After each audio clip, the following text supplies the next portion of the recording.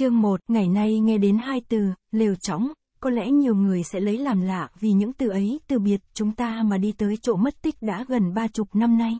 Nhưng mà trước hơn hai chục năm đi ngược trở lên, cho đến hơn một nghìn năm, lều, chóng đã làm chủ vận mệnh của Giang Sơn cũ kỹ mà người ta tán khoe là bốn nghìn năm văn hiến.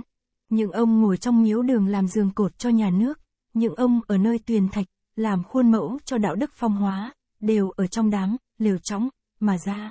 Lều chóng với nước Việt Nam chẳng khác một đôi tạo vật đã chế tạo đủ các hạng người hữu dụng hay vô dụng. Chính nó đã làm cho nước Việt Nam trở nên một nước có văn hóa. Rồi lại chúng nó đã đưa nước Việt Nam đến chỗ diệt vong. Với chúng, nước Việt Nam trong một thời kỳ rất dài kinh qua nhiều cảnh tượng kỳ quái, khiến cho người ta phải cười, phải khóc, phải rụng rời hồn vía. Ngô Tất Tố, thời vụ số 109 ra ngày 10 tháng 3 năm 1939, gần nửa tháng rồi, trong làng văn khoa, lúc nào cũng náo nức, rộn dịp như sắp kéo hội. Đình trung điếm sở cũng như quán nước hàng quà chỉ làm chỗ hội họp của các ông già, bà già và những cây gậy trúc mũi sắt, những gói trầu cao lớn bằng cây đấu. Chuyện mới, chuyện cũ luôn luôn theo những bãi cốt trầu, những làn khói thuốc đồng thời tuôn ra và nổ như bỏng rang. Ông này nhắc làng mình thật được hướng đình, ông kia đoán họ trần kết môi mộ tổ, bà này bảo cụ đồ phúc đức hiền hậu, chịu khó lễ các đền chùa. Bà kia khen cô nghề tốt nết đủ điều, biết phân biệt kẻ trên người dưới. Cái hoa gạo nở đầu tháng riêng đã được tán là điểm tốt. Còn khanh khách kêu trên các đình giữa ngày khai hạ, cũng được tôn là tin mừng. Câu chuyện tuy duy nhất chỉ quanh quẩn có thế, nhưng sự nô nức đã bắt người ta cứ phải chiếu đi chiếu lại bàn tán hết ngày ấy sang ngày khác. Đầu làng cuối làng, thường có những tiếng cười nói rầm rầm. Hôm nay lại càng tấp nập hơn nữa, từ lúc trời mới sáng rõ, một hồi mõ đã tiệp tiếng vang của ba hồi trống cái khu động góc trời trên đình. Với chiếc giải lưng lụa đỏ bỏ muối sang cạnh sườn, lý trưởng không khác phó lý, trương tuần, tung tăng vác tay thước chạy nhào từ đình đến điếm. Giữa một hồi tí u của những tiếng hiệu ốc đi đôi với dịp hiệu sừng, người ở các xóm kéo ra tiếu tít. Chỗ này vài chục đàn ông đi với mai, thuồng, sẻng, cuốc gậy nặng và câu liêm, chỗ kia mươi người đàn bà và những quang, thúng, xảo, sọt lủng lẳng dưới đầu đòn gánh. Một toán lại một toán, một lũ lại một lũ, ống quần sắn trên đầu gối, gấu váy kéo lên đến nửa bụng chân, các toán, các lũ lần lượt tiến vào sân đình. Một bầu ồn ào chiếm cả khu đinh và điếm. Mặt trời từ trên ngọn tre xuyên sang mái đỉnh tưng bừng đón tiếng chào của đàn chim sẻ. Ánh sáng long lánh chiếu trên núm quả dành của đôi đồng trụ cửa đình. Cái ồn ào mỗi lúc một lớn. Chính nước chè khô đã bị mấy chục bát đàn vụt cạn. Hai thùng cao khô để đó dần dần biến thành đống bã trầu tàn. Hết thảy các toán, các lũ nhất tề đứng dậy, như một đạo quân ra trận, mấy trăm con người rầm rập kéo ra đầu làng và vui vẻ tiến thẳng đến đoạn đường cùng tận địa giới.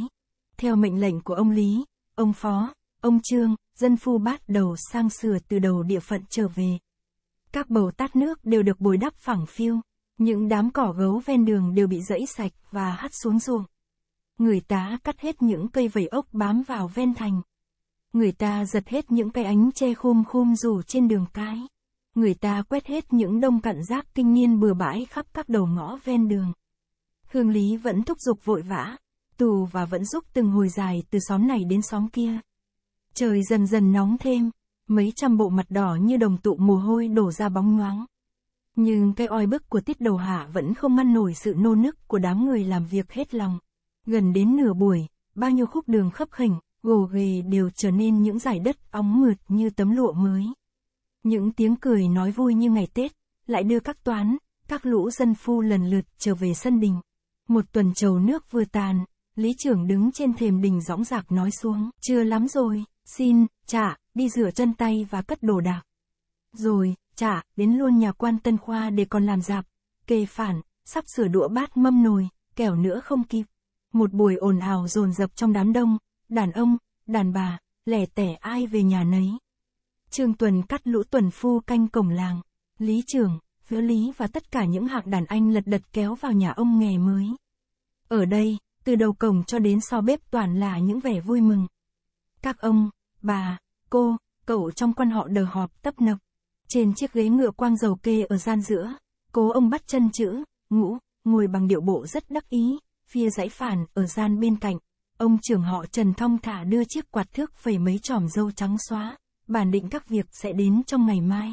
Ngoài sân, cố bà cũng như cô nghề, tất tả chạy ngược chạy xuôi, vừa sắp sửa các thứ đồ dùng, vừa cắt đặt việc này việc khác.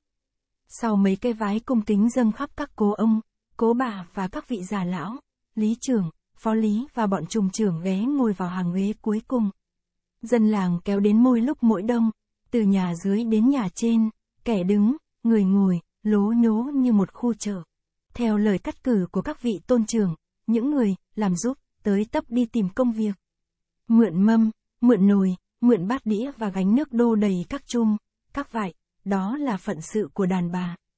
Còn phê đàn ông thì chia ra thành hai ban, một ban chôn tre, dựng dạp, kê phản, kê ghế, sắp đặt các đồ bài trí, một ban nữa vào chuồng bắt lợn, làm gấp mấy chục mâm giấm ghém để kịp làng xóm họ mạc ăn tạm bữa trưa. Công việc bắt đầu túi bụi, tiếng người hò thét, tiếng mâm bát đụng nhau, hòa với tiếng lợn kêu y ếch ngoài vườn làm thành cái vọng ầm ầm của một đình đám to lớn. Hơi lửa trong bếp hợp với hơi người các nơi càng tăng thêm sức nóng của trời hè. Đúng chưa, cỗ bàn làm xong, hai tòa dạp lớn cũng vừa lợp kín. Những chiếc chiếu hoa dài thườn thượt như lá cót đại lần lượt phủ kín các dãy giường phản từ trong nhà ra ngoài sân. Hàng mấy chục mâm rau nộm thịt mỡ chất đầy trong những bát đàn, đĩa đàn, la liệt đặt khắp các nhà các dạp. Xin mời bà con hãy đi sơi cơm kẻo đói. Các việc để đó ăn xong rồi ta hay làm. Lời nói chi ông trưởng họ Trần không kém tiếng hò của ông đại tướng đứng đầu ba quân. Nó có sức mạnh khiên cho mọi người răm rắp đứng dậy. Đàn ông với đàn ông, đàn bà với đàn bà, 41, 82 làng xóm, họ mạc tự ý rủ nhau, tiện chiếu nào ngồi vào chiếu ấy. Mâm này gọi rượu, mâm kia gọi cơm, rồi mấy mâm khác vâm véo dục lấy nước canh nước mắm. Lối đi chật hẹp trong mấy gian dạp thành chỗ chen nhau của người ra vào. Giống như lớp tằm ăn rỗi, một loạt năm sáu chục mâm nhất tề nhấp chén cất đũa. Mặt trời tranh trách chiếu vào đầu dạp, các mâm chỉ còn bát không, đĩa không. Bằng một giọng nói chững chạc, ông trường họ Trần tỏ ra người rất thạo việc, xin mời bà con ăn trầu, uống nước, rồi thì ai vào việc ấy đi cho. Xem chừng công việc hãy còn nhiều lắm, ta phải làm gấp mới được. Bao nhiêu mâm cỗ ăn tàn lần lượt bị đưa xuống khu sân bếp, để nhường các chiếu trong dạp cho những đìa trầu cao khô và những đoàn ấm tay đựng nước chè xanh. Tiệc trầu nước không đầy một khắc, mọi người ồ ạt đứng lên, lúc này công việc càng rộn rịp. Ở đằng sau nhà những người vật trâu bò reo ẩm ĩ, ở trong rạp, có một đoàn giao thớt ký cốc băm thịt, băm xương. Và ở trước sân, mấy chục chiếc chày huỳnh huỵch nện xuống đáy cối đá đại. Một đám vàng vàng đỏ đỏ nghẽo nghiện từ nhà dưới bếp lên nhà trên. Đó là các thứ sôi gấc, sôi dành và sôi lá diễn đóng trong những chiếc mâm ràng, sơn son. Góp vào đó, mỗi mâm thêm một cái sỏ lợn, hoặc cái, lăm, lợn, một nậm rượu và một đĩa trầu. Ông trướng họ Trần súng xính trong chiếc áo tế màu lam cụng kính đi theo mấy mâm xôi thịt để thay mặt cố ông lệ ít các nơi đinh, chùa, văn chỉ, và các nhà thờ đại tôn, tiểu tôn. Vọng canh đầu cổng tùng tùng mấy tiếng trông báo. Tiếp đến một tràng pháo nổ liên thanh. Hai mâm cao tươi đưa hai ông bạn thân của cố ông đến mừng quan nghề. Bằng một dáng bộ ung dung, cố ông từ trên ghế ngựa quang dầu khoan thai thỏ chân xuống đất. Ngài sẽ sàng sỏ chân vào giày và trịnh trọng bước ra đầu thềm. Rồi vái một vái gần sát mặt đất, cố ông cung kính mời quý khách lên thẳng nhà trên. Chống cái ngoài cổng lại điểm mấy tiếng giật giọng. Một lũ cai tổng, phó tổng, lý dịch các xã trong tổng, lố nhố theo mấy bao chè sinh hậu và một hòm pháo bàn đào khung núm tiến vào trong dạp. Mấy ông quan họ còn đương vồn vã mời khách vào ghế, và mấy ông khách hàng tổng còn đang đưa đẩy nhường nhau ngồi trên, thì ở ngoài cổng lại có mấy tiếng trống cây báo hiệu. Theo hình thế của đám rồng rắn, một bọn chừng 40 người kéo dài từ cổng vào sân với chiếc khay vuông có để vài bức câu đối nhiễu đỏ. Giờ này mà đi, trông báo luôn luôn không dứt khách đến mỗi lúc mỗi nhiều. Bọn này ngồi chưa yên ghế, bọn khác đã rầm rập kéo vào. Mấy ông quan họ chuyên việc tiếp khách, ai nấy nhễ nhại mồ hôi. Những cậu học trò bé con cuống cẳng chạy không kịp nước để khách sấp giọng. Trên chiếc án trước thềm, chè, pháo, cao tươi chất đầy như quả non bồ. Liễn con công, câu đối vóc nhiễu, treo khắp vách, khắp tường. Những cỗ giỏ, nem, ninh, mọc kế tiếp nhau từ phía cỗ đệ lên. Khách khứa lục đục vào tiệc. Bọn nào đến trước ăn trước, bọn nào đến sau ăn sau. Mâm này bưng ra, mâm kia bưng vào. Trong dạp cũng như trong nhà, không lúc nào không có vài mâm ăn uống. Trời gần tối, khách đã hơi vãn. Hồi trống thu không của điếm canh vừa tan, những cây bạch lạc, những quả đèn lồng, những đĩa dầu trong các quang tre lần lượt theo nhau bắt lừa. Ngoài sân, trong dạp ánh sáng rực rỡ như ban ngày. Ông chướng họ Trần cởi tấm áo lam trao cho người nhà cất đi rồi gọi lý trưởng. Phó lý đến hỏi, thế nào, những đồ hành ngơi ngày mai, các thầy sắp sửa đủ chưa? Lý trưởng nhanh nhầu, trình cụ, chúng con sắm sửa đâu đấy cả rồi. Phó lý lễ phép nói thêm, trình cụ, còn thiếu hai cái cán cờ tứ linh, vì bị mọt gấy, chúng con đã tìm đôi xảo phơi dùng tạm. Nhưng ai đi rước, cắt cử xong chưa, bẩm đã, tất cả hơn 100 suất, toàn là người làng, chúng con không dám cắt đến ông nào trong quan họ. Ông trưởng họ Trần hơi cau lông mày, cái đó là lẽ tất nhiên. Việc khác, dân làng cũng không được phép cắt người quan họ đi rước, huống chi việc này. Thế các thầy có dặn những người vào việc phải ăn mặc cho tử tế không? Bẩm có, chúng con đã bắt dân làng đều mặc áo đỏ và thắt dài lưng màu xanh. Ai không có sẵn thì phải đi mượn, ông trưởng họ Trần ra bộ vừa ý, phải cho trang trọng một chút mới được. Còn có hàng tổng, hàng huyện trông vào, không nên cầu thả để cho người ta chê cười làng mình. Một người tuần phu ở cổng đi vào, chắp tay đến đứng dưới thềm, trình cụ, phường trèo đã đến. Ông trưởng họ Trần ngẫm nghĩ giây lát ra bảo chúng nó cứ ngồi ngoài ấy. Lúc nào có người ra gọi sẽ vào, rồi, chỉ tay ra thẳng gian dạp chính giữa. Ông ấy nhìn mặt lý trưởng, phó lý, bây giờ, công việc đã thư, các thầy hãy sai đứa nào thu xếp chỗ này, để cho phường trèo vào hát một lúc. Lý trưởng, ớ lý sung sướng như lính lệ được chuyến sai. Họ dạ một tiếng rất gọn, và cùng đem theo lệnh của ông trưởng quan họ xuống nèo nhà dưới loan báo cho bọn trai làng. Qua một hồi dọn dẹp, kê cúng, gian dạp chính giữa nghiễm nhiên thành một sân khấu lâm thời. Trống trầu trên thềm thủng thẳng điểm 4, 5 tiếng, chừng hơn 10 người phường trèo theo đôi hòm vuông lố nhố tiến vào. Trẻ con đua nhau hò reo, trong dạp ồn ào như đám vỡ trở, sau khi mấy bộ quần áo đã vắt lên sợi dây thừng trăng suốt hai chiếc cột dạp, để ngăn cho nửa gian dạp thành một căn buồng, hộp phấn, hộp son và những mũ bạc, mũ vàng, mũ lông công, mũ cánh chuồn, la liệt bày ra nắp hòm mặt án. Trống rung, mõ điểm nhát gừng, phèn phèn, chúng trẻ đồng thời nổi lên. Trò bắt đầu diễn, trước dạp, sau dạp và hai bên dạp, người đứng chật như nêm cối. Hết một hồi trống dạo trò, cả đám đều im phăng phắc để nhìn bộ miệng người kép giáo đầu đương mấp máy môi sau một chiếc quạt giấy. Đánh sạt một cái, cái quạt bị cục hẳn lại, người kép lấy hết gân mặt gân cổ, gân môi để ngân cho giọng thật dài, nhớ thuở xưa tích cũ, có một chàng trai tên gọi Lưu Bình. Mọi người xôn xao bảo nhau, à họ làm trò, Tây Dương Nghĩa Phụ, đêm càng khuya, trò càng xô sát, khán giả càng nô nức. Người ta vỗ tay cười reo khi nghe anh hề cắt nghĩa, đại phong, là lọ tương. Và người ta tỏ vẻ ái ngại thương xót, khi thấy Lưu Bình lắc đầu nhăn mặt trước bát cơm thiêu và quả cá mốc của nhà Dương Lễ.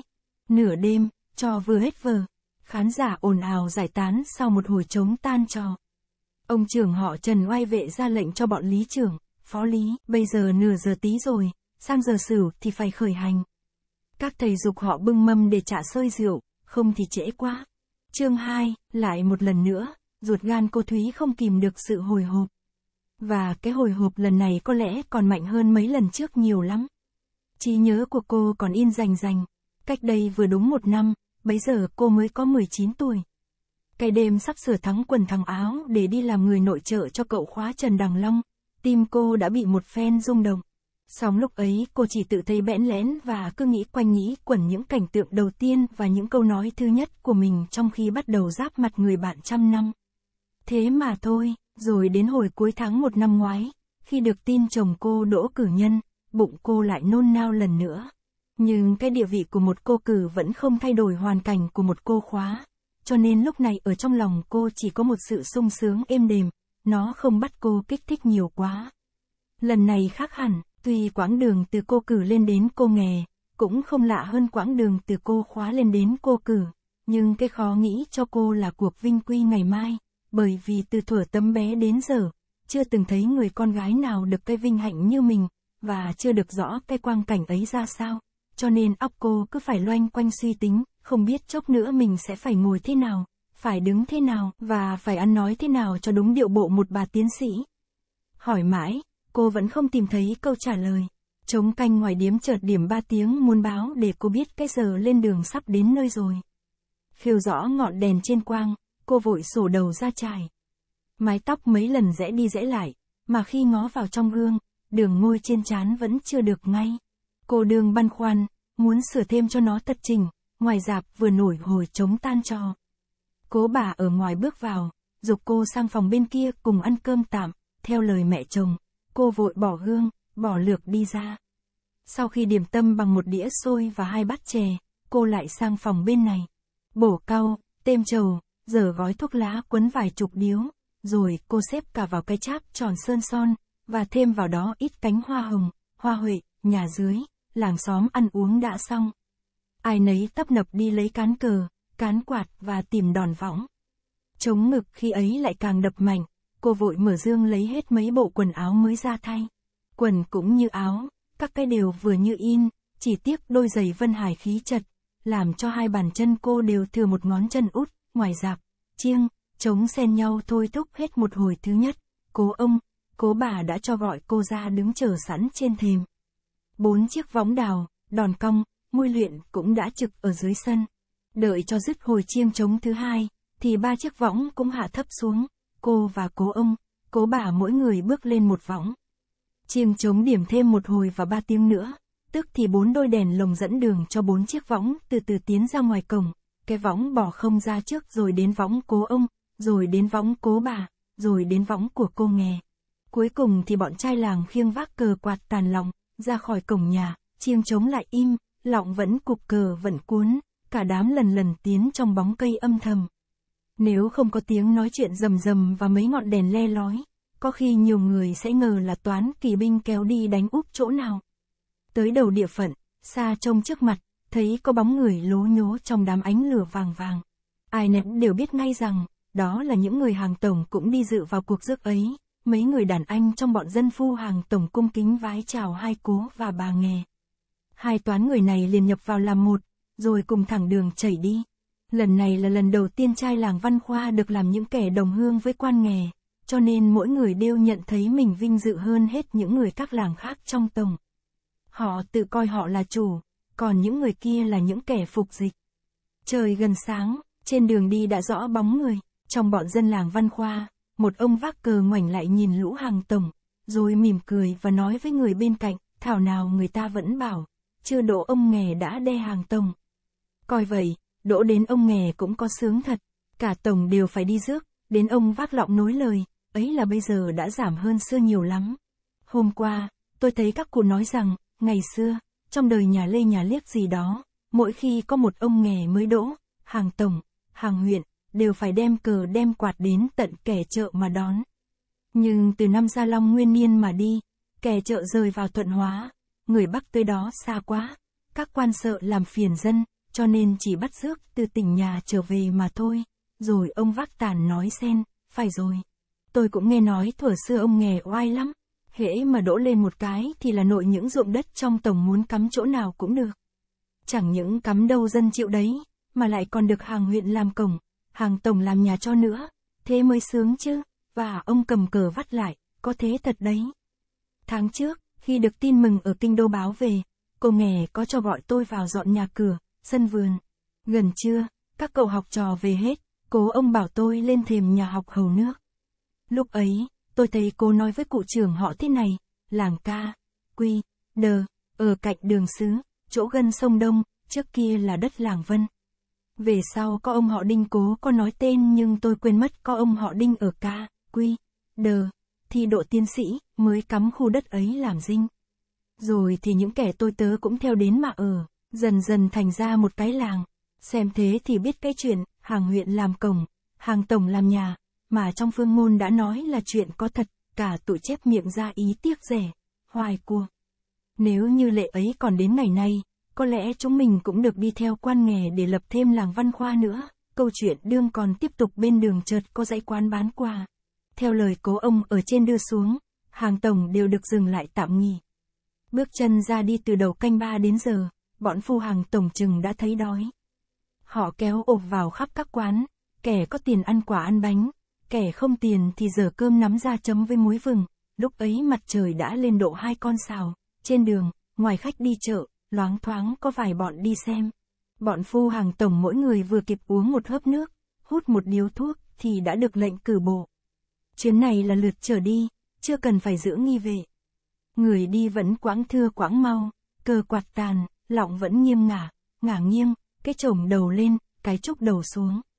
Vào khoảng nửa buổi thì tới cửa tỉnh, hàng phố lố nhố kéo nhau ra xem, ngày trước những ông nghề mới, sau khi ở kinh, lĩnh cờ biển về thẳng tỉnh nhà để vào lễ quan tổng đốc đều phải ra luôn nhà trọ, rồi thì hàng tổng đến đó rước về. Nhưng quan tổng đốc bây giờ là bậc hiếu học, thấy ông Tân Khoa Trần Đằng Long trẻ tuổi, linh lợi, ngài càng yêu mến, nên mới phá cách mà lưu ông ấy ở lại trong dinh và đã phi chát về huyện, sức các dân xã phải vào trong dinh đốc bộ mà đón, theo lệnh ấy, võng, lọng, cờ quạt, cứ việc nghênh ngang tiến vào cửa thành. Đến cổng dinh quan tổng đốc, cố ông, cố bà và cô nghề xuống võng đi bộ. Giữa mấy tiếng trông báo rất hùng dũng của bọn lính canh trên tròi, một người đội tuần lật đật ở trong chạy ra. Cố ông, cổ bà và cô nghề sửa lại khăn áo cho thật tề trình để theo hắn đi vào trong dinh. Làng tổng súng lại từng tốc ngồi lê ngồi la ở các bãi cỏ ngoài dinh, kẻ ăn trầu, người hút thuốc vặt. Cờ quạt võng lỏng, dựa ở bên đường ngổn ngang, nửa giờ sau, giữa lúc dân phu đang vây quanh chỉnh nước chè tươi và chiếc điếu cầy, thình lình mấy ông bô lão đều quay vào phía cửa dinh, ai nấy cong lưng vái một vái cực kỳ trịnh trọng, quan nghề đã đi với cố ông từ trong dinh ra. Cả bọn hàng tổng giam sắp đứng lên, ai vào công việc của người ấy. Bốn chiếc đòn võng ếch đầu ven tường cũng như số nhiều cờ quạt, tàn, lọng đều được nhấc ra một cách vội vàng. Các võng đều chế theo kiểu bát cống, mỗi cái phải tám người khiêng. Với chiếc nón dấu đội đầu và bỏ áo xanh nẹp đỏ, phủ tấm ban kiên màu đỏ, tất cả 32 người phu cõng nhất tề đỡ tay vào các đầu đòn để hạ cho mấy chiếc võng thấp gần mặt đất.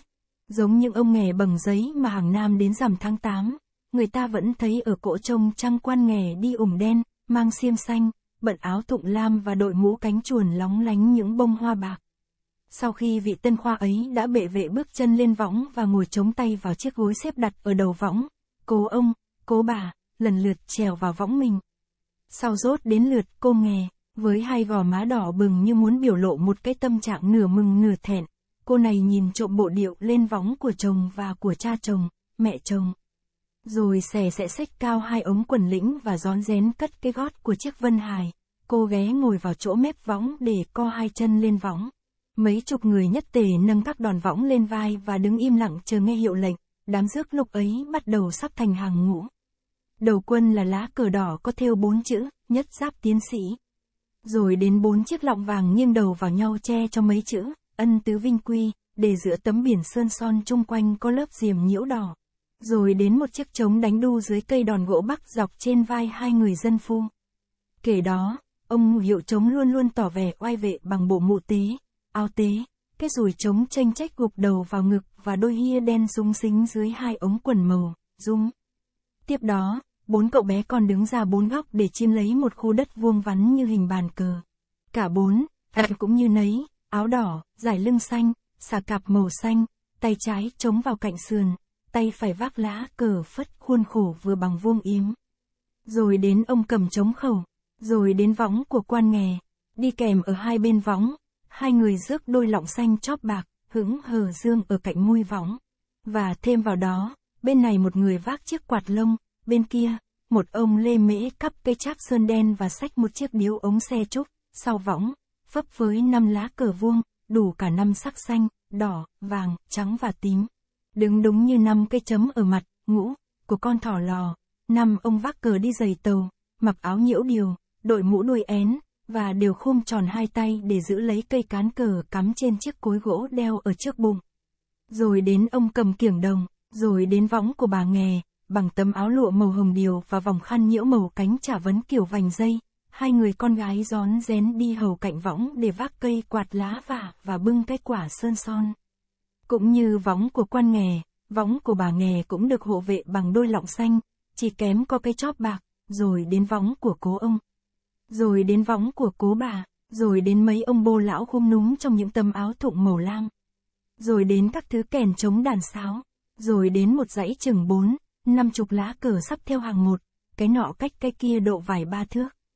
Cuối cùng thì là hai người khiêng chiêng, ông thủ hiệu chiêng phục sức và điệu bộ không khác ông chủ hiệu trống, cũng áo tế, cũng mũ tế, cũng đôi hia đen, và chiếc dùi dựa luôn luôn múa ở cửa tay áo thụng, với chiếc loa đồng vác vai. Lý trưởng văn khoa và nhiều chức dịch hàng tổng tung tăng chạy từ đầu nọ đến đầu kia, để làm cho hết phận sự những người dẹp đáng. Sau ba hồi trống cây giống nhau với những tiếng chiêng bu bu, tiếp đến một hồi trống khẩu đi đôi với hôi kiểng đồng, đám rước lục tục theo con đường cũ đi ra, đàn sáo kèn nhị nổi lên inh ỏi. Ra khỏi cổng thành độ vài chục bước, ông chủ hiệu trống thình lình thúc ba tiếng trống díp nhau, để ra hiệu cho hết mọi người đều phải dừng lại. Rồi thì một tay chống thẳng vào sườn, người giữ hiệu lệnh của đám rước đó khoan thai lui xuống năm bước, và giang hai chân theo hình chữ, bát, ông ấy mua chiếc rùi trống tiến lên năm bước để nện luôn vào mặt trống mấy tiếng tùng tùng. Dứt hồi tùng tùng thứ nhất, bốn cậu bé con cầm bốn lá cờ phất đồng thời quay mình đánh thót và cùng trầu mặt vào nhau. Sau hồi tùng tùng thứ hai, cả bấy nhiêu cậu nhất tề mua tít lá cờ trong tay để chạy cho hết chiều ngang của mặt đường cái. Người ở bên tả sông sang phía hữu, người ở bên hữu sông sang phía tả. Luôn hồi tùng tùng thứ ba, các cậu lại đều quay tròn ngọn cờ và răm rắp lui về chỗ cũ. Đến hồi tùng tùng thứ tư, cờ lại mua bốn cậu lại cùng bước vào giữa đường. Rồi ai nấy đều cúi đầu xuống để phất lá cờ qua mặt và hứa một tiếng thật dài. Thế rồi, mỗi một tiếng tùng là một cái phất cờ, và mỗi cái phất cờ lại một tiếng, hư. Vừa đú bốn lượt, tùng hứ, ông thủ hiệu chống gióng giạc điểm thưa rùi chống để ra lệnh cho các cậu đó lùi lại chỗ đứng lúc nãy và quay mặt nhìn lên tiên quân, chiêng trống lại thủng thẳng đánh từng tiếng một, đám rước lại lần lần tiên lên. Đi hết con đường trong tỉnh, mặt trời vừa lên đến thẳng đỉnh đầu. Cả một khu vực mông mênh của bầu trời đều bị nhuộm thành màu vàng chói. Người đi trên đường luôn luôn ngửi thấy mùi khét. Cờ vuông, cờ chéo, hết thầy rũ rượi như lũ ấp mù. Dân phu hàng tổng ai nấy sắc mặt đỏ gay, mồ hôi thấm ra ngoài áo. trường đã khó chịu với sự nóng nực, mấy người đi đâu xẻ sẽ dục nhau bước rào cho chóng đến nhà.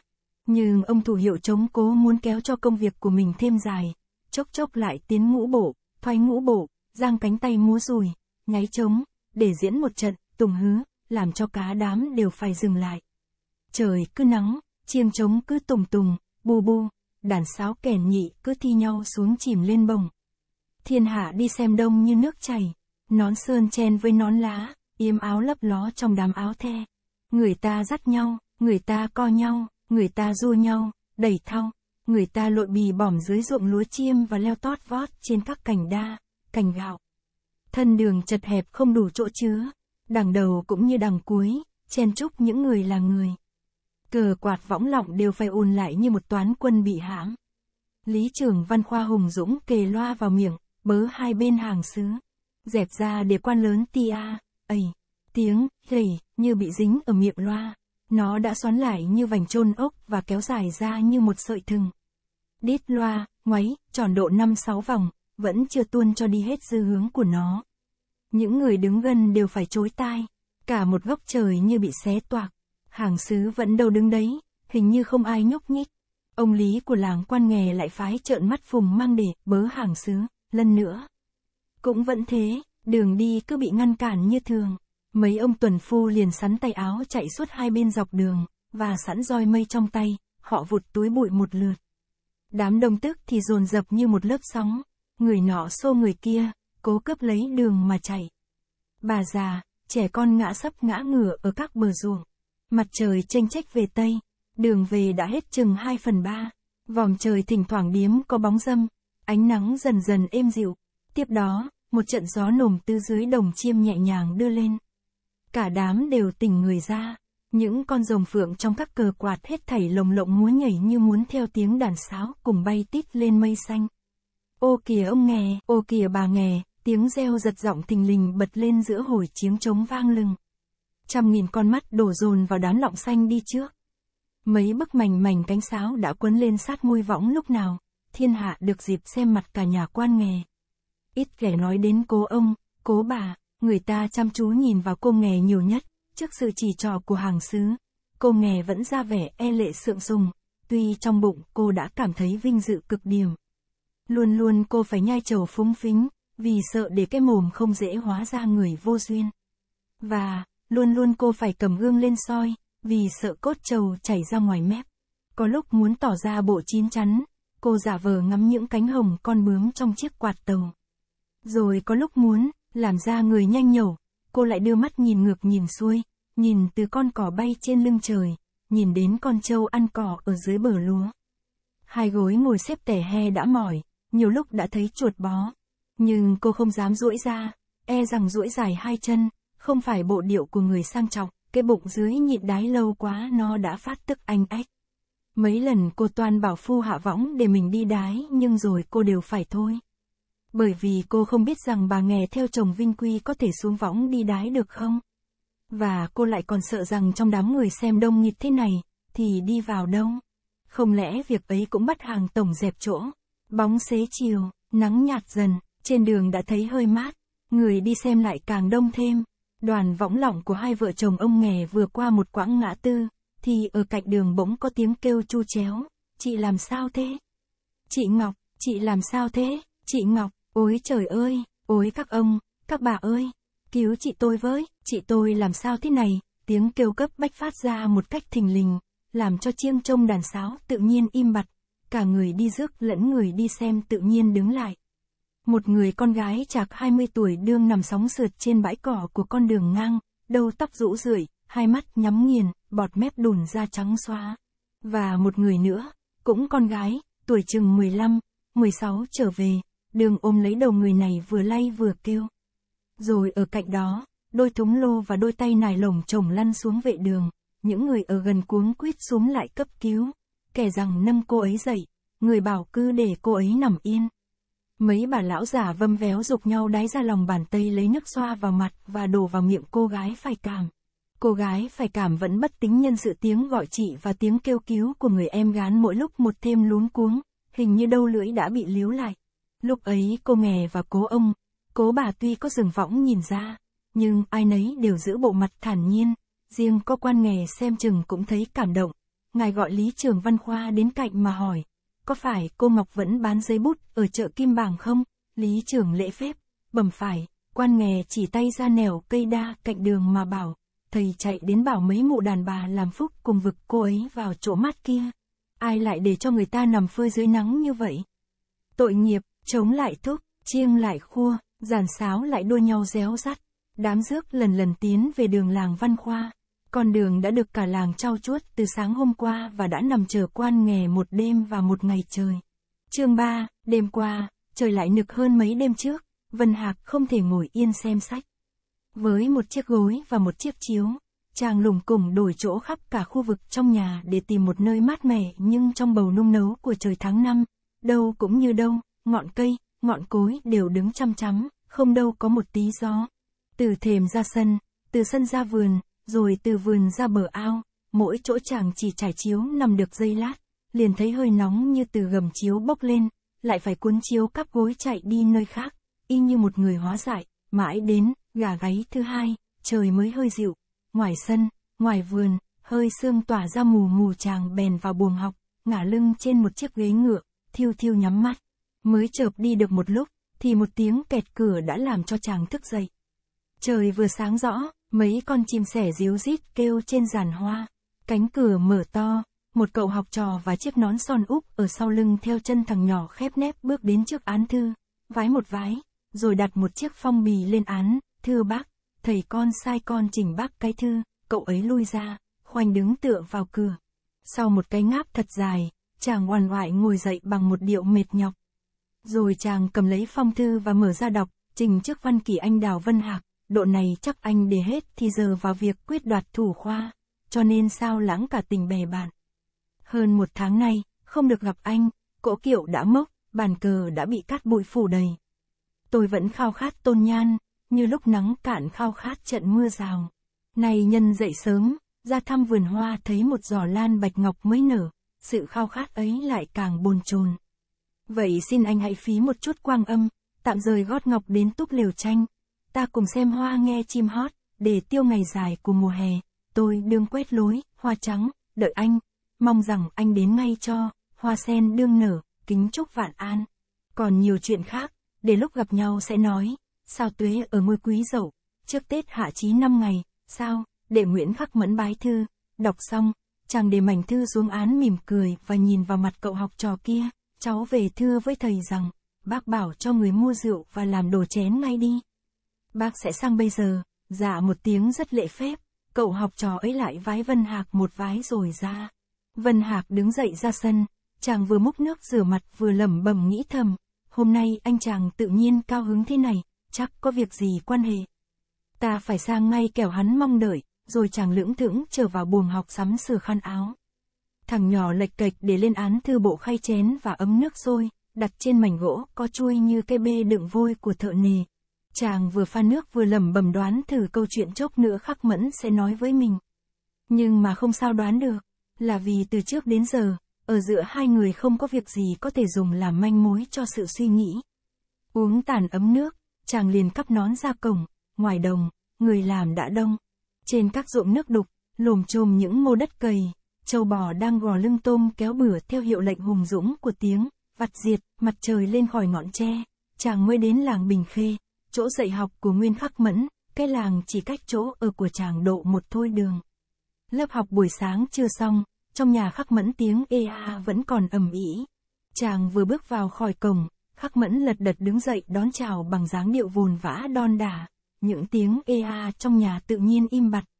Một lũ học trò lố nhố đứng dậy với những khóm hồng mau ngất nghèo trên đông. Rồi cậu nào cậu nấy chắp tay vái như bổ củi, lại bác ạ. lại bác ạ, gần hai chục tiếng, lại bác, lao sao theo nhau thành một dây dài, khiến cho Vân Hạc lia lịa gật đầu không kịp. Chàng phải xua tay ngăn lại, các cậu cứ ngồi yên mà học, cả bọn học trò lần lượt ngồi xuống. Rồi thì những tiếng ê ha lại thi nhau nổi lên.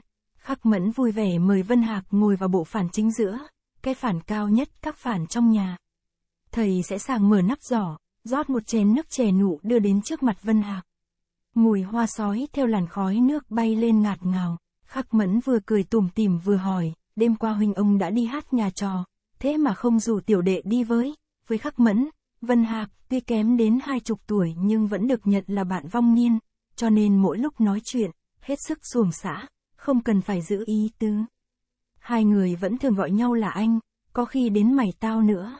Lần này tự nhiên thấy khắc mẫn tôn mình là huynh ông, Vân Hạc không khỏi ngạc nhiên, song chàng cũng cứ làm lơ và vẫn trả lời như lối mọi ngày, ai bảo anh thế, khắc mẫn ra vẻ đắc ý, nếu không đi hát, làm sao huynh ông ngủ đến bạch nhật chưa dậy, Vân Hạc chừng không chịu nổi cái lối kiểu cách của bạn, chàng liền nói nửa thật nửa bỡn, nếu anh không vứt hai tiếng huynh ông vào lọ mắm thối của anh, thì tôi đứng dậy lập tức, không thèm nói với anh một câu nào nữa, khắc mẫn bèn cười khì khì, thế thì đêm qua anh đi hát với những thằng nào, phải thú tội ngay đi đã, Vân Hạc uống cạn chén nước rồi đáp, chẳng đi hát với thằng nào cả.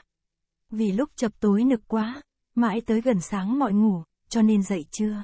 Anh bảo đương lúc trời nắng như nung thế này, ai có động dại mà chui đầu vào nhà cho, khắc mẫn vẫn cười giòn giã, té ra anh bị ngửa oan. Thế mà từ nãy đến giờ, tôi cứ oán anh đi chơi không rủ anh em, một cậu học trò cắp sách đứng lên với đôi ống mũi thập thò bò xuống gần miệng, song song đo nhau như đôi ngà voi. Khép nép tựa lưng vào tấm cánh cửa, cậu ấy nói bằng tiếng mũi, thưa thầy xin đọc, khắc mẫn sẽ dương đôi mắt, hãy đi hỉ mũi đi đã. Có một bài học, đọc đi đọc lại mấy lần không trơn. Ngày mai còn mà thế nữa, thì mày chết đòn, hình như sợ rằng bước đi chỗ khác, mấy chữ trong bụng sẽ bị rơi mất.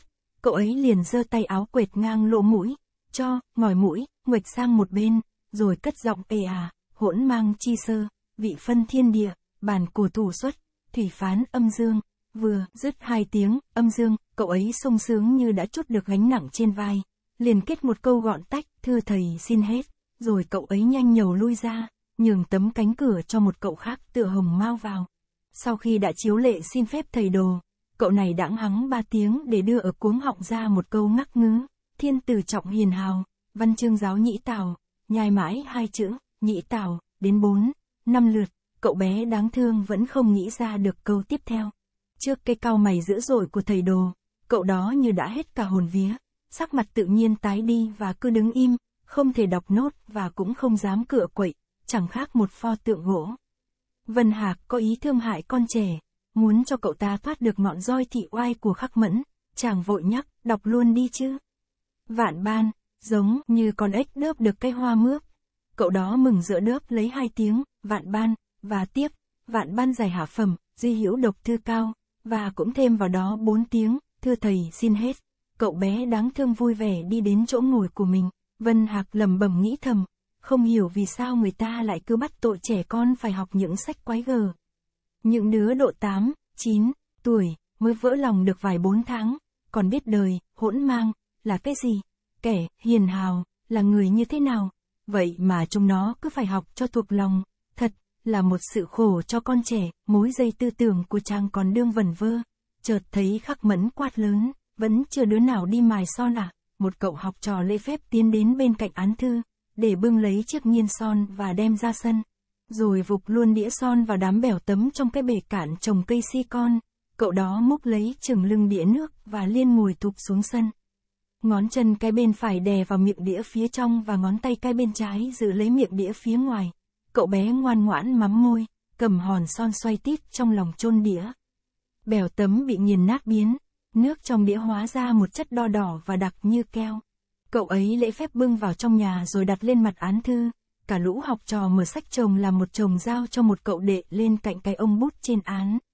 Khắc mẫn mở tủ lấy ra một pho sách trao cho Vân Hạc và nói, bộ sách này quý lắm, tôi mới mượn được của một chú khách. Anh coi đi, để tôi chấm sách cho chúng nó học, rồi sau ta sẽ nói chuyện. Vân Hạc vội đón tập sách và sẽ hé mở để coi những chữ in ở mép các tờ. Tưởng là gì, té ra bộ truyện, Bình Sơn Lãnh Yến, chàng đặt cả tập xuống chiếu và nhìn ra bọn học trò, cậu nào có sách tô thì đem vào đây để ta viết cho mà tô, khắc mẫn ngạc nhiên, sao anh không đọc? Tứ tài tử, đây mà, hay lắm anh ạ, Vân Lạc mỉm cười, tôi đã coi từ năm lên 10 tuổi rồi. Nó cũng soàng soàng vậy thôi, khắc mẫn già y bẽn lẽn, thế thì anh viết giúp tôi mấy cái phóng vậy. Rồi thầy ngoảnh mặt vào bọn học trò trông trông, phóng của chúng bay lèm nhèm cả rồi, phải không?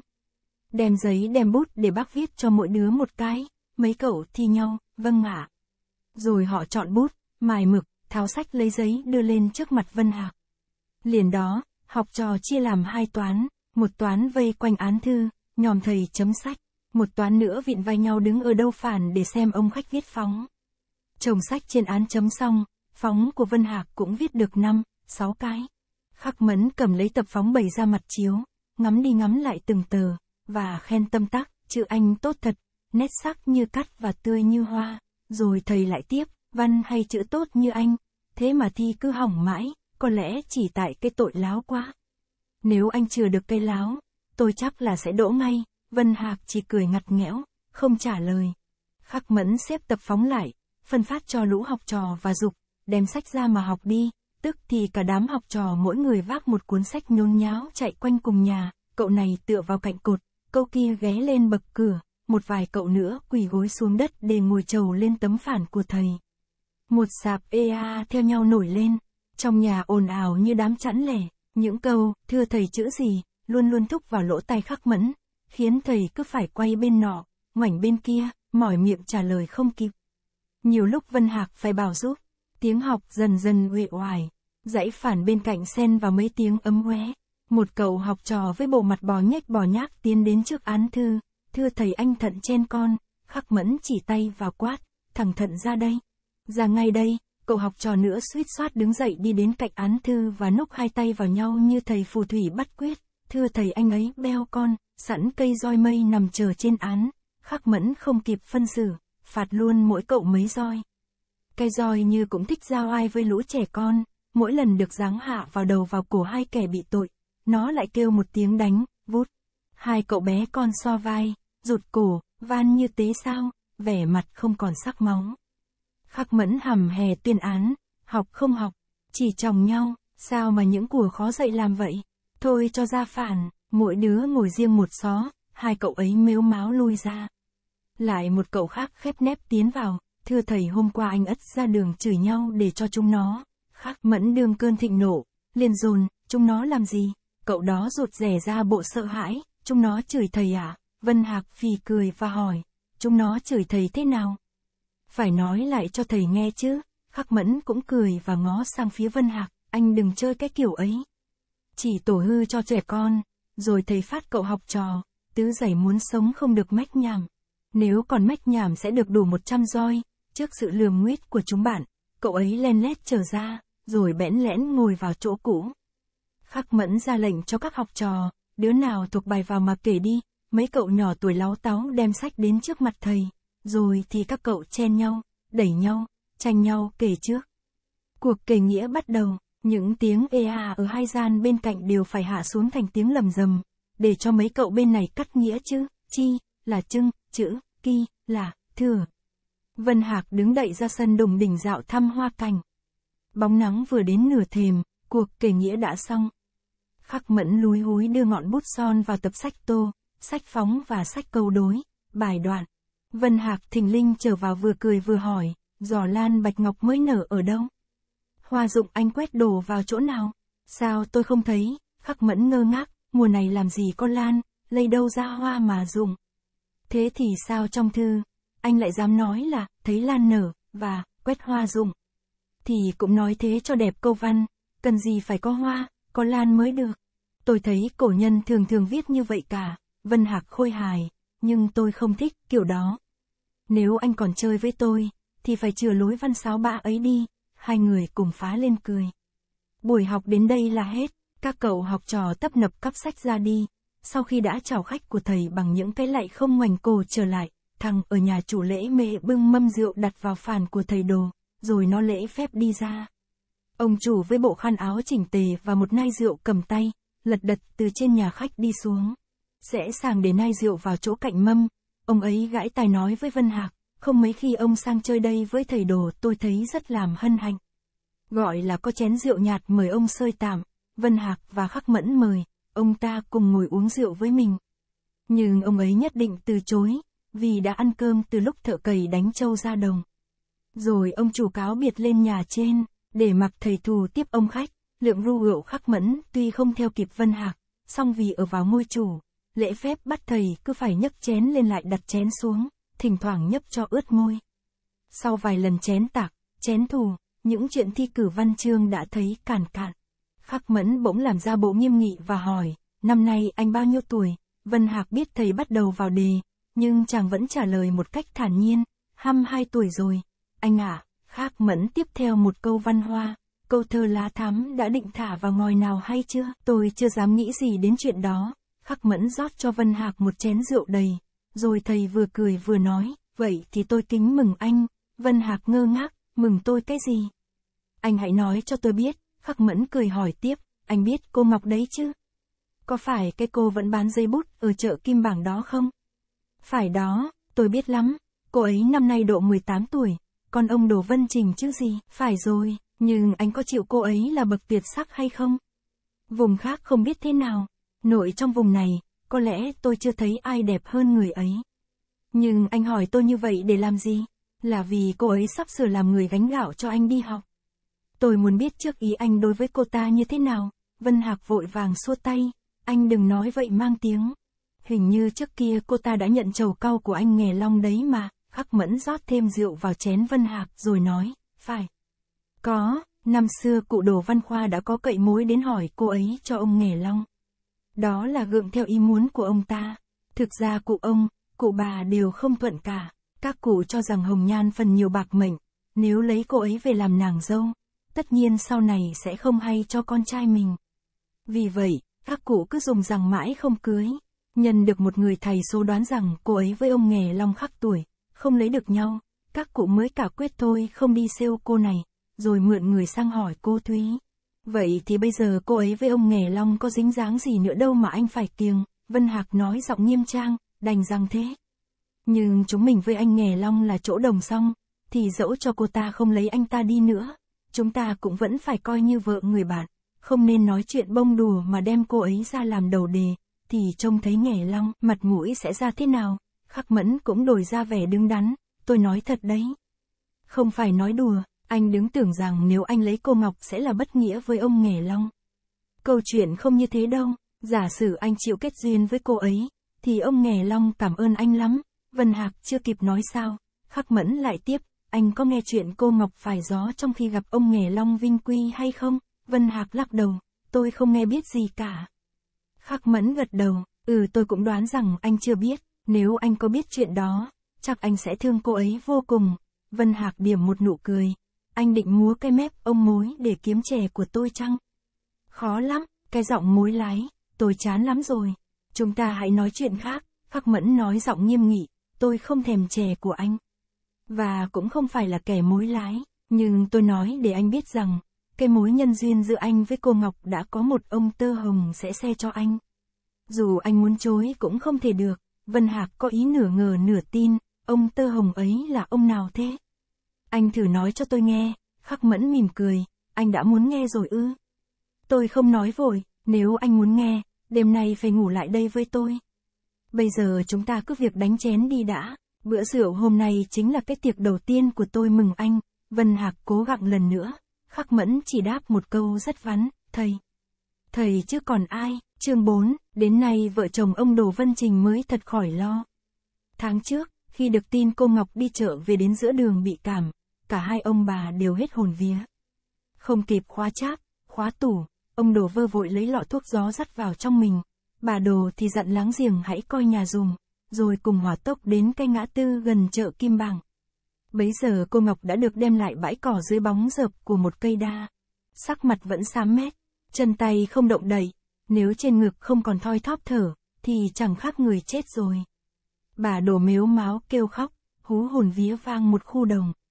Ông đồ dễ dàng trao lọ thuốc gió cho cô Bích, con gái thứ hai của ông, và bảo cô này mở gánh hàng lấy đĩa đựng trầu, xin ít nước tiểu mài với những viên thuốc ấy.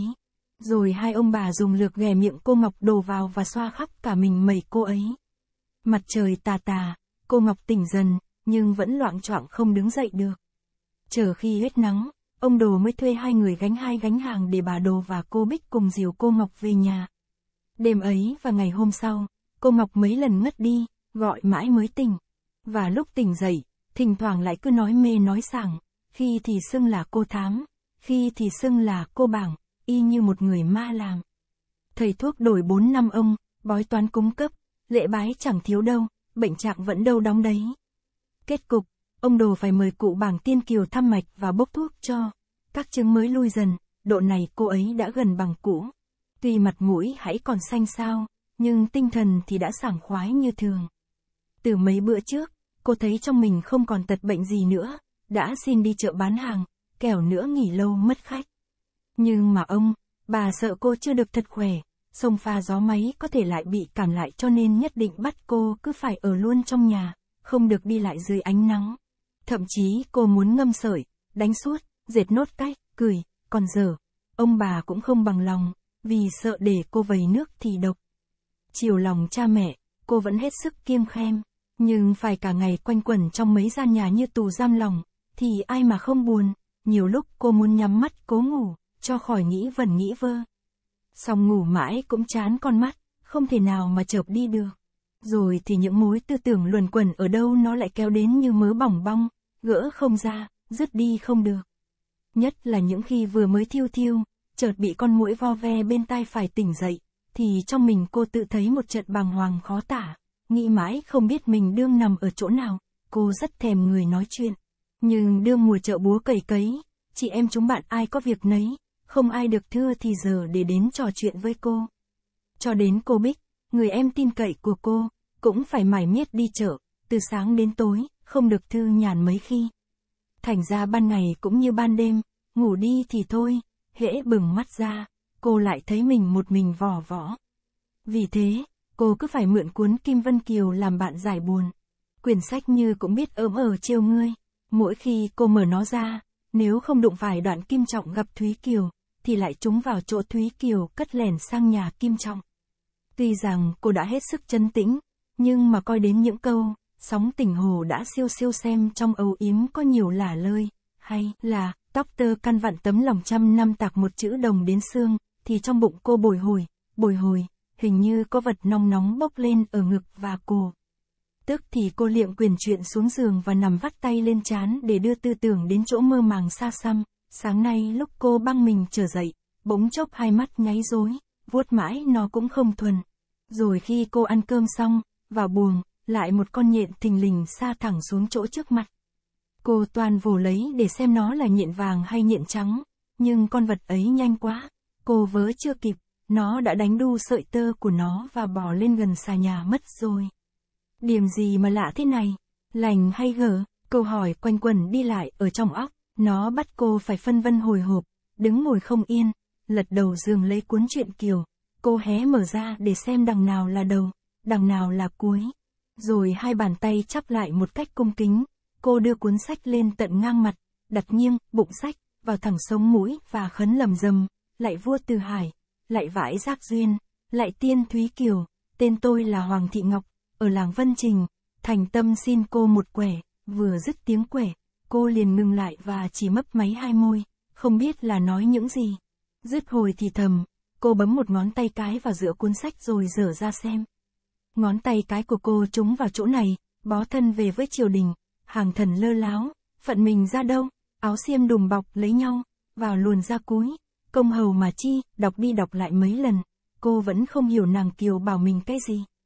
Hay là mình không thành tâm, cho nên cô Kiều không ứng, thì lại bói lại quẻ nữa xem sao, một lần nữa, cuốn sách bị cô đưa lên ngang chán và làm đúng những công việc vừa rồi.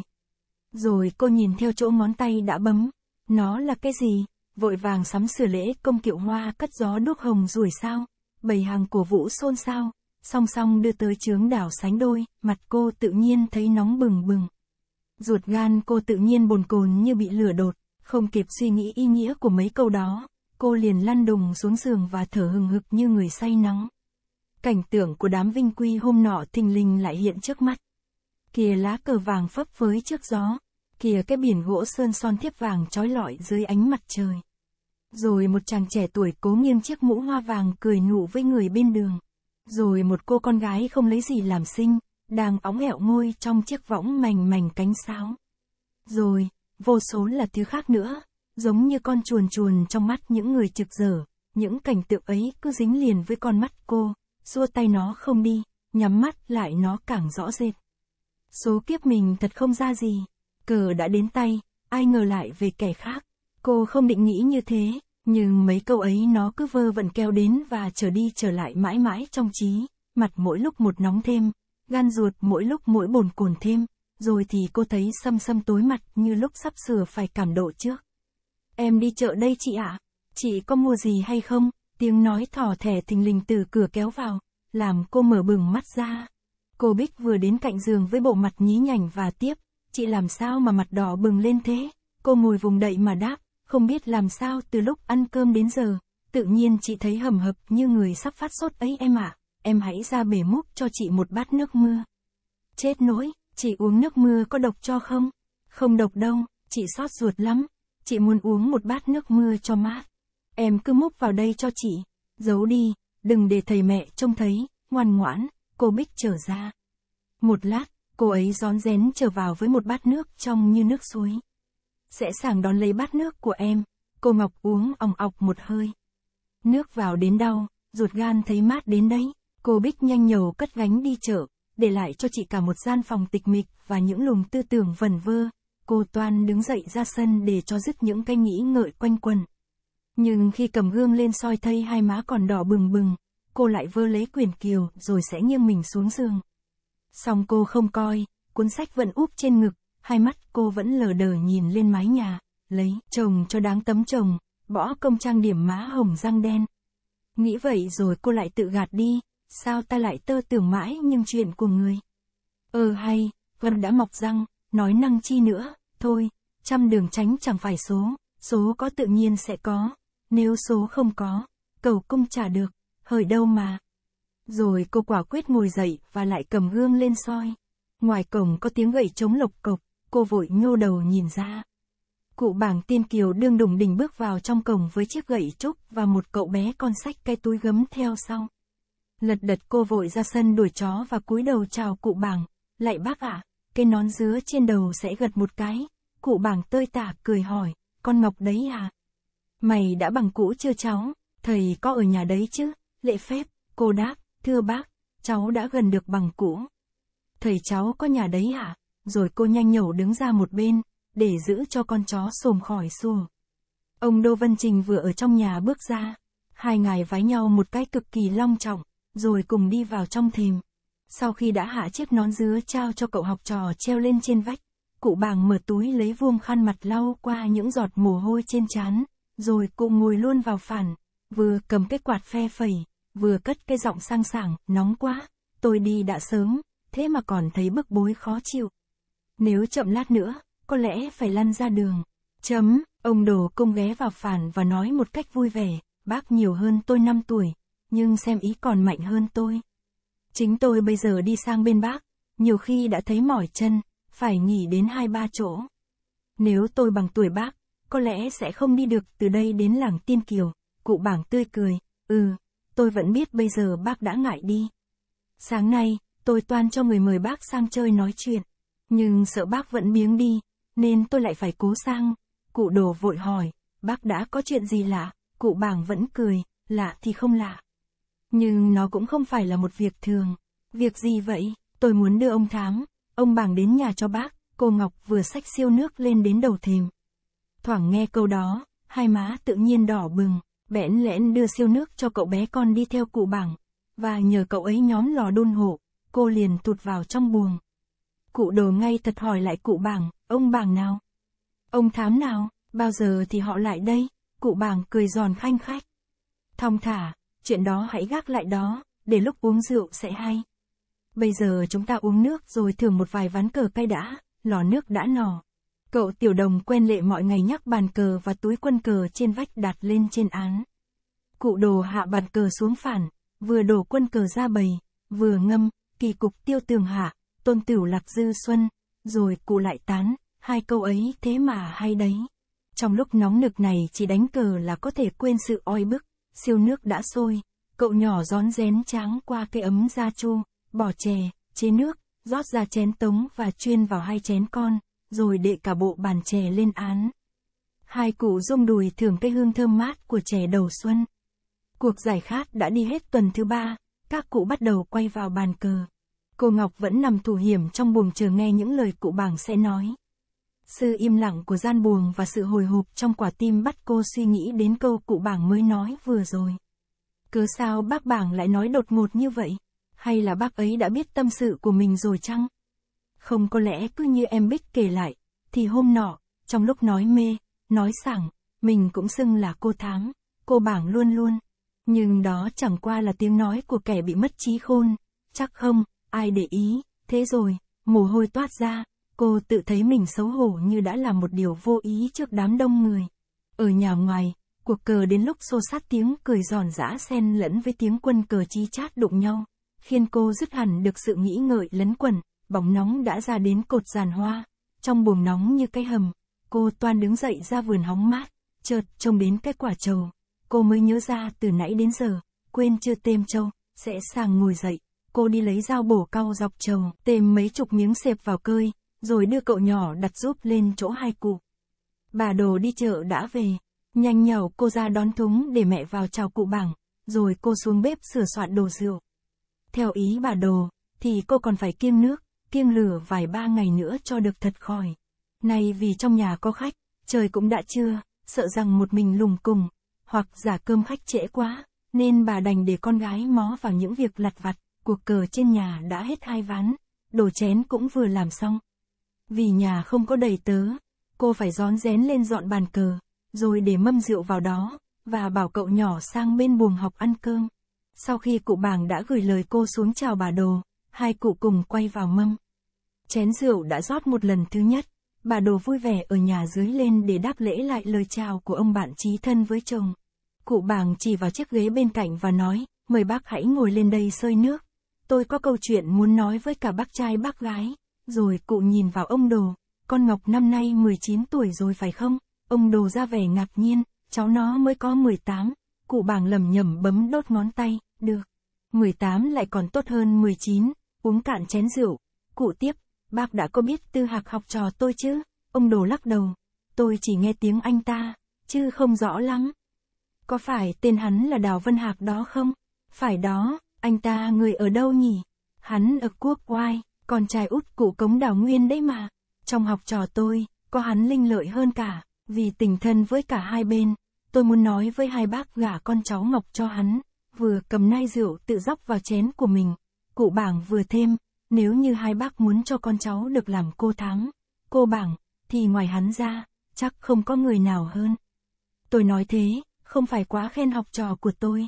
Kể ra, cái tài thám, bảng, thiên hạ vẫn không thiếu gì, nhưng phần nhiều họ đã cao tuổi hoặc là họ quen cố chấp câu nệ, không ai được hoạt bát như hắn, ông đổ ra vẻ tươi tả, bây giờ bác nói tôi mới nhớ ra. Trong kỳ bình văn ở trường bác hồi đầu năm ngoái, tôi đã xem qua quyển của anh ta. Kể thì anh ta cũng là một tay đại tài, tôi không chê một điều gì. Nhưng việc gả bán cho cháu thì tôi nhường quyền bà nó. Rồi ông quay sang bên phía bà đồ, thế nào? Ý bà ra sao, thì nói với bác, bà đồ dễ dàng, cụ cống mất rồi, thưa bác. Phải, cụ ấy mất từ lúc tư hạc còn nhỏ, bà đồ ra ý ngần ngại, trên cụ cống cũng là một nhà danh vọng ở tỉnh đoài với nhà tôi thật là môn đương hộ đối. Tôi chỉ hiềm một điều rằng chúng tôi hiếm hoi, chỉ được hai đứa cháu gái, muôn gả chồng cho nó ở chỗ gần nhà, để khi mẹ con đi lại cho tiện, cụ bảng nói vui như Tết, điều đó bác không quản ngại. Từ đây lên đến quê hắn, vừa đi vừa về, chỉ hết độ già nửa ngày, có gì là xa. Nếu bác sợ xa, thì tôi bắt hắn phải đến gửi gì Việc này tự tôi chủ trương tất cả, bởi thấy nó là mối lương duyên nên tôi muốn cướp quyền của ông Tơ Hồng xem sao, bà đồ không còn lẽ gì từ chối, liền chuyển câu chuyện sang cho ông đồ. Nếu thế thì xin tùy ý thầy cháu. Thầy cháu bằng lòng, tôi cũng xin vâng lời bác, ông đồ khôi hài, khéo lắm. Tôi đưa cho bà, bà lại còn đưa cho tôi, rồi ông rót rượu vào chén của bảng và tiếp, con tôi cũng như con bác. Tùy bác muốn gả cho ai thì gả, quyền ông tơ hồng bác còn muốn cướp huống chi quyền tôi. Có điều tôi muốn bác hãy thông thả, để tôi bảo qua với cháu, cụ bảng vẫn cười, cố nhiên cũng phải hỏi ý nó chứ. Nhưng tôi xem chúng nó cũng ngoan ngoãn dễ bảo, tôi nói phắc nó phải nghe. Vậy xin bác hãy cho gọi nó ra đây để tôi bảo thẳng với nó, nãy giờ, cô Ngọc vẫn ngồi im lặng trong buồng, không dám đánh tiếng. Khi nghe cụ bảng nói đến câu đó, cô liền cất lẻn đi xuống nhà dưới. Bà đồ theo xuống tận nơi, và nói một cách ngọt ngào, con lên nhà khách, bác bảng muốn hỏi gì con đấy, cô Ngọc đỏ mặt tía tai, và nói một cách nũng nịu, thôi con trả lên, bà đồ tùm tìm cười nụ, bác bảng muốn làm mối mày cho anh khóa hạc, học trò của bác ấy, có thuận thì lên mà nói với bác, cô Ngọc gục đầu xuống gối và sẽ thỏ thẻ, tùy thầy, tùy mẹ, con không biết, rồi cô e lệ đứng dậy và đi sang nhà hàng xóm. Bà đồ lại lên nhà khách nói với cụ bảng, thưa bác, cháu nó xấu hổ, không dám lên ạ, à? cụ bảng lại cười, thôi được. Nó xấu hổ tức là nó đã thuận đấy, vậy thì hai bác nhận lời cho tôi đi thôi, bà đồ cáo biệt đi xuống nhà dưới. Hai cụ gật gù đánh chén mãi đến quá trưa mới xong. Cô Ngọc vẫn còn núp bên hàng xóm chưa về. Cậu nhỏ người nhà cụ bảng phải dọn mâm bát và lấy tăm nước, mặt trời tà tà, cụ bảng mới từ biệt ra về. Trước khi đứng dậy, cụ còn dặn lại ông đồ, độ mấy bữa nữa, tôi sẽ lại sang nói chuyện với bác. Chương 5, một hồi gà gáy ầm ô, làm cho Vân Hạc giật mình thức giấc. Ngọn đèn trên quang lù mù sắp tắt, đọi dầu đã gần cạn khô. Không muốn làm phiền thằng nhỏ, chàng tự đứng lên rót dầu vào đèn, và rụi cái tàn đỏ ối ở đầu sợi bấc. Rồi chàng mở cửa ra sân, chàng chưa lặn, ánh vàng tranh trách nhòm vào giàn hoa, những bóng cây nhài, cây mục dương leo lên thềm, mặt thềm khoang khua như một bức tranh thủy mặc, trời hãy còn sớm. Trống ngoài điếm mới điểm canh tư, các nhà láng giềng vẫn im phăng phắc, chàng toan vào phòng ngủ thêm. Sực nhớ hôm nay là kỳ bình văn, phải đến trường sớm hơn mọi ngày, ngủ nữa, e rằng quá giấc, quá trưa, thì đi không kịp. Chàng bèn xúc miệng, rửa mặt, rồi một mình đùng đỉnh dạo dưới bóng trăng, trong đám ánh trăng trong vắt. Thỉnh thoảng điểm một luồng gió hiu hiu, hết thảy bóng cây trước sân đều bị rung động.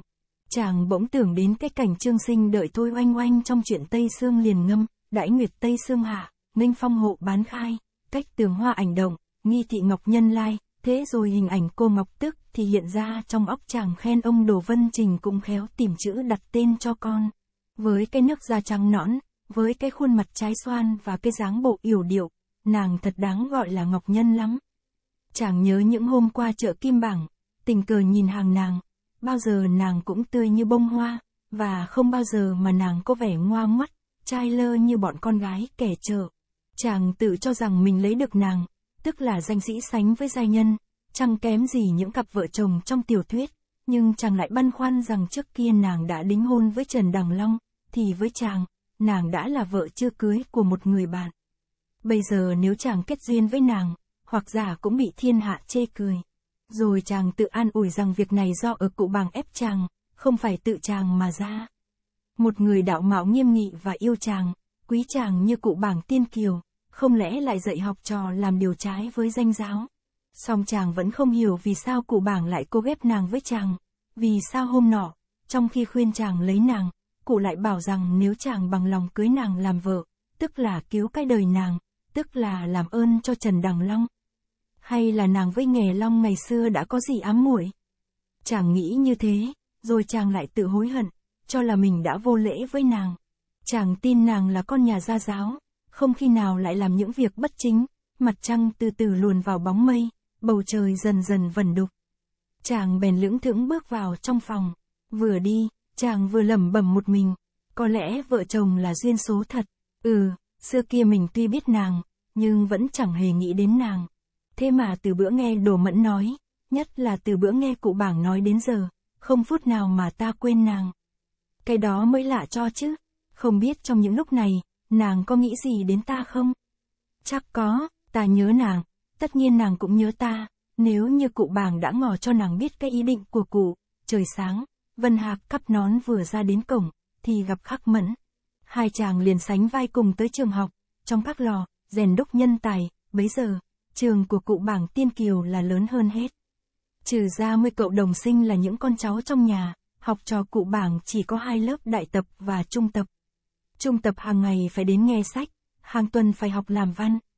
Còn đại tập thì mỗi tháng tập văn hai kỳ, kể cả đại tập và trung tập, học trò trong trường có tới gần 300 người. Vân Hạc và Khắc Mẫn đi đến cửa trường thì các cậu học trò trung tập cũng vừa kéo đến, sau những chiếc nón sơn quai chuỗi lần lượt úp lên các tường, cả mấy trăm người nghiêm trang ngồi sắp hàng ở các dãy ghế. Cụ bảng còn ở nhà trong chưa ra, một cậu học trò bé con chạy đến dì tay Vân Hạc, thầy bảo anh bình văn xong rồi, phải ở lại đây, để thầy còn dặn gì đấy, rồi thì học trò đại tập lục tục đến dần.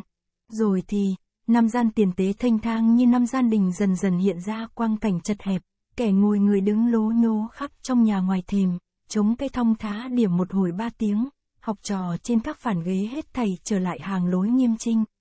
Hai cậu nhỏ tuổi lễ mễ bưng điếu bưng cháp và mang giỏ ấm, khay chén đặt lên án thư, những tiếng thì thầm xôn xao nhất tề im bặt. Cụ bảng từ nhà trong ra với một bộ khăn áo chỉnh tề. Trên các phản ghế, học trò răm rắp đứng dậy khắp lượt, khoán thai cụ ngồi vào tâm ghế sau chiếc án thư và mở nắp cháp lấy gói thuốc lá ra cuộn. Tất cả học trò lại cùng giam rắp ngồi xuống, một cậu nhó tuổi lễ phép đến trước án thư sẽ bưng bộ đồ đánh lửa ra thềm, qua một hồi kỳ cạch của hòn đá lửa đập vào thỏi sắt, lửa ở trong đá đã bắt ra lớp bùi nhùi trong cái hộp gỗ và bén vào đó. Cậu ấy giòn rén nhón lấy một ít bùi nhùi có lửa, tiếp vào mồi giấy, phì phò thổi cho thành ngọn, để châm sang sợi ruột gà và châm lửa vào mồi thuốc lá đã cuộn. Cụ bảng ra hiệu cho các học trò đọc sách, một câu trung tập cung kính đệ một chồng sách in lên án. Bằng một câu xin phép rất lễ độ và mấy tiếng đằng hắng rất rõ rạc, một cậu tốt giọng nhanh nhẹn mở sách ra đọc, tất cả học trò cặm cụi mở sách ra coi, theo lệ hàng ngày, mỗi buổi đều đọc đủ ba thứ sách, kinh, truyện và sử, hôm nay bắt đầu đọc kinh dịch, rồi đến sách trung dung rồi đến cuốn tống sử. Mỗi khi đọc hết bài cái, bài bàn của một chương nào trong sách, cả trường im lặng như tờ. Mấy trăm con, mắt đều chăm chỉ ngó vào cuốn sách của mình. Mấy trăm lỗ tai đều bình tĩnh đợi nghe lời giảng của thầy. Bằng cái giọng sang sảng như tiếng chuông đồng, cụ bảng giảng rất rành mạch từ nghĩa đen đến nghĩa bóng, từ nghĩa gần đến nghĩa xa, cụ chỉ rõ ràng lời bàn nào là phải, lời bàn nào là quấy. Cụ nói như rót vào tay học trò. Khi giảng đến hào lục tam của quẻ khôn kinh dịch, cụ đặt nồi thuốc xuống án và hỏi một cách sừng sốt, các anh nghe chương này có thấy gì không? Các cậu học trò đều không trả lời, vì không hiểu ý cụ hỏi ra sao. Cụ liền nhìn vào cuốn sách và cất cao giọng, lục tam, hàm trưng khả trinh. Hoặc tòng vương sự, vô thành, hữu trung, và, cụ lại gặng, các anh tưởng nó có đúng với điệu lục bát trong các ca dao của ta hay không? Rồi cầm mùi thuốc hút thêm một hơi, cụ vừa rung đùi vừa tiếp, trong kinh, chuyện, sử, mỗi bộ đều có một câu lục bát. Ở kinh là câu ấy rồi, còn ở chuyện thì là câu gì? Các cậu học trò cố sức lục hết trí nhớ để tìm lấy câu trả lời. Nhưng không ai nói câu nào, cụ vuột tròm dâu bạc phơ và ngâm, phù thủy, nhất thước chi đa, cập kỳ bất chắc ngoan đà giao long. Rồi cụ lại hỏi, phải câu ấy ở sách Trung Dung, các anh mới đọc hôm qua đó không? Sao mà chóng quên vậy? Nếu như trời cho đỗ đạt, được sang xứ tàu, các anh sẽ đối đáp làm sao cho khỏi nhục đến quân mệnh. Các câu học trò đều cúi gầm mặt, tỏ ra dáng bộ bẽ bàng. Cụ ngừng một lát rồi thêm, còn câu ở sử, chắc chắn các anh cũng không thể nhớ, và cụ ngân giọng, đế sĩ sái xác hữu công, sử chi tòng tự chiết tông miếu đình, rồi cụ ngẩng lên nhìn các học trò và nói, các anh thử dở cuốn tống cao tôn mà xem, câu đó ở ngay đầu sách đấy mà, các câu học trò im lặng phục thầy là bậc nhớ sách. Cụ bàng mở giỏ, rót một chén nước nhấp rong, rồi cụ cắt nghĩa, cũng vì có mấy câu đó cho nên từ xưa đến nay đã có nhiều người cho rằng, lối văn trên 6 dưới 8 của ta gốc ở kinh, chuyện và sử mà ra. Nhưng theo ý ta, thì nói như vậy có lẽ cũng quá khiên cưỡng. Trời đã sinh ra mỗi nước có một thứ tiếng, thì tất nhiên mỗi nước cũng phải có một điệu hát. Nếu bảo điệu hát lục bát gốc ở kinh, chuyện và sử, thì sao ở tàu lại không có cái thể văn ấy? Tuy vậy, các cụ đời trước nói thế, bây giờ mình cũng hãy hay rằng thế, để rồi kê cứu dần dần, không nên vội vàng bài bác, hết cuộc chuyện phiếm, một cậu học trò thay lượt cậu trước đọc cuốn Trung Dung. Rồi một cậu nữa lại tiếp cậu này đọc cuốn Tống Sử. Mặt trời đã cao, cuộc nghe sách của học trò trung tập mới hết. Lúc này học trò đại tập đã đến đông đủ, trong năm gian nhà ngột những hơi người. Cụ bảng tạm nghỉ để quạt cho giáo mồ hôi, học trò lác đác đứng dậy ra sân hóng mát, khắc mẫn dắt Vân Hạc và mấy người nữa đến ngồi túng tục ở dưới gốc nhãn, rồi họ thi nhau bắt Vân Hạc phải đọc những bài văn của chàng trong kỳ này cho họ nghe trước. Một cậu học trò đùng đỉnh đến trước Vân Hạc nhìn chàng bằng con mắt danh mảnh và tùm tìm cười. Vân Hạc đoán là hắn đã hiểu biết việc riêng của mình, liền hỏi, mày cười cái gì? Thằng cung, người ấy vẫn cười, mai kia tao sẽ cho mày bài thơ. Vân Hạc cũng cười, được. Có giỏi mày cứ làm, nếu thơ không hay, tao sẽ nọc cổ đánh cho ba chục, ngoài cổng có tiếng cười nói giòn giã. Một lũ nón dứa quay lụa bạch lần lượt từ cổng tiến vào trong sân. Các cụ nghề, cử, bạn thân của cụ bảng và là sơ khảo, phúc khảo của các quyền tập đến dự bình văn. Cụ bảng lật đật đứng dậy đón khách, sau mấy cái vái trịnh trọng rước mấy ông khách lên thềm, cụ bảng vui vẻ nói, chết chửa nắng quá. Các bác đi sớm ít nữa, có mắt hơn không? Cụ nghề Quỳnh Lâm chỉ vào cụ cử liên trì và đáp, nếu tôi không cố phá đám, thì ông lão này còn ngồi ngất ngưởng với nai rượu thuốc, chứ đã chịu đi cho đâu. Cụ cử liên trì mỉm cười đế đưa hai câu thơ cổ, bách niên tam vạn lục thiên nhật, nhất ẩm tu khuynh tam bách bôi, các cụ cùng ngồi lên chiếc phản giữa. Ai nấy phì phạch quạt lấy quạt để, nhưng vẫn không ai chịu bỏ khăn áo cụ bảng phải sai hai cậu bé con cầm đôi quạt lông đứng hai đầu phản phẩy vào, cạn ba tuần chè tàu. Cụ bảng lục lại tập văn của học trò và chọn mấy quyển được bình để riêng một chồng, hôm nay là kỳ tứ lục, một bài chiếu và một bài biểu. Tất cả độ hơn 10 quyển được đọc, chỉ có một quyển của Đào Vân Hạc dấu sơ dấu phúc phê yêu, dấu ngoại phê, bình, và năm quyển nữa ba dấu đều phê, bình, được đọc từ đầu đến cuối.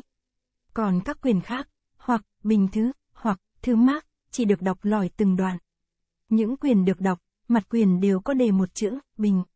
Những đoạn được đọc thì ở cạnh các dòng chữ đều có đánh dấu bằng, chấm mắt ngỗng. Soạn xong tập quyền, cụ bảng cầm trao cho mấy ông bạn, các bác coi lại. Nếu có quyền nào không đáng cho đọc, thì xin bỏ đi, mỗi cụ đón lấy vài quyền, coi qua một lượt, rồi, được cả không có quyền nào phải loại, cụ nghe Quỳnh Lâm cầm quyền của Đào Vân Hạc chỉ hỏi cụ bảng, quyền này chúng tôi đã phê, yêu, cả, sao bác lại đánh xuống, bình, cụ bảng dễ dàng đáp, bình, là phải. Các bác cho, yêu, cũng khí quá đáng, và lại hắn còn ít tuổi, phải cần mài rũa cái tinh hiếu thắng. Nếu như kỳ nào cũng, yêu, e rằng hắn sẽ coi mình là thánh là trạng, không chịu học hành, ấy là có hại cho hắn, rồi cụ trông xuống đám học trò ngồi cạnh, chưa lắm rồi, ai lên đem quyển xuống đọc đi chứ, khắc mẫn lễ phép đứng lên và tiến đến trước án thư. Cụ nghề Quỳnh Lâm đưa cho thầy cuốn văn của Đào Vân Hạc và dặn, đọc quyển này trước, khắc mẫn lính quyền văn đi xuống chỗ cũ. Mài mực, tẩm một ngòi bút thật đẫm, một tay cầm bút, một tay cầm quyền, thầy bắt đầu đọc bài chiếu trước. Tất cả học trò đều giờ một tập giấy bán đặt lên đầu gối. Tay nghe văn, tay thì viết lia viết lịa. Văn đọc đến đâu, họ phải cố viết cho kịp đến đây. Chữ thảo một lối lòi tói như sợi xích chó, với một giọng vừa kêu vừa trong, khắc mẫn đọc rất dại dễ, gãy gọn, từ đoạn nọ đến đoạn kia, mạch lạc cực kỳ phân minh. Nhất là những lúc lên giọng, xuống giọng, tiếng thầy càng réo rắt dịp dàng, khiến cho câu văn càng nổi, cái nhà chứa gần 300 con người lúc ấy có vẻ nghiêm tĩnh của một tòa cổ miếu. Ngoài tiếng bình văn của khắc mẫn và tiếng khen hay của các khảo quan, cơ hồ không còn có gì khác nữa, hết bài chiếu đọc đến bài biểu. Mở đầu hai câu, phục dĩ, cụ cử liên trì và cụ nghè Quỳnh Lâm dối rít dục điểm, dục khuyên. Khắc mẫn miệng đọc tay chép, mắt thì nhìn vào quyển văn, cuống quýt như người phường trò vừa hát vừa phải đánh tiếng gõ mõ, đọc xong quyển của Vân. Hạc, cậu bảng lại bảo tạm nghỉ để các học trò uống nước và hút thuốc lào. Những người viết chậm, tranh nhau mượn quyền Vân Hạc để họ chép lại những đoạn lúc nãy phải bỏ cách quãng vì viết không kịp.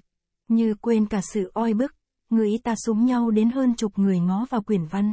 Cụ nghề Quỳnh Lâm sai người lấy chiếc ghế đầu bắc ở bên cạnh, gọi Vân Hạc cho ngồi ở đó, tự mình rót một chén nước trao cho Vân Hạc, và cụ tấm tắc khen ngợi, văn cậu khá lắm. Đỗ đến nơi rồi, cậu phải cố đi, khoa hương này hãy lấy cho bác cái thủ khoa, rồi hội sau thì lấy cho bác cái đỉnh nguyên nữa. Tiền trình của cậu có cơ viễn đạt, bác lấy làm mừng, Vân Hạc chỉ lễ phép đón lấy chén nước, không dám trả lời, vì chàng không biết trả lời thế nào.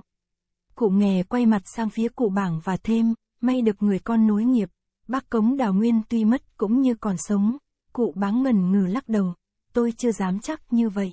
Là vì văn chương của hắn tuy có lỗi lạc, nhưng vẫn không khỏi có chỗ cầu kỳ xính tài, lại thường vượt ra ngoài quy củ. Nếu gặp quan trường thì hắn có thể độ cao, nhưng nếu không gặp, tất nhiên sẽ bị hỏng tuột. Bao giờ hắn chưa được cái tật ấy, thì mới có thể chắc được, rồi cụ gọi các học trò và hỏi, các anh nghe quyển vân hạc thế nào? Có thấy cái bệnh gì không? Hết thầy im lặng, không có ai đáp. Cụ tiếp, văn chương anh ta tuy cũng khá đấy, nhưng phải cái tật rất lớn là có nhiều đoạn rắc rối, bướng bỉnh, không chịu theo đúng khuôn phép. Đó là một điều tối kỵ trong các lối văn cử nghiệp, nhất là thể văn tứ lục, cụ cử liên trì nói xen, phải. Văn chương cầu thị bất cầu kỳ, nếu quá cầu kỳ tất nhiên không lợi trường ốc. Bởi vì, trong lúc quan trường chấm văn, người ta chấm như ăn cướp, một khắc phải chấm đến mấy chục quyền, còn thì giờ đâu mà nghĩ ngấm nghĩ nghĩa cho mình. Thói thường hễ mà giấu, sơ, đã chấm thế nào, ấy là giấu phúc, giấu dám, lại chấm thế ấy. Nếu như mình đặt một câu cầu kỳ, hoặc là ý nghĩa qua ư sâu xa, mà trong lúc vội vàng, ông sơ khảo không kịp hiểu hết, ông ấy sổ cho vài chiếc và phê cho một chữ, liệt, thì rồi những ông phúc khảo, giám khảo cũng lại sổ theo, và cũng phê cho vài chữ, liệt, nữa. Cái quyền đã đến ba, liệt, ông phân khảo khó lòng mà dám phê, bình, phê, yêu. Thế là học oan chứ gì. Cụ nghe Quỳnh Lâm nối lời. Ấy, cụ Nguyễn Công Hoàn ngày xưa suốt đời thi hỏng cũng chỉ vì có tật ấy. Hồi cụ quay ra hỏi các học trò, các thầy đã nghe chuyện cha con cụ Nguyễn giành nhau về một câu tứ lục hay chưa? Rồi không đợi học trò trả lời. Cụ kể, cụ Nguyễn Công Hoàn là bậc danh sĩ đời Lê, văn hay, học rất uẩn xúc, chỉ phải cái tật đặt cậu cầu kỳ, thành ra thi mãi không đỗ. Ông Nguyễn Công Lân là con, sức học tuy còn kém cụ rất xa, nhưng mà văn chương hoạt bát, ngoài 20 tuổi đã đỗ hương cống, rồi lại đỗ luôn tiến sĩ. Khoa ấy, tôi không nhớ là khoa nào, ông Lân đã làm chủ khảo, cụ Nguyễn vẫn còn cấp quyền đi thi, và cũng lại hỏng như trước, nói, đến đấy, cụ nghe ngừng lại, để uống hớp nước nhấp giọng, rồi tiếp. Thế rồi đến khi việc trường đã xong, ông Lân về nhà thăm cha. Đầu tiên, cụ Nguyễn hỏi ngay, khoa này có được quyền nào khá không? Ông còn ngay thật thưa rằng, có một quyền khá, chỉ vì phải câu tứ lục thất nghiêm, không thể lấy đỗ. Cụ Nguyễn liền gặng, câu tứ lục ấy thế nào? Có nhớ không? Ông con thưa rằng có nhớ và đọc như vậy, lưu hành chi hóa tự Tây Đông, Nam Bắc vô tư bất phụ, tạo tự chi công tự cảo mân, kỳ phong dĩ mạc bất hưng, rồi thì ông ấy lại tiếc ngậm ngùi mà rằng, nếu như câu dưới, họ đảo hai chữ, cảo mân, ra làm, mân cảo, cho đúng nghiêm luật, thì hai câu ấy hay biết chừng nào. Cụ Nguyễn không đợi cho con hết lời, vác gậy phang luôn chừng vài chục gậy. Và cụ nghiến răng nghiến lợi, chửi mắng tàn nhẫn. Cụ bảo ông con rốt nát như thế mà đi chấm trường, chôn sống biết bao nhiêu người. Cụ nghe lại nhìn học trò và hỏi, các thầy có biết tại sao cụ Nguyễn phải đánh một ông chủ khảo như vậy? Học trò còn đương im lặng suy nghĩ. Cụ nghe lại tự cắt nghĩa, thì ra hai câu tứ lục ấy chính của cụ Nguyễn. Ý cụ đặt như thế này, lưu hành chi hóa tự Tây, Đông Nam Bắc vô tư bất phục, tạo tự chi công tự cảo, mân kỳ phong dĩ mạc bất hưng, học trò nghe rồi, ai nấy sung sướng như nghĩ ra một điều mới lạ. Cụ cử liên trì nói thêm, nếu như nghĩ một chút, chắc ai cũng nhận thấy rằng, trong hai câu đó, câu trên tất phải ngắt đến chữ, Tây, câu dưới tất phải ngắt đến chữ, cao. Chứ nếu chấm như kiểu ông Lân, một đằng ngắt đến chữ, đông, một đằng ngắt đến chữ, mân, thì không có nghĩa gì cả. Bởi vì nhà Chu khởi ở phương Tây, đóng kẻ chợ ở đất cảo, người ta chỉ có thể nói, cây thói trôi đi nổi tự phương Tây, các phương Đông Nam Bắc đâu đâu cũng phục. Cái công đắp dựng gây từ xứ cảo, các xứ mân kỳ phong đều cũng giấy theo. Chứ ai lại nói, cây thói trôi đi nổi tự phương Tây phương Đông, cây công đắp dựng gây từ xứ cảo, xứ mân. Nhưng vì bốn chữ Tây Đông Nam Bắc và bốn chữ cảo mân kỳ phong đặt liền với nhau, trong lúc vội vàng, câu trên người ta ngắt đến chữ đông, thì câu dưới người ta cũng lại ngắt đến chữ mân, như thế, chẳng những thất niêm mà còn vô nghĩa nữa chứ. Ấy đó là văn chương cầu kỳ có hại như vậy, các thầy nên biết mà tránh, dứt mệnh hiểu dụ của cụ cử, mấy cậu nhỏ tuổi ngoan ngãn tiệp tuần chè tàu thứ hai. Công việc bình văn lại sốt sắng đi theo thứ tự cua nó. Lần này cụ bảng cho đọc đến quyền của Bùi Đốc Cung, cái người trêu ghẹo Vân Hạc lúc nãy. Văn của Đốc Cung tuy không xuất sắc bằng của Vân Hạc, nhưng cũng vào bậc học cứng, lời tươi và kêu như chuông. Các cụ sơ khảo, phúc khảo luôn khen, được, gần chưa, tan cuộc bình văn, cụ bảng giờ dần tập quyền còn lại trên án, gọi tên từng người học trò, quyền của người nào trao trả người ấy, bộ điệu khác nhau của từng người trong lúc lĩnh quyền như muốn tỏ cho kẻ ngoài biết sự hơn kém của các học trò. Có ông hớn hở tươi cười với cách, thứ mác, con con. Cũng có ông vội vàng gấp tư quyển văn và bỏ vào túi một cách vội vàng để giấu cho kín cái, liệt, hay cái, thứ cộc, ở mặt quyền. Chồng quyền trên án phân phát đã hết, học trò lũ lượt cắp nón đi ra, để lại một mình Vân Hạc vì có lời dặn của cụ bàng phải đợi ở đó. Mấy cậu nhỏ tuổi rón rén lấy chậu vẩy nước, quét cho sạch cát bụi và những bã điếu, tản đóm trong năm gian nhà. Nhà trường dần trở lại quang cảnh thanh vắng như một nơi toàn thạch. Bao nhiêu ánh nắng đều bị ngăn lại trên đám lá um tùm của mấy cây nhãn và giàn thiên lý trước thềm. Trong nhà lúc nào cũng mát rời rời. Sau nhà có tiếng lạch cạch, một mâm đồ rượu ngất nghều ngự trên đầu anh bếp từ từ tiến vào phản giữa. Cụ bảng mời mấy ông bạn uống rượu và cho Vân Hạc bắc ghế ngồi hầu bên cạnh. Cụ cử liên trì quay lại mâm rượu và nói khôi hài, hữu tử thực tiên sinh soạn, hữu sự đệ tử phục kỳ lão, rồi cụ cầm luôn bầu rượu đưa cho Vân Hạc để chàng rót ra các chén. Các cụ cất chén khắp lượt, Vân Hạc vẫn rụt rè giữ lễ chưa dám uống. Cụ nghe Quỳnh Lâm nhất định bắt chàng phải uống, và cũng nói giọng khôi hài, đương nhân bất nhượng ư sư. Cụ khổng đã dạy như thế, cái đức, nhân, còn không nhường thầy, huống chi một vài chén rượu lại phải sợ thầy hay sao? Cậu cứ uống, làm đấng tài trai, cần phải ngang tàng mới được không nên e lệ như bọn con gái, cụ cử liên trì mỉm cười, ấy, họ cũng chỉ làm gái ở trước mặt chúng mình đó thôi. Khi mà ngồi cạnh nhà trò, tôi chắc mép ấy phai hết hàng hũ, Vân Hạc giả vờ cúi mặt để giấu cái bộ buồn cười của mình. Rồi chàng xin phép các cụ và nhắc chén rượu nhấp một hớp nhỏ. Cụ bảng bắt đầu đem chuyện nhân duyên của chàng nói cho mấy cụ kia nghe và thêm, sở dĩ tôi phải ra công khuôn xếp việc này, cũng vì ấy nấy cái cảnh vợ chồng anh Đồ Vân Trình vừa thương con bé Cai Ngọc. Các bác có lẽ chưa rõ đầu đuôi, con bé ấy trước kia đã nhận lấy Trần Đãng Long, về sau không hiểu vì sao bên này lại thôi không cưới. Thế rồi cái hôm nghè lòng vinh quy, con Ngọc tình cờ đi qua, nó tiếc cái ngôi bà nghè đến nỗi ngất đi như đứa ngộ gió. Tôi đã chữa bệnh cho nó, phải dùng đến hơn 10 thang, khai uất, mới khỏi. Nhưng khỏi là khỏi tạm thời mà thôi, nếu không lấy được người chồng vừa ý thì có ngày nó sẽ phát điên phát rồ. Vợ chồng bác Đồ Vân Trình chỉ được hai đứa con gái, nó là lớn, nếu nó mà hỏng một đời, thì cảnh già của ông bà ấy cũng đau đớn lắm. Bởi vậy, tôi phải tình nguyện đi làm mối chồng cho nó. Cụ nghề cụ cử tấm tắc khen là mối lương duyên và khuyên Vân Hạc nên mau mau lo việc cưới hỏi, không nên để chậm. Cụ bàng ngắt lời, cái đó đã ở tôi cả, không việc gì đến hắn, rồi cụ nhìn sang Vân Hạc, hôm qua thầy cũng cất công sang chơi ông Vân Trình nói về chuyên này.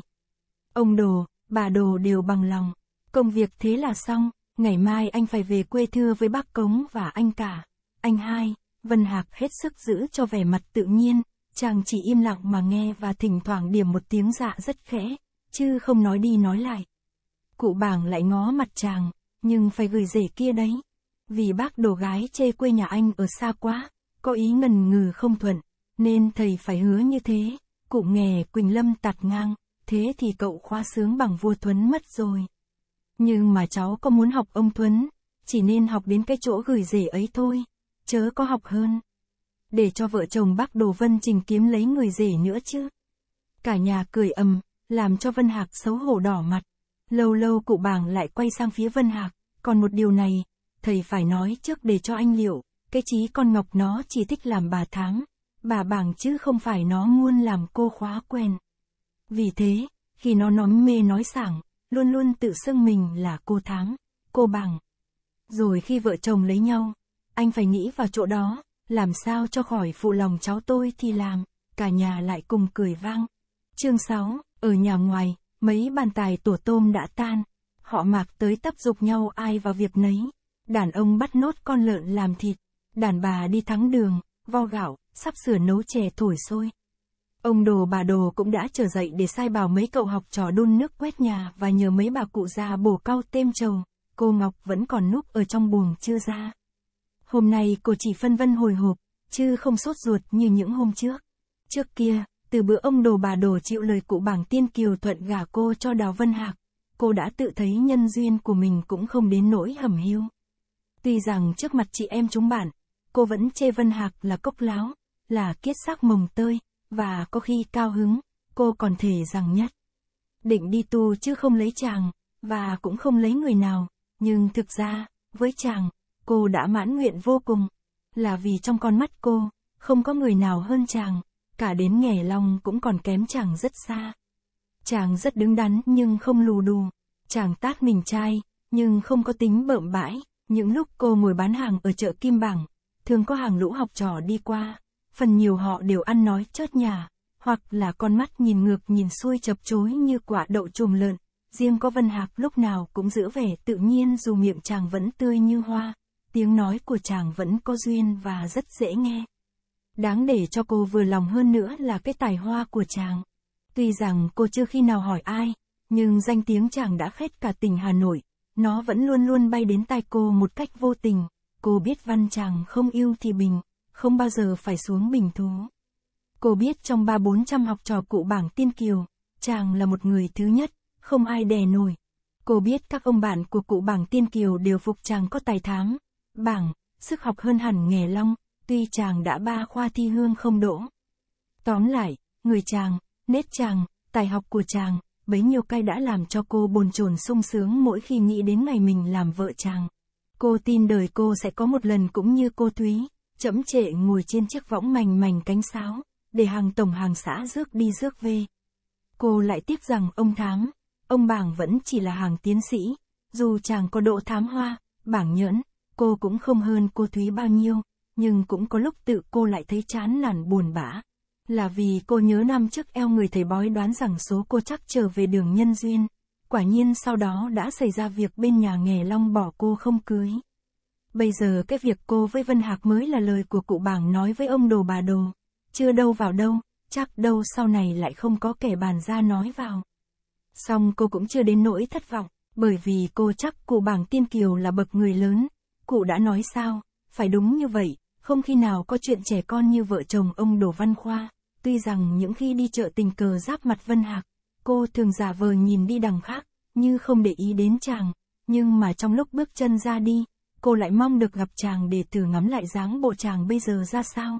Tuy rằng nhưng lúc ngồi với chị em chúng bạn, bị họ đem Vân Hạc ra làm đầu đề chế cô, diễu cô, cô vẫn xấu hổ đỏ mặt, có lần đã phải phát cáu với họ nhưng mà chính cô lại muốn được họ chế mình, diễu mình như thế, và nếu không thế, thì câu chuyện của họ sẽ không được cô để vào lỗ tai. Cái phút hồi hộp thứ nhất của cô hồi ấy là bữa cô vừa ở chợ về, bà đồ bảo cho cô biết cụ bảng tiên kiều đã xin ấn định ngày đi chầu cau. Bấy giờ cô không có can đảm để hỏi, thầy mẹ đã nhận lời chưa, nhưng cô chỉ mong được nghe bà đồ nói rằng, ta đã nhận lời rồi đấy. Thế rồi từ lúc ăn hỏi, xin cưới mà đi, sự bồn chồn ở trong bụng cô lại cứ mỗi ngày mỗi tiến. Với cô lúc ấy, một ngày tức là một năm, cái thời gian từ cuối tháng 6 đến đầu tháng 8, chỉ có hơn ba chục ngày, nhưng với cô nó đã dài như ba chục năm. Hàng ngày óc cô luôn luôn phải làm tính trì, hết một ngày thì cô rút đi một ngày, hết hai ngày thì cô rút đi hai ngày, nhưng cái chuỗi ngày chưa tới vẫn như không ngắn chút nào. Những đêm mưa ngâu giả dích, giọt mưa lách tách rơi xuống đầu thềm, và những buổi chiều gió thu hiu hắt thổi quanh nhà, bóng tả man mác in trên lá cây đều là những cái thì khắc khó chịu cho cô hơn hết. Bây giờ những ngày sốt ruột ấy nó đã như nước chảy chậm, dần dần tiêu hết đi rồi. Cái giờ mà cô chờ đợi, đường sắp sửa tới. Chỉ một lúc nữa thì đến giờ ngọ, họ nhà trai sẽ sang đón dâu. Từ trưa hôm qua mà đi người cô lúc nào cũng thấy dạo rực, nhất là những lúc nghe tiếng bà con làm giúp, thi nhau gọi mình là cô dâu, không phải cô thẹn vê sự trêu cợt của họ. Hơn một tháng nay, người ta đùa cô, chế cô đã nhiều, cô đã quen rồi. Lúc này, trước sự ớm ở ờ của mọi người, cô đã thừa đủ can đảm để mà đâm ì ra đó. Vậy mà không biết làm sao hai tiếng cô dâu lại có sức mạnh mầu nhiệm, mỗi khi lọt vào tai cô. Bị kiểm duyệt bỏ hồi pháp thuộc. Cả đêm hôm qua, cô chỉ ngủ đi nửa giờ. Nhiều lúc cô đã cố nằm nhắm mắt, nhưng không thể ngủ được. Những tiếng đi lại huỳnh huỵch và những tiếng nói chuyện xôn xao của một đình đám linh đình bắt cô phải để tất cả tâm trí vào cảnh tượng đêm mai. Trong phút này, cái tiếng đêm mai đã phải đổi ra đêm nay, óc cô vẫn cứ bộn rộn về cảnh tượng đó. Đúng chưa mới bắt đầu ở đây ra đi, nhanh lắm cũng phải đến nhá nhem mới tới đảo nguyên. Thế thì cuộc lễ tơ hồng sẽ vào ban tối. Cô tính như thế, và cô cho rằng như thế càng hay, vì lễ tơ hồng ban tối, sẽ khỏi trơ chẽn như các đám khác làm lễ ban ngày. Cô lại tiếc từ trước đến giờ mình không để ý đến các đám cưới của người trong họ. Không rõ trong lúc ngồi với chú rể mà ăn mâm cỗ cúng ông tơ hồng, cô dâu có phải uống rượu hay không? Nếu có thì uống mấy chén, và cô cân nhắc đến tiếng sưng hô của mình phải dùng trong cái phút ấy không biết khi thoạt giáp mặt Vân Hạc, mình nên gọi, anh chàng ta, là gì, bằng mình hay bằng anh? Rồi cô nghĩ luôn đến những cử chỉ, lễ độ và những câu chuyện sẽ nói trong khi vợ chồng bắt đầu ngồi đối diện với nhau. Cô không hiểu rằng cái lúc hãy còn ăn uống, mình nên thay bộ áo ngoài, hay cứ mặc nguyên như trước. Thể rồi hai má thấy nóng hôi hổi, bị kiểm duyệt bỏ hồi pháp thuộc, tiếng kêu giật giọng của con lợn đương bị chọc tiết, trói lói thúc vào lỗ tai, làm cô phải dứt hẳn mạch tư tưởng. Một người chị họ đi qua cửa buồng, vừa cười vừa nói thê thế, gớm chưa. Cô dâu bây giờ vẫn chưa thèm dậy, ngủ gì mà ngủ kỹ ấy, bị kiểm duyệt bỏ hồi pháp thuộc. Cô chưa nói sao, người ấy mở mảnh nhòm vào buồng và dục, thôi đi. Ngủ độ bấy nhiêu cũng đủ, dậy đi thôi, mặt trời đã sỏ vào mắt kia kìa. Dậy xem gạo để đâu đong cho chúng tôi nấu cơm, cô liền trả lời bằng giọng cố thây. Em còn định ngủ thẳng đến trưa, nhưng chị đã nói thì em xin thôi. Rồi cô hoàn oai ngồi dậy, trái với thường lệ mỗi ngày, Hôm nay cô không trải đầu không soi gương, chỉ quấn lại qua loa cái vành khăn vấn, rồi cô bạo dạn mở cửa bước ra. Mấy người em họ đua nhau chê giễu, thưa chị đã dậy à? Sao chị không cố ngủ thêm lúc nữa? Cô mỉm cười và vẫn bay bà, công việc đã có các gì làm hộ. Tôi cần phải ngủ để lấy lưng cho đêm nay chứ, nhưng mà còn đời các gì nữa đấy. Chỉ sợ sau này các gì lại té bằng hai tôi thôi. Đủng đỉnh ra bể, cô toàn múc nước rửa mặt. Không biết bụng cô nghĩ ngợi ra sao, thao nước múc rồi lại bỏ không dừa. Lưỡng, thưởng cô xuống nhà bếp và ngồi thụt vào đám mấy người con gái, nhà trên, nhà dưới, công việc giao thớt vẫn được tiến hành một cánh tấp nập, mặt trời lên khỏi ngọn cây, một loạt độ vài chục mâm vừa xong. Sau khi cái sỏ lợn đã đệ gia đình nộp treo, và mấy mâm thịnh soạn đã bưng đi cúng nhà thờ, họ mạc rộn rã bảo nhau ăn uống, để một lát nữa còn phải làm cỗ thiết họ nhà trai. Cô cũng ghé vào với các chị em, ăn lếu ăn láo một vài lưng cơm, rồi lại lần vào trong đám đàn bà con gái, ngồi rụi, ngồi dò lúc tựa vào lưng người này, lúc gục vào vai người kia, để giấu cho kín cái vẻ khác thường trên mặt, gần trưa. Một cậu học trò bé con lúc nãy bị cắt da ngóng ở nẻo đầu làng, tất tả chạy về nói với ông đồ là họ nhà trai đã đến. Quang cảnh trong nhà mới càng túi bụi, người ta thúc mấy cậu này quạt nỏ hỏa lò cho nước chóng sôi. Người ta sai mấy cậu kia lấy chiếc phất trần phẩy qua dãy chiếu cạp điều cho sạch cát bụi. Người ta bắt hai cô con gái bưng hai cơi trầu ra tận ngã ba đón họ nhà, trai, cô Ngọc vẫn cố ngồi lý dưới bếp để làm ra bộ bạo dạn. Một lát sau, ngoài cổng nghe có tiếng người ồn ào tiếp luôn đến tiếng trẻ con cười reo. Chú rể đã đến, mấy cô con gái lờ tờ kéo ra nạp sau tường hoa cạnh cổng, đế chờ xem mặt chú rể, bấy giờ cô mới lật đật chạy vội lên buông. Lúc ấy mọi người đổ xô cả ra phía cổng, ở chỗ cửa buồng không có người nào. Cô bèn khép cánh cửa lại rồi đứng sau cửa nhìn ra, đám con nít súng xít ở phía sau cổng, tự nhiên giạt ra hai bên, rồi cùng chắp tay vái như bổ củi, lại cụ ạ.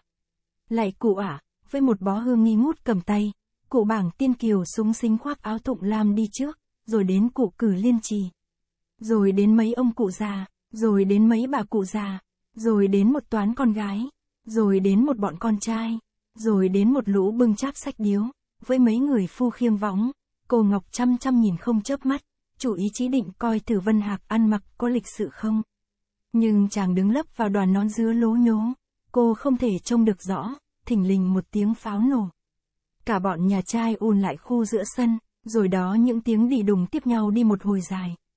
Xác pháo bắn ra tứ tung, khói bốc đen ngòm, mùi thuốc pháo đưa vào trong nhà khét lẹt. Khi ấy mặt cô càng nóng, bụng cô càng thấy nôn nao, cô phải lẻn vào trong giường, ngồi im, họ nhà trai lục tục tiến lên nhà trên. Cụ nghè Quỳnh Lâm, cụ cử Mai Đình và các ông bạn của ông Đồ ở bên nhà học vừa sang. Các cụ vái nhau một lượt, rồi cụ cử Mai Đình nhìn vào cụ bảng tiên kiều. Cụ cử liên trì mà nói, té ra chúng ta hôm nay chia làm hai cánh. Các bác ăn về cánh nhà trai, chúng tôi thì ăn về cánh nhà gái. Cụ cử liên trì mỉm cười, phải, tôi cũng biết các anh ăn về bên chắc. Cụ cử Mai Đình cũng cười và tiếc, chứ ai có dại mà đi ăn về bên lép như các ngài. Cụ bảng tiên kiều nói chen, tôi can các anh đừng bẻ tay bụt ngày rằm. Cỗ bản có thiếu gì giò nem, một trận cười rộ kết liễu cho cuộc bông đùa. Quan viên hai họ chen nhau ngồi vào các ghế, tuần trà đầu tiên đã đoạn. Cụ bảng nói với quan họ nhà gái cho người đưa rể đi lễ mấy nơi cần lễ. Một cậu phòng của nhà trai mở cháp lấy chiếc áo tấc trao cho Vân Hạc. Mấy chục cặp mắt trong đám đồng thời đổ xô vào chàng rể mới. Vân Hạc tuy đã trơ chẽn, nhưng cũng không khỏi xấu hổ khi phải khoác tấm áo lùng thùng vào mình để đi với bọn phù rể theo người nhà gái dẫn đường đến mấy nhà thờ. Những cô con gái rõ mặt chú rể thi nhau bàn tán bình phẩm, kẻ chê chú rể sấp lấc, người khen chú rể giỏi trai, bà đồ tung tăng chạy lên chạy xuống, gióng giả chị em bè bạn cô Ngọc sắp sửa quần áo để đi đưa dâu. Một lát sau, chú rể lại về với bọn phù rể. Bà cống lễ phép đứng dậy nói với cụ bảng xin mời ông đồ bà đồ ngồi lên cho chú rể làm lễ. Cả hai ông bà nhất định không nhận, bà cống nhất định trèo kéo, một bên cố nài, một bên cố chối, câu chuyện rằng co một hồi. Lâu, kết cục cuộc ấp tốn phải nhường chỗ cho mấy mâm cỗ và mấy nai rượu, sau khi đã thay phiên nhau mời chào quan viên hai họ vào tiệc, ông đổ lánh sang nhà học, bà đồ cũng đi dục dã mấy người làm giúp bưng mâm để những ông, bà, cô, cậu phải đi đưa dâu uống rượu, rồi bà vào báo cô Ngọc cùng ngồi với các chị em ăn cơm luôn thể, bóng nắng chấm giọt, nhà trong nhà ngoài ăn uống đều xong, cụ bảng sai người đi mời ông đồ bà đồ tới đó để xin đón dâu. Những người vào việc võng cáng điếu cháp tấp nập sắp xứ đồ đạc. Mấy bà cụ già trong họ cùng dục cô Ngọc đứng lên thay đổi quần áo, nhưng cô bây giờ tự nhiên lại thấy bẽn lẽn xấu hổ, nấn ná cô cứ ngồi ì với bọn chị em.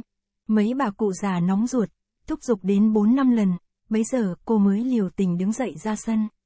Sau khi đã múc chậu nước lau qua mặt mũi, cô vào trong buồng, mở dương lấy gói quần mới, áo mới, và chiếc quay thao mới, bỏ cả ra giường. Rồi cô lật chiếu đầu giường cầm lấy chiếc gương tư mã, nhưng lại ra bộ ngượng ngùng nửa muốn soi, nửa không muốn soi, những người bạn gái xuống lại, kẻ sổ khăn, người trải đầu, người rẽ đường ngôi, rồi người lấy chiếc khăn nhiễu tam giang của cô mới mua, nắn nót vấn vào cho cô.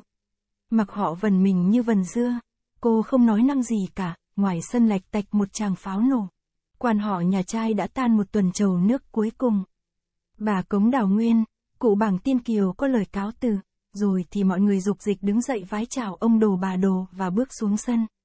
cụ nghè Quỳnh Lâm, cụ cử Mai Đình và mấy ông già bà già dự cuộc đưa dâu, cùng đi luôn với họ nhà trai ra cổng, cô Ngọc vẫn còn lúng túng trong buồng, chưa chịu thay đổi quần áo.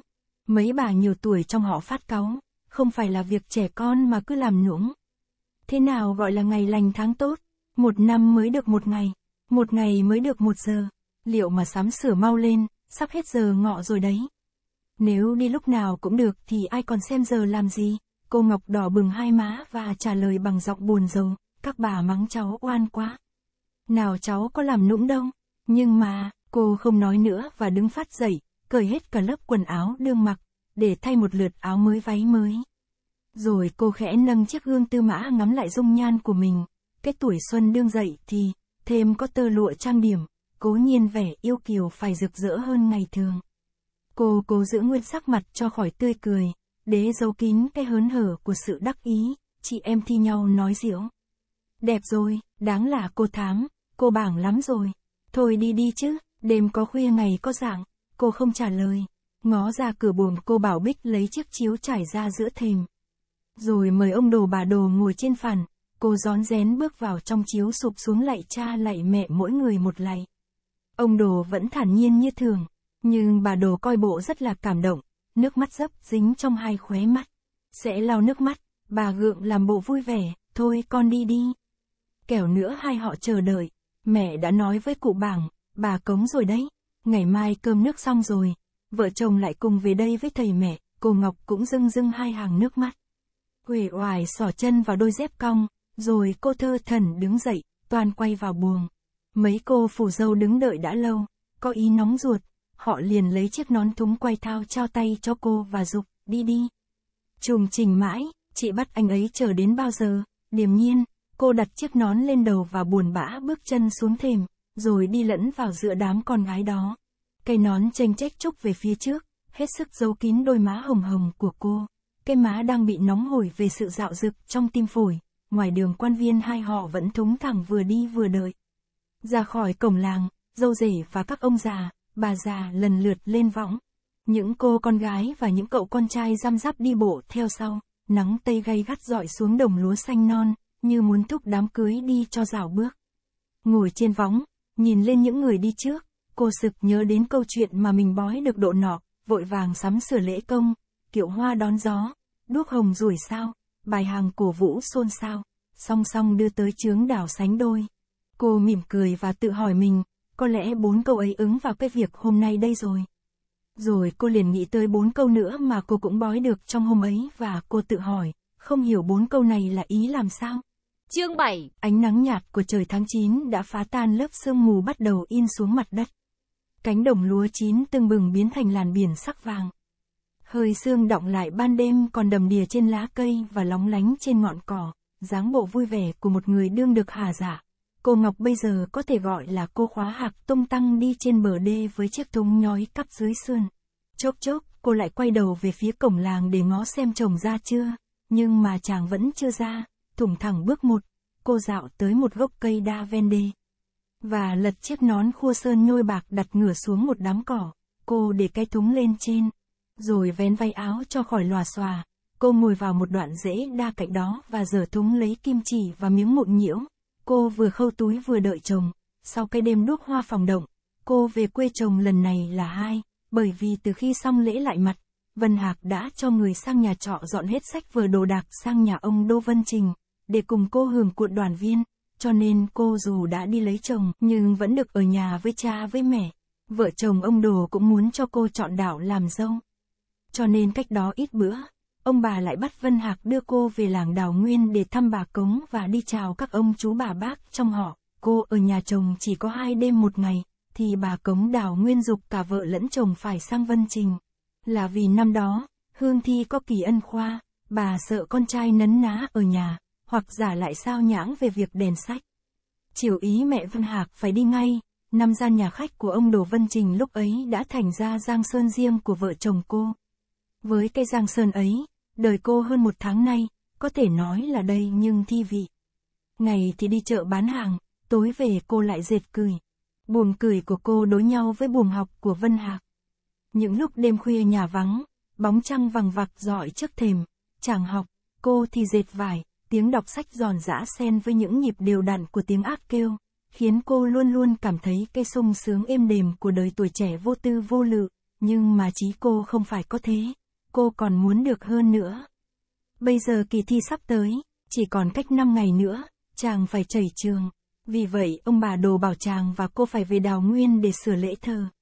Vân Hạc tuy vẫn không thích việc đó, nhưng vì chiều lòng ông nhạc, bà nhạc, chàng cũng không muốn từ chối. Sáng nay cô và chàng ăn cơm sớm hơn mọi ngày.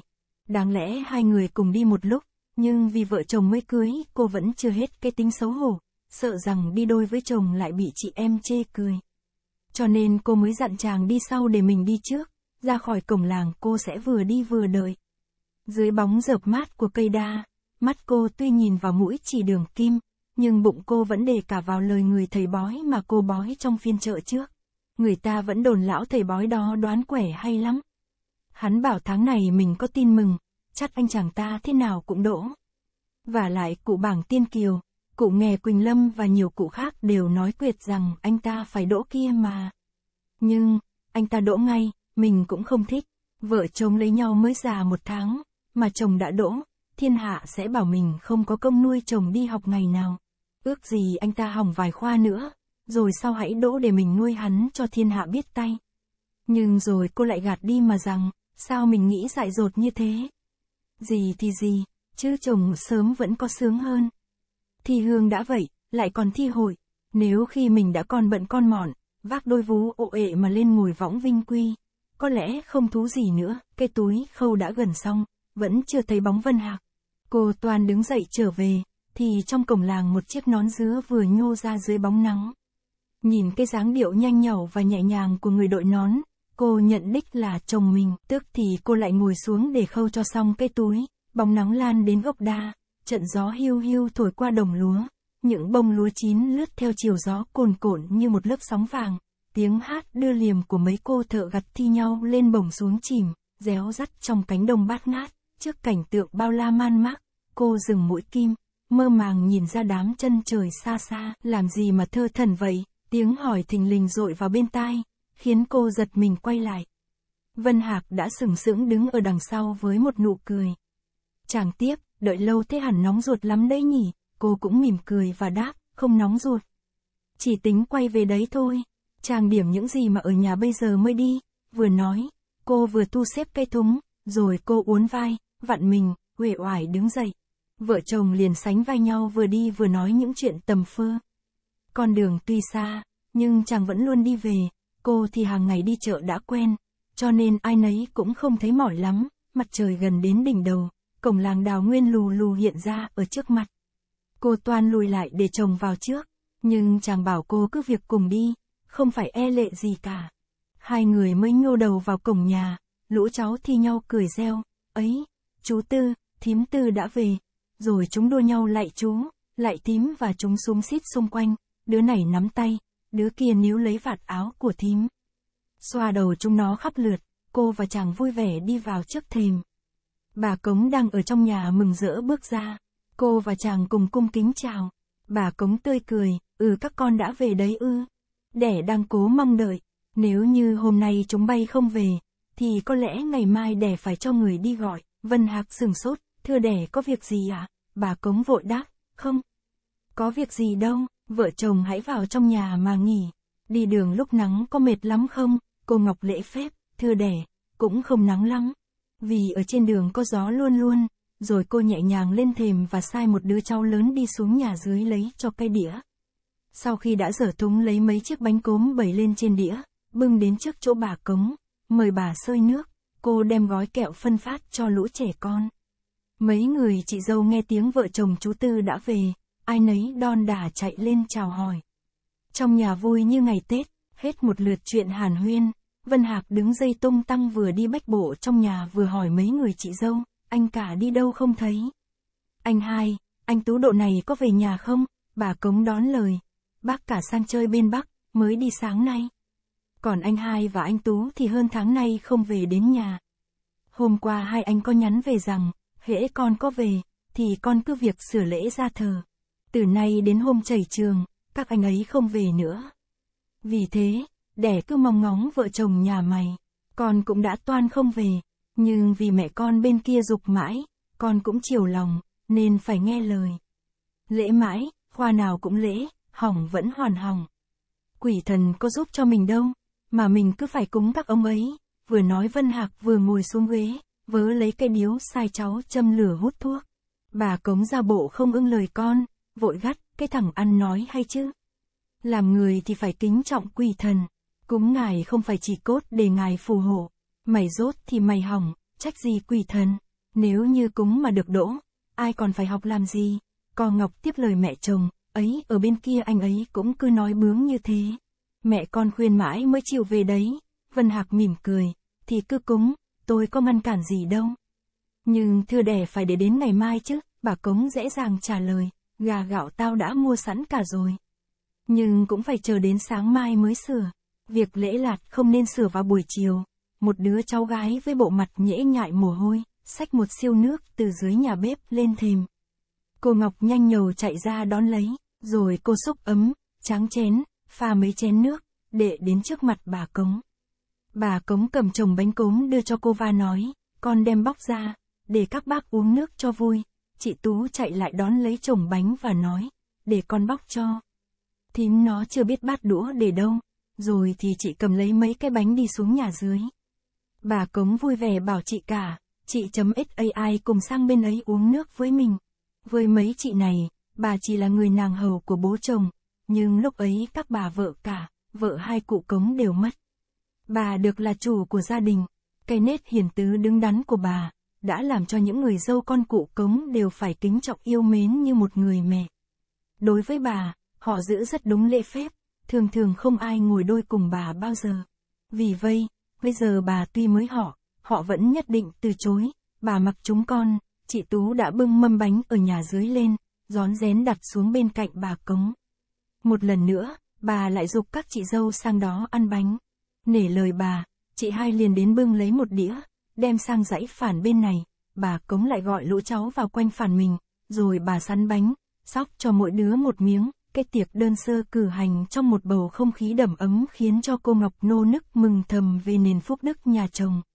Và cô không khỏi băn khoăn cho cảnh vắng vẻ của nhà mình. Xong bữa nước, trời vừa đúng chưa, chị cả, chị ai, ai đi làm việc nấy. Cô và chị Tú cùng xuống bếp nấu cơm, mặt trời tà tà.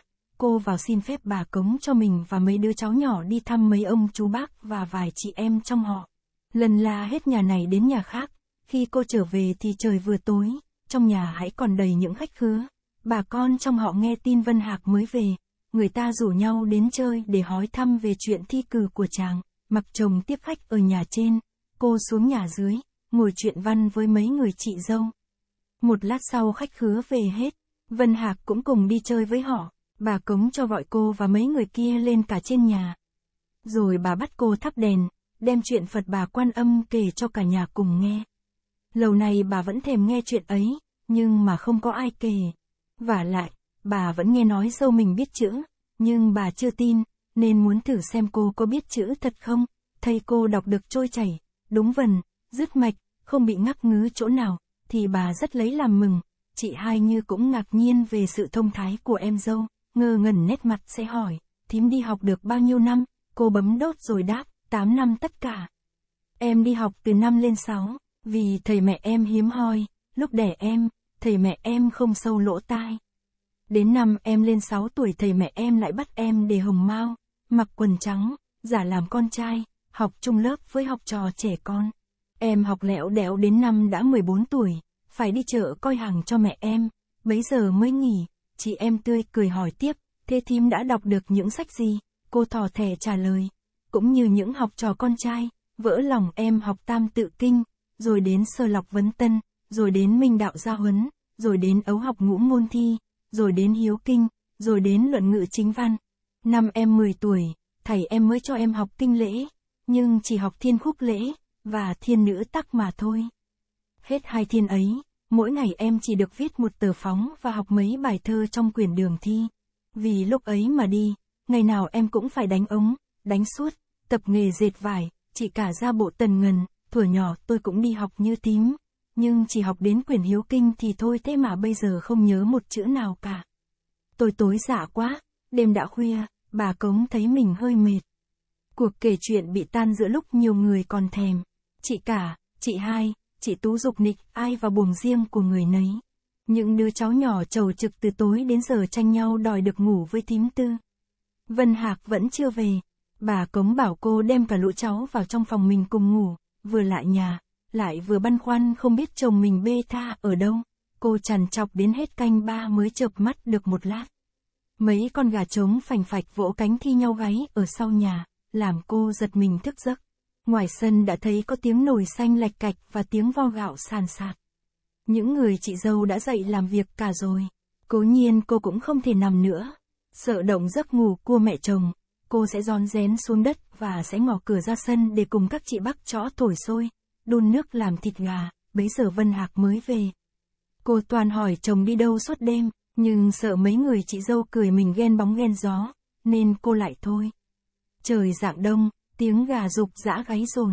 Bà cống chờ dậy và xuống ngồi ở, nhà bếp xem xét công việc, sáng rõ. Xôi, gà đều chín, các thức cơm canh cũng vừa làm xong. Theo lời dặn của bà cống, cơm canh để cúng ở nhà, còn xôi gà thì đem cúng đình và cúng nhà thờ đại tôn.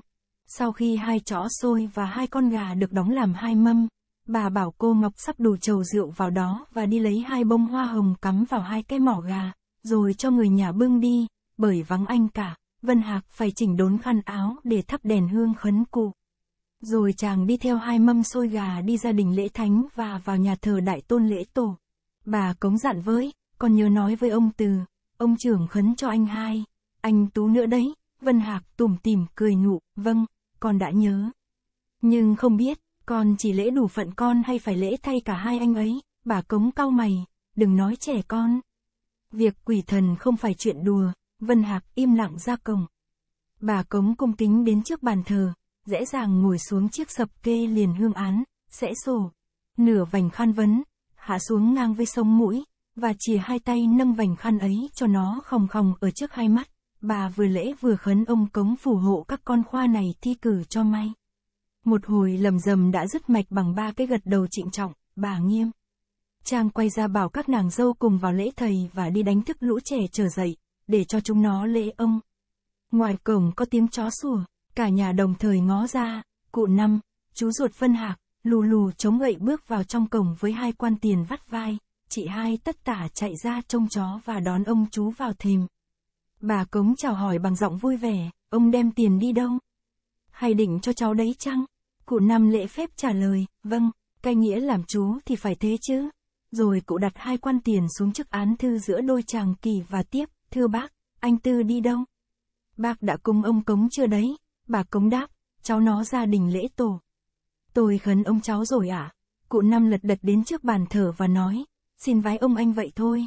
Mỏi lắm, không lễ được nữa, rồi cụ chắp tay cúi đầu, vái luôn năm cái. Vân Hạc vừa về, chàng mời ông chú sang ngồi ở bên chàng kỳ.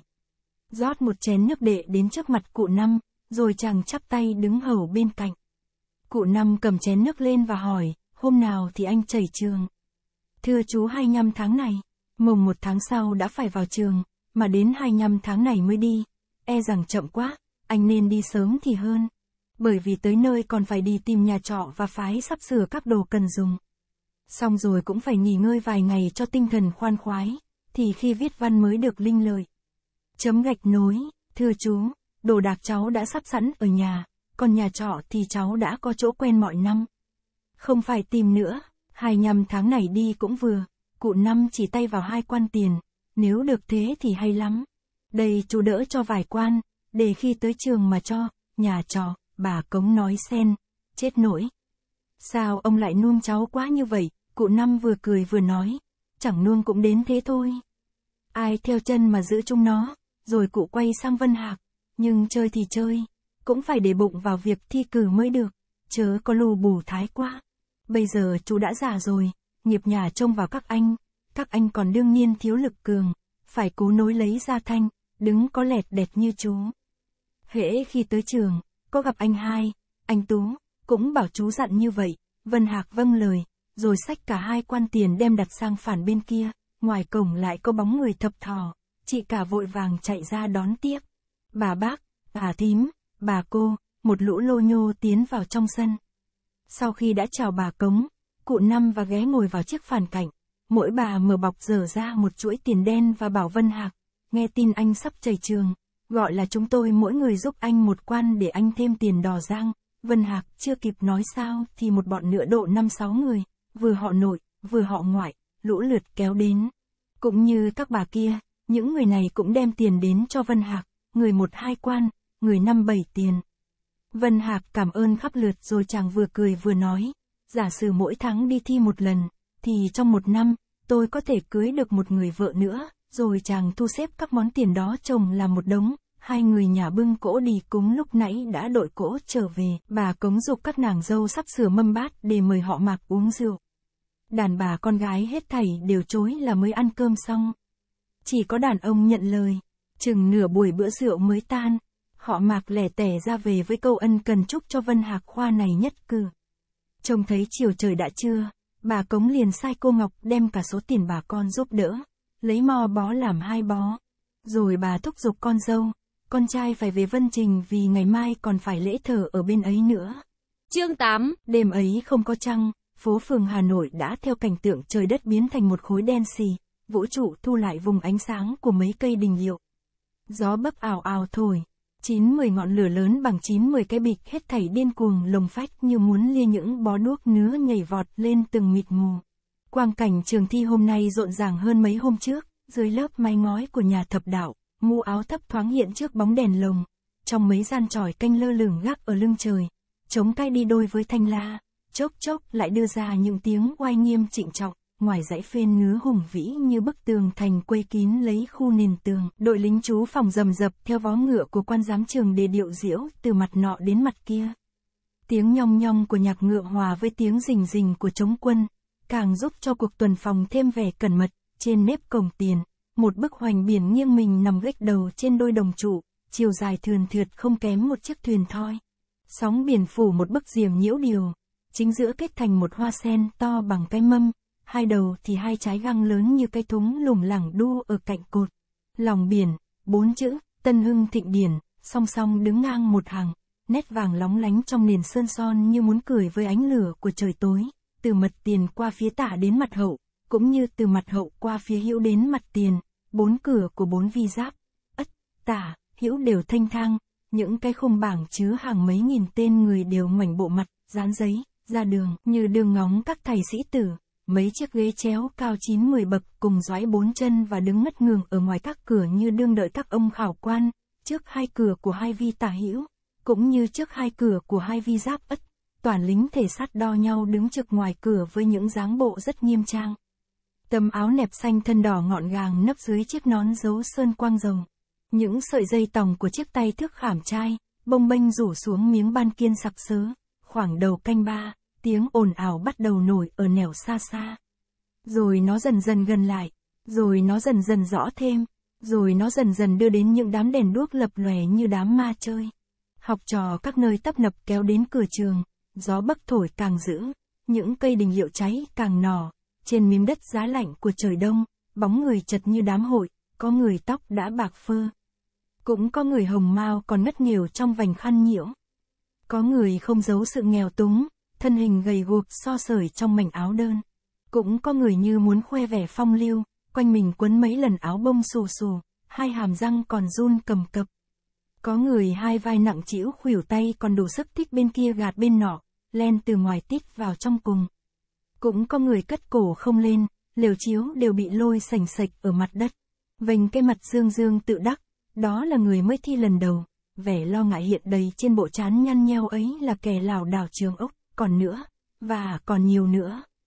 Tả không thể hết, đêm càng khuya, học trò kéo ra càng nhiều. Ai vào vi nào, lật đật tìm đến của vi ấy. Dưới hàng vạn nón chóp lố nhố đứng ở bốn cửa, hàng vạn con người cùng một lối trang sức như nhau, sườn này cái chóng tre và bộ gọng liều, sườn kia, thì bò áo tơi và cuộn áo liều, hoặc một đôi chiếu cói, trên ngực, quả bầu be và chiếc ống quyển, dưới bụng thì cái yên mộc hay cái cháp sơn. Bấy nhiêu đồ vật, nặng có, nhẹ có, lớn có, bé có, dài có, ngắn có, hết thảy súng lại và đu cả lên cái cổ yếu ớt của các ông thư sinh. hình như trời cũng bắt tội nhà nho, trước khi bước lên đường công danh, đều phải tập làm việc của bọn phụ trạo, kẻ chen vào người đẩy ra, kẻ du lại, người ẩn lại dưới ánh lửa sáng, đám người dồn dập bị xô đẩy cồn cộn như lớp sóng nước chiều. Tiếng gọi nhau, tiếng hỏi nhau, tiếng chào nhau, tiếng mắng nhau, tiếng cãi nhau, tiếng rầm rầm nói chuyện với nhau. Các thứ tiếng ấy hợp lại, làm cho bốn khu cửa trường, ẩm ẩm như bốn cái chợ, sang đầu canh tư, các cây đình liệu đều cháy hết ra một nửa. Tàn nứa đỏ ối theo ngọn gió bấc tản mát bay khắp vùng trời. Rồi từ từ, nó rơi xuống đám đầu người, xuống quãng đất không, xuống những nơi ở tít xa xa, nếu nó không bị tắt ở trong bóng tối, thình lình trong nhà thập đạo, kiểng đồng gióng với trống khẩu, dõng dạc đánh luôn ba hồi. Các bóng đèn lồng nhất tề lay động, các áo thụng lam, các mũ cánh chuồn đồng thời rộn dịp như sân khấu dạp tuồng. Sau khi bốn ông ngự sử đã đem chức trách đàn hạc lên bốn tròi canh, các ông khảo quan tức thì cắt nhau mỗi người đi mỗi ngả. Cũng như mọi khoa, hai ông phân khảo phải coi hai cửa tả hữu. Ông phó chủ khảo được theo chiếc biển, phụng chỉ, ra cửa vi ất. Còn cửa vi giáp thuộc quyền ông tránh chủ khảo và lá cờ, khâm sai, của nhà vua ban, dứt mấy tiếng yết hậu của trống khẩu và kiểng đồng, hai hàng đèn lồng bắt đầu ở nhà thập đạo từ từ tiến ra. Rồi đến một đôi lọng vàng cung kính rước lá cờ khâm sai đi trước. Rồi đến ông tránh chủ khảo và bốn chiếc lọng xanh khúm núm theo sau. Bộ dạng quan tránh chủ khảo mới oai làm sao, cái bối từ hình con công, cái vành đai đột chỉ vàng. Cái gấu áo theo thủy ba, cái xiêm xanh viền chân chỉ hạt bột, và đôi ủng đen có đôi bướm bạc long lanh, bấy nhiêu thứ đó hợp lại với cây hốt ngà cầm ở trước ngực và chiếc mũ gấm xòe hai cánh ra ngoài hai tai, đủ làm cho ngài giống hệt những quan phường trèo nếu ngài có bộ râu dài như họ. Đám rước ra đến cửa vi, người lính cầm cờ khâm sai lễ phép leo lên chiếc ghế chéo và cắm cán cờ vào cái lỗ thủng sau ghế. Quan tránh chủ khảo tạm giữ cây hốt bằng một tay trái để lấy tay phải vịn vào chân ghế chéo. Gión rén bước qua các bực, và trèo lên ghế, ngài sẽ vén cái vạt sau của tấm phẩm phục, rồi ngồi vào giữa mặt ghế. Cây hốt lại được trở lại phía trước mặt ngài với sự nâng niu của hai bàn tay súng xính trong đôi tay áo rộng như cây cống. Cả sáu chiếc lọng lần lượt nhô lên trên ghế, những cây xanh che quan chủ khảo, còn những cái vàng thì che lá cờ khâm sai, tiếng ồn ào ở khu cửa trường tự nhiên im bặt, mấy nghìn con mắt đều đổ dồn vào viên đại thần đứng đầu khảo quan, thình lình ở trên lưng trời có tiếng âm ngoe, báo oán giả tiên nhập. Báo ân giả thứ nhập, sĩ tử thứ thứ nhập, hồi loa dữ dội như muốn phá tan cái bầu tịch mịch, làm cho mọi người đều phải ngơ ngác. Dứt tiếng gầm hét, người lính đứng cạnh ghế chéo của ông chủ khảo theo miệng một người lại phòng cũng đứng chỗ đó với một cuốn sổ trong tay chìa loa gọi tên một người học trò, một tiếng dạ bật lên trong đám đông, một chàng thiếu mến, với cái dáng bộ liều chết, cố lách được qua, vòng vây, để để các đồ cành càng đến khu đất trước ghế chéo của quan chủ khảo, toàn lính thể sát bắt đầu làm việc, họ dở bó áo tơi và cuốn áo lều. Họ nhòm những cách, cây chóng, chân chóng. Họ ghé vào ống đựng quyền và quả bầu be đựng nước. Họ lần giải lưng và vuốt các gấu áo, gấu quần của chàng thiếu niên. Họ cởi tung cả bộ gọng liều, rồi họ lục soát đến cái cháp sơn của chàng ấy đeo ở trước rốn, ngoài một hộp mực, vài cây bút, vài cây sáp, một cái rùi vở, một tập giấy bản và mấy cái bánh dày, mấy cái bánh giò, một nắm cơm, vài miếng chả trâu, vài miếng thịt rang, trong cháp không có vật gì khả nghi, chàng thiếu niên được phép lĩnh quyền của người lại phòng, cẩn thận cuốn lại, bỏ vào chiếc ống quyền đeo ở trước ngực rồi tung tăng đi vào trong trường với các đồ đạc xúc xích bám quanh vai, quanh cổ. Đến lượt người khác theo tiếng loa gọi tiếng vào, bọn lính thể sát lại súng nhau lại làm các công việc như trước, người này cũng không có sách thạch bản hay là văn cũ chữ, kiến, chi hết. Nhưng mà các đồ lặt vặt thì không đựng bằng cháp mà đựng bằng yên. Trong cái yên, cũng có giấy, mực, dùi, bút, chả, cơm, bánh như chàng thiếu niên vừa rồi, và còn hơn một bộ đồ hút thuốc phiện, bọn lính thể sát biểu môi, vào thi vẫn còn đèo bòng cái của tội này, thì lúc nào hút, lúc nào làm văn, người ấy ngáp một cái dài và trả lời, có hút, văn mới hay. Nếu không hút thì sao ra văn, rồi hắn đón lấy quyền của người lại phòng và liều đều đi vào trong trường. Tên lính cầm loa lại gọi đến tên người khác, khám trong liều chóng của người này cũng không thấy thứ gì gian lận, nhưng trong cây yên lại có một chiếc rầm đào cỏ. Bọn lính, thể sát ngạc nhiên và hỏi, sao lại đem cái này vào trường, người ấy khẽ đáp, thưa cậu tôi mắc bệnh đi kiết, bọn lính không hiểu lại hỏi, đi kiết thì dùng cái đó làm gì, người ấy ngập ngừng, thưa cậu, để khi làm văn, lỡ ra bị mót đại tiện, thì đào nền liều mà tương nó xuống, rồi lại vùi đi. Chứ làm thế nào, trong trường, chỗ nào cũng có liều của học trò, đi, vào đâu được, bọn lính thể sát đã hiểu công dụng của cây rầm, họ liền cho phép người ấy vào trường sau khi hắn đã nhận quyền thi bỏ vào ống quyền, người lính cầm loa lại bắc loa gọi, Đào Vân Hạc, Sơn Tây, Đào Nguyên, Vân Hạc đứng ở ngoài xa, tuy có nghe thấy tên mình, nhưng không thể nào mà vào được, người lính cầm loa gọi đến ba lần, vẫn không thấy có người thưa, hắn bèn đặt quyền thi của Đào Vân Hạc xuống cạnh chiếc ghế của quan chủ khảo, rồi gọi đến người tiếp theo, một người coi bộ rất khỏe, dạ một tiếng lớn, rồi cố xô đẩy những người chung quanh, Hùng Dũng đeo liều chiếu vào tận cửa trường, bọn lính thể sát súng lại lục đồ đạc, các vật cần dùng của người này, không khác của mấy người trước. Riêng có thứ đồ đựng nước, không phải là quả bầu be, mà là một cái lọ sành rộng miệng, ngạc nhiên, một người trong bọn liền thò cái que khoáng vào trong lọ, tức thì ở dưới lọ, có vật tròn tròn bềnh lên mặt nước. Cái gì thế nhỉ? Người lính đó nghiêm cái miệng lọ và móc lấy vật ấy ra. Té ra một mớ giấy bản viết chữ nhỏ như con kiến, người ta vo lại và chát sắp ong ở ngoài cho khỏi thấm nước, của phi pháp liền bị tịch thu. Và cái tội, mang sách vào trường, liền tống ông học trò ấy ra khỏi cuộc thi cử, tên người khác được nhắc đến trong miệng loa, và, sau một tiếng giả gọn gàng, một người đứng tuổi tiến đến trước mặt bọn lính thể sát với một dáng bộ lo sợ. Thấy người này có vẻ đáng ngờ, bọn lính thể sát càng lục kỹ các thứ đồ đạc. Nhưng không bắt được cái gì gian lận, họ đã toàn tính cho đi. Thỉnh lình một người trong bọn họ trông thấy phía trong một cái, cây trõng, có một miếng vá, hắn bèn dùng con dao nhọn cậy tung miếng vá ấy ra. Thì ra trong đó có để hai cuốn, hành văn bảo kiếp, thứ sách thạch bản, chữ in nhỏ bằng hột cám cũng như cái ông vừa rồi. Người ấy liền bị trói lại để giải ra dinh tổng đốc với tất cả đồ vật của mình, người lại phòng, người lính cầm loa và bọn lính kiểm soát lại cứ tiếp tục ai làm việc nấy như thường. Chừng nửa canh năm, sương mù tỏa khắp bầu trời, ngọn lửa ở các cây đình liệu đã lui xuống gần mặt đất ánh sáng đã hiện ra sắc úa vàng.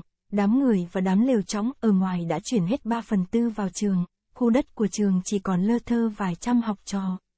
Tiếng ồn ào dần dần nhỏ bớt, mặt trời mọc, các cây đình liệu cũng vừa cháy hết, vũ trụ đã khôi phục cảnh tượng xinh đẹp và mông mênh của ban ngày, mấy nghìn học trò của vi giáp đã được vào trường gần hết. Bấy giờ người ta mới lại gọi đến những người lúc nãy đã gọi một lần mà chưa thấy vào, quyền của Vân Hạc bị đặt ở dưới cuối cùng, cho nên tên chàng phải gọi sau rốt, sau khi chàng vào khỏi cửa, cánh cửa vi giáp liền bị khóa lại. Quan trường và tất cả các người tùy phái đều theo cửa chính vào nhà thập đạo. Lúc ấy tất cả học trò vi giáp đóng lều đã xong, những chỗ gần nhà thập dạo đã bị những người vào trước chiếm hết. Chàng toan đem lều ra đóng ở phía ngoài cùng, nhưng khổ quá, cái khu đất ấy, lúc nãy còn là một cõi biên thủy bỏ hoang. Các ông vào trước đem bã văn chương tuôn cả ra đó, mùi theo ngọn gió đưa ra ngạt ngào, không thể nào mà chịu cho nổi.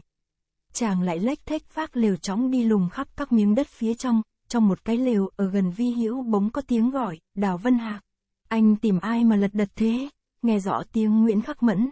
Chàng đáp, tôi đi kiếm một chỗ đóng lều, chứ không tìm ai, Khắc Mẫn nói lớn, đến đây. Chỗ này còn rộng, mau lên, Vân Hạc mừng quá, chàng vội đeo các đồ đạc lại chỗ gần liều Khắc Mẫn. Nhanh nhẩu, Khắc Mẫn đỡ bộ liều chóng trên vai Vân Hạc xuống đất, cởi hết mấy nuộc dây chằng, thầy lấy sáu chiếc gọng liều cắm làm hai hàng, để cho Vân Hạc vít những đầu gọng sâu vào các ống dòng dọc. Rồi một người trả, áo liều lợp lên, một người đem đôi áo tơi che kín hai đầu. Bốn phía góc lều đã được khắc mẫn đóng bốn cái cọc nho nhỏ và neo bốn chiếc gọng lều vào đó, cho khi có gió, lều khỏi lay truyền. Vân Hạc liền đem cái chõng kê vào trong lều, rồi chàng sang lều khắc mẫn, giờ bộ đá lửa đánh lửa hút thuốc, chiếc lều bên cạnh, bỗng thấy có khói bốc nghi ngút. Vân Hạc tưởng là bị cháy, vội chạy ra coi. Nhưng không phải, người ta đốt vàng, ông chủ lều ấy sợ cô oan hồn theo vào trường thi báo oán, nên phải dùng thư lễ ấy tiễn họ. Chàng mỉm cười và quay vào lều của mình, một hồi trống cái từ trên tròi canh giật giọng đưa xuống. Trong vi tức thì hiện ra cảnh tượng nhốn nháo, khắc mẫn nói với sang liều Vân Hạc, có phải trống, ra đầu bài, đó không? Vân Hạc gật đầu, chớ còn trống gì bây giờ.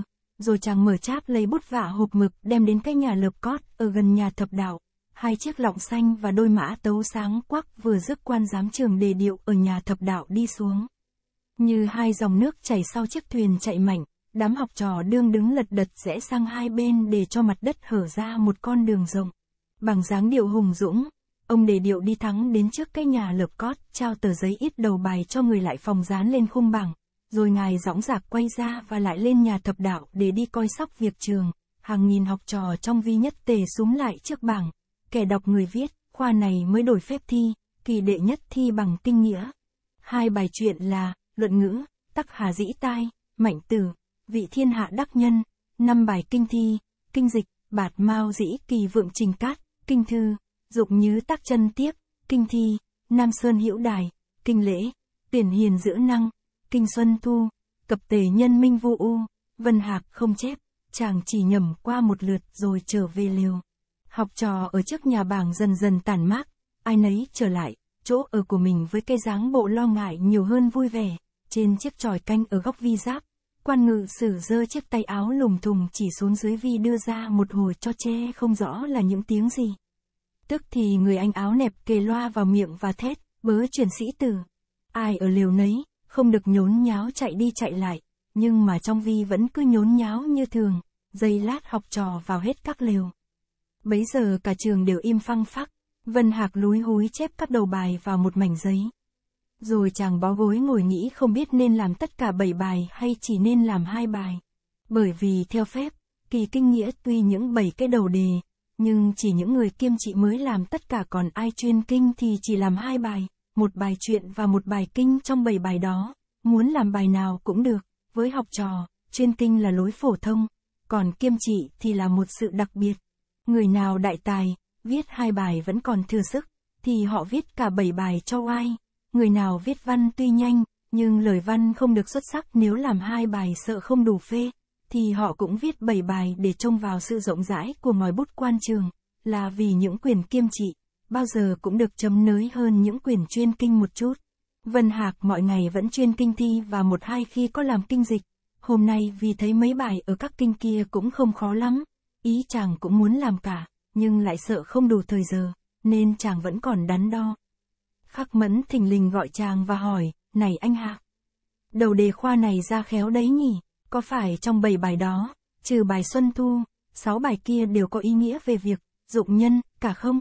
Vân Hạc ngồi ở liều mình nói sang, phải rồi. Tôi cũng nhận thấy như thế, ừ thì đình nào đám ấy, có thế mới hợp với cảnh thi cử. Trong hai bài chuyện, anh làm bài nào?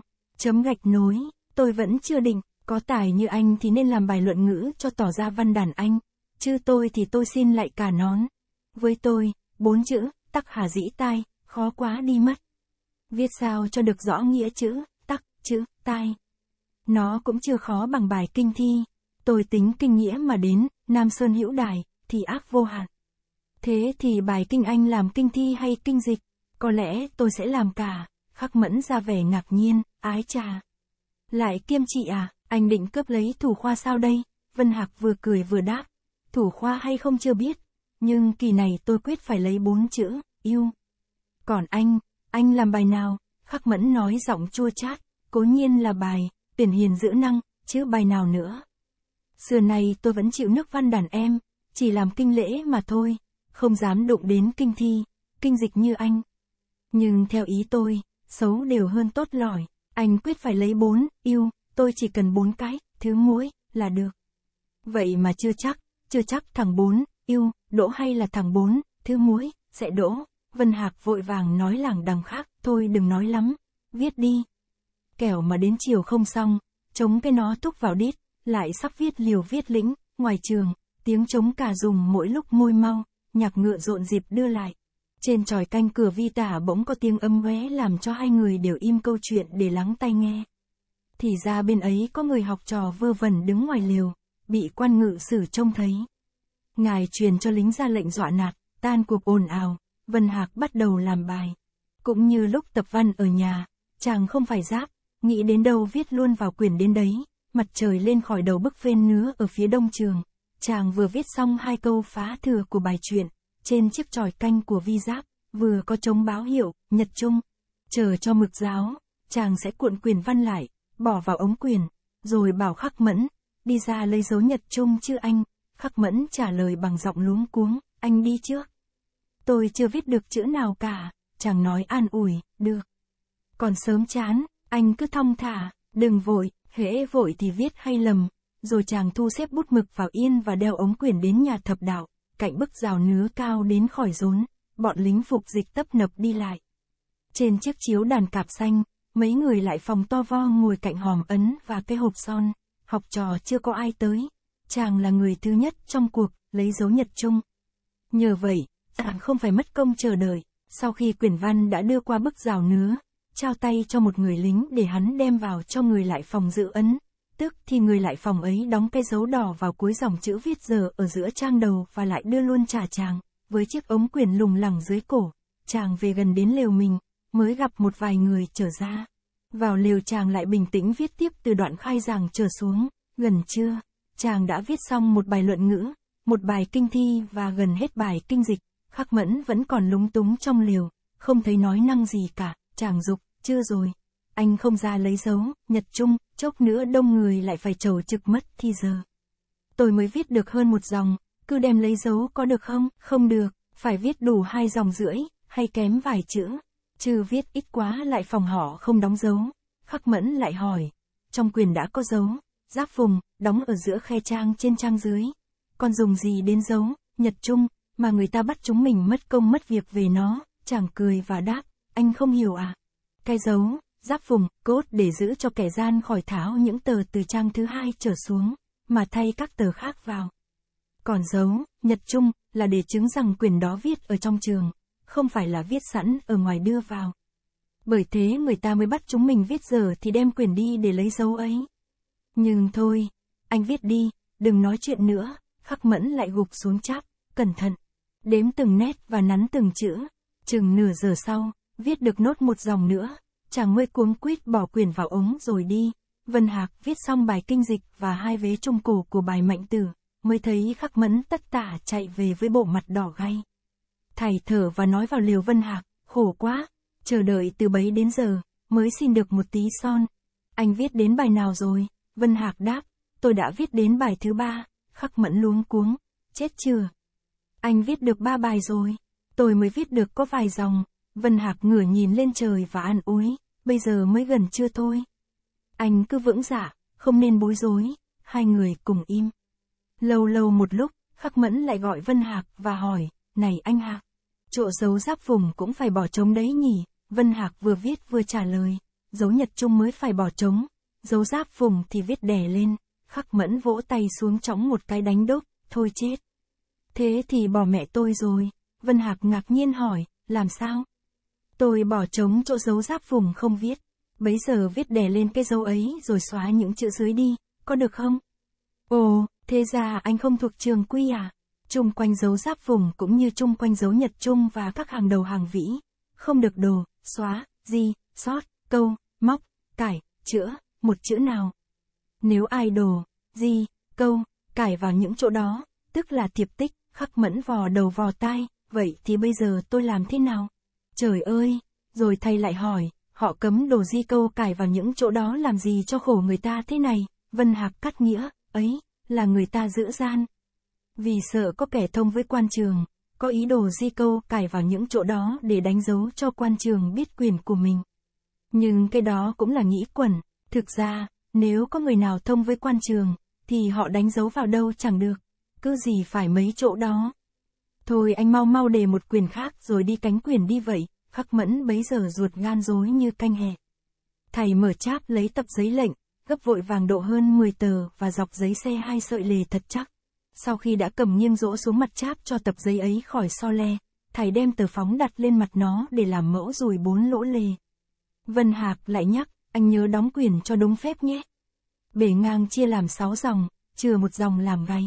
Bề dọc chia làm 5 quãng, ba quãng đầu, cuối và giữa cũng phải dài bằng hai quãng sâu lề, khắc mẫn hốt hoảng, chút nữa anh không nói thì tôi chia bề ngang ra làm 7 dòng.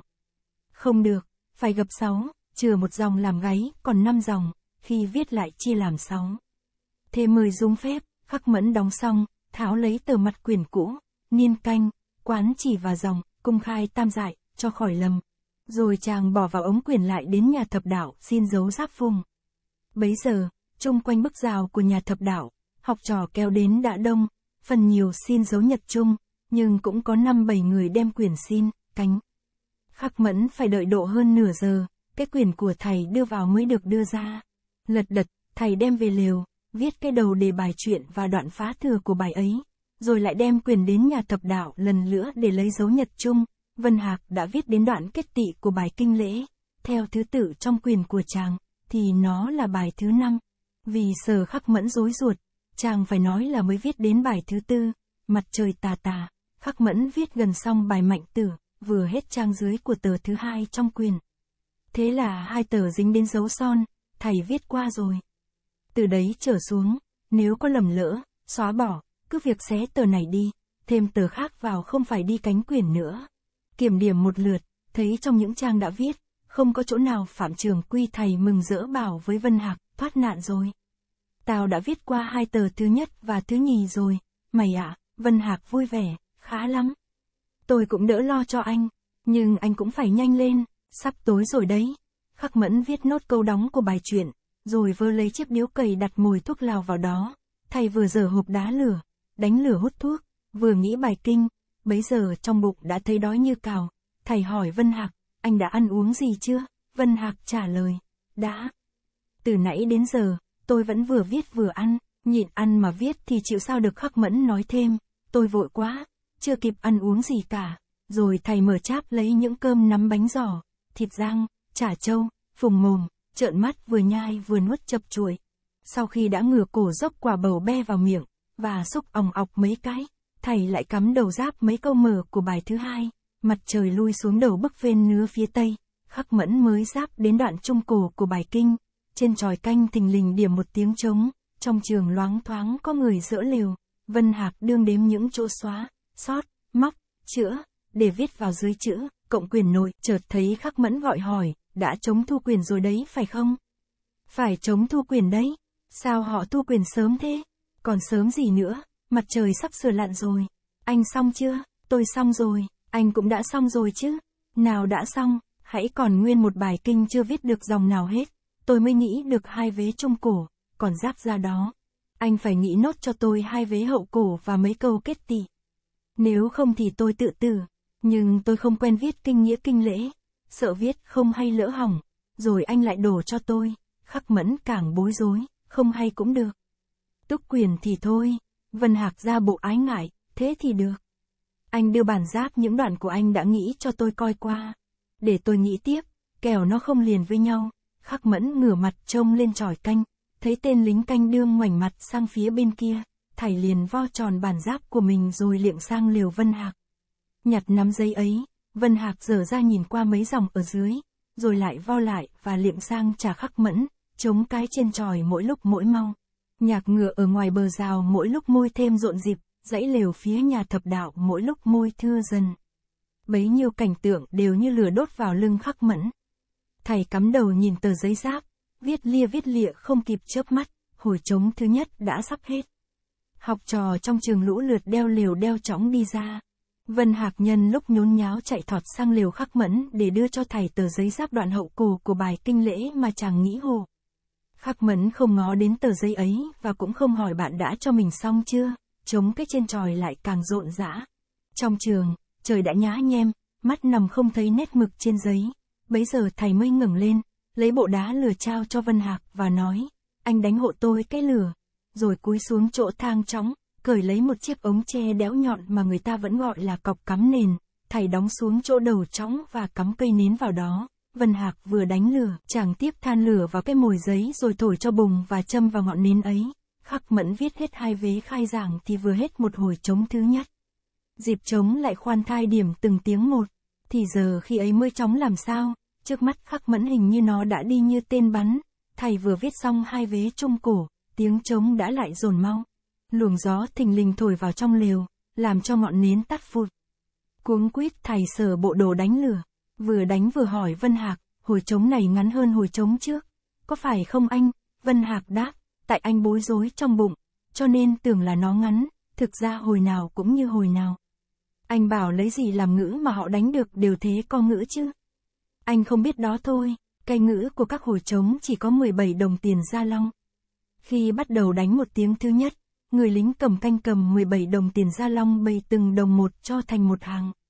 Bày xong hắn lại lần lượt nhắc từng đồng một lên tay, khi nào nhắc hết cả 17 đồng, mới đánh đến tiếng thứ hai. Rồi hắn bỏ lại một đồng, còn 16 đồng, lại đem bầy, xóa như trước. Bầy xong xóa xong 16 đồng ấy mới đánh đến tiếng thứ ba. Cứ mỗi tiếng trống hắn lại rút đi một đồng như thế. Rút cho đến khi hết cả 17 đồng tiền, thế là hết một hồi trống, lửa cháy, khắc mẫn châm vào ngọn nến. Bấy giờ chàng viết đến đoạn của Vân Hạc làm hộ, trời lại tối đen như mực, mấy cây đình liệu lại bị đốt cháy đùng đùng, cảnh tượng đêm qua lại diễn lại một lần nữa, chờ cho khắc mẫn viết đến dòng, cộng quyền nội, Vân Hạc mới ra dỡ lều, bó buộc các thứ đồ đạc, hồi trống thứ ba dục mau, khắc mẫn cộng xong những chữ xóa, sót, móc, chữa và viết ra chỗ cuối quyền. Vân Hạc lại sang dỡ lều thu xếp đồ đạc hộ bàn, hai người vừa tới nhà thập đảo, người lại phòng thu quyền đã đương nâng nắp hòm quyền và sắp đậy lại. Tất tả, Vân Hạc, khắc mẫn cùng rút quyền văn trong ống và trao cho hắn. Tiếng trống qua ý cùng vừa dứt, người lại phòng liền khóa hòm lại.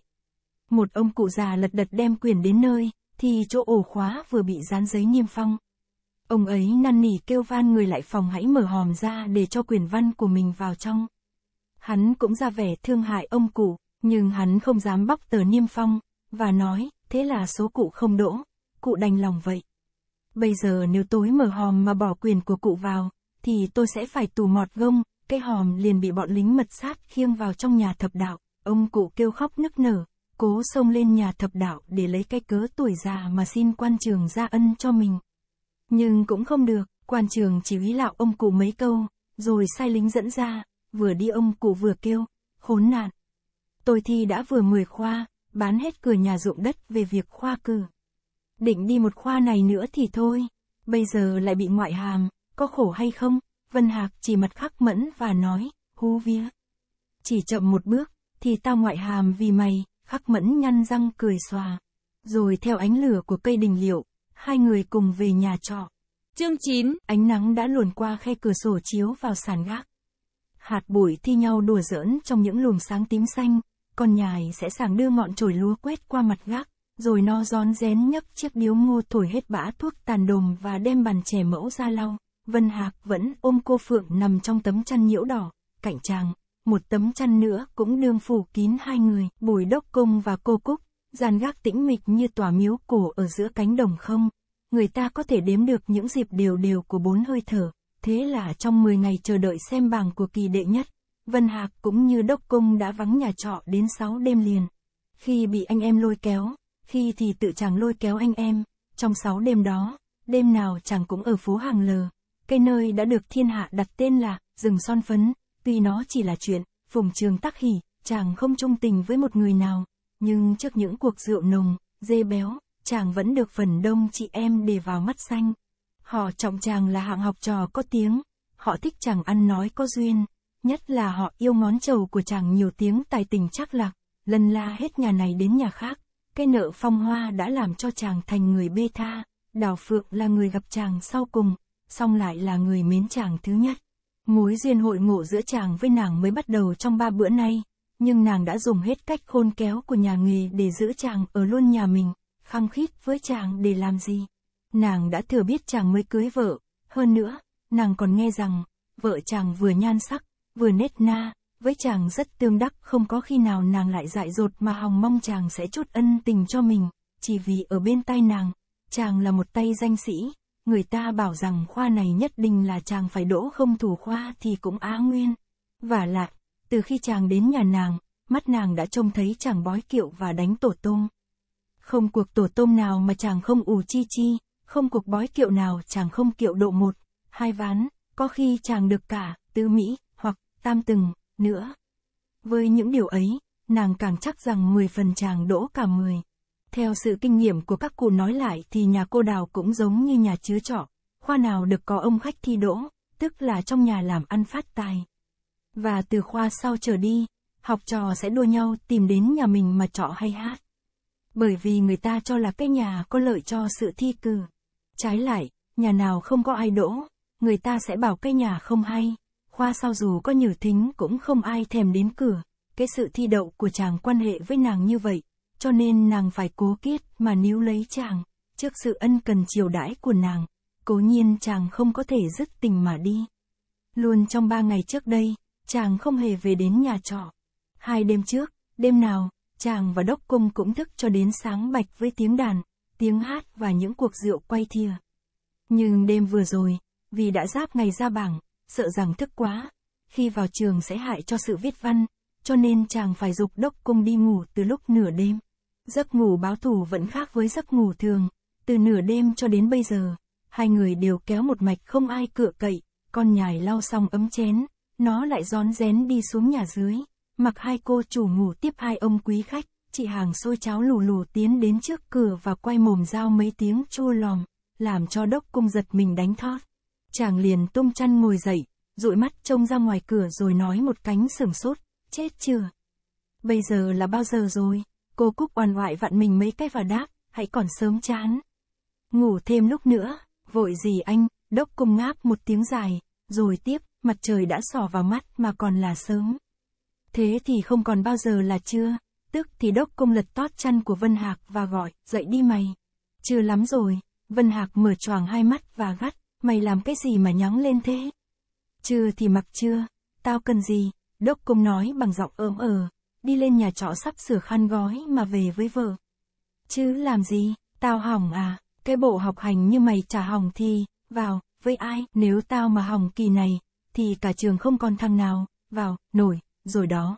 Vân Hạc cũng rút cây cánh tay phải đương bị cô Phượng gối đầu và ngồi nhỏm dậy, cô Phượng cũng dậy và gọi con nhài lấy nước rửa mặt, tan cuộc trà sớm, Vân Hạc, đốc cung sắm sửa khăn áo toan đi, cô Phượng, cô Cúc nhất định níu lại và nói, các anh ở đây, ăn cháo cay đã, hai người cùng một mực từ chối, thôi để cho chúng tôi đi, kẻo chưa, hôm nay là ngày ra bảng, bây giờ hãy còn ở đây, cũng là liều lĩnh lắm rồi, hai ả vẫn kèo nèo, chưa với sớm thì làm gì.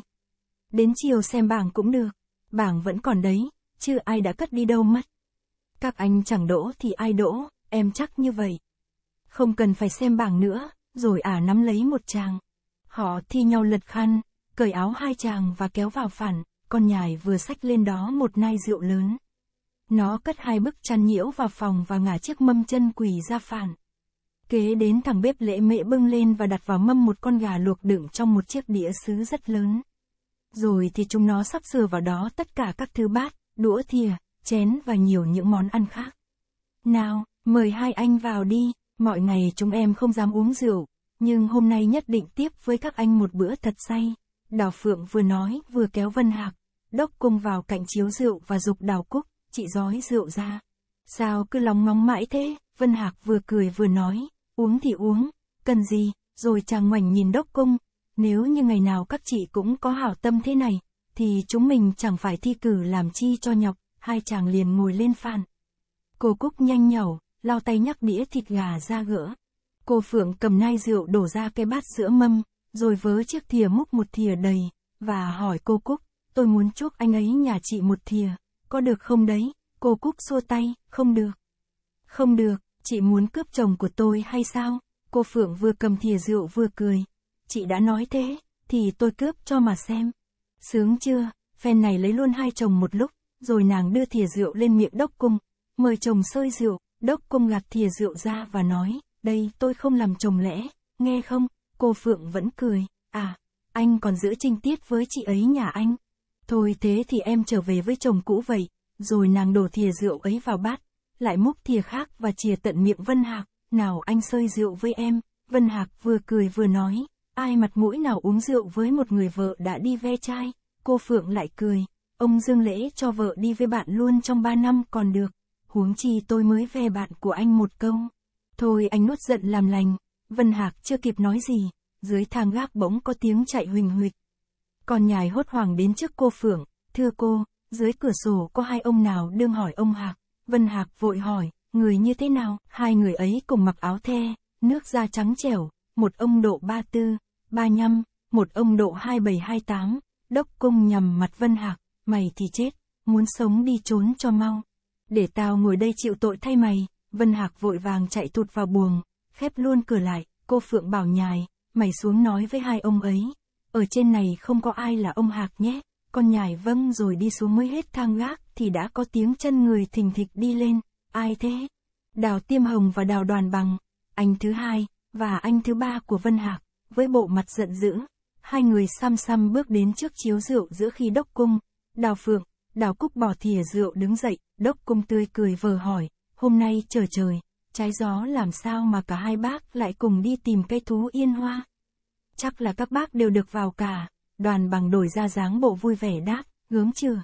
Dễ một mình anh biết chơi, còn chúng tôi là gỗ cả đấy, đốc cung cũng cười, nhưng không nói gì.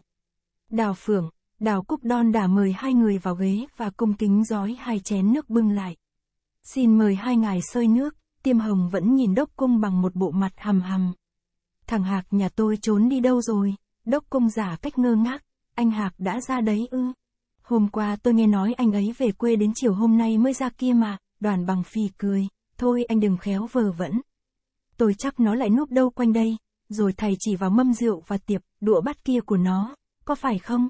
Nếu không, sao ba người lại có đến bốn đôi đũa và bốn cái bát? Đốc công vẫn nói bằng cách thản nhiên, chúng tôi cũng đương bàn tán với nhau, không hiểu vì sao tự nhiên thằng bếp lại dọn thừa đũa thừa bát. Hoặc giả nó là cái điểm hai bác đến chơi. Vậy xin hai bác vào đây uống rượu với tôi luôn thể, Đào Phương, Đào Cúc cũng đều làm bộ trèo kéo, chẳng mấy khi hai ngài quá bộ đến đây. Vậy xin hai ngài hãy tạm ngồi lại sơi rượu với ông cung để chúng em được hầu tiếp, tiêm hồng càng cáu, chúng tôi cũng muốn uống lắm. Mép rượu còn có khi nào chê rượu, huống chi lại được uống với các chị thì còn thú hứng nào bằng. Nhưng còn e rằng, chúng tôi ngồi đây lúc nữa, thì trong gầm phản, tất nhiên có đứa chết ngạt. Và đứa chết ngạt ấy cố nhiên phải là thằng Hạc, đoàn bằng nói sen, hôm nay lại còn dắt nhau đến đây, tôi cũng chịu cho cái đức bê tha của các anh, tiên hồng cướp lời, chúng tôi nhờ anh bảo thằng Hạc rằng, đời còn dài, muốn chơi chẳng thiếu gì lúc. Hôm nay hãy tạm đi ra cửa trường nhòm qua cái bảng xem sao, rồi hai người từ biệt đứng dậy và xuống thang gác. Đốc cung, đào phượng, đào cúc theo chân tiễn ra đến cửa, đoàn bằng quay lại nói với hai ả. Tôi xin hai chị nể lời chúng tôi, hôm nay hãy tạm tha cho thằng này và thằng Hạc. Có muốn giam hãm chúng nó, các chị cũng nên chờ đến đêm mai. Hai ả vẫn khăng khăng một mực, ông nói oan chúng em, thật quả, từ xưa đến giờ, nhà em không có ông khách nào tên là Hạc cả, đoàn bằng mỉa cười, nào tôi có ăn vạ đâu. Sao chị cứ phải trôi mãi, rồi thầy theo sau tiêm hồng lùi thủi cùng đi về phía cửa nam. Đốc Cung và Đào Phượng, Đào Cúc chờ cho hai người đi một quãng xa, mới cùng lên gác. Ba người đều cười rũ rượi, Vân Hạc cũng vừa mở cửa ở trong buồng ra, chàng bảo Đào Phượng, gớm. Cái buồng nhà chị sao mà lắm mũi thế? Nếu chậm lúc nữa, có lẽ tôi sẽ bị nó đốt chết. Hai ông ấy đi đến đâu rồi? Đào Phượng rún rẩy trả lời, đi xa lắm rồi. Mời các anh cứ vào sơi rượu, không ngại gì nữa, Đào Cúc nói xen, các ông anh kể cũng rộng lượng đấy chứ. Lúc mà cái ông nét mặt hầm hầm nói gắt anh cung, em cứ tưởng hai ngài sẽ phá cửa buồng để bắt anh Hạc. Đốc cung nhìn mặt Vân Hạc, ừ nếu lúc ấy thằng Hồng, thằng bằng cố cậy cửa buồng mà vào, chúng nó bắt được mày đương nằm ở dưới gầm giường, thì mày xử trí ra sao? Vân Hạc bật cười, tao tát vào cái miệng mày bây giờ. Đừng nói láo, chốc nữa lại sắp ra cửa trường mà kháo như thế, người ta nằm ở trên giường, chớ ai chui gầm giường bao giờ, rồi chàng ghé ngồi vào phản và tiếp, giả sử bấy giờ tao bị bắt quả tang, thì cũng đến y ra đó, chứ làm thế nào? Chúng mình kể cũng vô phúc thật đấy, các ông ấy mắng không oan, ai lại đến ngày ra bảng vẫn kéo lì ở nhà cô đào, đốc cung như không hề để ý đến lời Vân Hạc. Chàng ngủ mỉm cười và ra bộ nghĩ ngợi, đào phượng múc một thìa rượu, chúc cho Vân Hạc và nói, cái sự hôm nay là lỗi tại em tất cả. Vậy xin tạ lỗi với anh một thìa, Vân Hạc đón lấy thìa rượu và nói, chị để tôi uống tự nhiên, không cần phải thế. Chúng tôi rất ghét cái kiểu kề miệng hút thìa rượu ở tay người khác, Vân Hạc đương đưa thìa rượu lên miệng sắp uống.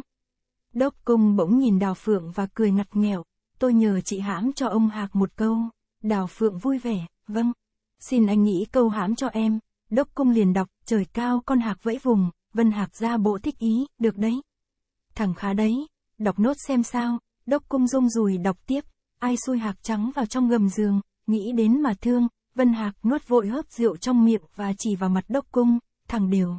Những đứa báo oán ở dâu, sao hôm nọ nó không quật chết mày ở trong trường thi? Đốc cung cười bảo Đào Phượng, nhưng mà thôi, chị đừng hãm nữa. Để tôi chữa làm bốn câu ngưỡng, rồi tôi cho nó một bài hát nói, Vân Hạc cũng cười, muốn gì thì gì. Hễ mà bịa việc nói láo, thì mày đừng chết, Đào Phượng nói chêm, cứ để cho anh ấy làm. Nhưng mà nó cứ nói không làm có, rồi chốc nữa lên cửa trường, gặp ai nó cũng đọc ra cho nghe. Người ta tưởng là chuyện thật, đốc Công vẫn cười, ừ thì tôi cũng đại xá cho nó. Để nó còn vác mặt về quê thăm vợ. Nếu tôi cho nó một bài hát nói thì không khéo nó phải tự tử. Câu chuyện bông đùa kéo dài đến khi gần hết một bát rượu lớn. Hai chàng bắt đầu ăn cháo, tan cuộc rượu, hai chàng lại đội khăn mặc áo để đi xem bảng. Đào Phượng, Đào Cúc đòi đi theo. Nhưng mà Vân Hạc không nghe, chàng nói, nếu tôi đi với hai chị, lỡ gặp anh hai và anh Tú tôi, thì tôi trốn đi đường nào, hai ả à, cùng nói cố kiết, các anh cứ cho chúng em đi với. Lên gần cửa trường, chúng em sẽ chụt lại sau, không đi gần với các anh nữa, thì thôi chứ gì, đốc công cũng ngăn hai ả, thôi các chị cũng nên thương nó, đừng theo nó nữa. Nếu như các chị cố đi với nó, thì rồi mai kia vợ nó xé xác nó ra, rồi hai chàng từ biệt hai ả cùng đi lên phía trường thi, lúc ấy bảng đã kéo rồi. Học trò đứng ở dưới bảng đông như đám hội, đốc công bảo với Vân Hạc, hãy đến xem bảng con đã. Mày bị phạm húy hay sao mà muốn xem bảng con trước? Tao không phạm húy, nhưng hình như trong bài, Nam Sơn Hữu Đài, tao viết chữ thọ thiếu mất một nét. Mày viết mười mấy nét, đốc cung vừa đi, vừa lấy ngón tay ngoạch ngang, ngoạch dọc, rồi đáp, tao viết có 14 nét. Thế thì đúng rồi, còn thiếu gì nữa, chữ, thọ, chỉ có 14 nét thôi. Vừa tới bên ngoài bảng con, cái bảng treo chừng ngang đầu người, phía trước đương bị đám người che kín. Vân Hạc bảo đốc cung, mày thử lách vào, trông xem có tên thằng Nguyễn Khắc Mẫn ở đó hay không. Hôm ấy nó viết vội lắm, tao sợ nó phạm trường quy, nếu không thì cũng phạm húy, hay là có chữ thừa nét thiếu nét, chứ khó mà được trọn vẹn, đốc công ưng lời. Rồi để Vân Hạc đứng đợi ở ngoài, chàng cố lách qua đám người vào tận cạnh bảng nhầm suốt một lượt từ đầu đến cuối. Tất cả trong bảng, có độ hai chục tên người, người thì viết không đủ quyền, người thì viết phải chữ, hồng, mà không, tính khuyết nhất bút, có 10 đồ, di, câu, cải quá số 10 chữ, mỗi người mỗi tội khác nhau. Nhưng không có tên khắc mẫn, đốc cung lại cố lách ra tìm đến chỗ Vân Hạc, không biết nó có được vào hay không, chứ ở bảng con thì không thấy có tên nó. Hai chàng liền cùng tiến lại trước bảng vi giáp, vừa thoạt nhìn trên bảng, đã thấy tên đào tiêm hồng, Vân Hạc mừng reo, anh hai tao được, vào, rồi, đọc nốt cho đến cuối bảng, hai chàng đều không thấy tên mình, họ bèn dắt nhau sang cửa vi ất. Ở đây chỉ thấy tên Nguyễn Khắc Mẫn và Đào Đoàn Bằng, không có tên hai chàng. Đốc cùng chỉ bảo Vân Hạc, thằng Mẫn và anh Tú mày được, vào, rồi kia kìa không có lẽ tao với mày bay kinh nghĩa cả, rồi thẳng đường, hai chàng lại đến coi bảng vi hiểu. Đến đây mới thấy có tên Đốc Cung, nhưng vẫn không thấy có tên Vân Hạc. Đốc Cung lại trêu Vân Hạc, chắc là mày hỏng, Vân Hạc vẫn vững dạ, mày và thằng Mẫn còn, vào, khi nào tao lại bị hỏng, bị kiểm duyệt bỏ hồi pháp thuộc, vừa, nói, hai chàng vừa lật đật trở lại đến cửa vi tả, trông gần bảng, vẫn không thấy tên Vân Hạc ở đâu, lúc ấy chàng mới hơi núng, liền bảo đốc cung, có lẽ quan trường không mắt mày à, đốc cung chỉ tay vào phía cuối bảng, có họa mày mù, chẳng tên mày thì tên thằng điều kia à, Vân Hạc nhìn theo chỗ tay đốc cung đã chỉ, quả nhiên thấy có chữ đào Vân Hạc đứng trên hai dòng chữ con, Sơn Tây Đào Nguyên. Chàng điểm nhiên nói, ừ, có thế chứ, nếu tao mà hỏng thì còn trời đất nào nữa, Vân Hạc, đốc cung vui vẻ quay ra cùng vơ vẩn trong đám đông để tìm những người quen biết. Nhưng mà không gặp người nào, hai chàng bèn lưỡng thững đi về nhà trọ. Vân Hạc vừa đi vừa phàn nàn, tao về bây giờ chắc ông anh sẽ mắng tàn nhục, đốc cung an ủi, không sợ.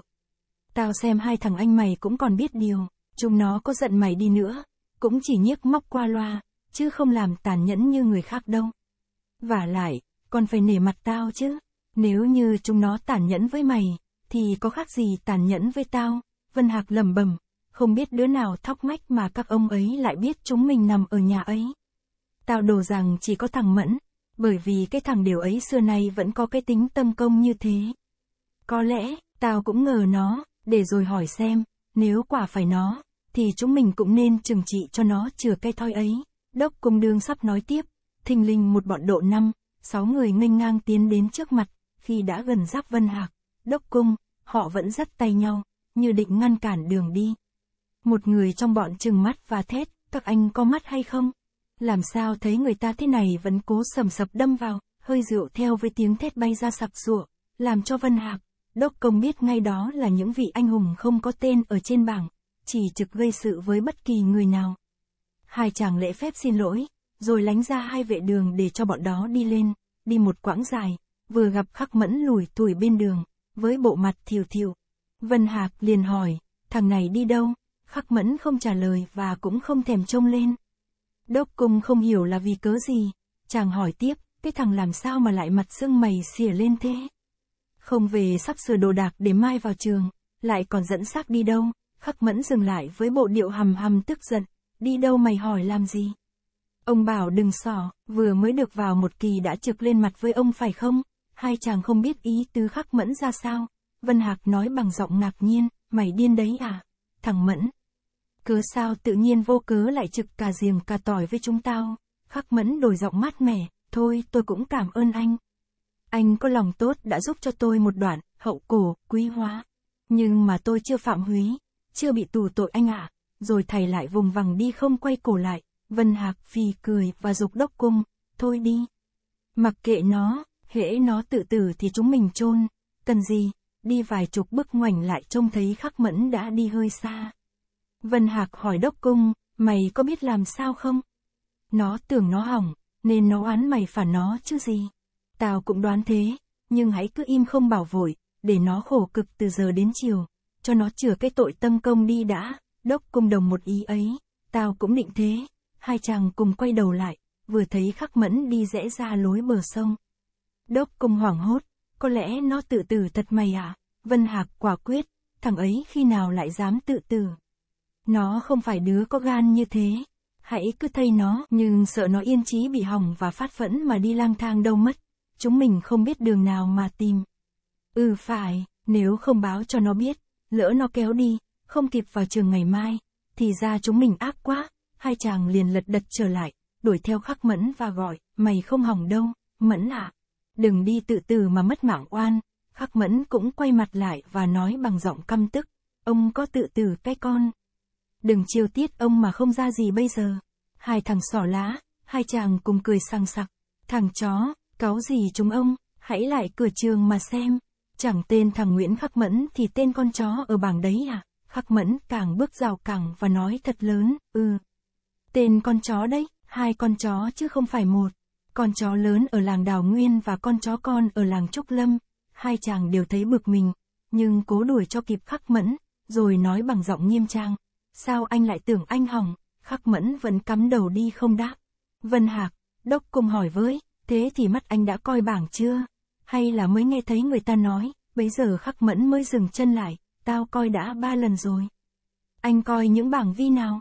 Tất cả bốn vi, vậy mà không thấy tên anh, khắc mẫn không nói vùng vằng toan đi. Hai chàng cũng cười, thế thì anh mù mất rồi. Ba chữ Nguyễn khắc mẫn lớn bằng cái mệt ở bảng vi ất mà không trông thấy có khổ không? Khắc mẫn có ý nghi ngờ, các anh nói thật hay nói sỏ tao? Nói thật chứ ai nói đùa làm gì? Anh hãy trở lại mà coi, khắc mẫn vẫn nhất định không tin. Trở lại để chúng bay phỉ nhổ ông thêm một mẻ nữa, phải không? Đừng xỏ, đây ông ngần này tuổi đầu, khi nào phải lừa hai thằng danh con, Vân Hạc không thể nhịn cười và không biết nói thế nào cho khắc mẫn tin. Đốc cung cố giữ nét mặt đứng đắn và ôn tồn, không. Chúng tôi không thèm lừa anh làm gì. Bảng có tên anh thật đấy. Trở lại mà xem, rồi cùng trở về nhà trọ sắp sửa đồ đạc. Khắc mẫn không để cho nói hết câu, liền gặng, nếu như không có tên tao, chúng bay làm sao?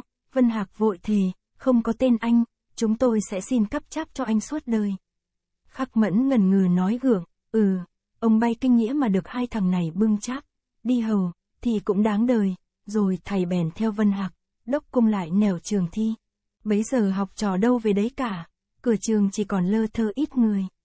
Hai chàng dắt khắc mẫn đến cửa vi ất, chỉ tay lên bảng và hỏi, tên mày hay tên con chó ở kia hở mẫn, khắc mẫn sung sướng như người chết rồi lại được sống lại. Thầy ứa nước mắt vừa cười vừa nói, quái lạ. Thế mà làm sao lúc nãy tôi trông đến ba bốn lượt đều không thấy cả. Hay có đứa nào che mắt, lúc ấy Vân Hạc mới cáu, chó nó che mắt mày à? Chẳng qua vì mày đã quá hoạn đắc hoạn thất, cho nên hoa cả hai mắt không thấy gì nữa. Quân đê tiện, làm bạn với mày nhục cả chúng tao, đốc cung mắng thêm, thảo nào ngày xưa có đứa cướp vàng giữa chợ mà không trông thấy người nào. Thằng này nếu được thấy vàng, có lẽ nó cũng tối mắt như thế. Thôi hết kỳ này thì tống nó đi trọ nhà khác, không để cho nó ở chung, bẩn cả chúng mình, khắc mẫn nhặn răng cười khi. Bây giờ các anh nói sao tao cũng phải chịu, chứ tao cãi sao cho kịp hai cái miệng ấy, ba người liền cùng quay về, mặt trời vừa đến đỉnh đầu. Khí trời đã không lạnh lắm, trong phố, hàng quà đã giao ấm ơ, Vân Hạc, Đốc Cung vẫn chưa tan cơn tức cười khắc mẫn, hai chàng lại trêu, bây giờ chúng tao mới hỏi tội thằng Mẫn, khắc Mẫn bẽn lẽn, ừ, tao còn tội gì nữa, thì nói nốt đi. Sao mày dám hót với anh Hồng Anh bằng rằng chúng tao hát ở nhà con Phượng để các anh ấy đi bắt chúng tao? Ai bảo chúng bay như thế? Chúng tao biết, chứ phải ai bảo, không mày hót thì còn thằng nào vào đấy. Thế thì làm sao đến ngày ra bảng chúng bay vẫn còn bê tha? Bê tha mặc kệ chúng tao, việc gì đến mày? Lần này tha cho, lần sau, còn mách lèo nữa, chúng ông rút lưỡi, ba người về đến nhà trọ. Vân Hạc, đốc công vừa nhô vào cửa, đoàn bằng liền nói bằng giọng thẽ thọt, thưa hai ngài đã về, Vân Hạc nín thít không dám nói gì. Đốc công pha trò, trà dáng, bẩm ngài, ngài làm gì mà nghiêm khắc vậy, tiêm hồng cao mày, ngài dạy quá lời. Chúng tôi đâu dám nghiêm khắc với các ngài, nhưng không biết ngày mai các ngài có định thi nữa, hay là hoãn đến khoa sau. Đốc cùng kết thúc câu chuyện bằng một cuộc cười xòa Vân Hạc giả vờ lảng xuống nhà dưới, rồi chàng sẽ bảo thằng nhỏ nhà trọ sắp sửa đồ đạc và dặn chủ trọ mua các thức ăn, làm sẵn, để ngày mai cho cả bọn vào trường. Chơ ưng 11, đã hai ngày nay, cô Ngọc chỉ những lật đật chạy ra chạy vào, không hề bước chân lên chiếc khung cười, rổ suốt cô đánh từ chiều hôm kia bây giờ đã ôi. Lượt sợi ở ngoài đã biến ra màu vàng vàng và khô cứng như một lần vỏ, rồi muỗi đậu vào đen kịt, xúc sợi ngâm trong vại nước cũng chín đều rồi. Đáng lẽ thì phải đạp cơm từ sáng hôm qua, nhưng cô vẫn không lúc nào giờ đến nó được, mà nào có bận gì đâu. Thì giờ của cô chỉ dùng vào việc pha nước, têm trầu, phục dịch khách khứa hết cả, là vì từ hôm được tin Vân Hạc đã thi xong kỳ đệ nhị trở về thăm nhà, bà con nội ngoại lục tục đến chơi hỏi han, bọn này ra thì bọn kia vào, rình dịch suốt ngày không lúc nào dứt, ai cũng giật mình kinh sợ khi nghe Vân Hạc thuật lại những cảnh mưa rét lầm lội trong trường, nhất là lúc thấy chàng nói rằng có ông cụ già chết rét trong liều, thì không người nào mà không ái ngại thương xót, nhưng cái thương một ông người dưng ở đầu đầu đâu, vẫn không lấn được cái mừng cho một người rể họ mình, tuy rằng trong đám chú, bác, cô, gì, cũng không mấy người biết chữ, không rõ giá trị văn chương ra sao, nhưng nghe cụ Đồ Vân Trình dè dặt khen ngợi sau khi đã xem bản giáp bài thơ bài phú của chàng đem về, thì ai cũng tin là chàng sẽ đỗ. Người ta thi nhau đem những điều mộng tốt lành kể ra. Ông này khoe mình mơ thấy nhà cháy, ông kia bảo tôi mơ thấy đi vật châu, bà khác bảo mình mơ thấy đi xem rước, đám rước có cả võng lòng. Rồi thì những người bông phèn lại bắt đầu gọi cô Ngọc là cô cử, trước sự cầu chúc của họ mặc hàng xóm, Cô vẫn tỏ bộ ngượng ngùng và vẫn hết lời từ chối. Các ông, các bà có lòng mong cho như thế, tôi xin cảm ơn. Nhưng đến bao giờ được thế, bấy giờ sẽ hay, bây giờ tôi xin các ông, các bà đừng nói trước vội, mỗi khi nghe tiếng bà cử của người ta gán gầm cho mình, cô vẫn nhũn nhặn trả lời như vậy. Tuy vậy, ở trong trái tim cô vẫn không khỏi luôn luôn hồi hộp. Ừ thì mình làm bà cử, cũng đáng chứ sao, người ta muốn làm bà cử thì khó, chứ mình muốn làm bà cử, tưởng cũng không khó lắm. Có điều muốn được hơn kia, chứ được cái tiếng bà cử, thì vẫn còn thua chị ấy, cả đêm vừa rồi, trong lúc nằm cạnh chồng, óc cô quanh quẩn đi lại có mấy câu đó. Sáng nay, vì gần đến ngày ra bảng kỳ đệ tam, Vân Hạc sắp phải chảy trường, nên cô cũng phải dậy sớm để sắm sửa đồ đạc cho chàng, ấm nước đun sôi. Vân Hạc cũng vừa tan giấc, ông đồ, bà đồ còn ở nhà trên chưa xuống. Cô Bích và mấy đứa người nhà đều ở dưới bếp nấu cơm. Trong nhà ngang, ngoài vợ chồng cô, không có ai nữa. Trao cho chàng chén nước xúc miệng, cô mỉm cười và hỏi bằng giọng âu yếm, thế nào? Đi bây giờ hay là đến chiều? Chàng đón chén nước với dáng bộ lơi lả, bây giờ cũng được, đến chiều cũng được. Mình bảo nên đi lúc nào thì tôi xin đi lúc ấy, cái ấm chuyên trồng mông trên miệng chén tống vừa nhả hết những nước sôi ở trong, cô Ngọc xẻ ra hai chén và nhắc một chén đưa chồng. Thế thì ngoan lắm, tôi khen cho mình biết điều. Vậy tôi bảo mình ở nhà đến mai sẽ đi có được không? Chàng đưa chén nước lên dưới cặp môi tươi cười. Cứ kể thì thôi không đi nữa cũng được. Tôi đi chẳng qua là đi hộ mình. Vì mình háo hức muốn làm bà cử, cho nên tôi phải chiều lòng. Chứ tôi nghĩ đến cái trận mưa rét hôm nọ, thì tôi chẳng thích gì thi cử cả. Cô Ngọc nuốt vội hớp nước trong miệng, để cầm chén tống giói tiếp vào chén Vân Hạc. Thế mà mình không bị bắt. Cũng may đấy nhỉ, Vân Hạc ngơ ngác không hiểu, bị bắt về việc gì. Cô Ngọc giói nốt nước trong chén tống vào chén của mình và cười ngặt nghẽo, thi gian chứ gì. Mình đi thi hộ tôi mà lại, có phải là thi gian không? Vân Hạc cũng cười sằng sặc, thật đấy. Tôi không nói đùa, sở dĩ tôi thi khoa này, chỉ cốt để cho mình làm bà cử. Cô, Ngọc không đợi chồng nói hết, bà cử mà thôi à? Vân Hạc vội vàng nói tiếp, à quên bà thám, bà thám hoa. Nhưng muốn bà gì thì bà, cần phải có tiền đây đã. Hôm nay mình sắp cho tôi được bao nhiêu quan, mình định bán non hai tiếng, bà cử, đây chứ gì. Ừ thì tôi cũng mua non cho mình, nhưng phải tính hạ một chút, hạ nhất cũng phải đủ năm chục quan, bây giờ hãy đưa hai chục, còn ba chục nữa thì để đến ngày phúc hạch, cô Ngọc chế nước sôi vào ấm chuyên và cười mủm mím, nói thách vừa vừa chứ nào. Nói thế thì còn ai dám mặc cả, thế thì mình muốn bao nhiêu? Năm tiền, chết chửa, cái giá bà cử rẻ tiết kia ư? Nếu thế thì để tôi bán cho người khác vậy. Ừ mình muốn bán cho ai thì bán. Bán cho các cô ở phố hàng lờ. Hôm nọ, còn có cái tội bằng cái đỉnh đấy. Nhà trên có tiếng ho khạc khung khăng. Ông đồ, bà đồ đã dậy. Cô Ngọc cáo từ chồng bằng một cái nguyết thân yêu. Rồi xuống nhà dưới sấp sửa cơm nước với cô Bích. Trên ngàn cây bưởi trước sân, ánh mặt trời lấp loáng nhuộm trên lớp lá úa vàng. Mấy con chích chòe đua nhau đón chào sự ấm áp bằng những tiếng hót réo rắt. Ông đổ đùng đỉnh đi xuống nhà khách với tất cả cảm tình vui vẻ. Rét quá thế này hay để gần trưa hãy đi. Anh ạ, rồi ông khoan thai ngồi vào phản ngựa Vân Hạc đương ngồi và tiếp, ngày mai mới ra bảng kia mà. Tội gì đi từ bây giờ cho vất vả. Vân Hạc vội vàng đứng dậy, chuyên một chén nước đệ đến trước mặt ông nhạc. Vâng, bây giờ đi khí rét. Nhưng không đi lại sợ hai anh con mong, vì con đã hẹn với các anh con sáng nay ra sớm. Ông đồ nhổ hớp nước trong miệng vào ống phóng, được. Chậm một lúc nữa cũng không sao. Các bác ấy chắc cũng biết rằng trời giá ngăn ngắt thế này ai mà đi sớm cho được. Bà Đồ cũng vừa bước vào trong nhà với một giọng nói đon đả. Nhân tiện hôm nay tôi có sửa lễ ra thờ. Anh hãy ở nhà lát nữa. Đợi cho đồ lễ làm xong, đem gia đình cúng, anh ra lễ thánh cái đã. Thì ra từ khi Vân Hạc đi thi, ông nhạc bà nhạc vẫn luôn luôn cầu khấn quỷ thần ủng hộ cho chàng. Ngoài cái lễ thứ nhất cử hành trước khi Vân Hạc lên đường, Mỗi lần gần ngày vào trường, ông bà đều có sửa sôi và gà gia đình cúng đức, thượng đẳng, trước sự ân cần chu trì của cha mẹ vợ, cố nhiên chàng phải xin vâng. Thằng nhỏ lại xách lên đó ấm nước sôi khác, chàng tự đi xúc ấm pha chè, chuyên lượt nước mới. Rồi chàng lễ phép ngồi vào chiếc ghế bên cạnh khi đã để khay nước trước mặt bố vợ, ông đổ một tay trống xuống mặt phản, một tay cầm chén lấy nước kéo qua miệng khay đánh sạt một cái để gạt những nước dính ở chôn chén cho khỏi giỏ xuống quần áo. Và nhìn Vân Hạc, ông cất cái giọng, về việc quỷ thần thật là không biết thế nào. Cứ lấy lý ra mà nói, thì ai chẳng bảo thi cử cốt ở học lực, hễ mà học khá, dẫu không cung kính cũng đỗ, nếu mà học không biết gì thì dẫu thành tâm lễ bái đến đâu mặc lòng, quỷ thần cũng không thể làm cho mình đỗ. Thế mà chính tôi đã thấy có người nhờ về quỷ thần mà đỗ có lạ không chứ, ngừng lại để uống cho cạn chén trà, ông đồ quay mặt sang phía bà đồ, bà còn nhớ ông cử Mỹ đấy nhỉ, Bà đồ nhanh nhào trả lời.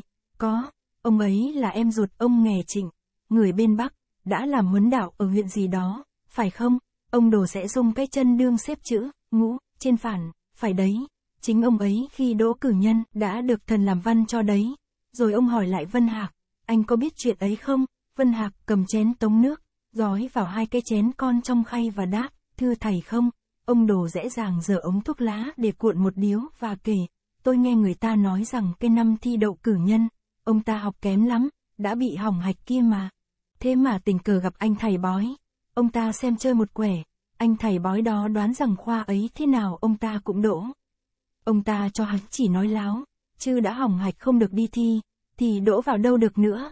Nhưng anh thầy bói quả quyết lời hắn không sai. Nếu khoa ấy ông ta không đỗ, thì cứ đến mà vọt cây cháp của hắn, mùi, thuốc cuốn xong. Ông đồ gọi thằng nhỏ châm đóm, rồi lại tiếp tục, thấy hắn nói chắc như vậy. Ông ta hơi tin, khi về nhà mới bảo với ông nghè trịnh lên tỉnh xin quan đốc học cho mình đi thi. Ông nghè trịnh phì cười mà gạt đi rằng, mày học rốt quá, hạch còn không đỗ nữa là đi thi. Tao xin cho mày thì được, nhưng chỉ sợ mày viết bất túc quyền, hoặc là phạm húy, phạm lỗi, thì tội cả đến tao nữa. Ông Mỹ hết sức năn nỉ và đem lời ông thầy bói kể với ông nghề Nhưng ông này cũng vẫn không nghe. Cuối cùng ông Mỹ phải dọa anh rằng nếu mà không được đi thi khoa ấy nhất định phải nhảy xuống sông tự tử. Ông nghề trịnh sợ em bực trí đâm ra liều lĩnh, nên cũng đành lòng đi nói với quan đốc học tỉnh nhà cho ông ta vào số thí sinh. Thằng nhỏ đã cầm đóm lửa trao cho ông đồ, vừa châm mồi thuốc.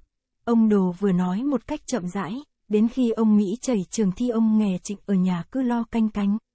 Lo là phải, em ruột ông nghè mà đi thi bị tội, còn gì là danh giá ông nghè. Lúc vào trường, ông này trông thấy đầu đề đã phát luống cuống không biết làm ra thế nào. Thình lình có một ông già đầu tóc bạc phơ chống gậy chui vào trong liều, và ông ấy bảo đưa giấy để mình giáp bài cho. Thế rồi, ông cụ cứ viết thao thao bất tuyệt, một lúc xong cả mấy bài, mà văn cực hay. Ông Mỹ chỉ việc trông vào bản giáp mà chép, ông đổ im đi một lát, để hút một hơi thuốc lá. Bà Đồ và Vân Hạc yên lặng lắng tai chờ nghe, thở hết khói thuốc trong miệng. Ông Đồ cao hứng nói tiếp, kỳ đệ nhị, ông Mỹ được vào, và lại thấy ông già ấy. Rồi kỳ đệ tam cũng vậy, đến kỳ phúc hạch ông Mỹ mới hỏi tên họ ông già là ai, để khi thi xong thì xin tạ ơn. Bấy giờ ông già mới nói tên tuổi của mình cho ông này biết. Đến khi sướng danh, ông Mỹ được đậu cử nhân khá cao. Những bài thi của ông Mỹ khoa ấy, năm trước có một ông bạn đã đọc với tôi. Hay thật, nhưng tôi quên cả, chỉ nhớ có hai cân thơ. Bài thơ khoa ấy đề là, lũ phong niên. Câu trạng của ông già làm cho ông Mỹ thế này, thì ứng chu hoa tam bạch hậu, trường trưng thương quả thập hoàng sơ, ông đổ hút hơi thuốc nữa. Rồi gặng vân hạc, anh có chịu hai câu thơ ấy là hay hay không? Chu hoa, đối với, thương quả, tam, bạch, đối với, thập hoàng, chữ nào chữ ấy trọi nhau chăn chát, mà đều là việc ở đời nhà Chu, rất sát ngay vào đầu đề nữa. Tôi tưởng thơ cử nghiệp mà đến như thế thì thật là tuyệt bút. Thấy nói khi chấm đến hai câu thơ ấy, quan trường có phê hai chữ, thần cú, bà đổ ra bộ ngơ ngác, thế sau có biết ông cụ già người ở đâu không? Điếu thuốc đã tàn, ông đổ rụi cái đầu lửa vào sườn nghiên mực cho tắt than đỏ, rồi dán lên cột, ấy. Sau khi thi dỗ, ông cử Mỹ có theo lời dặn của ông già ấy, tìm đến quê quán ông ta tạ ơn. Té ra vị nhân đó chính là cụ tổ tam đại của một vọng tộc trong tỉnh Hà Nội, bà đồ vội ngoảnh sang nhìn Vân Hạc, đấy. Anh chả cứ bảo cái việc báo ân báo oán ở trường thi là chuyện hoang đường, Vân, Hạc chỉ cười mùm mỉm. Ông đồ kết luận, nhưng mà về sau cái ông cử ấy đâm ra sằng bậy vô lại, không còn chút nào nho phong. Có lần ông ta chim vợ một anh đội tuần bên Bắc bị hắn bắt quả tang. Nói đến đây ông đồ lại hỏi Vân Hạc, anh có biết hắn làm thế nào không? Và ông lại tự trả lời, hắn lột trần cả đôi trai gái, trói chung vào một cái chõng, sau lính tuần khiêng đi diễu khắp các phố. Trước chóng thì hắn bắt người lính khác cầm một cái biển bằng mo bôi vôi. Trong biển có đề bảy chữ, dương vô vị hề khuyển vô kiên, rồi ông cắt nghĩa, đó là hắn muốn chết tự cái tên ông Mỹ. Chữ dương là dê mà không có đuôi và chữ huyền là chó mà không có cây chấm ở vai hợp lại chẳng thành ra chữ Mỹ à. Chuyện đó nếu ở một nhà không có thần thế thì đến mất cả cử nhân mà còn phải tù phải tội nữa chứ. Nhưng may ông Mỹ là em ông nghề nhờ có anh xin ông tổng đốc sở tại làm ngơ đi cho, cho nên chỉ bị nhục với hàng phố một bữa chứ không việc gì, ấm trà đã tàn. Bà đồ đứng dậy xuống bếp để bảo chị em cô Ngọc sắp sửa đồ lễ. Một lát sau, xôi gà đều chấm, Vân Hạc rửa mặt trải đầu, sắm sửa khăn ảo, để theo mâm lễ gia đình, bóng nắng ra đến nửa thềm, cả nhà mới xong được bữa cơm sáng. Cô Bích vội vàng quẩy gánh đi chợ vì sợ chợ chưa. Bà đồ mở chiếc hòm cáng lấy 5 quan tiền đưa cho cô Ngọc và tươi cười, đây là tiền của thầy mẹ giúp cho anh Tư. Còn vốn riêng của chị để đâu, phải bỏ 15 quan nữa ra đây, cho đủ hai chục. Muốn làm bà nọ, bà kia, cũng phải tốn tiền mới được. Rồi bà bưng đĩa xôi và mấy miếng thịt gà sang cho lũ trẻ hàng xóm. Bấy giờ các cậu học trò mới lục tục đến. Ông đồ phải lên nhà trên nghe cho họ đọc, Cô Ngọc bưng năm quan tiền đặt vào phản giữa, và ngó chồng một cách ôm ờ, nào ông định tiêu bao nhiêu nữa đây? Độ năm tiền nữa có đủ không? Vân Hạc nín không trả lời, vì thấy ở ngoài sân, thằng nhỏ đương đưa một người lạ đi vào nhà ngang, tới thềm, người ấy đứng lại để lấy phong thư trong túi, trao cho thằng nhỏ, nhờ nó đưa vào trong nhà. Vân Hạc đón phong thư nhìn qua dòng chữ đề ngoài, chàng cười tủm tỉm, à thư của anh nghề long. Không biết hắn nói gì đây, cô Ngọc vội vàng tiến đến bên cạnh án thư, chờ coi Vân Hạc xé cái phong bì, moi lấy một bức hoa tiên ở trong. Hoa tiên viết toàn chữ nho đại ý như vậy, anh Tư Đào Nguyên, trước án tạm ghé mắt xanh, để về quê nhà đã gần nửa tháng. Vì quá bận rộn về chuyện thù tiếp khách khứa, cho nên nay mới viết thư báo tin với huynh ông, tính lại những ngày đệ với huynh ông xa cách thấm thoát đã đầy một năm. Trong mấy tháng tập việc ở viện cát sĩ, cái xuân sắc của đô thành tuy có dườm già, tươi thắm, nó vẫn không thể khiến đệ quên được cảnh vui của nơi cửa tuyệt. Song huynh, những đêm gió mát trăng trong, đứng trên sông Hương ngó về phương Bắc, ngắm đám mây bạc lơ lửng trên núi Tản Viên, đệ thường tưởng như sắc mặt tiếng cười cô huynh ông vẫn phảng phất ở đâu bên cạnh.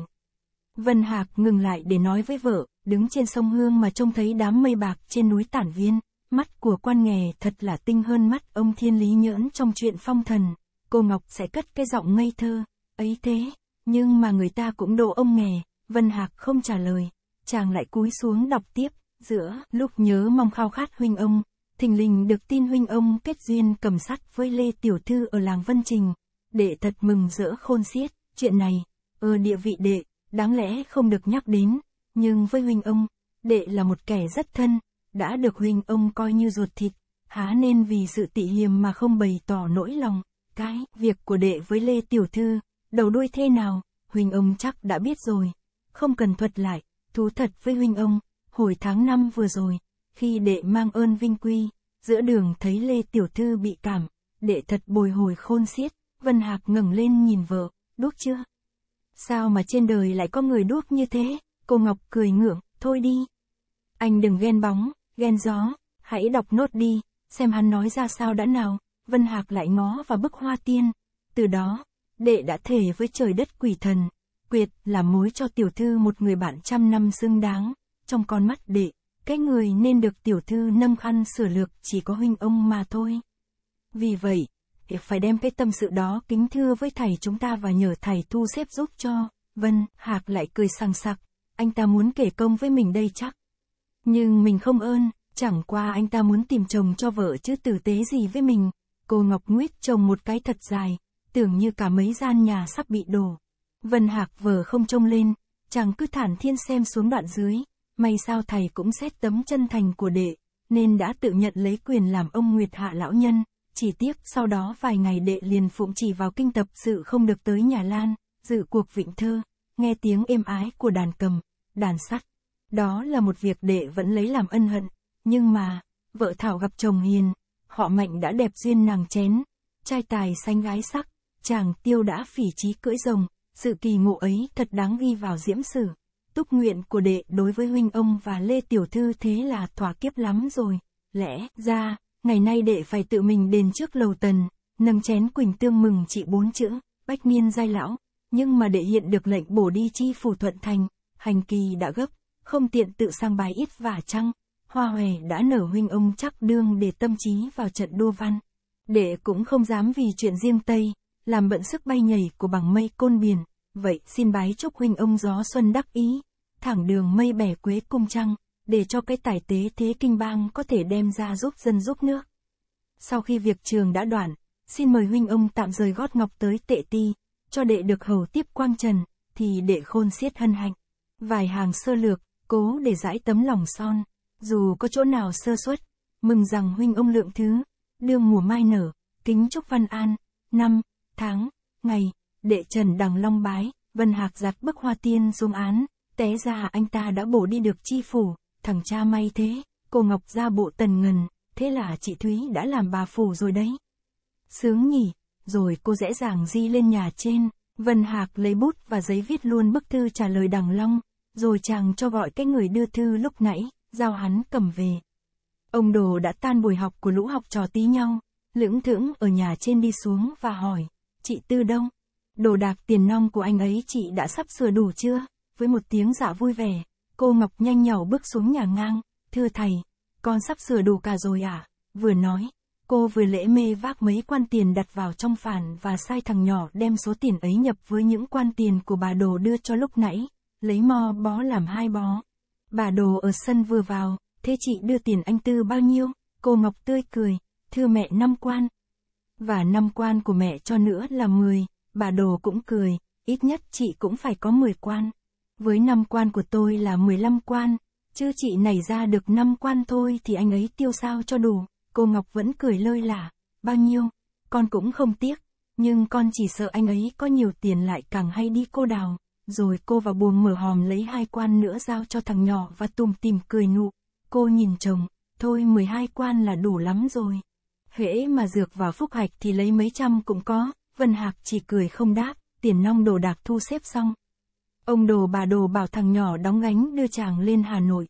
Chờ ơn 12, lúc gần sáng, ngoài sân đương im ả, tự, nhiên nổi gió ảo ảo, rồi mấy hạt mưa lác đác xa xuống. Cả nhà trọ đều lo thom thòm tưởng rằng lại như kỳ trước. Ông trời độc ác lại chờ đến lúc vào trường mà chốt xuống, làm tội cái thân học trò, nhưng mà không. Gặp tiết tiểu hàn, trời phải chiếu lệ làm phép thế thôi.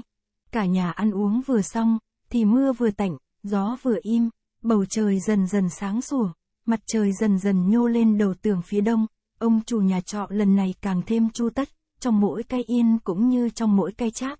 Ngoài những đồ dùng ăn một ngày, ông ấy đã nhớ cả chầu cau tươi và thuốc lá cuốn sẵn. Hơn nữa ông ta còn mướn đâu được bốn anh con trai khỏe mạnh nhanh nhẩu, đưa xuống nhà ngang nhất định xin với các ông khách trọ để chúng mang dỡ lều trõng. Cố nhiên cái hảo tâm ấy không thể bị ai từ chối, một lũ dài tấp nập kéo nhau ra cổng, sau khi đã dặn ông chủ làm sẵn đồ rượu để tối về nhà cùng uống cho vui. Vân Hạc bước rào đằng sau đốc cung với một giọng băn khoăn, thằng Mẫn cũng được vào nốt, có phải vui không? Vắng nó, cũng thấy như thiếu cái gì ấy vậy, đốc cung vẫn giam giáp cất gót, không quay trở lại, ừ cái lúc mà nó hoạn đắc, hoạn thất, thì ai cũng phải bực mình. Nhưng nghĩ bốn thằng được vào, một mình nó hỏng thì cũng tội nghiệp. Trưa hôm qua, khi nó mếu máo chào chúng mình và vác bộ áo lều xuống thềm, tao vừa ái ngại vừa buồn cười, nhưng phải cố nằm không dám cười. Lúc ấy đứa nào vô phúc mà cười một tiếng, không khéo thì cả ra đánh nhau. Thấy nó hỏng thì cũng thương hại thật đấy, nhưng, bây giờ mới hỏng, cũng là may cho nó lắm rồi. Nó thì cả thấy bốn khoa thì ba khoa bị bay kinh nghĩa, khoa này mới được vào phú. Với sức học của nó, như thế cũng là đủ lắm. Nếu nó được vào kỳ này, không khổ mày thì lại khổ tao hay là khổ các anh tao. Nó vào cùng vi với thằng nào thì khổ thằng ấy, kỳ đệ nhất tao đã phải làm cho nó hai vế hậu cổ bài kinh lễ, kỳ đệ nhị, anh hai tao lại phải cúng nó một vần phú đấy. Vân, Hạc vừa nói vừa cố đi tới bên cạnh đốc cung, ngừng lên thấy tiêm hồng, đoàn bằng, đã cách một quãng khá xa, chàng tiếp, thằng cha kia còn rốt hơn nó nhiều lắm, phải không mày, một luồng gió bấc ù u từ phía mặt thổi đến, hai người đều phải dùng mình, đốc cung khoác lấy cánh tay Vân Hạc và đi sát vào bên cạnh chàng cho đỡ rét, rồi hỏi, thằng nào? Thằng ấy, à, Trần Đức Trinh phải không? Nếu như được thằng Mẫn thì nó cần gì chúng mình? Sức học của nó, chưa chắc đã được bằng lớp trung tập. Tao không hiểu nó định thi làm gì. Chắc nó chỉ cốt cấp quyền vào trường để gỡ cái tiếng, con nhà ra thế, chứ gì. Con nhà ra thế ba mươi mấy tuổi đầu, không thi không cử, thì cũng nhục cho cha mẹ lắm chứ. Nhưng tao lo quá, văn sách là kỳ nặng nhất, một mình viết đến hai quyền thì viết làm sao? Không sợ, tao đã bảo rõ nó rồi. Tao bảo kỳ này nếu cậu vào nữa thì rất nguy hiểm. Là vì đến kỳ phúc hạch, lính trắng canh phòng giết lắm, không ai có thể làm gà cho ai. Và lại, những người được vào phúc hạch, 10 phần chắc độ 9 phần, người ta phải để tâm lực lo vào quyền của người ta, không ai chịu đi làm mướn. Nó cũng nghe ra và cho lời tao là phải. Vậy thì đến khi vào trường, mày chỉ cốt viết cái quyền của mày cho kỹ, còn quyền của nó thì giáp qua loa cho nó chép lại, miễn là khỏi có tội thì thôi chứ không cần hay. Nếu làm hay, lỡ ra mà nó được vào phúc hạch tức là mày giết nó đấy. Thế thì được, đi thì chỉ cốt lấy hỏng, thì có khó gì. Nhưng sao mày không cho nó hỏng từ kỳ phú? Có phải sướng cho nó không? Đốc cung mỉm cười, nào tao có định làm cho nó vào. Mày tính cái lúc mưa rét như thế, quyền của tao, tao cũng viết bậy, viết bạ, huống chi là quyền làm mướn. Thật quả cái quyền của nó tao chỉ viết quấy viết quá, chẳng ra nghĩa lý gì cả. Khi ở trường ra, tao tưởng nếu cả trường chỉ hỏng một người cũng phải đến nó. Và giá bị hỏng ngay kỳ trước, nó cũng mãn nguyện lắm, vì đã là ông nhất trường rồi. Thế mà ai ngờ nó lại được vào, mới khổ cho người ta chứ. Người ta xem bảng thấy tên thì mừng, chứ nó xem bảng thấy tên thì mặt tái mét chống ngực đánh thòm thòm.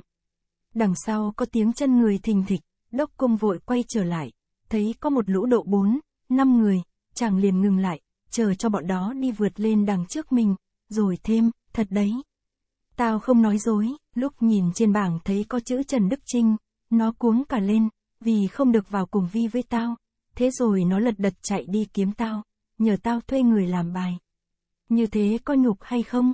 Vân Hạc phì cười, thế kỳ trước mày lấy của nó bao nhiêu? Ba chục quan, còn kỳ đệ nhất nó mượn cái thằng ở bên Bắc Ninh, nghe đâu cũng phải bấy nhiêu.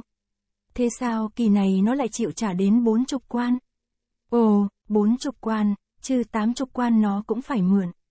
Viết không nổi quyền, nó không mượn thì làm thế nào? Cáo thổ tả mà ra à? Tao định bóp nó cho mày lấy sáu chục quan, nhưng nghĩ thương hại, cho nên nói có bấy nhiêu, Vân Hạc chỉ tay ra đằng trước mặt, nhưng mày chưa nói với hai ông kia chứ, đốc cung lắc đầu, mày tưởng tao dại lắm sao? Ai có dại gì mà đem chuyện ấy nói với thằng cha ấy, ừ nếu nói hai ông ấy thì nguy cho tao, vì các ông ấy không ưa chuyện đó. Giả sử khoa này tao đỗ, thì còn không sao, vạn nhất khoa này tao hỏng. Ấy là các ông ấy sẽ thi nhau mà nhiếc mắng suốt đời. Câu chuyện còn đương nói dở, ở phía trước mặt đã nghe có tiếng ồn ào, đến cửa trường rồi, quan trường vẫn chưa ra. Ngoài trường, các cửa còn đóng im ỉm, hôm nay vắng teo, số người lại chỉ bằng một phần ba kỳ trước. Nếu so với kỳ đệ nhất, có lẽ không được bằng một phần mười. Nhưng ông đầu bạc và những cậu còn để hồng mau, bây giờ không thấy có mấy, phần đông đều là những người trong ngoài 40. Trời tuy giá rét, nhưng trên nét mặt mỗi người đều như vẽ ra một cái tâm trạng vui sướng. Phải, đã vào đến kỳ đệ tam, 10 phần chắc đỗ bảy rồi, không cử nhân cũng tú tài. Dù có hỏng nữa cũng là một ông nhị trường, đủ cho thiên hạ phục mình học cứng. Đứng trước cái cảnh trạng ấy, dẫu người chín chắn đến đâu cũng không giấu được vẻ tự hào, người ta tự hào bằng những câu sáo rất cũ, kỳ trước tao viết bất thành văn lý, thế mà cũng vào, có chết hay không, tao không học hành gì cả, sách vở quên như hũ nút.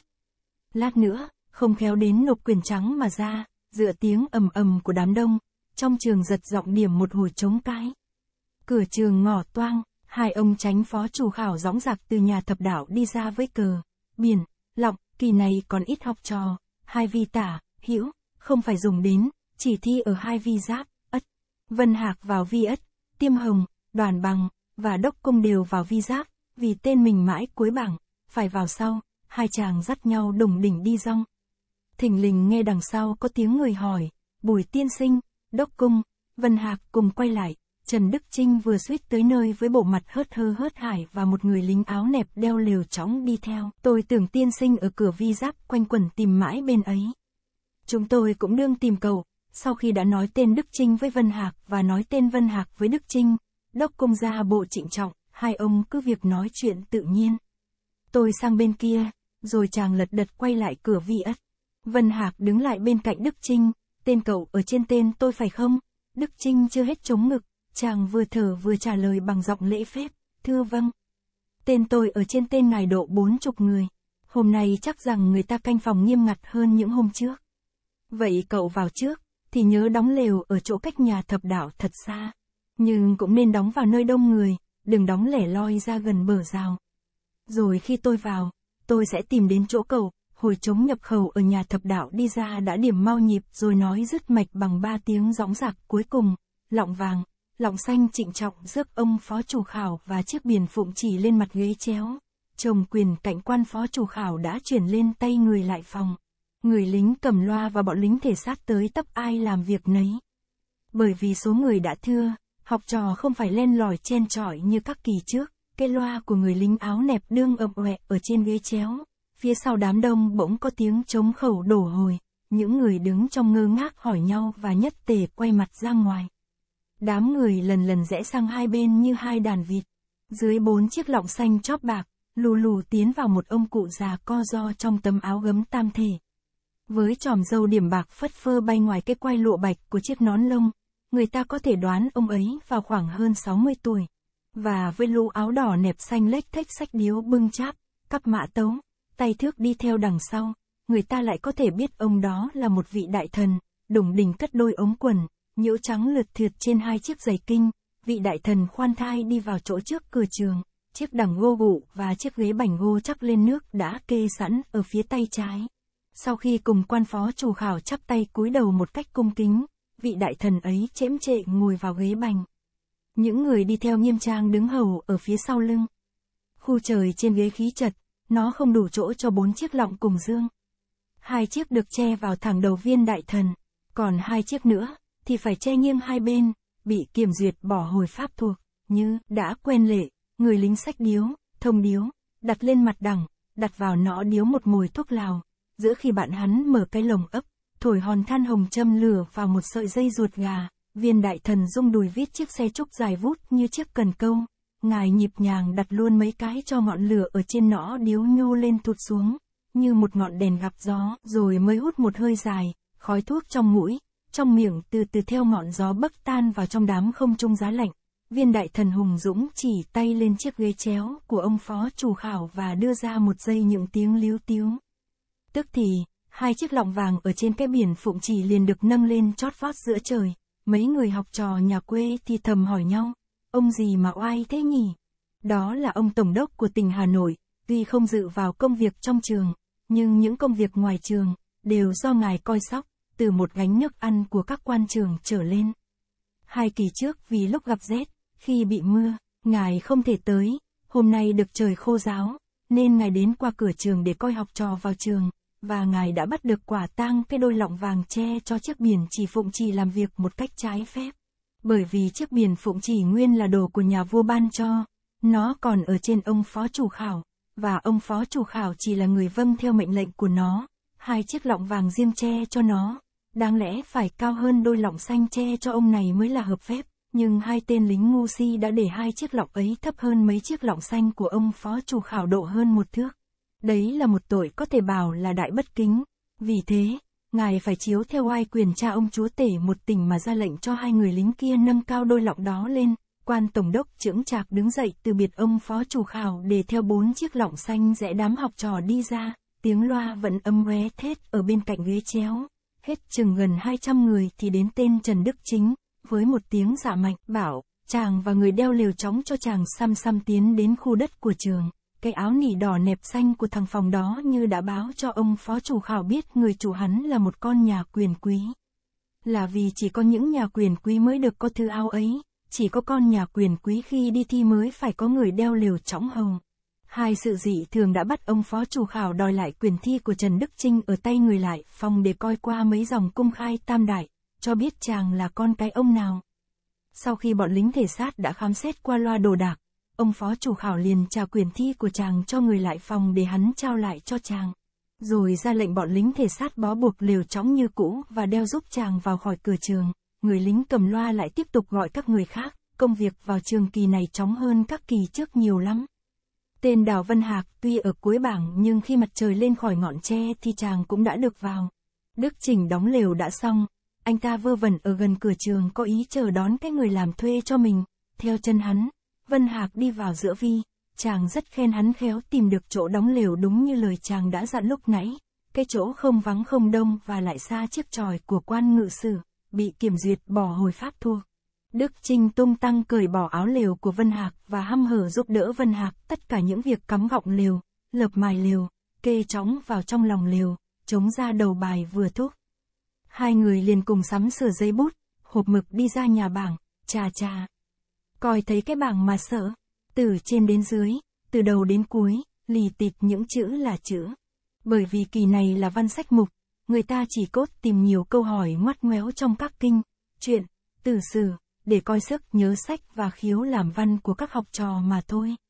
Đọc qua một lượt từ chữ, vấn, đến câu, thi vị Trần Chi, dĩ quan quyết vần, Vân Hạc sẽ bảo Đức Trinh, thôi.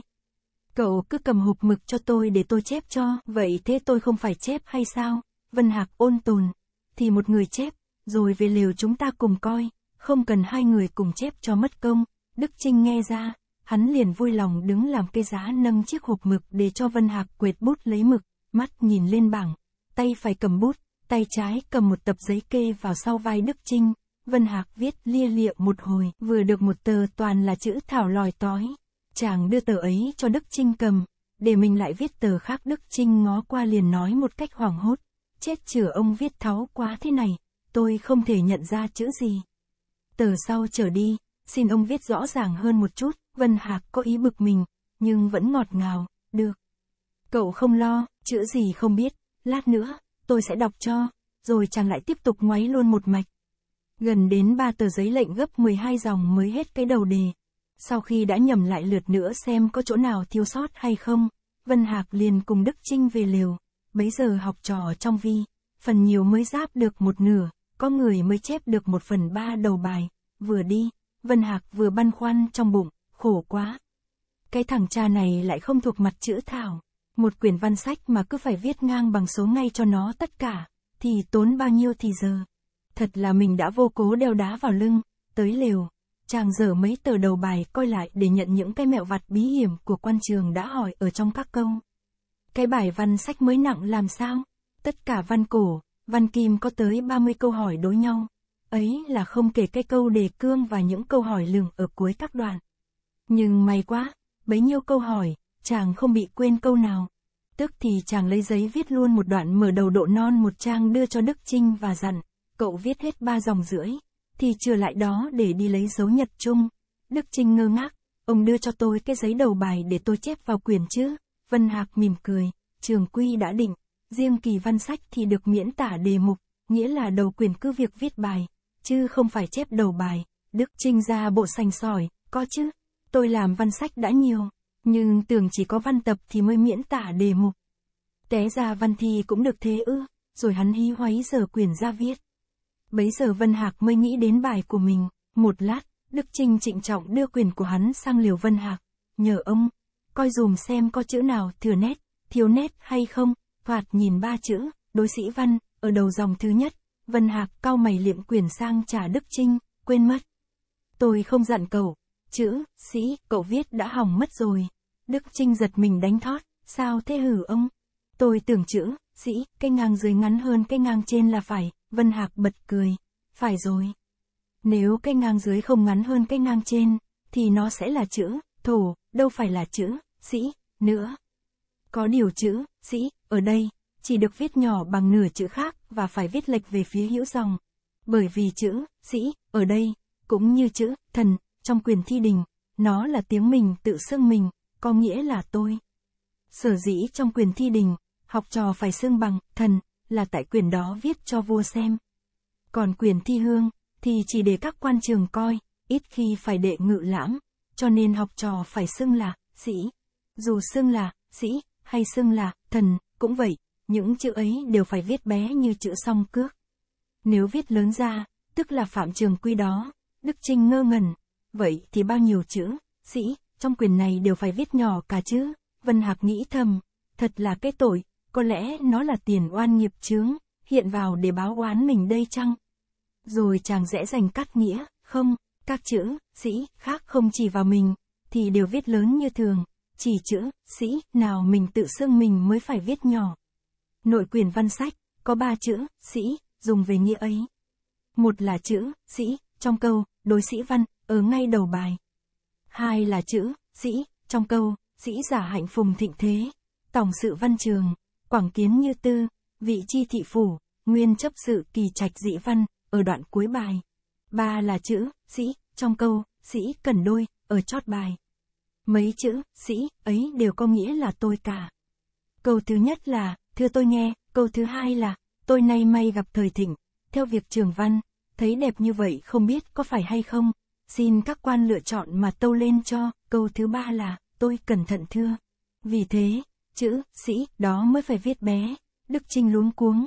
Bây giờ tôi chót viết lớn mất rồi, thì làm thế nào?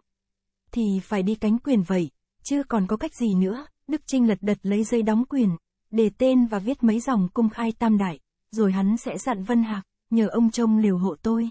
để tôi đến nhà thập đạo, Vân Hạc có ý hơi cáu, được. Cậu cứ đi, ai dỡ mất lều mà sợ, rồi chàng hì hục quay vào nghĩ bài của mình, lần này cẩn thận hơn mấy lần trước, nghĩ đến đâu, chàng giáp ra giấy đến đấy, chứ không viết luôn vào quyền. Khi chàng đã giáp được hơn hai tờ, nghĩa là giải hết một câu đề cương và trả lời xong mấy câu hỏi về nghiêu, thuần, võ, thang, đã cặm cụi viết xong mấy dòng đầu quyền, Đức Trinh cũng chưa về, chống Nhật Trung vừa nổi ở nhà thập đạo, mặt trời đã lên khá cao, chàng không kịp đợi Đức Trinh, phải bỏ liều đó mà đi lấy dấu, ngoài rào của nhà thập đạo, học trò loáng thoáng có một vài người. Đức Trinh với bộ mặt tái xanh vẫn rau ráu đứng đợi đó, vì người lại phòng chưa trao trả quyền. Vân Hạc vừa trao quyền qua rào cho một người lính áo nẹp, thì cậu công tử ấy lật đật đến bên cạnh chàng, nhờ chàng dục bọn lính kia lấy quyền cho mình, Vân Hạc mỉm cười chế giễu, cậu còn không dục được họ, nữa tôi.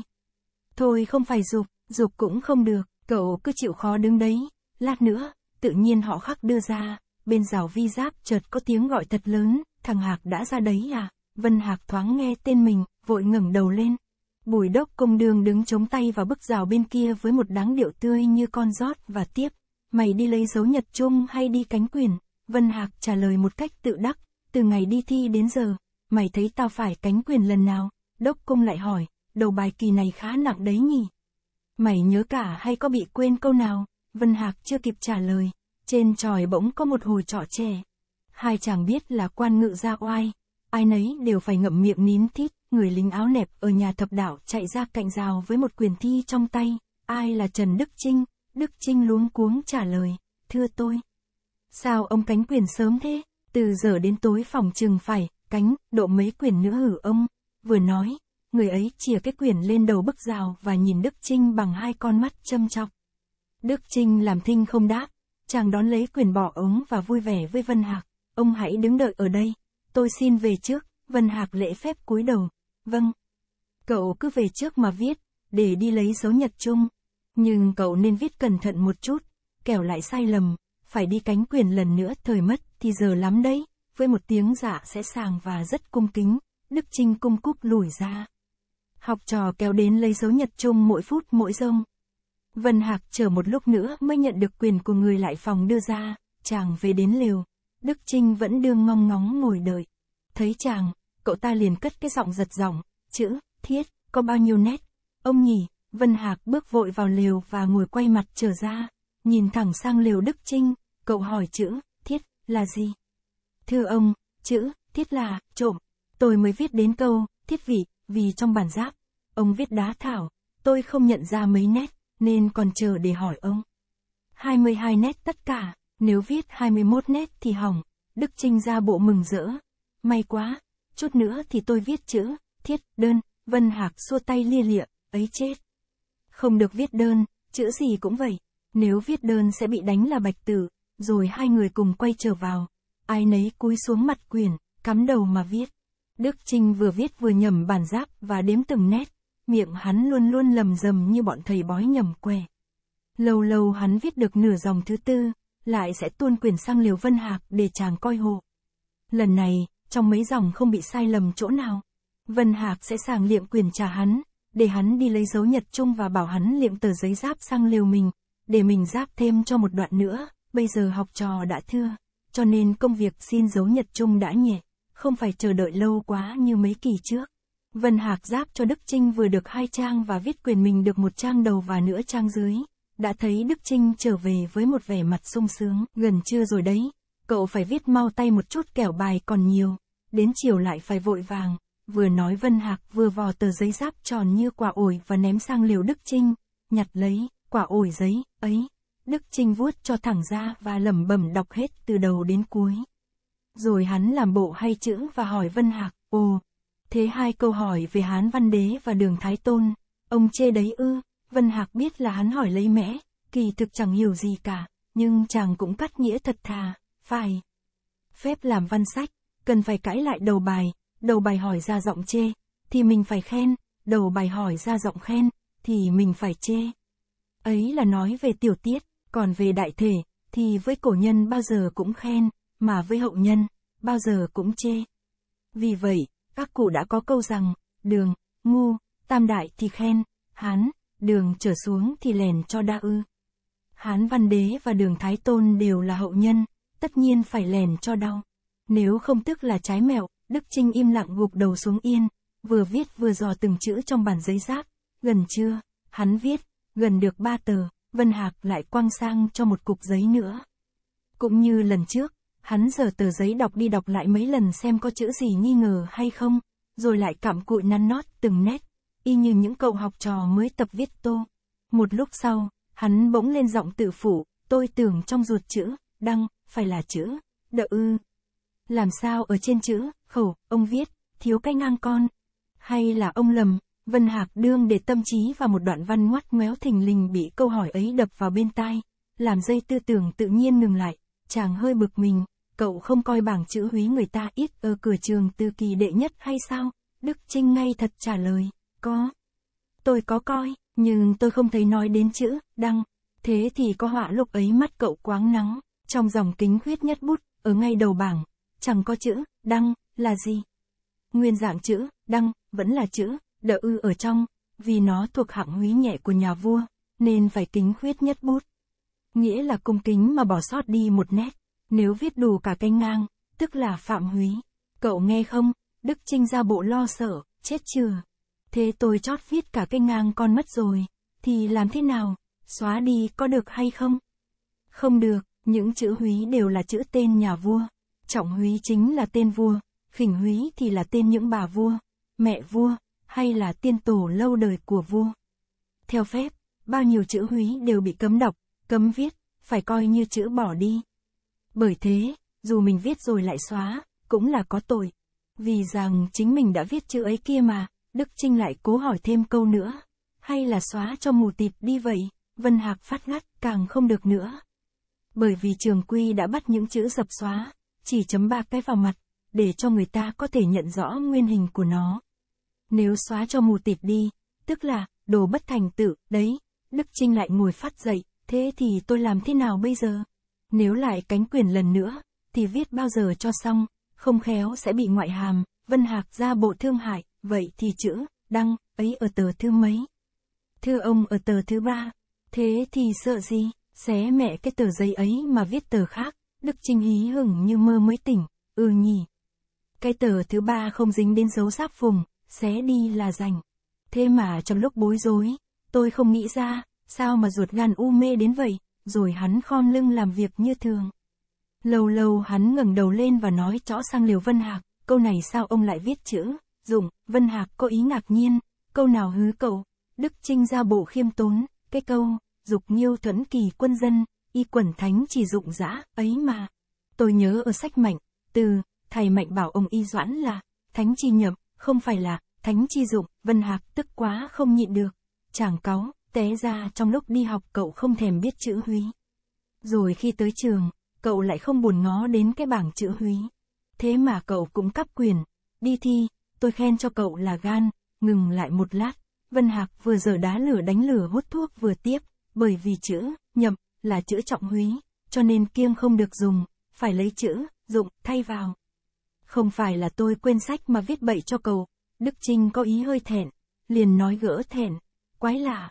Tôi có coi ở bảng chữ húy, nhưng tôi chỉ thấy chữ miên, chữ hồng, chữ ưng, chữ huê, chữ hao, tất cả chừng bốn, năm chục chữ, không thấy chữ nhậm ở đâu.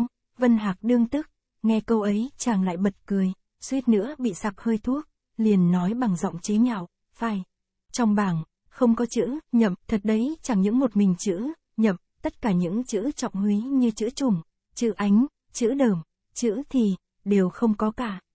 Chấm, Đức Trinh không hiểu là câu diễu cợt vội vàng ngắt lời, vậy thì ông biết chữ, nhậm, là chữ trọng húy, Vân Hạc thở hết khói thuốc và tiếp, thế cậu coi ở trong bảng, có thấy dưới dòng, trọng húy dĩ hạ, có câu, nhất tự tả tòng nhân, hiểu tòng nhâm, không? Có, tôi có thớ, và còn có nhiều chữ, nhất tự, khác như là, nhất tự tả tòng nhật, hữu tòng ương, nhất tự tả tòng hòa, hữu tòng trọng, nữa. Ồ, thế, bên tá chữ, nhân, bên hữu chữ nhâm, hợp lại chẳng là chữ, nhậm, thì gì? Vừa rồi tôi đã nói rằng, những chữ phạm húy đều bị cấm không được viết, cấm không được đọc. Đó là lệnh của triều đình, ai cũng phải theo, từ quan trí dân, trừ ra những người làm giặc. Và không phải chỉ cấm ở trong quyền thi mà thôi, bất kỳ chỗ nào, từ cuốn sổ mãi hiện đến các sách vở đều phải kiêng hết, cái bảng treo ở cửa trường hôm nọ tuy là bảng ít chữ húy, nhưng nếu viết hẳn các chữ húy ra thì ra quan trường đã phạm húy rồi. Vì thế, những chữ khinh húy, người ta mới viết thiếu đi một nét, và những chữ trọng húy thì họ tách ra từng mảnh. Coi đến chỗ đó, mình phải hiểu ngầm trong bụng. Thí dụ thấy viết bên tả chữ nhật, bên hữu chữ ương, thì biết nó là chữ ánh, thấy viết bên tả chữ hòa bên hữu chữ trọng, thì biết là chữ trùng. Một sự dễ dàng như thế, mà sao cậu cũng không hiểu. Thôi từ giờ đến tối, cậu cứ coi vào bản giáp, hễ thấy tôi viết thế nào, thì chép cho đúng thế ấy.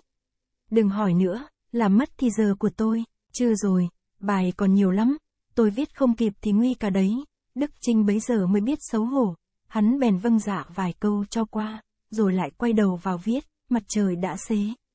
Cơn gió bấc lúc nãy đã tạnh, bây giờ lại nổi ào ào. Khí trời môi lúc mỗi thêm giá ngắt, Đức Trinh chép hết mấy tờ giấy giáp. Vân Hạc vẫn chưa viết tiếp cho hắn, đã hai, ba lần, hắn toàn thúc giục, vì sợ Vân Hạc gắt gửi, nên lại rụt rè không dám. Chờ một hồi nữa, không thấy Vân Hạc đả động gì đến, hắn bèn đánh bạo gọi hỏi, ông Đào. Thưa ông, những tờ giấy trước, tôi đã viết xong rồi ạ. À? Vân Hạc đương mải tìm mấy chữ xúc về Trương Tử Phòng để đối với câu trả lời về Gia Cát Lượng mà chàng đã nghĩ được rồi. Nghe tiếng Đức Trinh đòi bài chàng liền gạt đi, cậu hãy thong thả lát nữa. Để tôi còn nghĩ, Đức Trinh khẽ vâng một tiếng, rồi hắn lấy thịt kho, ruột bông để ăn kèm với bánh giò, cơm nắm, nhai chập nhai chuội một hồi, trong bụng đã thấy lưng lửng, Đức Trinh dốc ngược quả bầu nước chè vào miệng, nốc một thôi dài, và giờ gỏi thuốc lá cuộn sẵn, lấy ra một điếu. Rồi hắn hì hục, đánh lứa vừa châm vừa hút phì phèo. Điếu thuốc đã cháy hết giả mồ nửa, bài của Vân Hạc vẫn chưa đưa sang. Ruột gan hắn bấy giờ hình như đã nóng hôi hổi. Rình mãi được lúc người lính trên tròi canh ngoảnh mặt sang phía bên kia. Hắn liền chạy tọt sang liều Vân Hạc, một cái giật mình đánh thót làm cho Vân Hạc ngồi phát trở dậy, chết nỗi. Ai bảo cậu sang đây làm gì? Lính nó trông thấy thì chết bỏ mẹ cả đôi bây giờ. Đức Trinh do giấy sờ vành dây lưng lấy hai nén bạc đặt lên mặt yên của Vân Hạc và núp hai tay làm một. Thưa ông, hôm qua tôi đã đưa trước ông cung hai nén, còn hai nén nữa nay xin nộp nốt.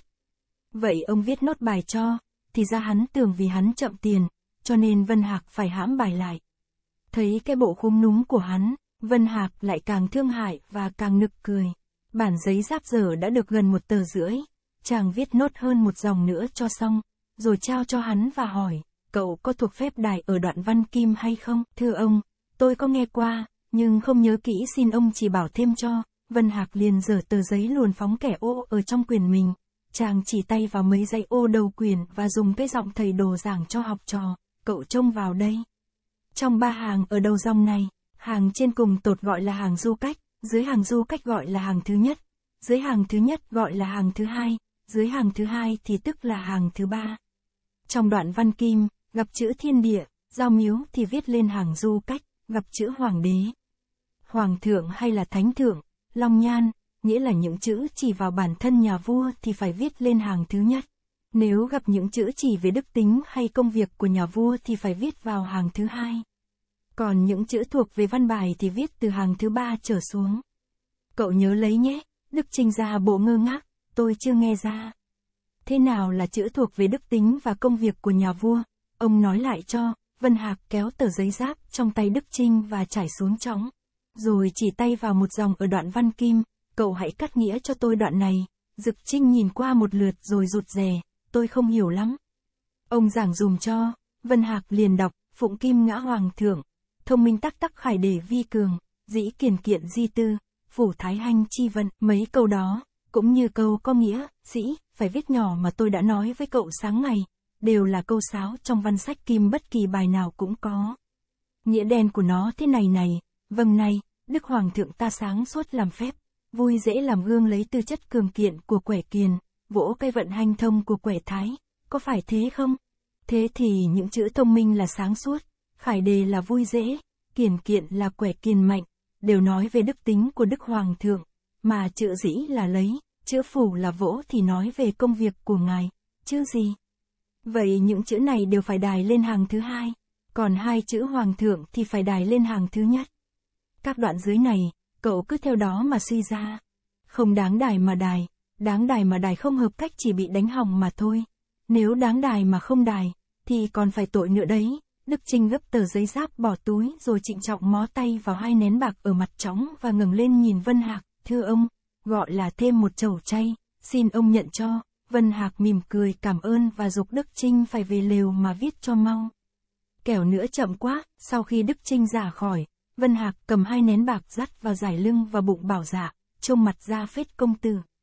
Ai ngờ nó lại sốt đến thế, ấy vậy mà chưa biết chừng, nếu nó tốt phúc mà không được vào phúc hạch, có khi sẽ độ tú tài cũng nên. Việc đời thật không thể nào mà đoán trước được, rồi chàng lại giờ quyền mình ra viết, bây giờ công việc đã nhẹ. Bao nhiêu câu hỏi về Thánh Hiền, vua chúa nước tàu, chàng đã trả lời xong xuôi cả rồi. Lúc này chỉ còn phải viết mấy câu văn kim nữa thôi. Cái lệ văn sách, văn kim tuy là thứ văn hỏi về công việc hiện thời của nước mình, nhưng thực ra nó chỉ là đoạn văn sáo. Cây sáo ấy chàng đã phải tập từ khi còn để hồng mau. Bụng chàng đã thuộc như cháo chan cả rồi, bây giờ chỉ phải theo giọng câu hỏi mà sửa đổi đi vài chữ, không phải khó nhọc chi hết. Coi lại đầu đề và soát bài văn của mình, chàng thấy từ đầu đến cuối, đoạn nào cũng rất đanh thép, nhất là không bị quên sách chỗ nào. Đắc ý, chàng ung dung giở chiếc điếu cầy đánh lửa hút thuốc rồi mới viết nốt, mặt trời đã lui xuống dưới bức rào. Trên tròi canh, chống thu quyền đã thúc rộn dịp, Vân Hạc vừa kiểm những chữ xóa sót móc chữ vừa gọi với sang liều Đức Trinh, thế nào?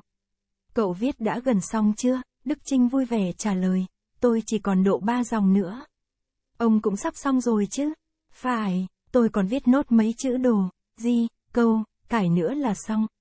Vậy thì ông hãy đợi tôi một lát rồi ta cùng ra, hai người lại cùng im lặng, chống thu quyền mỗi lúc mỗi mau. Tiếng voi ngựa đi tuần ở ngoài bờ rào lại càng rộn rịp hơn trước, trời đã nhá nhem sắp tối.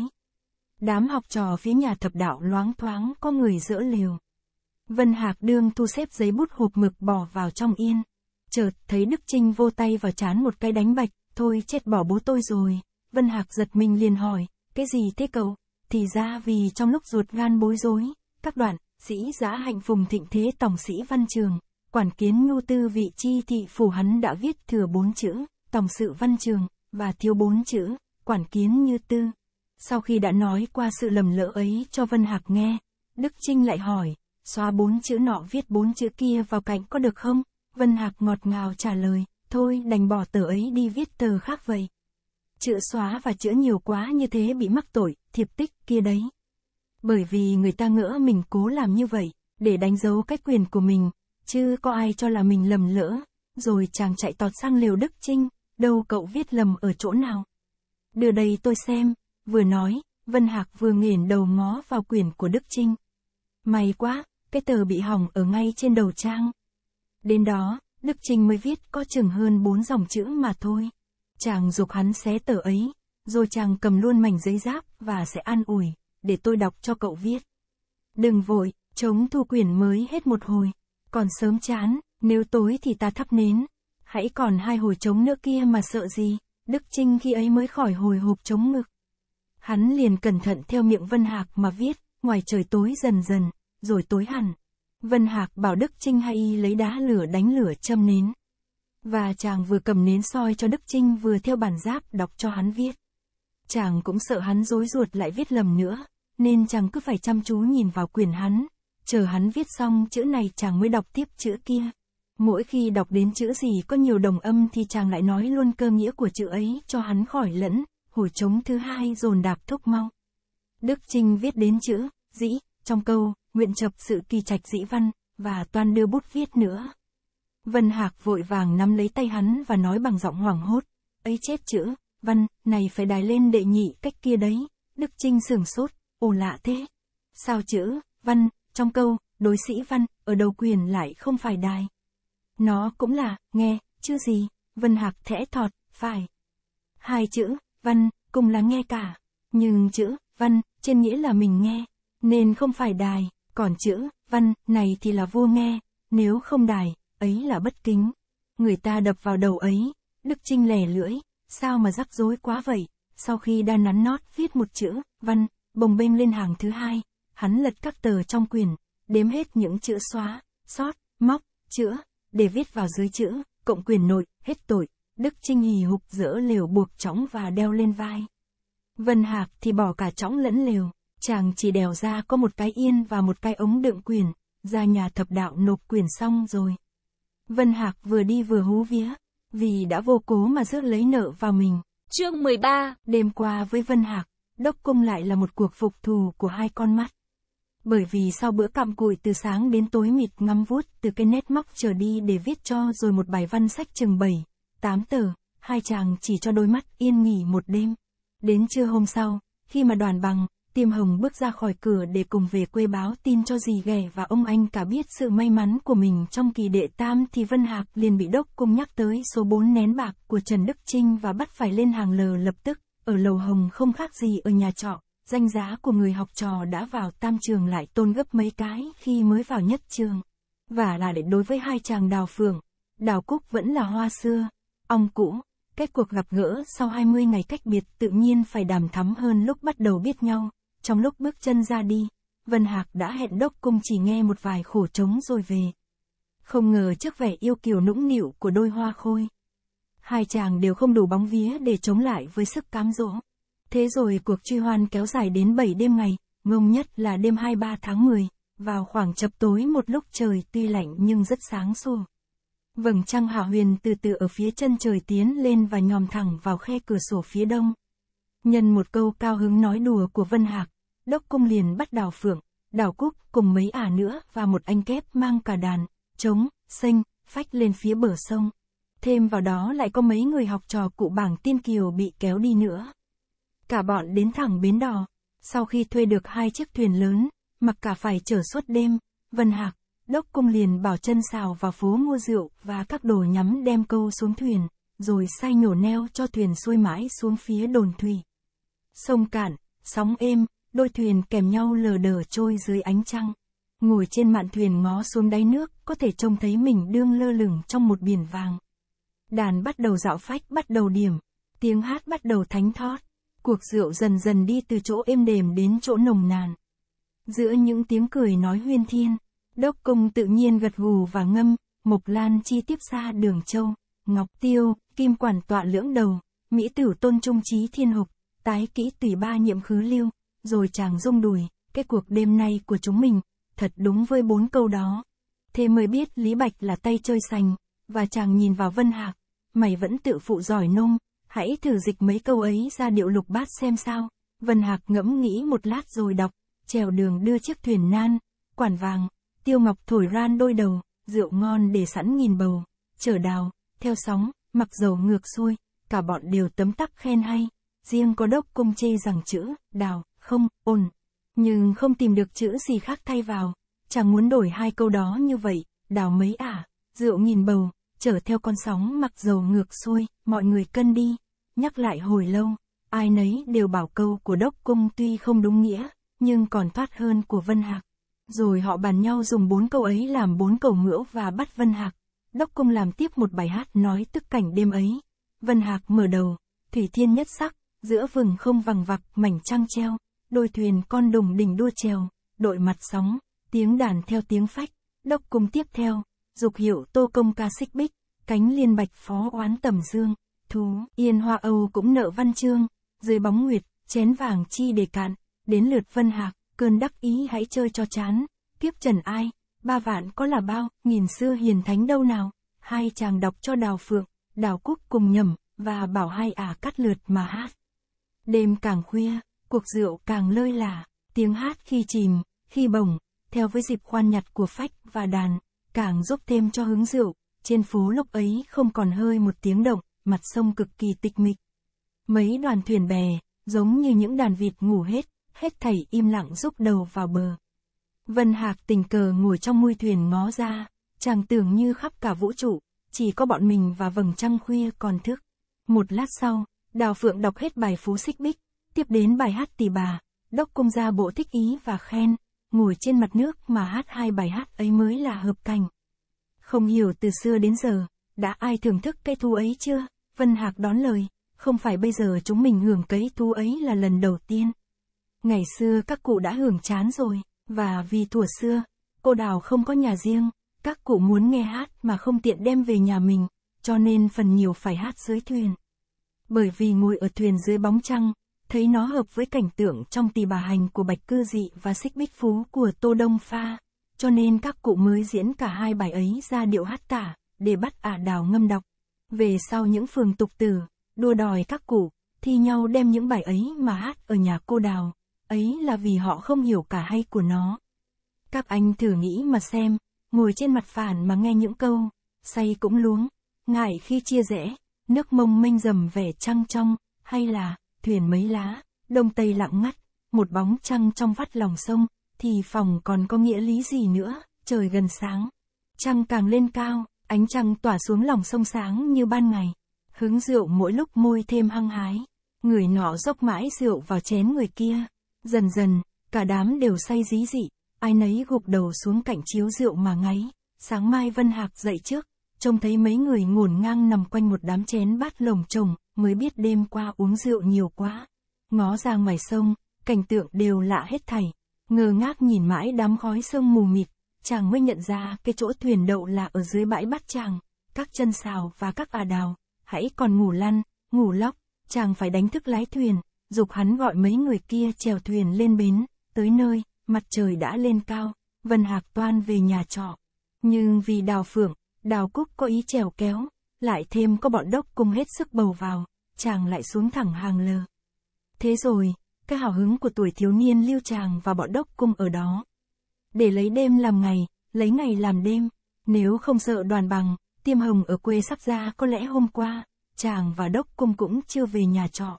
May quá hai chàng vừa tới nhà trọ một lát, thì hai người kia vừa ra, trong lúc nói chuyện, đoàn bằng, tiêm hồng ngó cái bộ mặt hốc hác, nhất là ngó đổi con mắt đứt kẽ của hai chàng, cũng biết hai chàng thức đêm nhiều lắm nhưng hai người vẫn đều giả vờ làm thinh, bấy giờ đốc cung cũng như vân hạc ai nấy đều thầm trong mình mệt như, hai mắt buồn ngủ díp lại, song người thì nể bạn hơn tuổi, người thì sợ anh, cả hai đều phải cố gượng làm tỉnh táo, nhanh nhẩu, chờ đến tối mới dám đi nằm.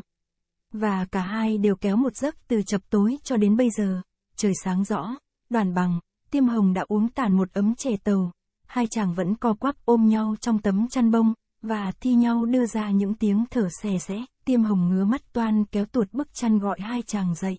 Đoàn bằng xua tay ngăn lại, hãy để cho họ ngủ lúc nữa. Chắc là những ngày vắng mình, chúng nó thức đêm nhiều lắm. Nếu họ không được ngủ bù để khôi phục cho tinh thần bằng cũ thì ngày mai vào trường sẽ có hại cho sự làm văn, rồi hai người lại dục thằng nhỏ thay chè, pha ấm nước khác, cùng uống cho tiêu thì giờ, ánh sáng loe trên nóc nhà láng giềng, Vân Hạc thình lình thức giấc. Vì bị ánh sáng lùa vào chói mắt, chàng biết trời đã trưa lắm, vội vàng lật chăn đánh thức đốc cung, đoàn bằng, Tiêm Hồng tuy vẫn tỏ ra bộ điệu vui vẻ nhưng Vân Hạc không khỏi có ý ngượng thẹn, chàng len lén đứng dậy ra thềm và gọi thằng nhỏ lấy nước rửa mặt. Đốc cung nòi chữa bằng một câu khôi hài, té ra hãy còn sớm nhỉ. Tôi tưởng đã chưa lắm, đoàn bang cười nhạt, phải. Còn sớm lắm, mặt trời mới gần đến đỉnh đầu thôi mà. Hai ông hãy đi ngủ thêm giấc nữa, dậy làm gì vội, đốc công cũng cười và ngâm, xử thế nhược đại mộng, hồ vi lao kỳ sinh, rồi, chàng thong thả, Sò chân vào giày, để đón lấy chậu nước nóng của thằng nhỏ đã bưng đến thềm. Hôm nay là ngày ra bảng kỳ đệ tam, nhà trọ làm cơm sớm hơn mọi ngày, có ý để các ông khách thừa thái thì giờ đi chơi chúng bạn. Cố nhiên, ở trong mâm cơm, cảm tình của ông chủ nhà càng nồng nàn hơn những ngày ra bảng hai kỳ đệ nhất, đệ nhị. Ông ta đã cố mua chuộc lòng khách bằng những món ăn rất cầu kỳ. Rượu rót rồi, đoàn bằng khai mào câu chuyện trước khi cất chén, chúng mình còn được chè chén lu bù. Chứ mấy ông quan chấm trường, nhất là những ông sơ khảo, phúc khảo bây giờ đương khổ vô hạn, đốc công nâng chén và hỏi, sao vậy, đoàn bằng nhấp một hớp rượu rồi đáp, kham khổ quá, chứ có sao đâu. Theo lệ, cứ mỗi khoa thi, riêng trường Hà Nội, được có một ông chủ khảo, một ông phó chủ khảo, hai ông giám khảo, hai ông phân khảo, mười ông phúc khảo và hai mươi ông sơ khảo. Lương các ông ấy không được tính tháng, phải tính chọn một kỳ thi.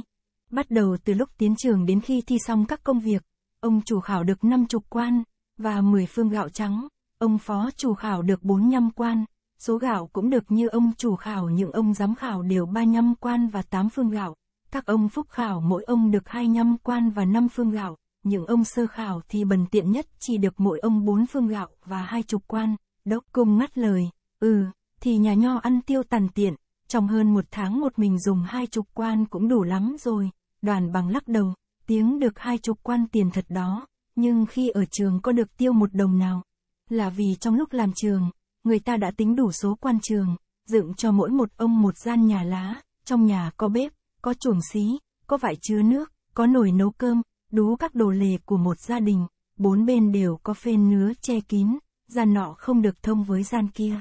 Sau khi tiến trường, người ta tống hết các ông sơ khảo, phúc khảo, giám khảo cho mỗi ông vào một gian, rồi khóa trái cánh cửa ra ngoài, giao chìa khóa cho ông đề điệu, bao giờ thi xong, ông đề điệu mới mở cửa cho các ổng này cùng ra.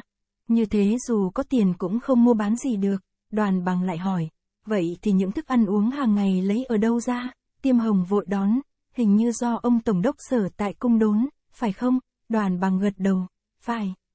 Bao nhiêu đồ ăn thức dùng của các quan trường, do ông Tổng đốc sở tại trích tiền công khố chi cấp tất cả. Sự cung đốn của mấy ông trên thế nào, tôi không được rõ, chưa đến những ông sơ khảo, phúc khảo thì ôi thôi, cực kỳ bần tiện. Mỗi ông một ngày chỉ được hai lạng thịt lợn, hay là hai con tôm he, có thịt đừng tôm, có tôm đừng thịt, ba ngày mới được một lọ nước mắm và ít muối trắng. Anh tính mỗi ngày hai bữa, một thầy, một trò, ăn uống chỉ có bấy nhiêu, thì kham khổ biết chừng nào.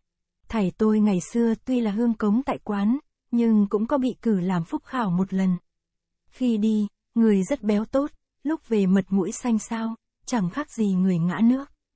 Thì trong hơn một tháng trời nhịn đói, nhôm khát, gỗ cũng phải gầy, nữa là người, đốc cung nhành mồm tắc lưỡi. Đoàn bằng đưa ngậm hớp rượu trong miệng, vội cong bàn tay giơ lên, tỏ ý ngăn cản lời của đốc cung, rồi thêm, thế cũng chưa thấm, bị kiểm duyệt bỏ hồi pháp thua. Đoàn bằng quay lại với chiếc điếu đàn, đặt thuốc, châm lửa, hút một hơi thuốc. Câu chuyện nói giờ tiếp theo khói thuốc đưa ra, vì nhà của mấy ông sơ khảo, phúc khảo trừ khi hé ra một lúc cho phu đổ nước vào vại, còn thì phải khóa kín suốt ngày, suốt đêm. Cho nên trong bức phên nứa chắn ở quanh nhà, người ta đã có để sẵn một cái lỗ thủng nho nhỏ. Mỗi một buổi sáng, người lại phòng của quan đề điệu phân phát đồ ăn cho các quan trường thì tuôn qua mấy lỗ thủng ấy, rồi gọi thằng bếp ra đó mà đón, tiêm hồng nói xen, kẻ nào hà lạm đến những món ấy thì tù mọt gông. Tôi nhớ thầy tôi có nói lại rằng, cái năm thầy tôi đi làm phúc khảo, có người lại phòng chia tôm cho các quan trường, vì lúc cuối cùng còn thừa một con, hắn không biết là phần ông nào, đem về ăn mất. Thế mà đến khi việc đó phát giáo, anh ta bị phạt đủ ba chục trường. Cực chưa, đến lượt đoàn bằng, tội nghiệp hơn nữa, là cái tình cảnh của mấy ông ấy trong khoảng từ kỳ đệ tam đến kỳ phúc hạnh. Những kỳ đệ nhất, kỳ đệ nhị, tuy rằng ăn uống kham khổ nhưng còn không đến nỗi buồn. Là vì trong hài kỳ ấy học trò còn đông, các ông sơ khảo phúc thảo còn phải chấm nhiều, cả ngày không lúc nào dối. Đến kỳ đệ tam và kỳ phúc hạch, học trò vắng lắm, phần việc của mấy ông ấy chỉ làm độ một, hai giờ là xong. Thế mà cứ phải nằm đó chờ đợi cho đến kỳ sau. Chấm, có ông buồn quá, không biết làm cách nào cho qua thì giờ, đành phải đánh đáo với thằng đầy tớ. Vân Hạc đương bưng chén rượu vội đặt xuống mâm. Nếu tôi mà bị đi làm quan, trường, thì quyết phải bắt, vợ tôi ăn mặc giả làm đầy tớ để cùng vào trường. Đoàn bằng nối lời, ấy cái năm thầy đi phúc khảo, đã có một ông cũng làm như thế đó. Ông ấy thuê người cô đào ăn bận quần áo đàn ông, và bắt sách điếu cắp cháp theo vào. Vậy mà việc cũng bại lộ, không biết ông ta sau này bị tội gì. Có lẽ người ta buộc cho cái tội khi quân cũng nên, bị kiểm duyệt bỏ hồi pháp thua. Ông chủ nhà trọ vừa đi qua đó, thưa các quan, sao lại có người khai mạo tam đại? Tôi tưởng cha ông nhà mình dù hèn cũng là cha ông nhà mình, ai lại đê tiện đến nỗi nhận vơ cha ông người khác, đoàn bằng vội mời ông đó ngồi xuống chiếc phàn cạnh đấy uống nước. Cái việc khai mạo tam đại, cũng là việc bất đắc dĩ. Theo luật, những người trước có làm quan với nhà Tây Sơn cũng như những người phạm tội ăn cướp làm giặc, bản thân của họ tuy bị hành hình, hay đã già chết, nhưng vẫn chưa thật hết tội. Anh em ruột và con cháu ba đời nhà họ đều bị cấm không được thi. Vì thế nhưng người học giỏi muốn thi, chẳng may lại có cha ông thân thuộc vướng vào khoản ấy, người ta mới phải khai mạo tam đại để nộp quyền đi thi. Bây giờ đã ít, chứ mấy năm xưa nhiều người mắc tội ấy lắm. Vân Hạc góp thêm, thuở tôi còn nhỏ, nghe nói có một vụ án khai mạo tam đại hay lắm. Tôi không nhớ cái ông đáng thương ấy tên họ là gì, chỉ biết ông ta người xứ Bắc có ông nội ngày xưa làm quan trong triều Tây Sơn, nên cũng bị liệt vào sổ, tam đại bất đắc ứng thi.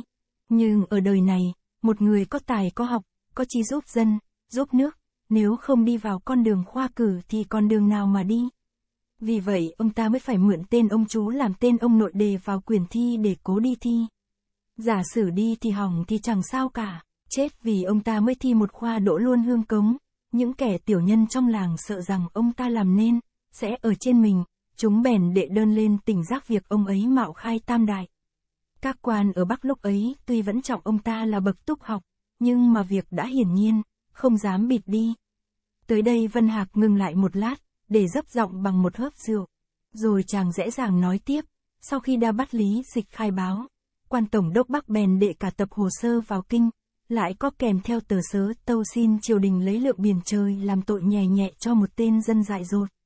Về sau thấy có chữ phê vào tập hồ sơ như vậy, mạo tổ, bất hiếu giã, khi quân, bất trung giã, bất trung, bất hiếu chi nhân, lưu tương yên dụng, vân, hạc đương toan nói thêm, thằng nhỏ hớt hơ hớt hải ở ngoài cổng vào, chạy thẳng lên thềm, thưa các ông, con thấy cửa trường đã treo bảng rồi đấy ạ. À? Đoàn bằng dễ dàng, mày có thấy tên chúng tao hay không? Thằng nhỏ vừa thở vừa đáp, thưa các ông, con không biết chữ, ông chủ nhà trọ ra bộ vui vẻ, mời các ngài hãy cứ yên tâm sơi rượu, để tôi ra coi xem sao.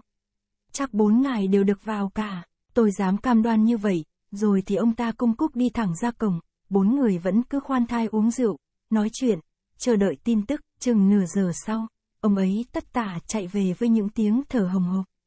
Thế nào, chúng tôi có ai được vào hay không? Vân Hạc vừa cầm chén rượu vừa hỏi một cách sốt xăng, ông chủ nhà trọ tươi cười. Có à, tôi đoán phòng thế mà không sai mấy nỗi. Bà ông hơn tuổi vào cả, chỉ có ông Cung, Vân Hạc ra bộ sừng sốt, ông Cung làm sao? Có tên ở bảng con chứ, ông chủ nhà trọ ra ý ngập ngừng không nói. Vân Hạc cố gắng lần nữa, ông ta mới chịu nữa úp nửa mở. Vâng, tôi thấy ở trong bảng con có viết chữ Bùi Đốc Cung. Nhưng không biết có phải ông cung nhà ta hay là ông cung nào. Vì tôi vội quá, không kịp coi đến dòng tên làng tên tỉnh, Vân Hạc cho là không phải tên của đốc cung nhưng chàng vẫn cố trêu cợt, chẳng thằng cung này còn thằng cung nào. Suốt mấy kỳ trước, tôi thấy trên bảng có các vi, chỉ có một bùi đốc cung mà thôi. Rồi chàng nhìn mặt đốc cung, biết thân chưa con. Đời nào đổ đến những thằng ngông nghênh, bướng bỉnh, được vào mấy kỳ đã là may rồi, chuyến này tao xem, Mày là cụt đầu, đốc công cũng đáp bằng giọng bông đùa, mày hãy thử sờ lên gáy xem nào. Tao tưởng mày còn ngông nghênh bằng hai tao kia, nếu như tao bị cụt đầu, thì cái đầu mày quyết là không còn, đoàn bằng cao đôi lông mày tỏ ý không thích. Tiêm hồng nói, những tiếng mày tao để dành cho bọn vũ phu lỗ mãng họ dùng. Chúng mình là kẻ đọc sách, biết lễ, ăn nói phải cho trang nhã một chút. Gọi nhau bằng anh cũng đã xuồng xã lắm rồi, Vân Hạc, Đốc Cung đều im lặng, rồi nói lảng ra chuyện khác. Đoàn bằng chừng cũng băn khoăn về lời ông chủ mới nói vừa rồi. Thầy bảo đốc cung đọc lại cả bài văn sách của chàng kỳ trước, xem có chỗ nào sơ suất hay không. Đốc cung liền đặt chén rượu đứng dậy, mở cháp lấy bản giáp bài đó, trao cho đoàn bằng, bốn người vừa uống rượu Âu vừa chuyển tay nhau xem đi xem lại những tờ giấy giáp. Ai nấy đều tấm tắc khen hay và đều không thấy chỗ nào đáng ngờ. Cả bọn tin rằng ông chủ nhà trọ trông sai, chứ chẳng khi nào đốc cung lại bị nêu ra bảng con. Riêng có đốc cung vẻ mặt vẫn không được vui, vì chàng còn hồ nghi trong bụng, tiêm hồng an ủi, bác đừng lo, văn bác quyết phải bốn, yêu. Và lại, cả quyền không có chữ nào đáng tội, việc gì phải ra bảng con mà sợ, đốc Công gượng đáp, chẳng qua đến hỏng là cùng, tôi có sợ gì, cuộc rượu kể cả chừng nửa giờ nữa, ai nấy đều thấy trong mình hơi say.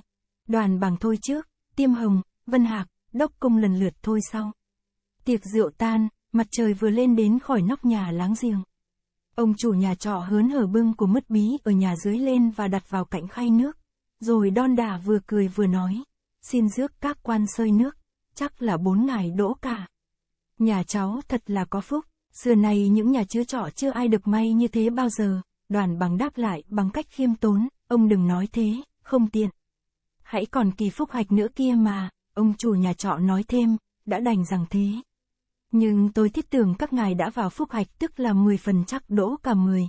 Còn ngại gì nữa, đoàn bằng lắc đầu, những khoa trước kia có thể như thế. Là vì ngày xưa đến kỳ phúc hạch, học trò chỉ phải viết một bài thơ để so tự giảng, xem rằng quyền các kỳ trước của mình có thật tay mình làm ra hay không. Bấy giờ số người dự kỳ phúc hạch, quan trường chỉ lấy gần ngang với số giải ngạch mà thôi. Vì như giải ngạch của trường Hà Nội được lấy 25 cử nhân, thì kỳ phúc hạch, người ta chỉ lấy dư chừng vài ba người, nghĩa là tất cả độ ba chục người trở lại. Thêm ra năm người như vậy, là để dự phòng những lúc nhà vua thiên thù. Chắc ông đã biết, giải ngạch tuy có 25 cử nhân, nhưng cũng có khoa, nhà vua lại cho lấy thêm hai ba người nữa. Như vậy, nếu kỳ phúc hạch chỉ lấy đúng số giải ngạch thì khi được lệnh thiên thủ cử nhân, lấy ai xung vào số đó. Vì thế, ngày trước đã vào phúc hạch, ai cũng chắc đỗ, không cử nhân thì tú tài. Các cụ nói rằng, có ông được vào phúc hạch sướng quá, đến nỗi trông đến đầu đề bài thơ của quan chủ khảo ra cho, không thể nghĩ được chữ nào, quan trường lại phải gà cho mà viết. Vậy mà cũng đỗ, chỉ có người nào phạm húy, mới bị đánh hỏng mà thôi. Ông chủ nhà trọ lại hỏi, bây giờ cũng thế chứ gì, đoàn bằng hút tàn mồi thuốc, rồi đáp, không. Từ khoa trước đây, phép thi đổi lại, phúc hạch cũng là một kỳ. Học trò cũng phải làm bài như các kỳ trước. Theo phép mới này, thì trong ba kỳ, ai có, bình ngoại, đều được dự kỳ phúc hạch, bất kỳ giải ngạch bao nhiêu. Thí dụ giải ngạch của trường Hà Nội năm nay chỉ có 24 cử nhân, nhưng đến kỳ đệ tam, học trò có 500 người đều có, bình ngoại, thì bấy nhiêu người được vào phúc hạch tất cả. Ông chủ nhà trọ ra bộ ngơ ngẩn không hiểu, thưa, thế nào gọi là, bình ngoại, tiêm hồng cắt nghĩa, bình ngoại tức là chữ, bình, của quan tránh chủ khảo, hay quan phó chủ khảo, hoặc là các ông phân khảo. Theo phép nhà Nguyễn, các quan chấm trường vẫn chia ra làm hai bộ, các ông sơ khảo, phúc khảo và giảm khảo gọi là nội trường, các công phân khảo và tránh, phó chủ khảo thì là ngoài trường chữ, nội, và chữ, ngoại, đó chỉ là nói theo chỗ ở của các ông ấy. Bởi vì, trong khi đóng ở trong trường, các ông sơ khảo, phúc khảo, giám khảo đều ở lớp trong, mấy ông phân khảo và tránh, phó chủ khảo thì ở lớp ngoài. Có thế thôi tất cả quyền của học trò, đều phải đủ bốn dấu chấm, bắt đầu do ông sơ khảo chấm trước, thứ hai đến ông phúc khảo, thứ ba đến ông giám khảo. Thế là hết lượt nội trường, bấy giờ mới giao ra trả ngoại trường. Lúc này lại chia ra làm hai hạng, quyền nào mà trong ba dấu của nội trường, được có một dấu trở ra, về cho chữ, ư hoặc chữ, bình, hay chữ, thứ mác, thứ cục, thì được đến tay các ông tránh, phó chủ khảo chấm lại, còn những quyền nào nội trường phê đủ ba, liệt, thì phải để ông phân khảo chấm lần cuối cùng. Trong một khoa thi, lấy ai, bỏ ai, đều là quyền của các quan ngoại trường. Bởi vậy, người ta mới trọng dấu chấm của mấy ông này hơn những dấu chấm của các ông nội trường, và cũng vì thế, người ta mới đặt lệ rằng, người nào đã lọt ba kỳ đệ nhất, đệ nhị và đệ tam, ít nhất phải có một kỳ được có dấu của ngoại trường phê cho chữ, bình, trở lên thì mới được vào phúc hạch. Nếu trong các kỳ, không được ngoại trường phê, bình, bao giờ, thì dù các dấu nội trường đều phê, yêu, cả, cũng không được dự đến kỳ thứ tư. Vân Hạc xen vào, mới năm trước đây, bên Bắc có một ông tú, chỉ vì thiếu cái, bình ngoại, mà đến phải chết. Thế có khổ cho người ta không? Ngừng lại một lát, để nhìn ông chủ nhà trọ, rồi chẳng nói tiếp, ông đó là bậc danh sĩ, vừa thông minh, vừa tài hoa, ngoài 20 tuổi, đã độ tú tài, tại ông ta học ở Hà Nội, cho nên học trò Hà Nội nhiều người biết mặt và ai cũng phục là tài thám bằng.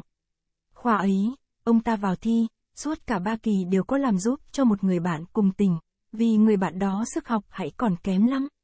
Nhưng đến kỳ phúc hạch người bạn được vào, ông ta bị hỏng.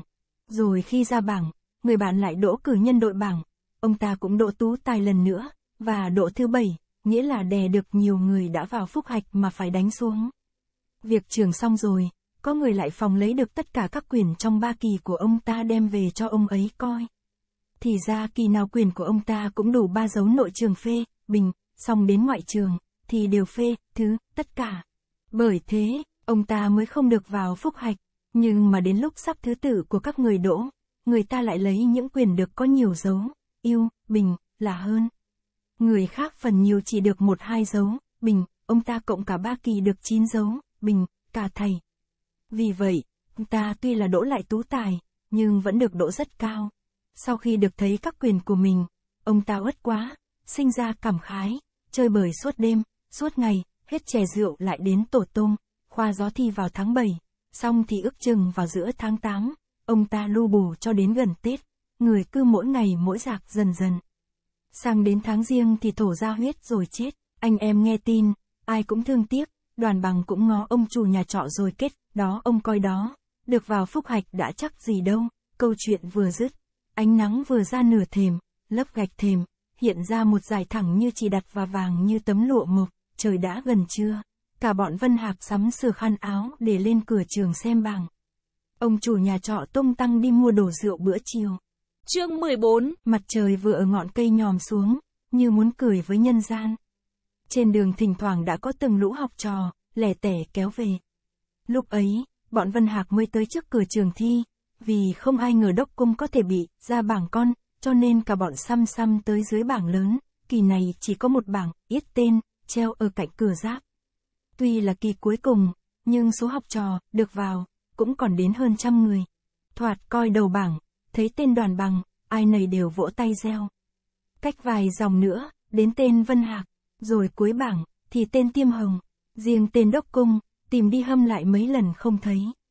Bấy giờ Đốc Cung mới càng trột dạ, cả bọn đều tỏ ra vẻ ái ngại, Đốc Cung nói bằng giọng liều, có lẽ họ cho mình ra bảng con thật chắc, đoàn bằng nhất định không tin, chẳng có lý nào như thế, Vân Hạc cố trêu Đốc Cung, lý nào cái đó. Hễ viết vô ý một tí, thì được nêu tên bảng con, chứ có khó gì, rồi đó, chẳng ai bảo ai, cả bọn đều đi đến cạnh bảng con, cái bảng mới xấu làm sao. Nó là một mảnh cót cũ, quét vôi nhơm nhét như một tấm mái nhà mồ, bề ngang chừng hơn ba gang, bề dọc độ gần ba thước, người ta treo nó trong cái nhà bảng lục sụp, mặt bảng chỉ độ ngang với mặt người, nhác trông trên bảng, Vân Hạc liền kêu giật giọng. Thôi chết, có tên anh cung thật rồi, mọi người ngơ ngác nhìn theo.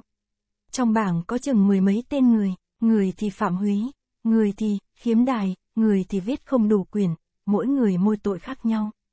Tên của đốc cung liệt ở giữa bảng, dưới có bốn chữ, cổ văn khiếm tị, viết nhỏ theo lối chú cước. Đối với bốn chữ, Hà Nội, Trúc Lâm, tất cả bốn người sắc mặt đều thấy tái mét. Vân Hạc sẽ hỏi đốc cung, chắc là trong quyền của anh có chỗ dùng phải những chữ trùng với tên lăng, tên điện của nhà vua mà anh không biết, đoàn bằng trả lời, không có. Sáng nay tôi đã xem đi xem lại bản giáp của bác ấy rồi. Chẳng có chỗ nào khiếm tị, Vân Hạc vẫn ngó đốc cung, nhưng mà bản giáp của anh có đúng như trong quyền thi hay không?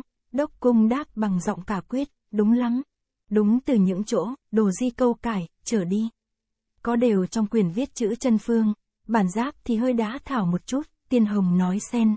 Nếu vậy, thì bác phải làm ngay giấy khiêu oan, đưa vào trong trường, để xin quan trường xét lại, đốc cung ra vẻ tự phụ, khiếu làm cái gì? Hỏng khoa này lại thi khoa sau, chẳng tội gì mà cầy cục, đoàn bằng gạt đi. Bác nói tuy vẫn có lý, nhưng học trò đi thi mà phải nêu ra bảng con, cũng là một sự mang tiếng, có khi còn để lụy cho các quan huấn giáo hạt mình nữa chứ. Bởi vậy tôi tưởng bác nên khiếu oan, để rửa cái tai tiếng kia. Khiếu oan là phải, nhưng cũng hãy nên coi lại bản giáp lần nữa cho thật cẩn thận xem rằng có đích là mình bị oan hay không, tiêm hồng khen phải. Lập tức cả bọn kéo về nhà trọ, bấy giờ ở các đường phố, học trò đã đương nhau nháo, kháo nhau về chuyện đốc cung phải ra bảng con, mỗi khi gặp người quen biết hỏi thăm, đốc cung tưởng mỗi nhời nói của họ là một mũi giáo đâm vào ruột mình. Nhưng chàng cũng chỉ đáp lại bằng một nụ cười, vì không biết trả lời thế nào cho phải, tới nhà, đoàn bằng dục luôn đốc công lấy ngay bản giáp của chàng đưa cho mình coi. Cả bọn súng lại trên mảnh giấy, giờ suốt từ đầu đến cuối, chẳng thấy, khiếm tị, chỗ nào. Sau cùng đến lượt Vân Hạc, coi một lần trước cũng không thấy gì, nhưng còn hồ nghi, chàng lại coi thêm lần nữa. Khi giờ đến tờ thứ tư, Vân Hạc chỉ tay vào một dòng chữ và nói bằng một giọng kinh ngạc, còn oan gì nữa, chẳng, khiếm tỷ, thì cái gì đây, mọi người đều nhìn theo chỗ Vân Hạc đã chỉ, thì thấy có mấy chữ rằng, Tam Bách Niên xã Tắc Chi Trường, Ninh Phi lại ưa tử tay, lúc ấy ai nấy thất sắc, đốc cung vỗ tay xuống phản và nói hai tiếng vắn cục, con chó, rồi chàng lại thuần về mặt và cười, bốn người tìm mãi từ sáng đến giờ mới thấy, thế mà trong lúc chấm văn nhanh như ăn cướp, quan trường cũng bới ra được, thật là thánh quá. Hỏng thì hỏng, Tôi cũng bái phục cái tài soi mói của các ngài ấy, thêm hồng ngắt lời. Không phải là các quan trường có ý bới móc. Bởi tại mệnh lệnh nhà vua giao cho như vậy, nếu không làm hết chức vụ, tất nhiên tội sẽ đến thân. Ngày xưa, biết bao nhiêu ông khảo quan chỉ vì chấm văn sơ suất mà bị phạt bổng, giáng cấp, có ông còn bị cách chức nữa kia, đoàn bằng an ủi đốc cung, thôi, bác cũng đừng phàn nàn. Chúng ta còn đương nhiên thiếu lực cường, tiền trình còn dài, chẳng đỗ khoa này thì đỗ khoa khác. Miễn là bác đừng ngã lòng, đốc công vẫn ngông, tôi chẳng ngã lòng chút nào. Lương hiệu nhà Tống 82 tuổi còn thi và còn đỗ được trạng nguyên, này tối mới 21 tuổi, chưa đỗ cũng chưa là muộn. Chỉ hiềm bản chiều không lấy trạng nguyên mà thôi, Vân Hạc cố ý trêu ghẹo. Tôi cũng chắc anh phải đỗ, nếu mà trời cho học lực của anh được bằng người ta, đốc công cũng trả miếng bảng giọng bông đùa, vậy còn anh nữa. Không biết năm nay học lực của anh đã bằng người ta hay chưa? Vân Hạc chưa kịp trả lời. Ông chủ nhà trọ vừa ở nhà dưới đi lên và nói lễ phép. Vì bận sai bảo chúng nó làm mấy món ăn, cho nên từ nãy đến giờ, tôi chưa kịp hỏi chuyện các ngài. Thế nào, bốn ngài được, vào, cả chứ? Đốc công chỉ vào anh em Vân Hạc và đáp, cả ba ông này đều, vào, chỉ có một mình tôi hỏng. Đúng như lời ông nói lúc sáng ngày, tôi bị nêu ra bảng con thật, ông chủ nhà trọ đường định tìm câu an ủi đốc cung, nhưng chưa tìm được. Ngoài cổng bỗng có tiếng người là lạ, bùi tiên sinh vẫn còn ở đây đấy chứ, đốc cung lầm bầm với Vân Hạc, thằng nào mà hỏi đến vậy. Chắc nó tưởng mình bị hỏng, đã xách khăn gói cút rồi, rồi chẳng nói chõ ra cổng, tiên sinh còn đây. Ai muốn hỏi gì thì vào trong này, ông chủ nhà trọ lật đật chạy ra đón khách. Có phải ai đâu, cậu Trần Đức Trinh hôm nọ, giữa lúc đoàn bằng, tiêm hồng cùng ngẩng lên nhòm, Đức Trinh đã ở ngoài sân tiến vào với một dáng điệu bạo dạn, khác hẳn cái bộ rụt rè khúm núm trong lúc hắn đi thuê người làm văn, cả bọn cùng đứng dậy chào. Sau khi đốc cung đã lần lượt nói tên người nọ với người kia, đoàn bằng mời Đức Trinh cùng ngồi vào chỗ mọi người đương ngồi. Vân Hạc sẽ hỏi Đức Trinh, cậu có được, vào, hay không? Đức Trinh đáp bằng vẻ mặt sung sướng, không, tôi bị hỏng, rồi hắn nhìn sang đốc cung, chết chưa? Sao ở bảng con tôi lại thấy có tên ông, đốc cung cười nhạt, viết văn không cẩn thận, thì phải nêu ra bảng con, chứ có lạ gì sự đó. Đức Trinh nói tiếp, vậy ông phạm phải lỗi gì? Không phải là phạm húy chứ? Không, có phạm húy đâu, tôi phạm vào tội, khiếm ti. Vì ở đoạn văn nói về đời đường của tôi, lỡ viết phải câu, tam bách niên xã tắc chi trường, Ninh Phi lại ư thử tai, ông chủ nhà trọ đứng ở bên cạnh, có ý lấy làm kinh ngạc, liền hỏi, thưa ông câu ấy là nghĩa thế nào? Đốc công đáp, nghĩa là, xã tắc nhà đường lâu dài đến 300 năm, há chẳng phải nhờ ở điều đó hay sao? Ông chủ nhà trọ càng lấy làm lạ, như thế thì có can gì mà đến phải nêu bảng con? Đức Trinh hùa theo. Chắc là ông bị cây lỗi gì khác, chứ như câu ấy thì có việc gì? Đốc công chỉ cười không trả lời. Đoàn bằng rẽ rẽ cắt nghĩa, phải đấy, ông cũng phải nêu bảng con là tại câu đó. Bởi vì theo phép bàn triều, học trò đi thi chẳng những phải kiêng khinh húy, trọng húy của nhà vua, mà đến những chữ tên các cung điện, lăng tẩm trong kinh bây giờ, cũng đều không được dùng đến. Ví như lăng ông Gia Long tên là Thiên Thủ, thì khi làm ván không được viết chữ Thiên Thủ. Hay như ở trong Hoàng Cung có điện cần tránh thì chữ cần tránh cũng không được dùng làm văn. Nhưng chỉ kiêng ở văn cổ mà thôi. Đức Trinh cố làm ra bộ thảo việc trường ốc. Tôi cũng biết thế. Nhưng trong hai câu của bùi tiên sinh có chữ nào phản lệ đó đâu. Đoàn bằng nói tiếp, có chứ. Chữ, trường, và chữ, ninh, ông chủ nhà trọ vội hỏi. Thưa ngài, thế hai chữ ấy cũng phạm húy ư? Đoàn báng lắc đầu, không, trường ninh là tên cái cung nào đó. Hình như là cung của Hoàng Thái Hậu vẫn ở thì phải. Đức Trinh ra vẻ ngơ ngác. Quái lạ, trong hai câu của buổi tiên sinh, làm gì có chữ trường ninh, Vân Hạc phì cười và nói, vậy thì cậu thử đọc lại xem nào, Đức Chính lầm nhầm lần nữa, thử tai. Rồi hắn vỗ đùi đánh đét, à, phải rồi, có thật, chữ trường ở cuối câu trên, chữ ninh ở đầu câu dưới. Và hắn lại hỏi, tôi tưởng về những chữ tên lăng tầm cung điện nhà vua, chỉ có khi nào hai chữ cùng ở một câu mới là phạm cấm. Mỗi chữ mỗi nơi như thế cũng phải kiêng ư, tiêm hồng nói góp, bởi vì hai chữ tuy ở hai câu, nhưng nó đứng liền nhau thì cũng như ở một câu, cho nên cũng là có tội. Ông chủ nhà trọ nhanh mồm lè lưỡi và tỏ ra vẻ kinh sợ, trời ơi, rắc rối quá chừng. Cứ như chúng tôi, thì tránh cho hết hàng trăm chữ húy cũng đã khó thay, huống chi lại còn những cái oái oăm ấy nữa. Vậy mà các ngài đều tránh được cả, tôi xin phục là ông Thánh, đoàn bằng lại tiếp, có phải chỉ thế thôi đâu. Lại còn cái nạn, khiếm trăng, mới đáng sợ chứ, Đức Trinh cũng như ông chủ nhà trọ, chỉ ngồi ngần mặt, hình như có ý chờ nghe. Đoàn bằng nhòm vào ông chú nhà trọ và hỏi, chắc ông chưa rõ khiếm trang là gì, rồi thầy liền giảng, khiếm trang nghĩa là thiếu sự kính trọng. Theo đúng lệ đó, thì hết thảy những chữ có nghĩa không hay, như, bảo, là, tận, hôn, là, tối, cách, là, đấm, sát, là, giết, về, về, không được đặt trên các chữ có nghĩa là vua, như là chữ, hoàng đế, chữ, quân, chữ, vương, chữ, chủ, vì nếu để chữ, cách, liền với chữ, quân, thì nó sẽ có nghĩa là, đấm vua, mà để chữ, bảo, liền với chữ, chủ, thì nó phải có nghĩa là, ông vua tàn bạo. Dù mà mình không chỉ vào vua nào, hay là mình đã chỉ đích vào những hạng vua vô đạo của tàu ngày xưa, như bọn vua kiệt, vua trụ chẳng hạn, cũng là khiếm trang tất cả, đến lượt ông chủ nhà trọ, khiếm trang sẽ bị tội gì? Vân Hạc nhìn vào đốc công rồi cười và đoán, nhẹ hơn, khiếm tị, một chút, nghĩa là chỉ bị đánh hỏng, không có hân hạnh được ra bảng con như bùi tiên sinh nhà tôi, tiêm hồng không bằng lòng sự bông đùa của Vân Hạc, vội vàng nói cho lấp đi. Năm xưa, một ông tú tài ở tỉnh Đông, bạn thân của anh cả tôi, cũng suýt bị tội về cái nạn đó, nhũng lại một lát để nhìn Đức Trinh và ông chủ nhà trọ, tiêm hồng lại tiếp, khoa ấy tôi không rõ là khoa nào ông ấy đã vào đến kỳ thứ ba. Trong bài văn sách của ông ta có câu như vậy, xuân sinh thu sái. Đế đạo giữ thiên đạo nhi tịnh hành, thế mà cũng bị quan trường cho là khiếm trang, rồi quan ngoại trường ngự sử lại hạch thêm rằng, tú tài đi thi mà còn phạm vào kỵ húy, thì nên phạt cho thật nặng. May nhờ được quan chủ khảo có lượng khoan đại, ngài phải hết sức bênh vực, ông ta mới được khỏi tội. Nhưng mà cũng phải đánh hỏng, ông chủ nhà trọ ra bộ ngơ ngẩn, vậy thì, thưa ngài, nghĩa đen câu ấy ra sao? Tiêm hồng đáp, có gì đâu. Nghĩa nó chỉ là, mùa xuân sinh ra, mùa thu thu lại, việc của đời, đế, cũng đi đôi với việc của ông trời. Có thế thôi, Đức Trinh vẫn chưa hiểu và hỏi, xong mà trong bấy nhiêu chữ người ta ghép những chữ nào có tội khiếm trang. Chữ, sái, và chữ, đế, chữ, sái, chính nghĩa là tu đáng lẽ cũng không xấu xa, gở độc gì cả.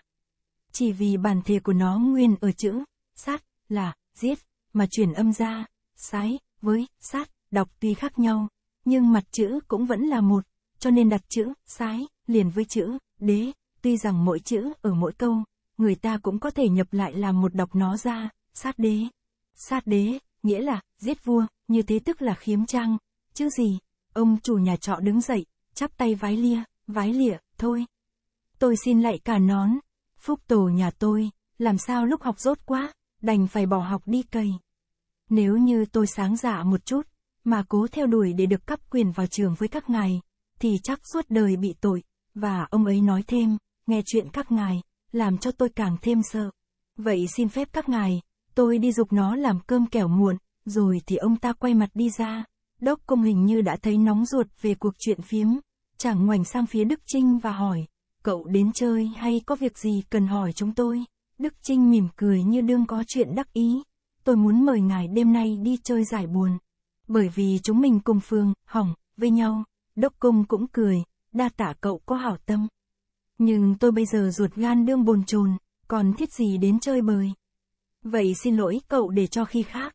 Chúng ta còn nhiều lúc gặp nhau. Vội gì, Đức Trinh vẫn kèo nèo, cố nhiên thi hỏng ái cũng phải tức, huống chi chúng mình đã lẽo đẽo vào đến tam trường. Tôi cũng cay đắng trong ruột, có lẽ còn hơn ngài nữa. Vì vậy, tôi muốn mời ngài đi chơi cho khuây, đốc cung nhất định từ chối, thôi cậu miễn cho. Từ sáng đến giờ tôi thấy trong người hơi mệt, nếu lại thức đêm, tất nhiên sẽ thành ốm nặng. Chấm, Đức Trinh nói thêm vài câu tảo lao, rồi hắn đứng dậy từ biệt, thằng nhỏ vừa bưng rượu đặt vào giữa phản, sau khi nó đã trịnh trọng xin phép mấy ông khách trọ, cũng như sáng ngày, ông chủ nhà trọ, lại đến gãi tay mời chào, rồi tự lảng đi nơi khác, cả bọn bấy giờ mới thay khăn áo, rồi cùng ngồi vào mâm, trong lúc chén thủ chén tạc, đốc cung tuy cũng có vẻ cảm khái, nhưng vì Vân Hạc TSMS thoảng lại chê một câu bông đùa rất có ý vị, cho nên quang cảnh vẫn vui vẻ như Tết, mặt trời đã xế. Bóng nắng leo lên nửa tường của tòa nhà trước sân, bấy giờ cuộc rượu mới tan, mấy tuần trầu nước đã tàn, đốc cung cất tập giấy giáp bài vào cháp, rồi chàng ra mắc nhắc lấy khăn áo bỏ xuống chiếu, đoàn bằng vội hỏi, bác ở đây chứ? Đi đâu bây giờ? Đốc cung đáp, vâng, tôi ở đây. Có lẽ tôi sẽ ở mãi đến ngày sướng danh, bởi vì tôi tuy hỏng, nhưng mà các bác, vào, cả, thì cũng còn vui, tôi phải ở lại để mừng các bác. Có điều ngày mai các bác được đi vào trường, tôi ở nhà một mình, chắc là không thể chịu nổi. Vì vậy, đến đây, chàng bỗng ngừng lại để đưa ra một nụ cười, vì vậy tôi muốn xin phép các bác, đêm nay xuống thăm hàng lờ cho đỡ buồn. Chấm, rồi chàng vội cúi mặt xuống, như muốn giấu kín những giọt nước mắt đương thập thò ở đầu con mắt, Vân Hạc lại trêu, mày khóc đó cung, đoàn bằng vội ngăn, sao chú lại cứ bông đùa mãi thế, và với vẻ mặt rất cảm động, thầy quay lại nhìn đốc cung. Hôm nay thì tôi không dám can bác, nhưng đến chiều mai, bác lại về đây, để cho chúng tôi đi với. Vân Hạc lại hỏi đốc cung, thế sao Trần Đức Trinh đến mời? Anh không đi luôn với hắn, đốc cung lại cười, đi chơi với thằng tục tử ấy có gì là thú. Và lại, nghe lời hắn nói, tôi đã sinh ghét.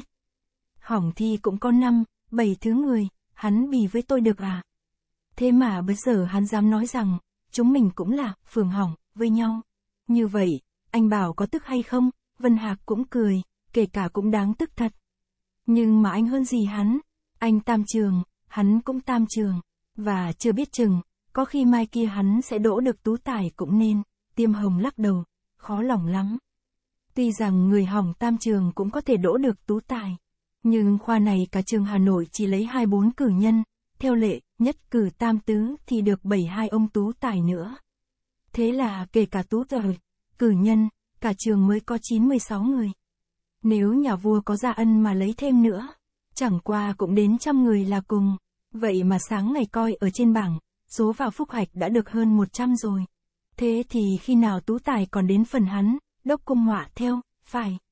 Nếu hắn mà đỗ, thì cũng đáng buồn cho cuộc thi cử, vừa nói, đốc cung vừa thùng thẳng rửa mặt trải đầu, coi bộ như một người đương có việc gấp. Sau khi đội khăn mặc áo chỉnh tề, chàng lại mỉm cười với bọn đoàn bằng, tiêm hồng. Xin chúc các ngài ngày mai viết cho linh lợi, tôi đi, chiều mai hoặc sáng ngày kia thì lại về đây.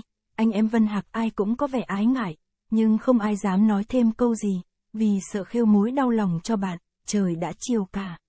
Ngoài phố lác đác có tiếng hàng quà đi giao, ông chủ nhà trọ tất tả và dục các ông khách trọ giao hết lều chóng cho mình sắp xưa. Là vì kỳ này học trò đã vắng, những ai được vào, đều phải đem lều chóng nộp sẵn từ chiều hôm trước, để lính thể sát đóng cho, ngày mai chỉ việc vào đó mà ngồi, không phải lôi thôi gì nữa.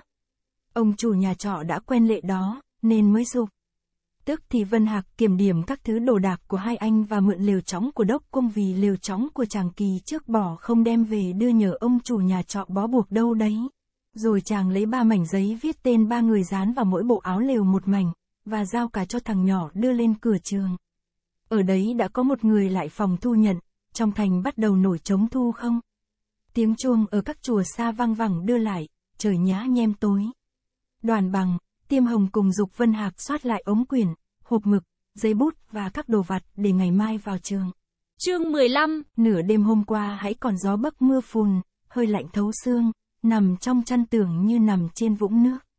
Nhưng từ gà gáy thứ nhất trở đi, thình lình quay ra gió nồm. Khí lạnh bị tống bớt về các rừng núi nẻo Tây Bắc, Hà Nội dần dần hồi lại trong cảnh ấm áp. Sau khi vừng đông đỏ như vừng lửa đã thiêu tan hết bức màn nặng nề u ám của sương mù, bầu trời mỗi lúc một thêm sáng sủa. Tuy là tiết đầu tháng 1, vẻ kiều Mỹ không khác quang cảnh một buổi mai của tháng đầu xuân, anh em Vân Hạc xong tiệc điểm tâm, ánh nắng đã long lánh nhuộm các ngọn cây vàng úa. Bấy giờ ai nấy mới sắm sửa quần áo và các đồ đạc để vào trường, lần này cái vai đã được nhẹ nở, vì nó không phải đeo chóng và liều. Nhưng trách nhiệm cái cổ vẫn chưa bớt đi chút nào, ống quyền, bầu nước và cháp hoặc yên vẫn còn thi nhau biếu chặt lấy cổ mà lủng lẳng đánh đu xuống ngực và bụng, kỳ này chỉ thi trong một vi giáp. Tuy số học trò được vào có hơn 100, nhưng ngoài cửa vi cũng thấy bóng người đông nghịt. Bởi vì, ngoài các thí sinh, còn có phụ huynh tôn tộc của các ông, ngấp nghé tân khoa, cũng kéo tới đó để dự hưởng cái vinh dự trong cuộc đắc thắng của người nhà mình, tan một hồi trống khẩu gióng giạc điểm trong nhà thập đạo, cửa trường mở rộng, Tàn lọng cờ quạt linh đình rước lá cờ khâm sai và ông chủ khảo từ trong trường ra chiếc ghế chéo ngoài cửa. Cây loa và các lính trắng lại chiếu lệ làm việc phận sự, bây giờ học trò không phải chen trọi vất vả như các kỳ trước. Người nào đã được cây loa nhắc đến tên mình, người ấy có thể ung dung tiến đến cửa trường, không bị ngàn cản chi hết. Nhưng mà bọn lính thể sát lại phải làm thêm một việc. Sau khi khám xong đồ đạc của người nào, họ còn phải dẫn người ấy đi đến dãy lều mà họ đã cắm từ tối hôm trước, rồi bảo người ta vào lều mà ngồi. Cuộc gọi tên lần này rất ngắn, mới độ nửa giờ đã xong. Công việc sắp đặt trong vi cũng có trật tự hơn trước cả vi chia làm chừng hơn 10 dãy, các dãy song song từ nhà thập đạo ra đến bức phên ngoài cùng. Dãy nọ cách dãy kia độ 5-6 thước, ở giữa hai dãy giáp nhau, đều có cái khe rất rộng để làm đường đi. Mỗi dãy chỉ có đúng 10 cái lều, cái nọ cách cái kia cũng độ năm thước trở lại. Vì muốn giữ cho người ở lều này khỏi nhòm thấy người ở lều kia, các lều đều cắm theo hình chữ, công, một cái nằm ngang, lại đến một cái nằm dọc, lều của Vân Hạc ở số 31, nằm ngay đầu dòng thứ tư, giáp với bức rào của nhà thập đạo. Trong lúc người lính thể sát dẫn chàng tới đó và chỉ cho biết một mảnh giấy trắng có đề ba chữ tên chàng dán ở cửa liều, Vân Hạc có ý nhìn ở các giấy, xem rằng liều của đoàn bằng đóng ở chỗ nào vì đoàn bằng đã vào trước chàng một lát. Nhưng mà không thấy bóng anh ở đâu, chàng bèn chui vào trong liều, lục các đồ đạc lặt vặt bỏ ra mặt trống, rồi giờ bộ đồ đánh lửa, hì hục đập đá vào sắt lấy lửa hút thuốc. Thỉnh lình nhớ đến đốc cung, bụng chàng càng thấy bồi hồi khó tả. Vì theo ý chàng, đốc cung cũng là bậc văn chương xuất sắc có thể đỗ to. Chẳng ngờ vì hai chữ vô ý mà đến phải ra bảng, con, thật là đáng tiếc, thì, ra văn hay chữ tốt, cũng chưa chắc đỗ. Có lẽ cái việc đỗ hỏng, còn quan hệ ở sự may rủi nữa chăng, chàng đương vơ vẩn nghĩ quanh, trên tròi của quan ngự sử ngoại trường, bỗng nổi một hồi trống cái rất hùng dũng. Biết là sắp có đầu bài, chàng quen như lệ mọi kỳ, đã toàn sắp sửa giấy mực CS đến nhà bảng, thì ở trên tròi lại có tiếng loa âm òe, bớ toàn sĩ tử Ai nấy ở yên trong lều, chờ hình đầu bài. Tiếng, bài, vừa dứt, quan đề điệu vừa ở trên nhà thập đạo đi xuống với chừng hơn 10 người lính, mỗi người trong tay có một tập giấy. Bọn lính chia ngả đi thẳng đến các dãy lều, quăng cho mỗi lều một mảnh giấy chữ, đó là giấy sao đầu bài. Vì kỳ này học trò đã thưa, đầu bài ra rồi, lại phòng liền phải súng lại sao thành nhiều bản, rồi quan chủ khảo giao quan đề điệu đem đi phát cho mỗi người một bản, chứ không dán ở nhà bảng như các kỳ trước, liều của Vân Hạc ở ngay đầu dãy, nên chàng nhận được giấy sao trước các liều khác, ở trong mảnh giấy, tất cả chỉ có ba bài, một bài kinh nghĩa, một bài phú và một bài văn sách. Trong ba bài đó, trừ bài kinh nghĩa phải viết cụ thể, còn hai bài sau, đều nhẹ hơn các kỳ trước. Bài phú chỉ có ba, vần, còn bài văn sách cũng độ 5-6 câu hỏi mà thôi, đây là tỷ lệ của phép thi mới. Theo như mấy khoa gần đây, thì kỳ phúc hạch của trường thi hương, cũng có ý nghĩa sát hạch lại các kỳ trước. Vì vậy, nó phải đủ các món văn của mấy kỳ kia để cho khảo quan có thể tựa vào các loại văn đó mà xét khiếu văn và sức học của từng người. Với các người khác, thì những đầu đề kỳ này, nói riêng từng bài, tuy có nhẹ thật song hợp cả lại thì lại rất nặng vì nó gồm đủ văn thể của ba kỳ, nhưng với Vân Hạc thì chẳng có gì là nặng. Là bởi trong khi tập văn ở nhà, chàng vẫn nổi tiếng là người, học để ư bất kỳ thơ phú, kinh nghĩa văn sách, hay món gì khác, món nào chẳng cứng hơn người. Anh em đồng học ít khi theo kịp, bởi vậy, trong khi ngó vào mấy cái đầu bài, thái độ của chàng tỏ ra cực kỳ ung dung, khi đã viết xong mấy dòng ở trang đầu quyền để đi lấy dấu nhật chung, chàng bắt đầu nghĩ nốt các vế của bài kinh nghĩa, rồi đến bài phú, rồi đến bài văn sách, vì sợ có chỗ lầm lỡ như của đốc cung, mà trong lúc vô tình, tự mình không biết, cho nên mỗi khi nghĩ xong bài nào, chàng lại cẩn thận giáp hết bài ấy ra một mảnh giấy, và còn soát đi, soát lại từng câu từng chữ, có khi đến từng nét nữa. Khi nào không thấy có chỗ đáng ngờ và không còn chữ nào đáng chữa, bấy giờ chàng mới viết vào trong quyền, viết xong hai bài kinh nghĩa và phú. Mới chừng quá chưa, chàng tiếc thì giờ còn nhiều, muốn hãy để bài văn sách lại đó, nung đúc cho thật kỹ càng.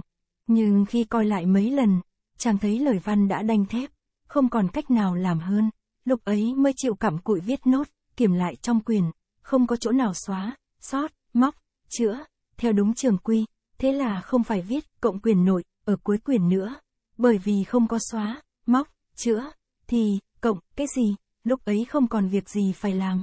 Chàng lại dở đá đánh lửa, dùng đùi ngồi hút thuốc vặt. Một lát sau, trên tròi có trống thu quyền, chàng mới bỏ quyền vào ống, thu xếp đồ đạc vào cháp. Đáng lẽ chàng lại bỏ cả liều trống lần nữa, nhưng vì bộ liều trống này là của đốc cung, không phải của mình, nên chàng lại cố hì hục dỡ lên, bó lại, và đeo lên vai, rồi sang bên nhà thập đạo nộp quyền. Bấy giờ mặt trời còn cao, hết thầy học trò còn đương làm văn chưa xong, ra khỏi cổng trường, vừa gặp thằng nhỏ nhà trọ đến đón, chàng chút hết thầy đồ vật trên vai trên cổ cho nó về trước, rồi mình đùng đỉnh đi sau. TSMS lình ở phía trước mặt nghe có tiếng người ầm ầm, một bọn chừng hơn 10 người hung hăng tiến lên đằng trước, hàng sứ xuống lại đi theo rất đông, trước luồng gió nhẹ, hơi rượu sặc sụa theo đám người đó tiếp tục bay lên. Nhìn thấy mấy ông đi trước, ông nào, ông ấy, sắc mặt đỏ như màu mặt trời, dáng đi lảo đảo như kẻ đương lên đồng trường.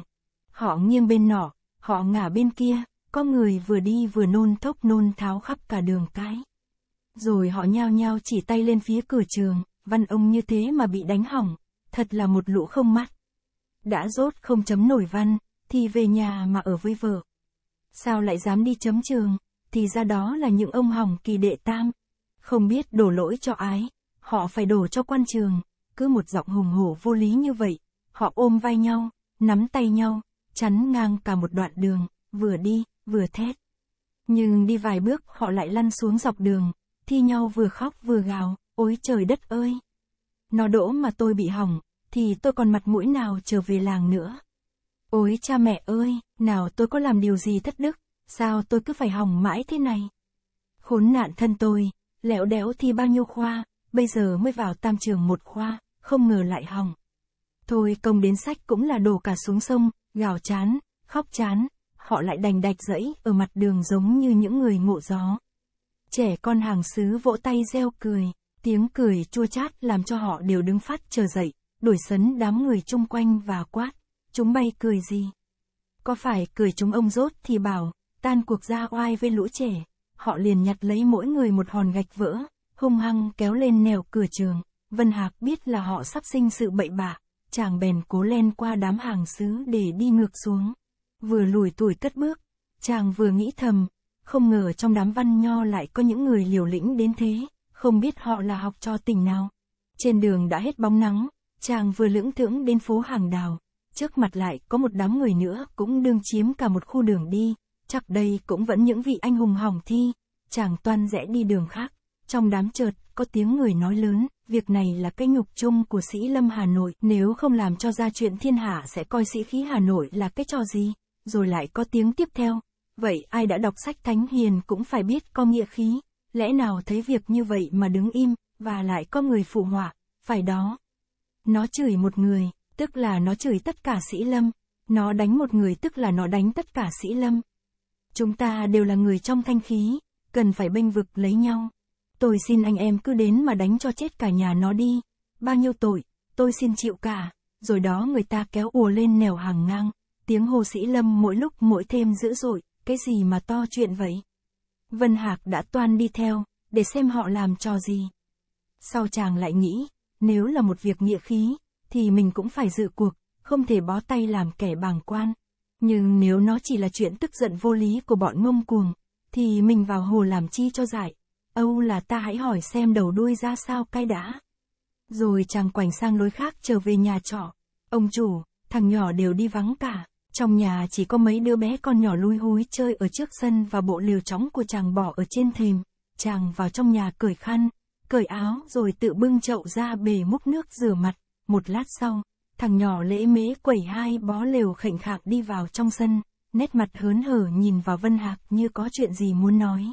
Nhưng nó còn chưa kịp nói, ngoài cổng đã có tiếng giày lẹp kẹp, đoàn bằng, tiêm hồng cùng về với một dáng bộ nghiêm trang, như mới bị có việc gì trái ý, Vân Hạc vội bỏ chậu nước và đứng lên chào.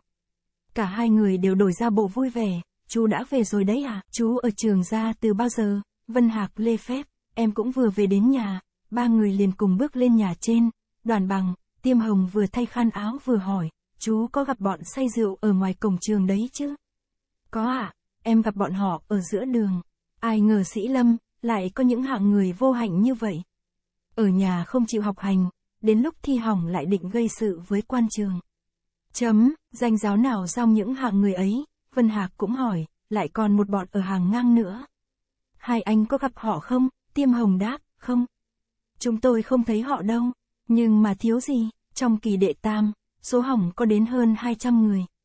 Những ông ấy bây giờ còn đương phát điên phát cuồng, hê hở tụ bạ ở đâu, thì sẽ nói bậy ở đấy. Vân Hạc tỏ vẻ nghi ngờ, có lẽ bọn ở hàng ngang không phải vì chuyện thi hỏng. Em nghe thấy họ luôn luôn nhắc đến si khí, hình như có người bị ai làm nhục, đoàn bằng có ý ngạc nhiên, lạ nhỉ. Không rõ là việc gì thế, ông chủ nhà trọ ở đâu vừa về. Với một dáng điệu tất cả ông ấy vào thẳng trong nhà vừa thở hì hò vừa nói, các quan về sớm quá nhỉ. Đáng lẽ chiều nay tôi cũng lên đón các ngài, sau vì có người rủ đi xem việc lôi thôi ở phố hàng giấy, nên lại không lên, các ngài miễn cho, rồi ông ấy thêm, đáo đề.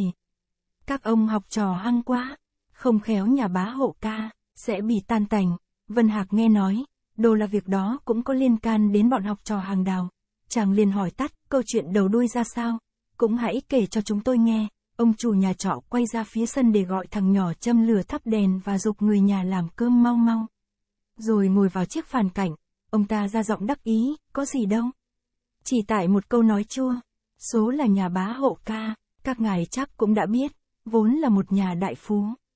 Bởi khi buôn bán cũng có đồng chịu đồng trả, hoặc có giật bọc vay mượn của ông ta, cho nên ở phố hàng giấy cũng nhiều người nề.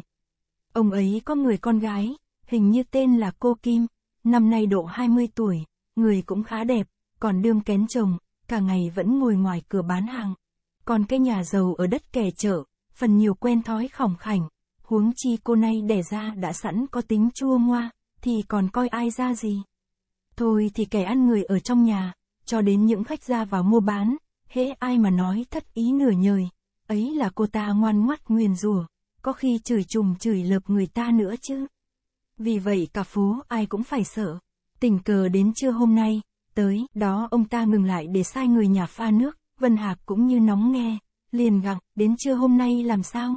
Ông chủ nhà trọ hút tàn điếu thuốc rồi đáp, đến trưa hôm nay, có ông học trò vào hàng hỏi mua giấy bút, cứ nhiều người nói lại là ông đó hãy còn trẻ tuổi chưa rõ quê quán ở đâu cũng là số người hỏng kỳ đệ tam và còn ở đây chờ bằng tù tài trong khi mặc cả. Ông này có nói bông đùa sao đó. Cái đó kể ra cũng là sự thường. Vì, hoa thơm ai chẳng muốn vin. Có phải thế không, thưa các ngài, anh em Vân Hạc chỉ cười không đáp. Ông ta lại tiếp, nhưng mà cô Kim là hạng chồng lòn có tiếng, đâu lại nghĩ nhún như vậy. Khi thấy ông kia có ý trêu cợt cô này liền nổi tam bành, rủa luôn một thôi một thốc. Ông kia trước còn cố nhìn, sau thấy cô Kim làm già, ông ta phát cáu cũng phải mắng lại một cách rất phú Thế rồi hai bên thành ra xô sát, người nhà cô này nhao nhao chạy ra, níu lấy ông đó, xé tan mất cái khăn lượt và cái áo the. Ông này vừa thẹn vừa tức, nhưng vì chỉ có một mình, không thể sao được. Lập tức ông ta chạy luôn về nhà trọ, thuật lại đầu đuôi với bạn cùng trọ và xin anh em rửa nhục cho mình. Trong nhà trọ tất cả mấy bọn, cũng có đến hơn 10 người, nghe ông này nói ai nấy đều tỏ ra vẻ bất bình. Cả bọn liền kéo nhau đến trước cửa nhà bá hộ ca, bắt đền khăn áo cho bạn. Giả sử bá hộ ca, xin lỗi một câu, có lẽ người ta cũng thôi. Xong nào có thế, ông ấy lại giở lý sự và nói những câu cực kỳ vô lễ. Thế mới ngu chứ, thằng nhỏ vừa bưng siêu nước đến cạnh, ông chủ nhà trọ đứng dậy lấy bộ khay chén đặt sang dựa ghế, Vân Hạc đón lấy ấm chén, vừa chuyên nước vừa để ý nghe. Tiêm Hồng hỏi, ông bá hộ ca, nói những thế nào? Trước hết, ông ta vu vả cho ông học trò kia đã vào cửa hàng ăn cắp. Rồi thì ông ta lên giọng kẻ cả, bảo học trò thi hỏng toàn là những quân mất dạy. Sau hết, ông ta còn hỏi, chúng bay học trò thằng nào, và nói, ông thách thằng thầy chúng mày đến đây cũng không làm gì ông tốt. Tiêm Hồng tỏ ý tức giận, như thế thì cản rỡ thật. Đánh cho chết đi cũng đáng. Vân Hạc bưng chén nước đưa ông chủ trọ và nói, Ông hãy sơi nước cái đã, ông chủ nhà trọ đón lấy chén nước đặt xuống đầu ghế. Các ông học trò lúc ấy tức lắm, đã toàn xông vào đánh cho ông bá hộ ca, một trận. Nhưng mà ông ta chạy tụt vào trong nhà và gọi một lũ gia nhân vác gậy đổ ra. Những đứa gia nhân sức khỏe như voi, chúng đẩy bọn này ra mãi ngoài đường. Có ông ngã sấp ngã ngửa, lóp ngóp mãi mới đứng lên được, chén nước đầu phản đã nguội. Ông chủ nhà trọ nói tiếp, thế rồi ông bá hộ ca, sai lũ gia nhân đứng canh trước cửa và dặn hễ thấy đứa nào đến gần, cứ việc đánh cho mất mạng. Nhưng ông học trò lúc này càng hăng, nhưng vì ít người không thể đối địch, các ông ấy bèn cắt một nửa ở đó để canh ông ca, còn một nửa nữa, thì chạy tuốt về các phố nói cho bạn bè biết rõ tình đầu. Chỉ nửa giờ sau, học trò các nơi kéo đến tấp nập. Người nào người ấy, sắc mặt hầm hầm như ông Long Thần. Ông bá hộ Hoàng, là thế nguy, liền sai người nhà đóng chặt cửa lại. Cả nhà trốn hết lên gác, ngoài này học trò mỗi lúc mỗi đông, đứng chặt cả hai dãy phố.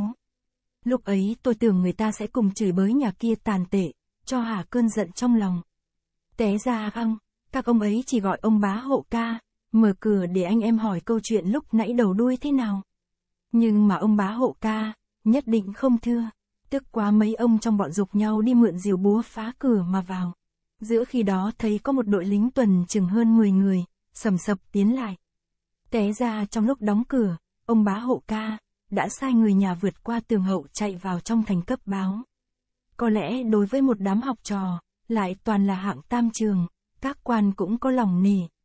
Vì vậy, quan tổng đốc chỉ phái một bọn lính tuần ra đó đề phòng những sự hành hung, chứ không đàn áp.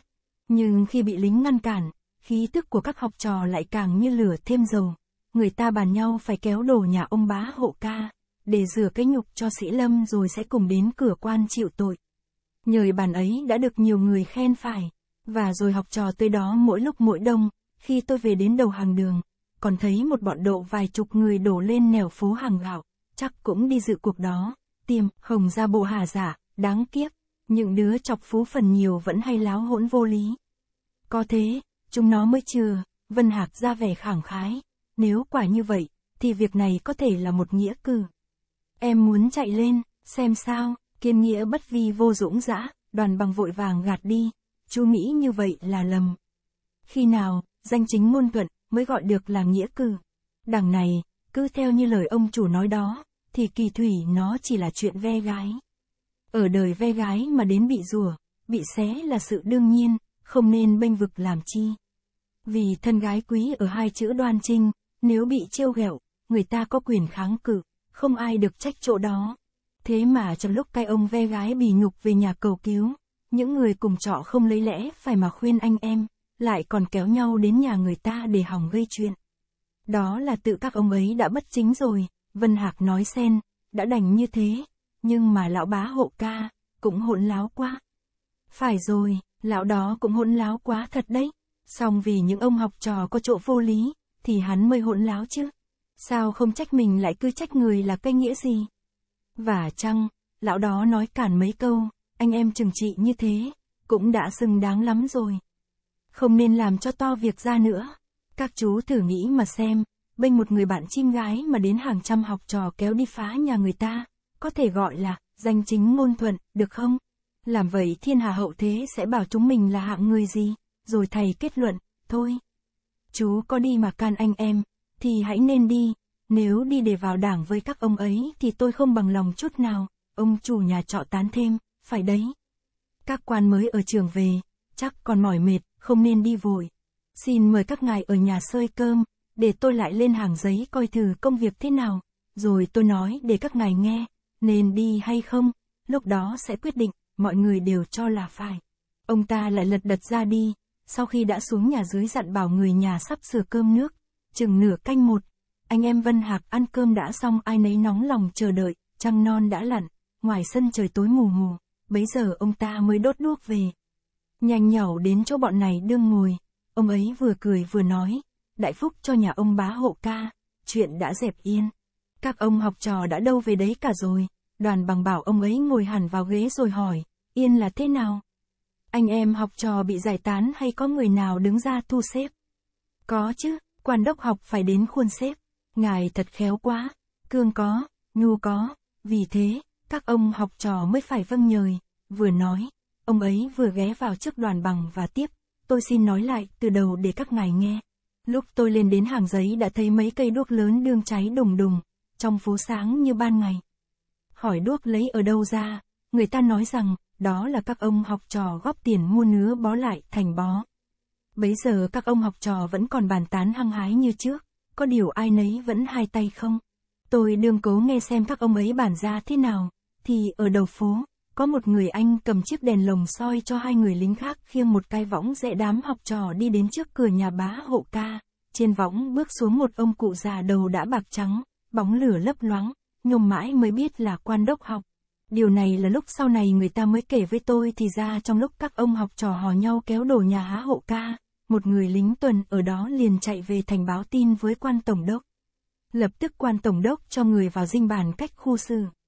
Không biết hai ngài bàn định thế nào, mà quan tổng đốc phái quan đốc học thân hành đến đó. Các ông học trò lúc ấy mới đáng kính phục làm sao. Ai nấy đều đương cơn thịnh nộ, thế mà thấy quan đốc học, cả đám đều chắp tay vái chào, rồi cùng nín im phăng phắc như đám ba quân chờ nghe hiệu lệnh của ông đại tướng. Tiềm hồng nói xen, cái đó là lẽ tất nhiên, vì quan đốc học là người đứng đầu việc học trong một tỉnh, học trò tuy không học ngài, nhưng cũng phải coi như thầy. Và chăng, cử đốc học Hà Nội lại là một bậc danh vọng, ai mà không phải kính trọng, Vân Hạc hỏi gặng, thế rồi cụ đốc làm gì? Ngài bảo các ông học trò đứng xếp hàng ở hai dãy phố để ngài giảng giải. Trước hết, ngài khen các ông đó đều có khi khái, biết bệnh thể diện của sĩ lâm. Rồi ngài hỏi ai là người đã bị con bá hộ ca, lăng mạ và xé khăn áo. Một ông học trò liền chạy ra nhận, ngài bảo ông đó đứng ra một bên, và ngài hỏi đến những người đã đến nhà bá hộ ca, bắt đền quần áo cho bạn và bị ông ta nói hỗn. Chừng hơn 10 người ra trước mặt ngài thưa là chúng con. Ngài lại bảo những ông này đứng sang một bên. Bấy giờ ngài mới chỉ vào cây ông học trò bị xé khăn áo và cất giọng nghiêm nghị mà răng. Anh đã nói trêu con gái bá hộ ca, phải không? Ông này chối không, nhưng ngài không tin và nói, ta biết cả rồi, anh không thể cãi. Công nhiên vào nhà lương gia ve vãn con gái người ta, như anh tức là tội nhân của danh giáo, luôn đó, ngài quay sang phía những ông đã bị ông bá hộ ca, nói hỗn vào của như vậy, thấy bạn làm sằng, đáng lẽ can đi mới phải.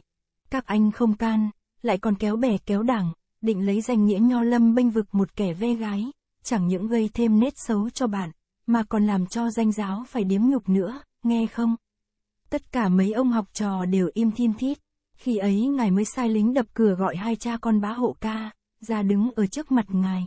Hai người hình như vẫn chưa hết cơn sợ hãi, vẻ mặt không còn sắc máu và đều chắp tay, cúi đầu, không dám trông lên. Trước hết quan đốc học mắng người con gái thế này, mày là phận gái, gặp kẻ trêu ghẹo, cố nhiên cũng nên mắng lại, nhưng phải mắng cho có lẽ. Ai cho mày chửi rủa người ta, rồi lại sai lũ đầy tớ xé cả khăn áo người ta. Mày có biết, lăng mạ người khác, phải tội như thế nào không? Rồi, ngài mắng ông bá hộ ca như vậy, mày thách thằng thầy các anh học trò cũng không làm gì được mày phải không? Tao là một người ở bậc thầy vậy tao muốn hỏi mày thách những gì? Ông bá hộ ca, chất tay lại lấy lại để coi rất buồn cười. Quan đốc học lại chỉ vào mặt ông bá hộ ca, và nói giận dữ như vậy, thế là mày đã không biết dân con, lại còn bênh con mà vô lễ với tất cả người trong nho lâm. Người ta muốn phá nhà mày, không phải là quá, ông bá hộ ca, cúi gục tận đất, kêu xin tha tội, đến đây, ông chủ nhà trọ tạm nghỉ để hút một hơi thuốc lào. Đoàn bằng chờ cho khỏi thuốc ra hết, lại hỏi, thế rồi sao nữa? Ông chủ nhà trọ dương hai con mắt lờ đờ của kẻ say thuốc và đáp, thế rồi quan đốc học bắt ông bá hộ ca. Phải xin lỗi cả đám học trò, người con gái phải xin lỗi cái ông bị xé, hai cha con phải đền ông này một cái khăn lượt một cái áo the. Và ngài còn bắt ông bá hộ ca, và ông học trò bị xé, ngày mai phải xuống văn miếu lễ tạ và chịu mỗi người một chục roi đòn. Những ông học trò đi bắt đền áo cho bạn cũng phải lễ tạ văn miếu. Trước khi ra về, ngài đã sai người lễ sinh đi hầu phải hỏi tên họ của các học trò bị phạt, biên vào mảnh giấy, để họ khỏi trốn, và ngài còn nói giờ ngọ ngày mai, ngài sẽ xuống nhà văn miếu thi hành các lệnh phạt kia. Các ông học trò nếu có thì giờ, cũng nên tới đó chứng kiến cuộc trừng phạt đó. Ông chủ nhà trọ kết luận, tôi tức cười nhất là lúc cha con ông bá hộ ca. Cúi lại các ông học trò và nói mấy câu xin lỗi. Cái bộ điệu của họ lúc ấy thật là khôn núng khốn nạn, chẳng bù với lúc quạc mồm nói càn, anh em Vân Hạc đều khen, cụ đốc khu xử như vậy, thật hợp tình hợp lý, anh em học trò kính phục là phải. Ngày mai chúng mình nếu có thông thả, cũng nên xuống nhà văn miếu mà xem cho hay. Chương 16 Mọi khoa xong kỳ phúc hạch, lâu lắm cũng độ nửa tháng thì đã đến kỳ sướng danh. Khoa này sao mà chậm quá? Cái hạn nửa tháng qua rồi, người ta vẫn chưa được biết cuộc sướng danh sẽ là ngày nào, bạc đã đánh rồi, ai không mong cho chóng mở bài. Anh em Vân Hạc cũng như những người đã vào đến kỳ thứ tư, hết thảy nóng lòng sốt ruột, qua ngày nay lại ngóng ngày mai, ngay từ sau kỳ phúc hạch, đoàn bằng đã sai người về làng Đào Nguyên và làng Vân Trình đưa cho anh cả và ông Đồ Vân Trình coi những bản sao các bài kỷ ấy của ba anh em. Họ nội họ ngoại cũng như những người ruột thịt trong nhà, ai nấy nô nức mừng rỡ. Cách một hôm sau, Đào Hải Âu và hai anh em họ là Đào Tường Loan, Đào Cương Phượng liền thân hành đến tận nhà trọ. Đáng lẽ cô Ngọc và hai chị dâu thứ hai thứ ba cũng cùng tới đó để hưởng những sự vinh dự sắp tới của các ông chồng. Nhưng ở nhà còn có nhiều việc cần phải lo liệu, nếu như anh em Vân Hạc cùng đỗ cử nhân. Vì thế cô chỉ gửi ông anh cả đem thêm cho chồng một số tiền nữa, để chàng chi tiêu trong những ngày chờ đợi xem bằng. Hai người chị dâu cũng vậy, trong nhà Vân Hạc, Hải Âu tuy là ông anh thứ nhất, nhưng mà đối với các em không quá khắc khổ như đoàn bằng, thầy năm nay đã năm chục tuổi, nhưng vẫn tráng kiện như con trai, dâu tóc chưa bạc cái nào. Từ thuở chưa 20 tuổi, thầy đã nổi tiếng là tay văn chương có tài. Về sau học lực càng ngày càng tiến, những vị khoa giáp ở xứ Đoài và xứ Bắc đều phục là tay đại nho. Nhưng tính thầy cũng như ông Cống ngày xưa chỉ thích khoáng giật, không chịu nổi những sự bó buộc. Cho nên, từ lúc trẻ tuổi, thầy đã quyết không thi cử gì cả. Quanh năm tứ thời ngoài việc đọc sách, thì giờ của thầy chỉ để vun sới hoa cỏ trong vườn. Lúc nào cao hứng, thì thầy cho tìm mấy ông bạn thân đến nhà thưởng hoa, uống rượu. Hoặc đi tiêu giao các nơi sơn thủy, hay là vào các ca lâu, tử quán mua vui. Trong bọn thiếu niên, Vân Hạc, Đốc Công đều là người rất hợp ý thầy. Bởi vậy, khi mới bước vào nhà trọ, thầy hỏi ngay đến Đốc Công. Thấy nói Đốc Công phải, ra bảng con. Thầy điềm nhiên bảo với các em, sự đắc táng của cuộc đời, chẳng qua như một giấc mộng. Đỗ hay hỏng kể ra cũng chẳng quan hệ cho lắm, có đều tài học anh ta nên đỗ là phải. Thế mà bị nêu bảng con, thì cũng khí oan, nhưng mày không phải tội gì, cũng còn khá đấy. Rồi thầy liền sai Vân Hạc đi kiếm đốc cung về đó cho vui. Từ bữa bị hỏng, đốc cung chỉ lên nhà trọ một lần luôn bữa đó chàng lại bị mấy người bạn, cùng hỏng, kéo xuống hàng lờ, la cả hết nhà ấy sang nhà khác. Cái nồng nàn của những cuộc thâu đêm đàn hát đã làm cho chàng quên mình là người hỏng thi, đoán chắc đốc cung chỉ nằm ở nhà đào cúc. Vân Hạc liền đến nhà ấy trước tiên, nhưng mà đốc cung không có ở đấy. Đào Phượng hết sức trèo kéo, mời chàng ở lại đến mai, chàng phải nói thật là không thể ở và xin khất đến hôm khác, hỏi thăm ba, bốn nhà nữa, Vân Hạc mới biết chỗ ở của đốc cung. Lúc ấy đốc cung đương cùng một lũ ả đào lăn lóc trong bàn tổ tôm. Tiếng ăn, tiếng phông tiêu tít xen với tiếng cười nói tỉnh tứ. Thấy Vân Hạc vào một cách đột ngột, đốc cung cho là chàng này đã trốn đoàn bằng, tiêm hồng, xuống đó cho qua cơn nghiện, liền chào bằng giọng bông đùa, hôm nay trời đi vắng nhà Hạc đã sổ lồng phải không? Vào đây cầm hộ vài ván, tào đường bị chúng ăn hiếp, suốt hội không ù ván nào, Vân Hạc cũng đùa, thấy mặt là thấy nói láo. Bao giờ cho mày thành ra người lớn, cả bọn ả đào, tuy chưa ai quen Vân Hạc, nhưng cũng biết là bạn đốc công nên đều tỏ ý vồ vập, thi nhau nhường bài cho chàng. Vân Hạc hết thầy từ chối và nói cho đốc công biết Hải Âu sai mình đi tìm. Xưa nay đối với Hải Âu, đốc công vẫn quý mến và rất kính trọng. Hồi này Hải Âu luôn luôn đi chơi, nên đã gần một năm nay, chàng chưa được gặp. Bây giờ nghe nói ông bạn vong niên và cực tương đắc đó mới ở quê ra, tự nhiên chàng thấy sự mải miết trong đám yên hoa đã thành ra cuộc vô vị. Tức thì đốc cung trao bài cho Vân Hạc đánh, để mình đứng dậy dứa mặt trải đầu sắp sửa khăn áo. Còn vài ván nữa hết hội, trước sự co kéo lả lơi của một đám phấn son nhí nhảnh, hai chàng cùng dứt áo ra về, bấy giờ trời đã sầm tối, trong nhà bắt đầu thắp đèn. Dưới ánh sáng đỏ nhợt của ngọn lửa mùa đông, một mâm thịnh soạn và một nai rượu lớn của ông chủ nhà trọ đã chiếu lệ hàng ngày đặt ở giữa phản. Cả nhà đương sốt sắng đợi người đi vắng. Đốc công vừa nhô vào cửa, Hải Âu liền cười và nói, thế nào? Bác bị, khiếm tị, đấy ư, ấy cũng vì thế mà từ tuổi nhỏ tôi không dám nghĩ đến chuyện thi cử. Đốc công chỉ trả lời bằng một nụ cười khiêm tốn, rồi đó, cả nhà quay vào quanh mâm. Hết cuộc hàn huyên của Hải Âu, Đốc Cung, Tiêm Hồng nhắc lại câu chuyện còn giờ, hôm nọ, sau khi xem bảng, bốn người chúng em coi đi coi lại bản giáp của bác cung đến hai chục lượt, vẫn không tìm được, hiếm ti, chỗ nào. Bởi vì hai chữ, trường, ninh, lại ở hai câu, trong lúc vô tình, khó mà nhận thấy. Em chắc không may cho bác cung, cho nên mới bị quan trường nhòm ra, chứ những quyền khác có khi cũng còn nhiều chỗ phạm tội như thế mà không ai biết. Cái đó tuy cũng có thể, nhưng mà ít khi xảy ra. Là vì mỗi quyền những bốn ông chấm, nếu ông chấm trước không thấy, thì ông chấm sau cũng thấy. Và lại, theo phép nhà Nguyễn, trách nhiệm của các quan trường rất ngặt. Thí dụ gặp một quyền văn có tội như là, khiếm trang, phạm húy, phạm trường quy, đồ di câu cải bất phụ, chẳng hạn, mà ông sơ khảo không biết, đến ông phúc khảo bới ra, thì ông sơ khảo tức thì phải đuổi ra liền, nếu cả mấy ông sơ khảo, phúc khảo, và giám khảo đều không nhận ra, rồi ông chủ khảo xét thấy thì ba ông kia cũng bị, phù xuất, tất cả, nếu ông chủ khảo cũng không xét thấy, nhưng mà quyền đó cũng bị đánh hỏng thì thôi không sao, giả sư quyền ấy được đỗ, khi đệ về triều, hoàng thượng hay các quan triều xét ra, thì từ ông tránh chủ khảo trở xuống đều có tội cả vậy, trong khi chấm văn, các quan đều phải hết sức tìm bới những chữ phạm tội. Cương Phượng nói xen, thảo nào em thấy thầy em nói rằng, cái khoa bắc cống làm phúc khảo cũng có mấy ông sơ khảo bì, phù xuất. Hẳn các ông ấy cũng phạm lỗi đó, Hải Âu đáp vội đặt chén rượu xuống mâm, không phải. Mấy ông sơ khảo khoa ấy mà bị phù xuất là tại phê văn không đúng. Theo lệ, những ông quan trường chấm văn tuy vẫn được môi người mỗi ý nhưng các dấu phê cũng phải na ná với nhau, không được tranh nhau xa quá. Thí dụ nếu ông sơ khảo phê, liệt, rồi ông phân khảo phê, thứ, hoặc phê, bình, thì không làm sao. Nếu ông phân khảo phê, yêu, ấy là những ông chấm trước đã phê, liệt, đều phải phù xuất, hay là các ông sơ khảo phê, yêu, rồi ông chủ khảo phê, bình, hoặc phê, thứ, thì không việc gì. Nếu ông chủ khảo phê, liệt, thì ông chấm trước phê, yêu, cũng bị đuổi ra khỏi trường. Bởi vì, yêu, với, liệt, cách nhau rất xa.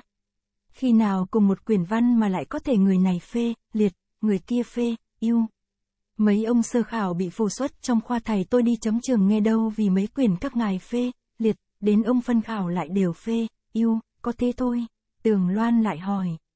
Giả sử có quyền dở quá, mấy ông chấm trước phê, liệt, là đúng.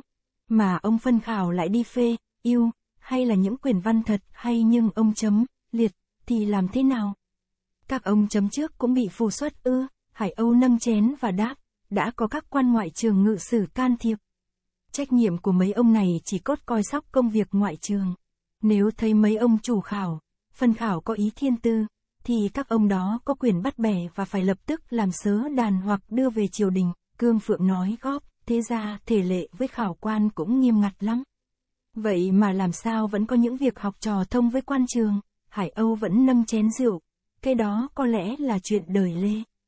Cứ như các cụ kể lại thì việc thi cử về hồi Lê mặt nhũng lắm, nhất là mấy khoa cuối đời cảnh hưng, có khoa người ta ăn tiền, lấy đến 600 sinh đồ. Về sau vì có nhiều tiếng nói ra nói vào, chúa Trịnh phải bắt những người đã đỗ ra bãi bờ sông hạch lại. 600 ông bị loại hơn 400 ông, cũng vì công việc trường ốc của nhà Lê hãy còn nhiều chỗ sơ suất, cho nên mới có tệ đó. Trừ đến đời Nguyễn thì sự đề phòng đã cực chu đáo, không thể nào mà gian lận được, cả nhà đều lắng tay chờ nghe. Hải Âu uống một hớp rượu rồi tiếp, từ đời minh mệnh mà đi. Nước ta có 7 trường thi là, trường Gia Định, trường Bình Định, trường Thừa Thiên, trường Nghệ An, trường Thanh Hóa, trường Nam Định và trường Hà Nội. Việc thi cử của bảy trường đó đều do lễ bộ trông coi. Nhưng việc lựa chọn hai ông tránh phó chủ khảo và các ông nội trường ngự sử, ngoại trường ngự sử, nội trường đề điệu, ngoại trường đề điệu, thì do ý kiến triều đình.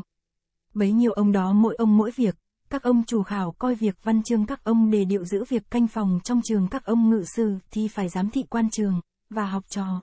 Bao giờ cũng vậy, đến cách kỳ thi độ chừng 10 ngày trở lại, trong chiều mới kén khảo quan.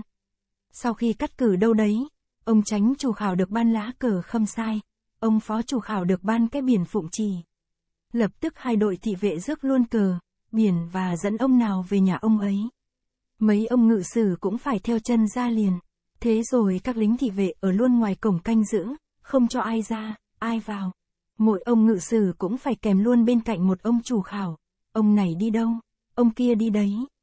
Lúc ấy hai ông chủ khảo chỉ còn có việc sắm sửa hòm xiềng quần áo rồi lên đường không được dặn vợ, dặn con nửa câu. Từ đấy cho mãi đến khi xong hết việc trường, các ông ngự sử không rời các ông chủ khảo bước nào. Các ông phân khảo cũng bị canh phòng như thế. Chỉ kém cờ biển mà thôi. Như thế thì còn giận nhau vào lúc nào mà bảo học trò có thể thông với quan trường. Cương Phượng cầm chai rót rượu vào chén của Hải Âu. Giả sử ông ngự sử vào hồ với ông chủ khảo thì sao? Không có rời nào như thế. Là vì những ông ngự sử đều là những người cương trực không kiêng nể ai. Chỉ những người cương trực không kiêng nể ai mới được cử làm chức ngự sử, cho nên các quan ngự sử tuy không có quyền, nhưng triều đình vẫn phải kính trọng, Tường Loan vẫn chưa tin, nhưng mà người ta cũng còn có thể thông với mấy ông sơ khảo, phúc khảo, giám khảo được chứ. Các ông này đều lấy những ông huấn đảo, giáo thụ sung vào kia mà. Cũng không thể được, các ông sơ khảo, phúc khảo, giám khảo tuy cũng là chân huấn đảo, giáo thụ do các quan tỉnh cư ra, nhưng cách đề cử cũng rất tinh tế. Ví như hai trường đường ngoài, người chấm trường Hà phải là huấn giáo của những tỉnh thuộc về trường Nam. Người chấm trường Nam lại là tụ giáo của các tỉnh thuộc về trường Hà. Ông nào bị cử đi làm quan trường mà còn có em hay học trò dự thi ở trường sẽ có mình chấm thì phải làm giấy hồi tì. Như vậy, các ông sơ khảo, phúc khảo với các học trò còn ai biết là ai mà hòng thông nhau. Và chăng, dù có thông nhau được nữa cũng là vô ích. Vì cái quyền lấy đỗ ở trường thi hương phải do tay ông chủ khảo. Vậy mà sau khi tiến trường, các ông sơ khảo, phúc khảo, đều phải ở riêng ngăn trong, có rào che kín, có quan nội trường ngự sử giám thị, có ông nội trường đề điệu và lính mật sát canh phòng. Trừ ngày ra bảng giải ngạch, mấy ông đó không bao giờ được giáp mặt các ông chủ khảo, nghĩa là không thể nói lót được cho người nào, thế thì thông nhau để làm gì?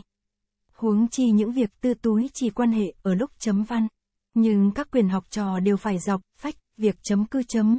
Quan trường không thể biết được quyền nào là của người nào, còn dùng cách nào mà tư túi được, cương phượng ra bộ mải nghe lại gợi, không biết trong các quan trường ông nào coi việc dọc phách.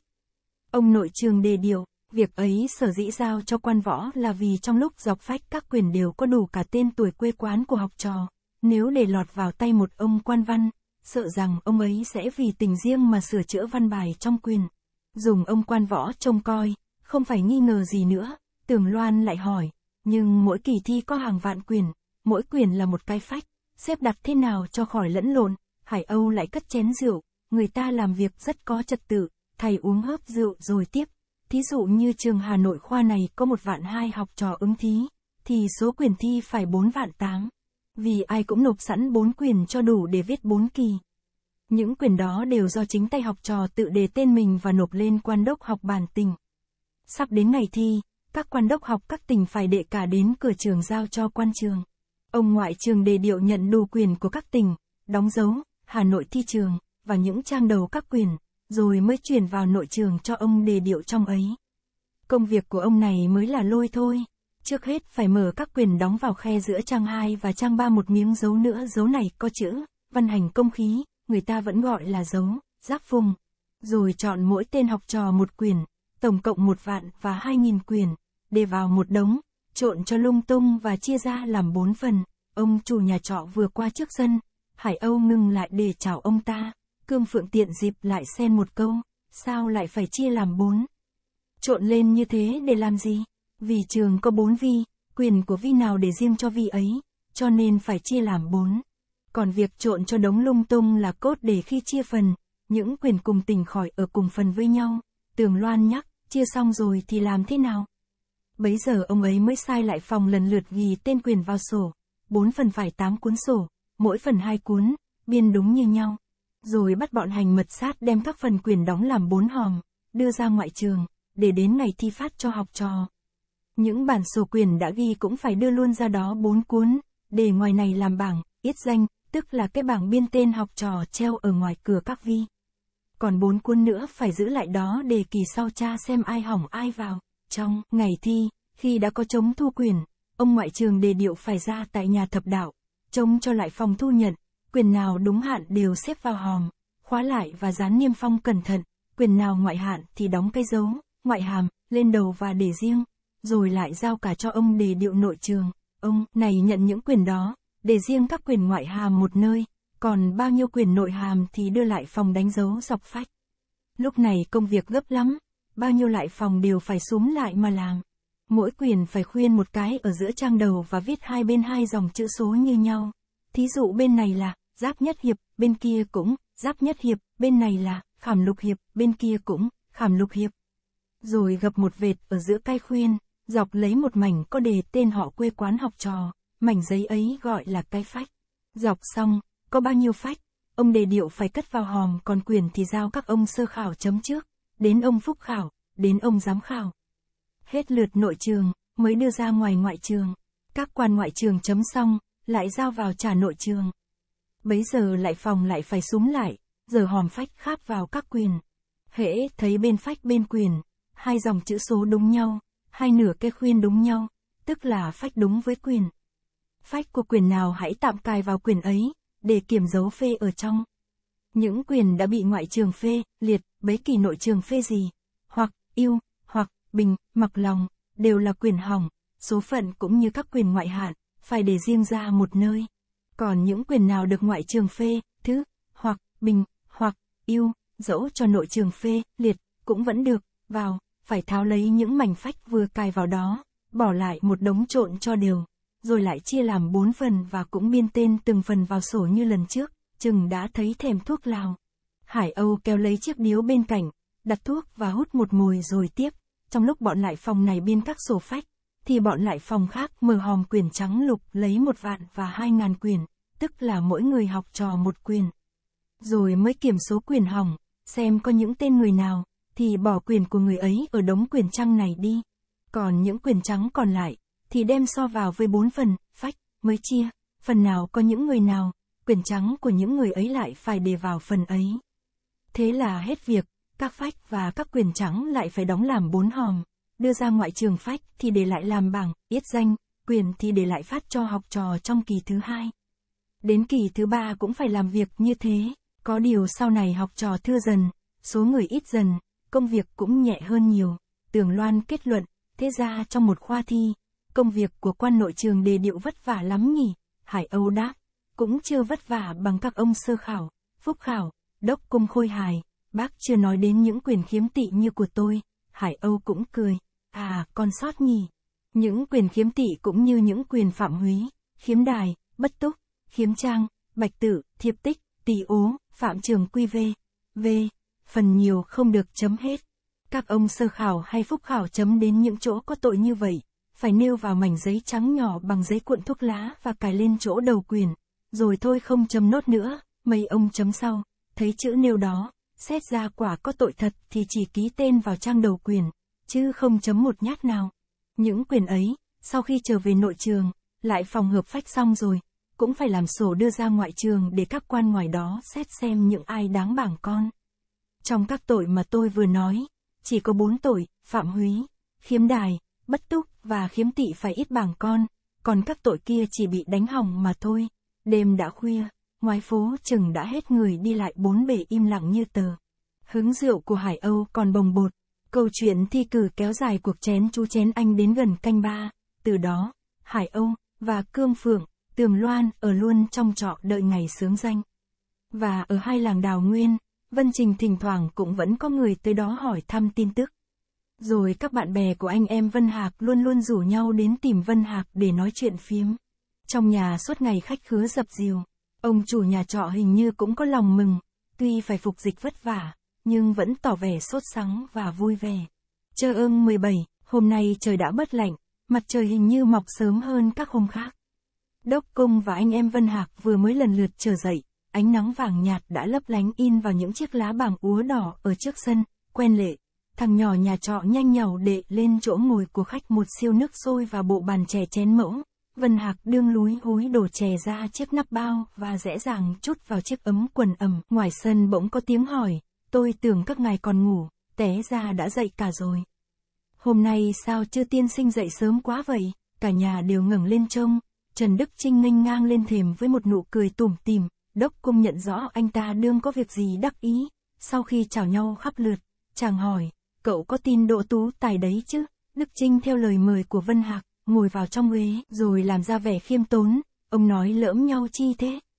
Tú tài đâu đến phần tôi, nếu tôi mà đỗ, thiên hạ còn ai hỏng nữa, đốc công cười kiểu chế nhạo, cái đó không biết chừng. Học tài thi phận, cậu ạ, Nhưng nếu không có tin đỗ thì sao người cậu hôm nay lại thấy tươi hơn mọi hôm? Đức Trinh vẫn đáp bằng giọng thật thà. Vì tôi mừng cho ông Hạc, đốc công vội hỏi, cậu biết anh Hạc đỗ à? Vâng, có lẽ ông Hạc sẽ đỗ thủ khoa, Vân Hạc buột miệng. Nếu quả như vậy, thì các quan trường năm nay đã biết chấm văn, rồi chợt nhớ ra trước mặt còn có đoàn bằng, tiêm hồng, chàng liền lảng sang ngách khác. Nhưng cậu nghe được tin đó ở đâu? Hôm qua thầy tôi có vào thăm quan tổng đốc, trong lúc nói về việc trường, ngài có cho biết như vậy. Vì tôi khoe ông Hạc là bạn với tôi cho nên thầy tôi dục phải đến đây sớm để báo tin mừng, Hải Âu cũng hỏi, vậy ngài có biết bao giờ thì sướng danh không? Cứ như thầy tôi nói lại, tin chắc cũng không còn lâu lắm. Bởi vì còn phải đợi, chỉ, trong kinh, đoàn bằng dạ y nóng ruột, thưa ngài, thế cụ lớn nhà dạy như thế nào? Thầy tôi nói rằng, sáng sớm hôm qua, vừa có mật tin từ trong trường ra báo quan tổng đốc cho biết rằng, việc trường đã xong hết cả, giải ngạch, cử nhân, tú tài cũng lấy xong rồi. Chỉ còn hai ông giải nguyên, Á Nguyên thì chưa quyết định, là vì trong số hơn 100 quyền được vào phúc hạch thì quyền của ông Hạc là tốt hơn cả. Rồi đến quyền của ông Nguyễn Chu Văn, ông Hạc được 2, yêu, ngoại 2, yêu, nội và 12, bình, ông Văn được 1, yêu, ngoại, 1, yêu, nội và 14, bình. Như thế thủ khoa đáng lẽ phải về ông Hạc vì đã hơn hẳn ông Văn 2, yêu, kìa mà. Nhưng mà ông Hạc mới 22 tuổi lại là chân trắng mà ông Văn thì đã 45 tuổi lại đã hai khoa tú tài. Nếu lấy sự cao niên túc học làm trọng thì ông Văn cũng nên được đỗ thủ khoa. Quan chủ khảo và quan ngự sử đa tranh luận mãi về chỗ đó. Ý quan chủ khảo muốn để ông Văn ở trên vì ngài trọng người tôn niên. Nhưng quan ngự sử nhất định không nghe. Ông này cho rằng, việc thi cử là thi bằng văn, không thi bằng tuổi, hễ mà văn hay thì phải đỗ trên, bất luận tuổi nhiều hay ít. Kết cục, hai ngài không ai chịu ai, ai cũng nhận cái lý của mình là phải. Vì thế các ngài mới phải làm sớ tâu về triều đình và gửi tất cả các quyền trong bốn kỳ của hai ông ấy vào đó, để tùy trong triều định đoạt, Đức Trinh kết luận, từ đây vào kinh, vừa đi vừa về, ít ra cũng phải ngoài hai chục ngày. Và lại, sớ vào đến nơi, Hoàng thượng xem rồi, lại còn giao cho triều thần bàn bạc nữa chứ. Như vậy, có lẽ phải mươi ngày nữa mới có, chỉ, ra, Hải Âu ngắt lời, không. Từ đây vào kinh, cả đi lẫn về chỉ hết độ hơn 10 ngày là cùng. Bởi vì trong năm Gia Long thứ ba, trình hạn của phu chạy chạm đã có định rõ, từ Bắc Thành đến Kinh Đô, việc gấp, phải chạy 5 ngày cho tới. Người nào chạy được đúng hạn thì thưởng ba quan, quá hạn độ một hai ngày, thì phải phạt ba chục roi đòn. Việc thi bây giờ cũng là việc gấp, bao nhiêu quan trường, bao nhiêu học trò đều đương ngong ngóng chờ đợi kia mà. Lẽ nào phu chạm lại dám để chấm, cương phượng tỏ ý kinh ngạc. Trời ơi, đường đất từ đây vào kinh, kể có nghìn dặm, thế mà chỉ đi 5 ngày. Họ chạy nhanh bằng luật kinh chạy theo mặt trời, nhưng chạy như thế lỡ ra phu chạm mệt quá, chết ở ngang đường thì làm thế nào? Hải Âu đáp, họ chết ở cung đường nào, thì nhà trạm ở cung đường ấy phải cắt người khác nhận lấy giấy má của họ mà chạy luôn đi. Trong luật đã có nói rõ như vậy, rồi thầy trở lại câu chuyện thi cử, tôi chắc nay mai, chỉ của triều đình sẽ ra đến đây và vài ngày nữa thì sẽ có cuộc sướng danh. Đức Trinh vừa cười vừa nhìn Vân Hạc, thôi thì bao giờ sướng danh mặc lòng, ông cũng không phải nóng ruột, mười phần đỗ cả mười rồi. Chẳng thủ khoa thì Á Nguyên, quyết không xuống đến thứ ba, Vân Hạc cũng cười, có đỗ thủ khoa thì tôi đỗ chơi cho hay, chứ đỗ Á Nguyên còn thú gì nữa, đốc công nói đùa, thật là được thể dễ nói khoác, tôi chỉ cầu trời khấn vật cho anh hỏng khoa này nữa, để xem anh sẽ nói với chị ấy ra sao, tường loan chỉ vào đoàn bằng. Tiêm hồng và hỏi Đức Trinh, thưa ngài, còn hai ông này ra sao, ngài có biết tin gì không? Đức Trinh lắc đầu, tôi không được rõ vì không thấy thầy tôi nói chuyện. Nhưng chắc các ngài đỗ cả, mỗi người nói phiếm thêm mấy câu nữa, ấm trẻ vừa tàn. Đức Trinh cáo từ ra về, bây giờ ánh nắng đã xuyên qua lỗ cửa sổ, tránh trách xuống nền nhà.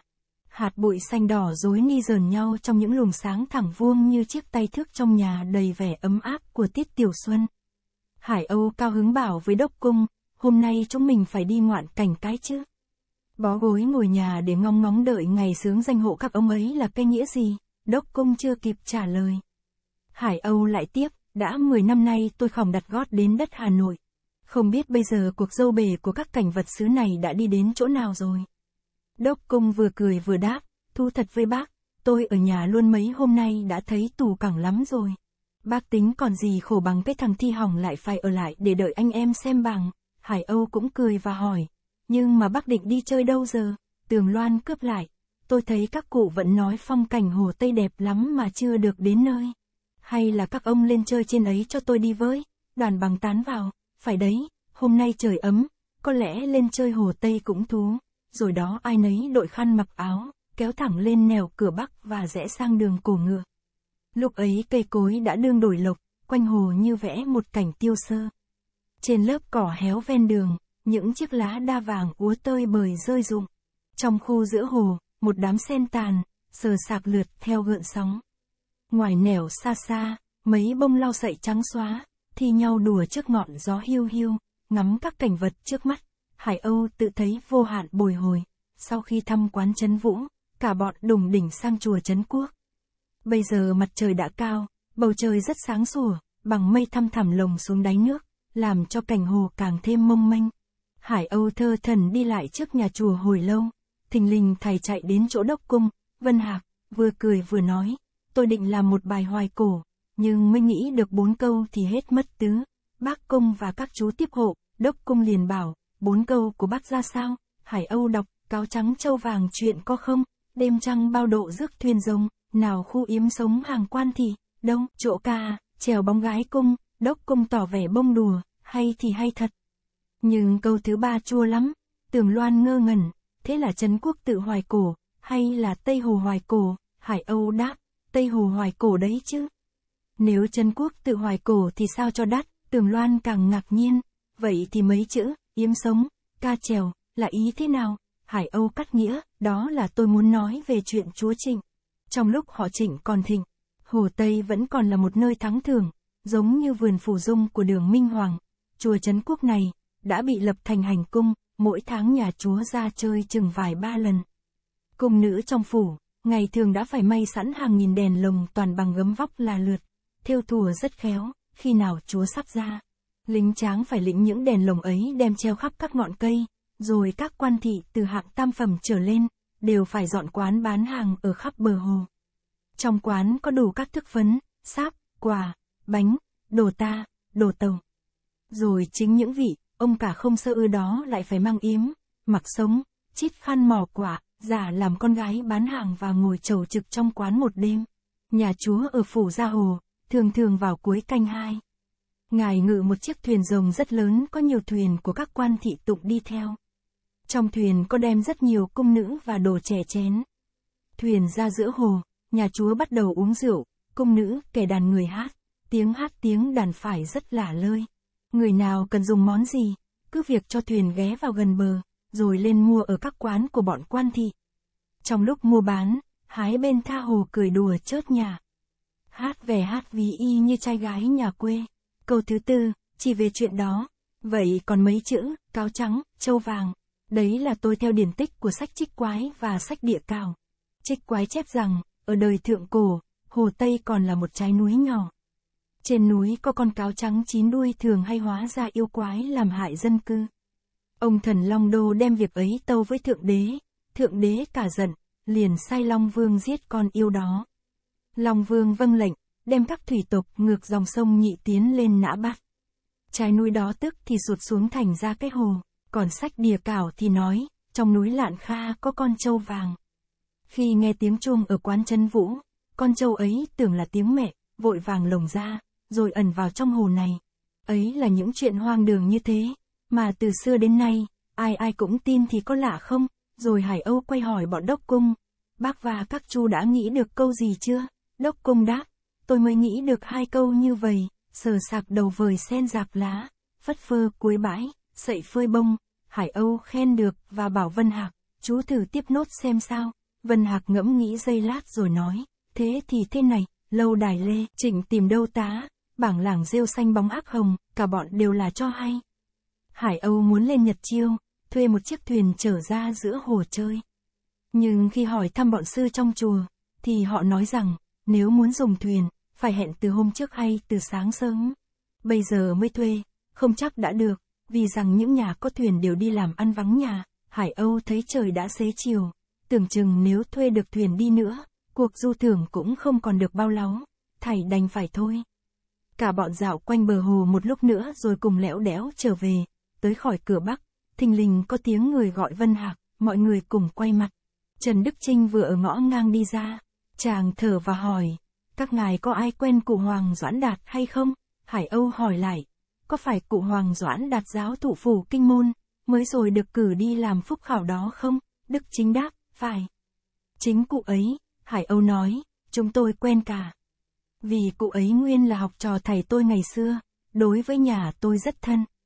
Ngài hỏi vậy có việc gì chăng? Thầy nói cụ ở trong trường bị bệnh nặng lắm, mới được cáo ra lúc trưa, bây giờ còn trọ trong nhà người quen ở phố Cửa Nam. Chắc cụ biết rõ công việc trong trường, các ngài thử xuống hỏi xem chỉ của triều định đã ra đây chưa? Đến đây, Đức Trinh ngừng lại và nhìn Vân Hạc. Chỉ vì việc đó, tôi phải lật đật tìm ngài từ trưa đến giờ.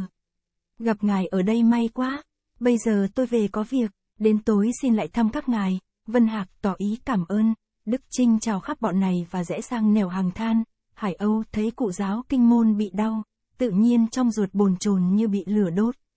Là vì cụ với anh em Hải Âu tuy chỉ là chỗ thế huynh thế đệ, song hai nhà ăn ở với nhau không khác gì người ruột thịt. Xưa nay Hải Âu và các em vẫn kính mến cụ vô cùng. Hơn nữa, thầy với cụ lại cùng chung một tính tình, hầu hết những cuộc đăng sơn lâm thúy, hễ có cụ thì phải có thầy, nhiều khi thầy vẫn nằm ở nhà cụ hàng 2-3 tháng.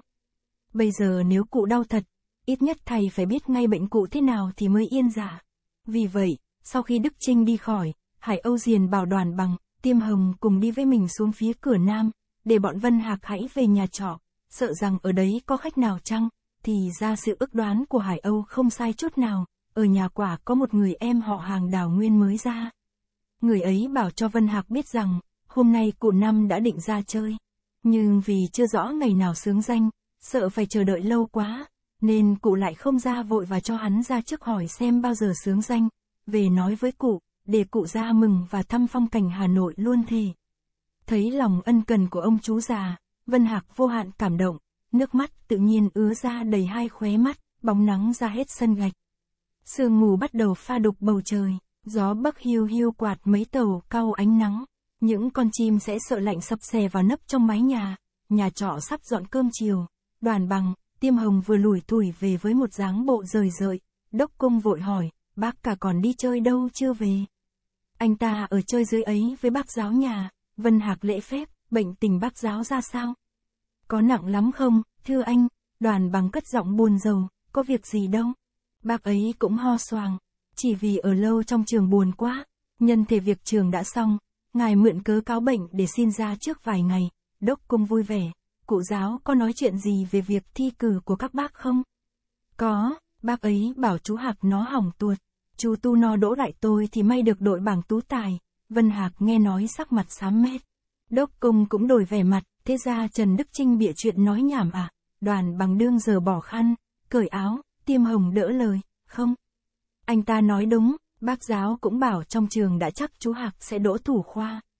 Sáng nay có chỉ ở kinh ban ra, mới biết là hỏng. Vậy thì quyền của anh Hạc có tội gì chăng? Không, bác giáo cũng nói như Trần Đức Trinh, quyền của chú nó tốt lắm.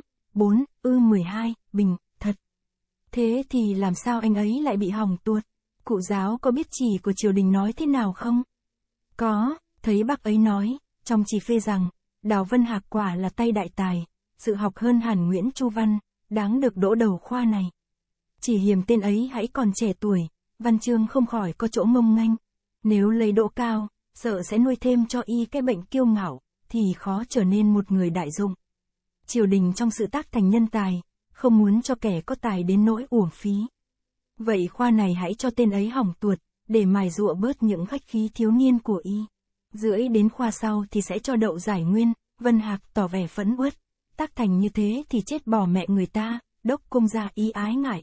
Vậy thì chuyện anh Hạc cũng giống với chuyện cụ Nguyễn Công chứ. Rồi đốc cung tiếp, tôi thấy ông tôi ngày xưa có nói lại rằng, cụ Nguyễn Công chứ từ lúc trẻ tuổi đã nổi tiếng là bậc văn chương đại tài, bè bạn ai cũng phải phục.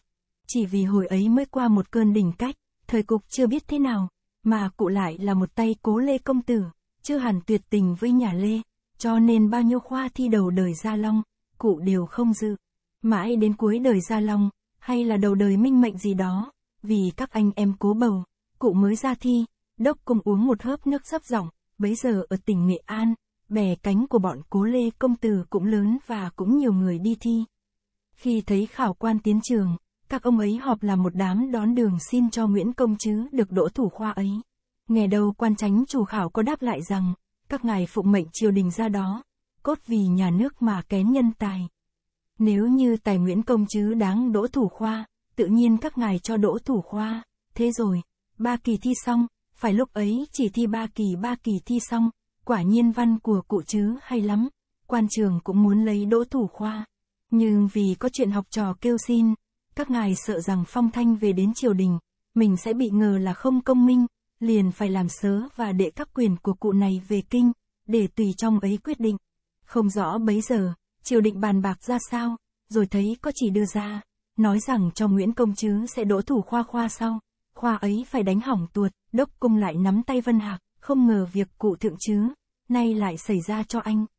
Nhưng cũng không sao, triều đình đã hứa không bao giờ sai. Cụ chứ về sau lại đỗ thủ khoa, thì anh khoa sau cũng đỗ thủ khoa. Sang năm đã lại có khoa thi rồi, chậm đỗ một năm cũng không muộn lắm. Vân Hạc tỏ vẻ cáu kỉnh, thế họa khoa sau tôi ốm không đi thi được, triều đình có cho đỗ không? Ông chủ nhà trọ vừa ở nhà dưới tiến lên, đoàn bằng nói bằng giọng cười gượng, cơm đã xong chưa? Ông cho bưng lên đi thôi, hôm nay ông phải uống rượu với chúng tôi một bữa thật say, không được từ chối vì ngày mai chúng tôi sẽ cùng từ giã ông tất cả. Ông chủ nhà trọ ra bộ ngơ ngác, không hiểu bọn này nói thật hay nói đùa. Sau khi đoàn bằng đem chuyện đến chơi quan giáo kinh môn kể lại cho nghe, ông ấy vội can, các ngài không nên nóng này. Vì tôi vẫn nghe nói việc trường bao giờ cũng giữ rất kín, khó lòng có ai biết trước. Chắc đầu cụ giáo nói vậy là đúng, đoàn bằng cắt nghĩa, tôi chắc đúng lắm. Cụ giáo kinh môn có quen quan tránh chủ khảo hai người đã từng gặp nhau trong một khoa hội năm xưa vì với nhà tôi là chỗ trí thân, nên khi lên chào quan tránh chủ khảo để ra ngoài trường, cụ có hỏi ngài về chuyện đỗ hỏng của chúng tôi. Bây giờ việc trường đã xong, không cần phải giữ bí mật như trước, cho nên quan tránh chủ khảo đưa cả cuốn số giải ngạch và đạo trì của triều đình cho cụ ấy coi. Như vậy còn sai sao được, dầu vậy đi nữa, cũng còn hai ngài đậu được tú tài kia mà. Tôi tưởng các ngài hãy nên ở lại xem bảng cái đã. Việc gì mà phải hấp tấp, đoàn bằng lại càng buồn bã. Tú tài đỗ lại và tú tài đội bảng thì cũng như hỏng. Còn sung sướng gì mà đợi xem bảng hử ông, thằng nhỏ vừa bưng mâm rượu đặt vào chỗ phản mọi ngày. Cả nhà cùng ngồi súng lại. Cuộc rượu bắt đầu bằng những tiếng cười gượng, nói gượng. Rượu đến nửa chừng, tiêm hồng vừa bưng chén rượu vừa khóc rưng rức. Đoàn bằng vội ngăn, có học, có thi, thì có đỗ, chẳng đỗ khoa này thì đô khoa khác. Việc gì mà phải tủi thân, vừa dứt hai tiếng, tủi thân, miệng thầy tự nhiên mếu sạch, nước mắt dòng dòng dò xuống mặt chiếu. Vân Hạc thấy hai anh khóc, chàng bỗng nghĩ đến sự kỳ vọng của những người thân thích ruột già và bụng bảo giả. Lúc mình bước chân ra đi, nào mẹ, nào vợ, nào cha mẹ vợ, nào chú bác họ hàng, người này giúp năm quan, người kia giúp ba quan, ai cũng mong cho mình đỗ. Cả đến cụ năm, đã đương nằm kề miệng lỗ, nghe tin cháu và Phúc Hạch cũng còn sai người đến đây hỏi xem ngày nào sướng danh để ra chơi mừng. Bây giờ mình hỏng, làm cho biết bao nhiêu người thất vọng, hiện nay mẹ mình, chú mình và ông nhạc bà nhạc của mình đều đã vất vưởng như đèn trước gió, không biết các cụ có còn sống được đến ngày mình đỗ hay không. Thế rồi chàng cứ nức nức nở nở, trong họng như bị nghẹn ngào, chén rượu bưng lên lại phải đặt xuống, không tài nào mà nhấp đi được. Đốc cung từ khi bị hỏng vẫn cố nén giả cười nói cho qua. Bây giờ thấy Vân Hạc khóc, lửa phiền của chàng như sắp dập tắt lại bị khêu lên. Chàng cũng thổn thức nói không ra tiếng, tường xoan, cương phượng và người em họ mới ra.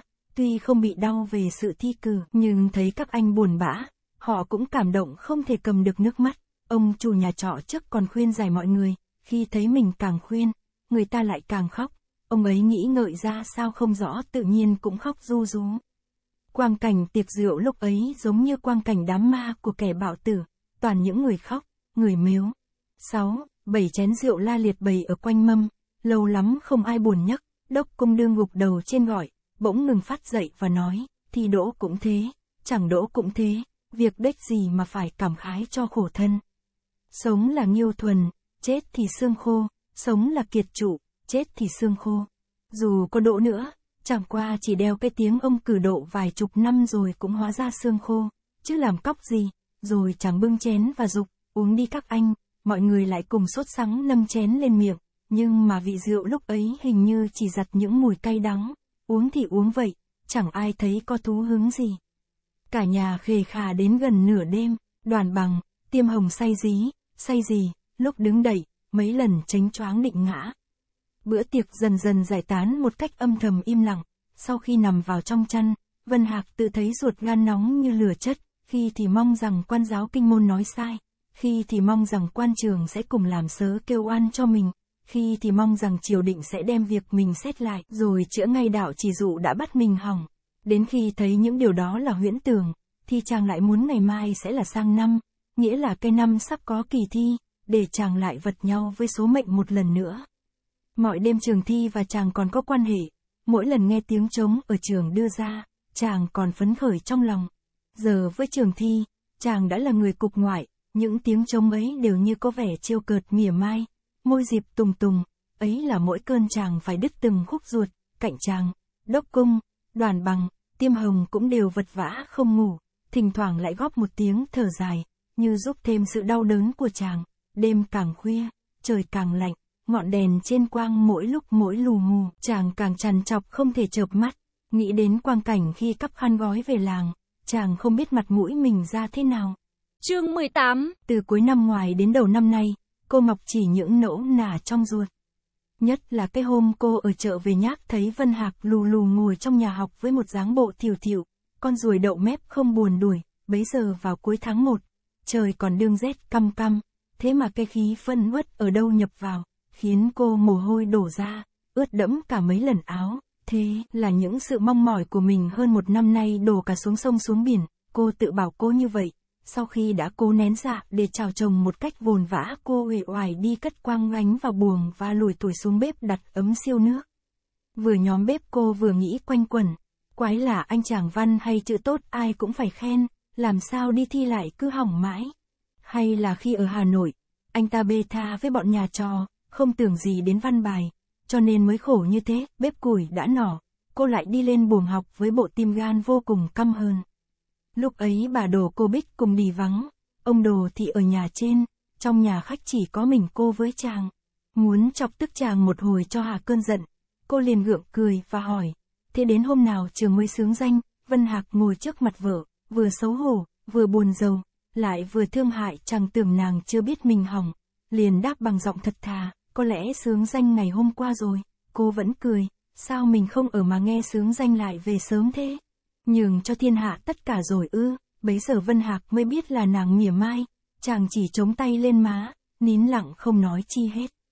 Cô Ngọc cố trêu, thế khoa này có ai đỗ không? Vân Hạc như không buồn cất giọng, anh Tú đỗ lại, anh hai cũng đỗ tú tài, thấy chàng hiểu lầm câu hỏi, cô mới nhớ rằng vì mình giận chồng, thành ra vô ý, không kịp hỏi thăm đến hai anh chồng, liền xoay ra giọng đứng đắn, khốn khổ, một nhà đến ba người vào phúc hạch mà không ai đỗ cử nhân, đáng tức biết chừng nào.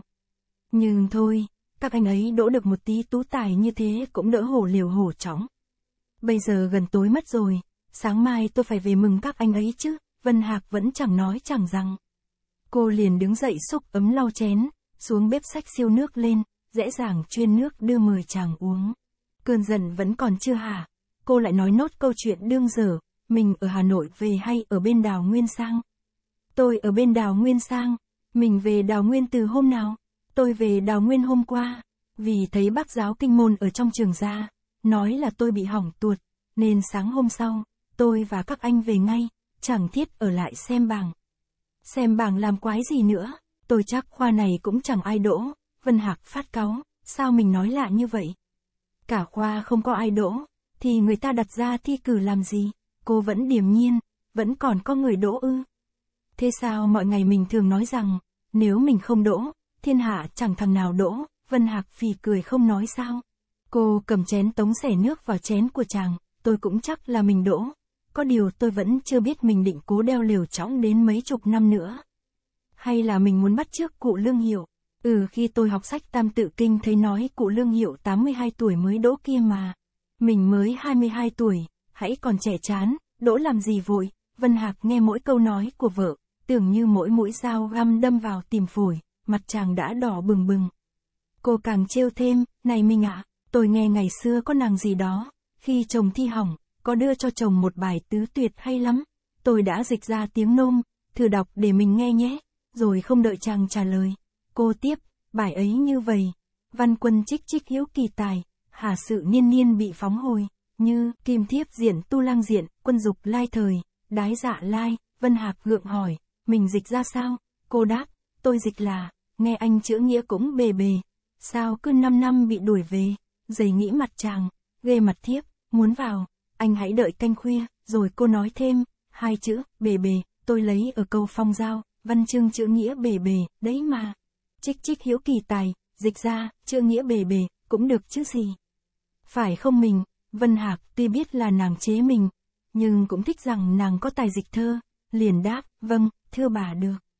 Xong tôi không bị ai ám, mình phải biết thế, chẳng ngừng một lát rồi thêm, nhưng cũng chưa bằng những câu của ông nào đó dịch bài, lạc đệ, của tàu, và chàng hỏi, mình đã học đến hay chưa? Bài ấy thế này, lạc đệ viễn quy lai, thê từ sắc bất hỉ, hoàng khuyển độc hữu tình, đương môn ngọa giao vĩ, rồi chàng tiếp.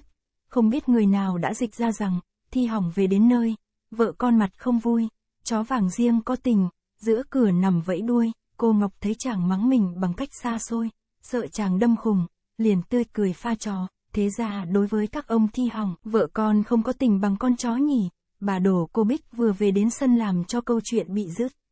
Cô Ngọc vội vàng đi ra nơi khác, nhường chỗ cho mẹ nói chuyện với chồng.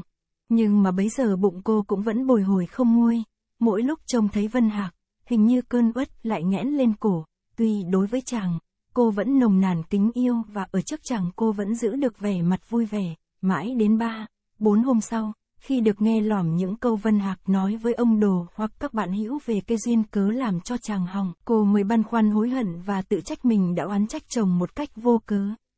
Từ đó, cô có trách gì Vân Hạc, nhưng lại trách cái số phận của mình, anh chàng thi cử vất vả thế này, có lẽ cũng là tại mình. Bởi vì số mình không được làm bà, cho nên anh ta mới bị hỏng mãi.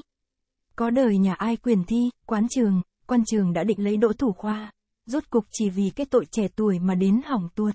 Nếu không vạ lây vì cái số phận của mình, anh ta có đâu lại bị tai hại như thế. Bởi cô nghĩ thế, nên cô lại rất ái ngại cho chàng. Và cô thương chồng bao nhiêu, cô càng đau xót cho cái số kiếp của cô bấy nhiêu.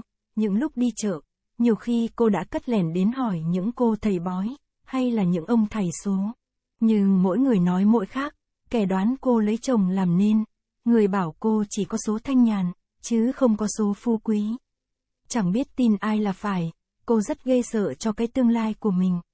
Nhiều lúc vô sự, nhớ đến cái ngày bị bệnh, mê man, làm nhảm xưng là bà thám bà bảng tự nhiên cô thấy hổ thẹn vô cùng, chỉ muốn giấu cái mặt đi, không muốn trông thấy ai nữa.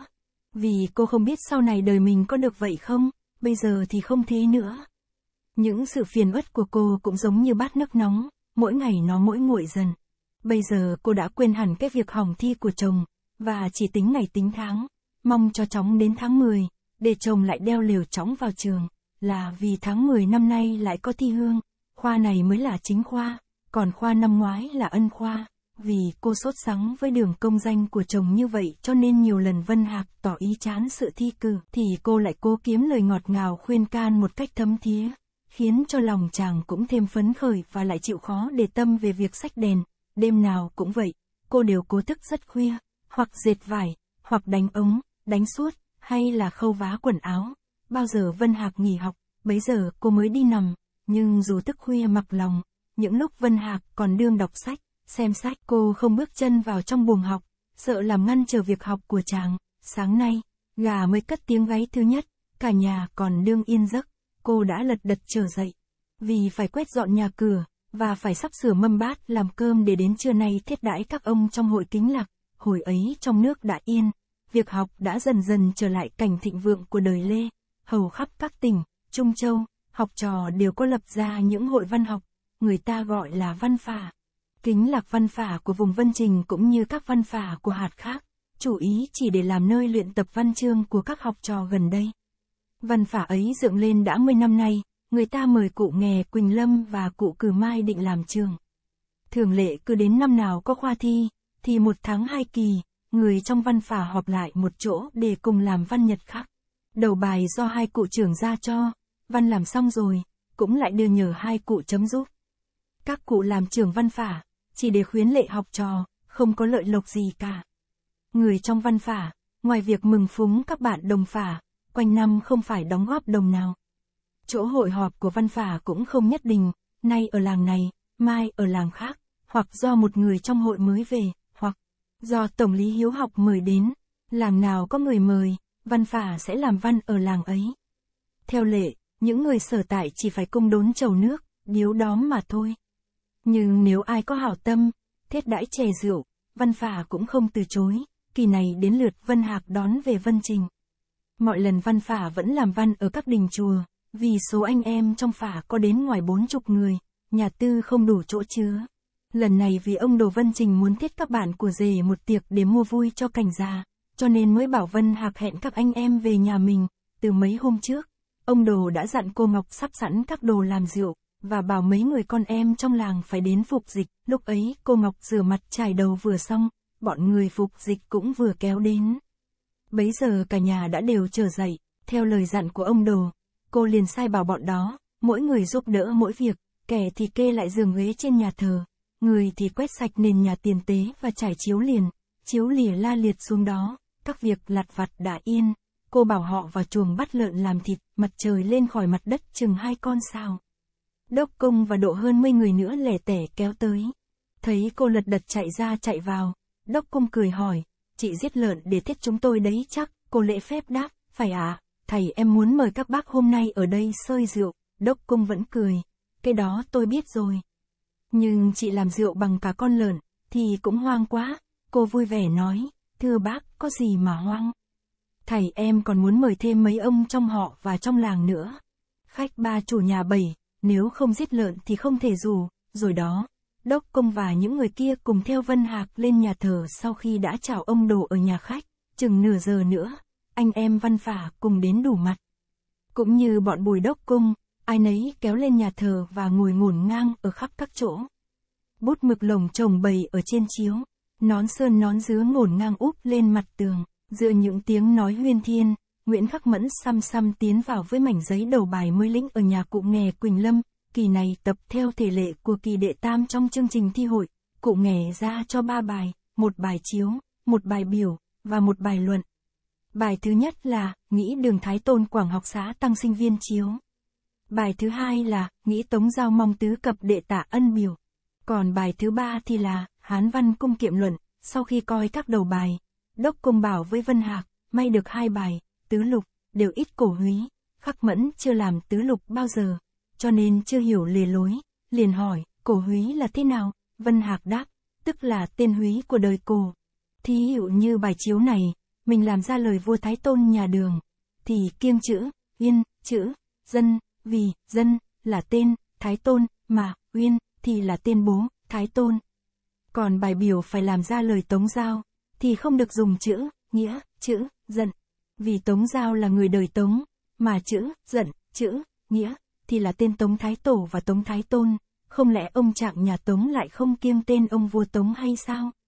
Đấy là tôi mới nói qua, thực ra còn phải kiêng nhiều chữ nữa, ví như tên mẹ, tên bà các ông vua kia chẳng hạn, khắc mẫn lắc đầu, trời đất ơi! Kiêng một chữ húy đời nay chẳng đủ chết ư, lại còn kiêng cả chữ húy đời xưa, vậy làm thế nào mà biết những của tội ấy? Đốc công đáp, vào trường mà quên thì đành chịu phép, nhưng đây là làm văn ở nhà quên đâu cứ việc dở sách ra đấy, lo gì, câu chuyện vừa hết, một lũ chừng bảy tám cậu học trò tí nhau vừa ở phía nhà khách lau tau kéo lên, cậu này sách ấm nước, cậu kia bừng chiếc điếu đàn, vài ba cậu khác lễ mễ ôm những chồng bát hoa cúc. Sau một hồi, lại các bác ạ, nhao nhao tự ngoài đầu thềm đưa vào. Các cậu lần lượt đặt hết đồ đạc vào các ghế chiếu. Cuộc hành văn bắt đầu.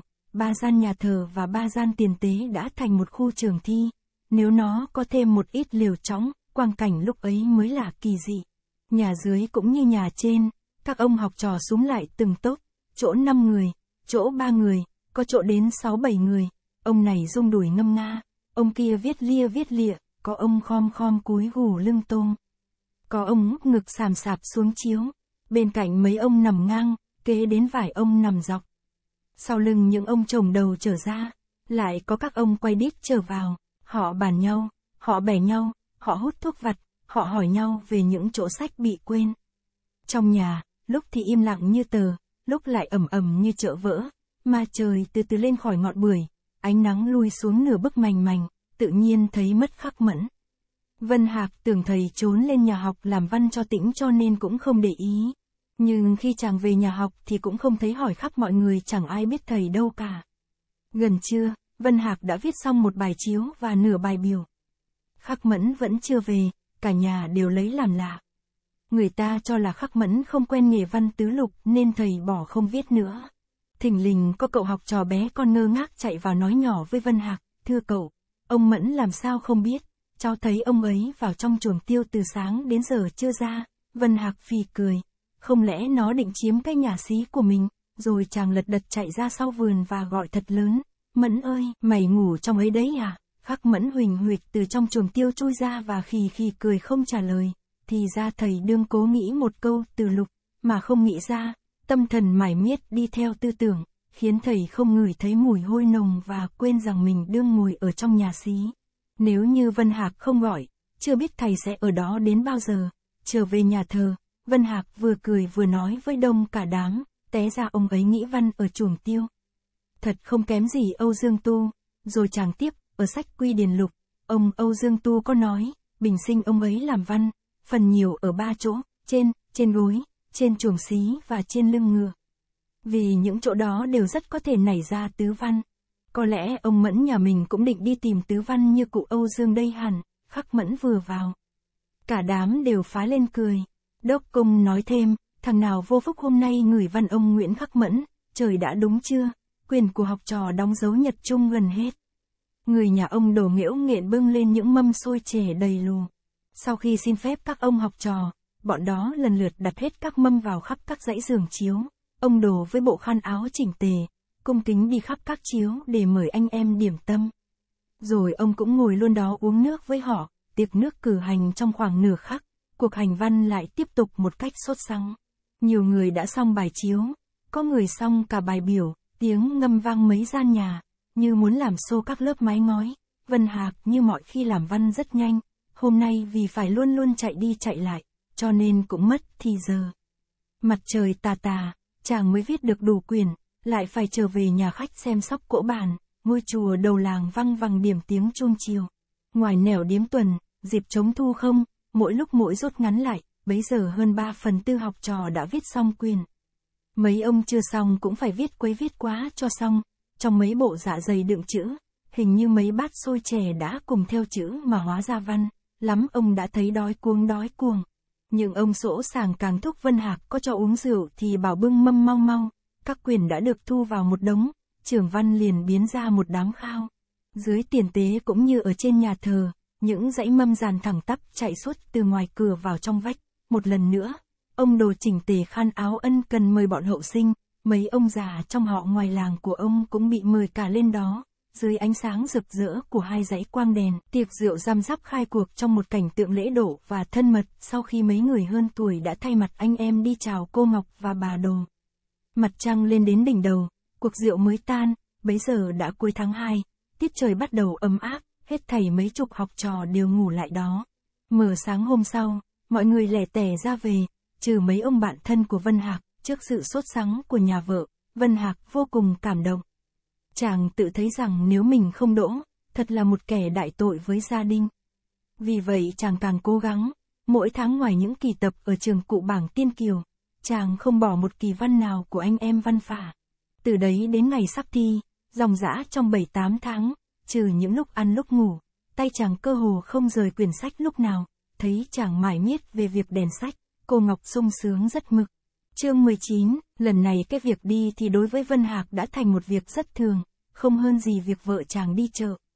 Vì đã hỏng đến ba khoa liền, chàng không dám coi là việc, ong trọng. Tuy rằng trước ngày khởi hành, họ nội họ ngoại cũng vẫn tiễn tặng cầu chúc như xưa.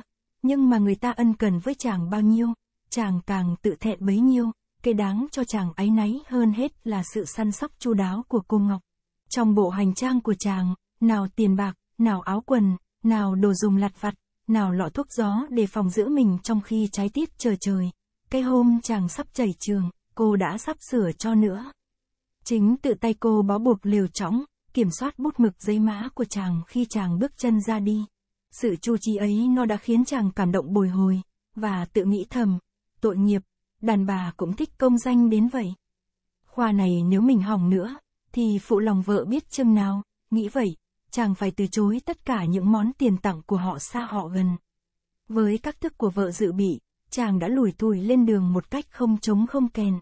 Bấy giờ đoàn bằng đã chán trường ốc, tiêm hồng thì đương bị bệnh, cả hai đều cáo không thi. Trong nhà trọ chỉ có chàng và đốc cung, khắc mẫn, ông chủ nhà trọ tuy vẫn hết sức quý trọng, nhưng quang cảnh vẫn không vui bằng năm xưa. Ở trọ thấm thoát đã gần hai tháng, chàng không về quê lần nào, mọi khoa, mỗi kỳ thi xong, chàng đều vững chắc trong lòng, khoa này mỗi lần ở trong trường ra, chàng lại băn khoăn lo ngại, không biết kỳ sau có được vào không, may sao trong ba kỳ trước ba người đều được vào cả. Đến kỳ thứ tư, khắc mẫn bị hỏng, chàng và đốc cung hết sức ngậm ngùi. Vì có đốc cung với chàng cố tình trèo kéo, khuyên bầy ở lại xem bảng tú tài, cho nên khắc mẫn cũng không về vội.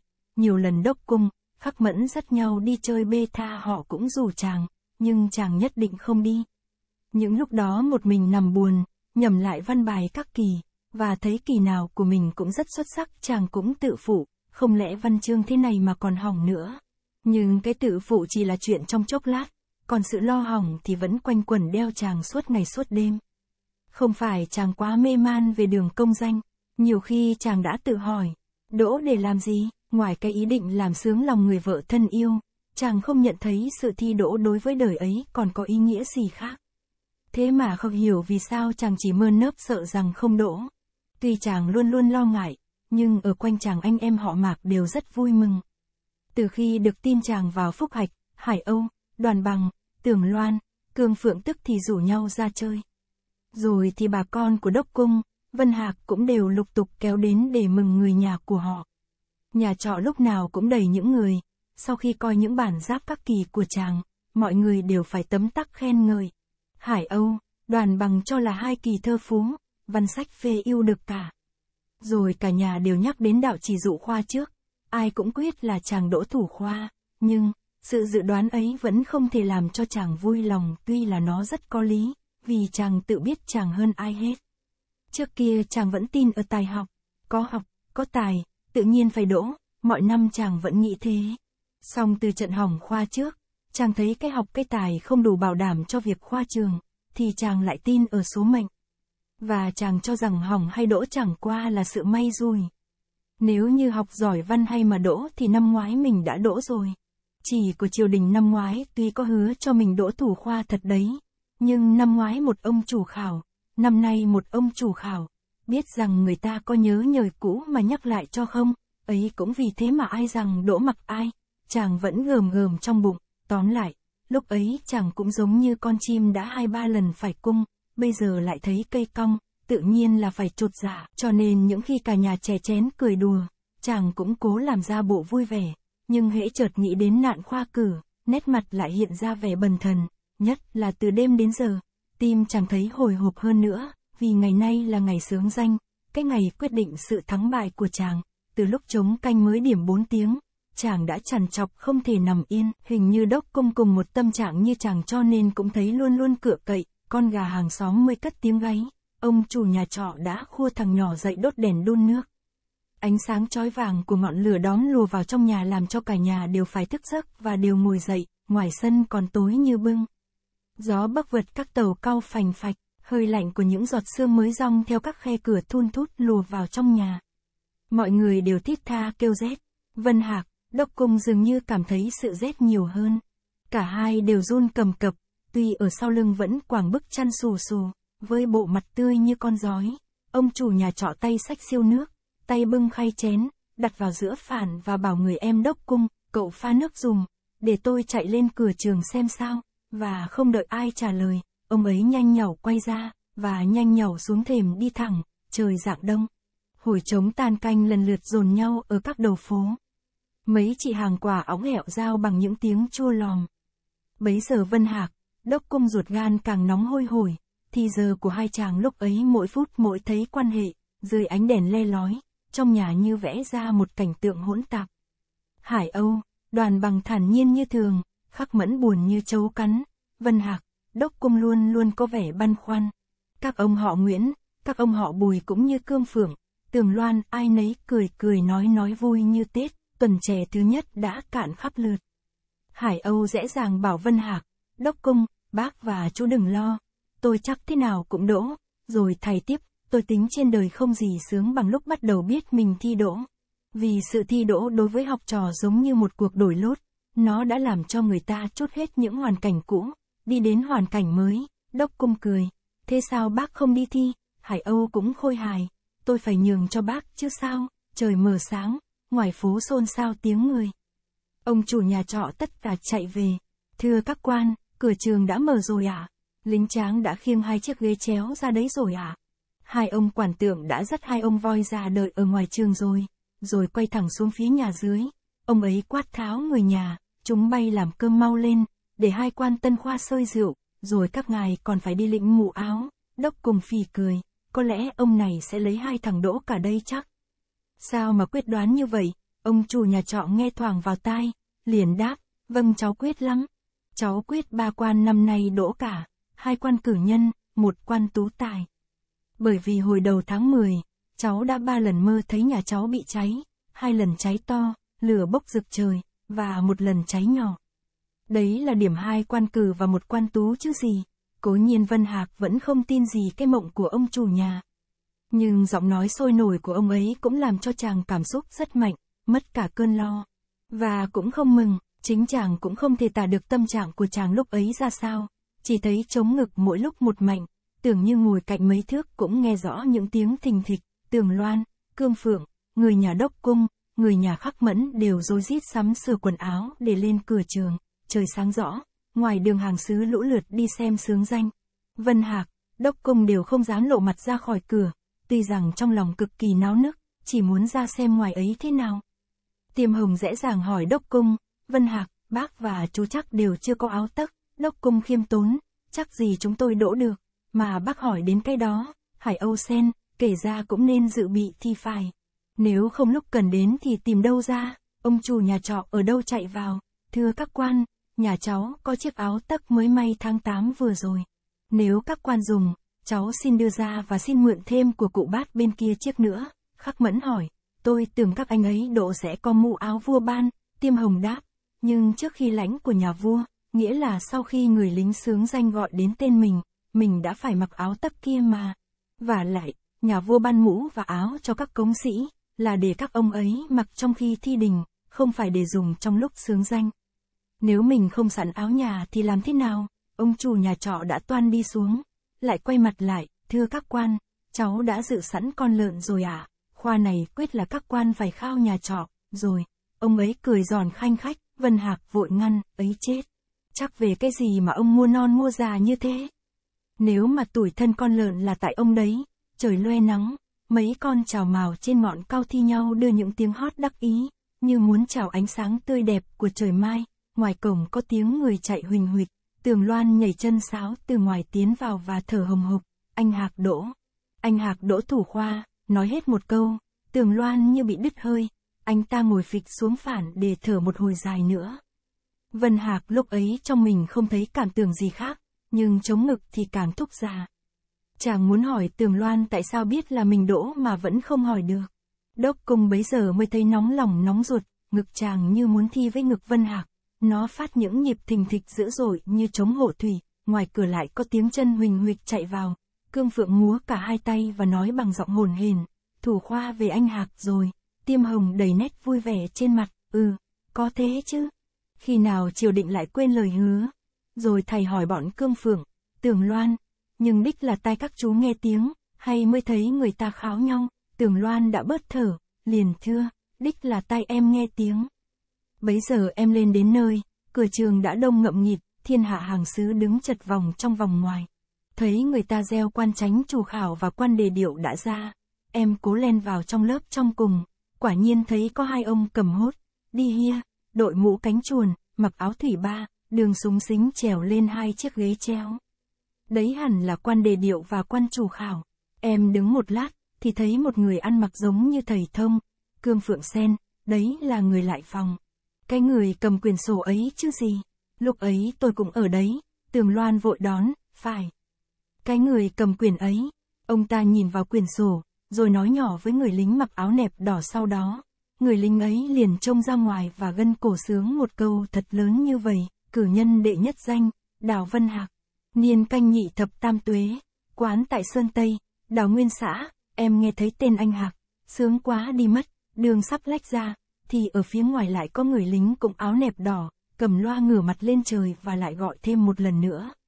Lúc em ra được bên ngoài, thì thấy hai người quản tượng cưỡi hai con voi đi ra hai ngả. Người ta bảo họ đi tìm ông thủ khoa, không biết có phải hay không.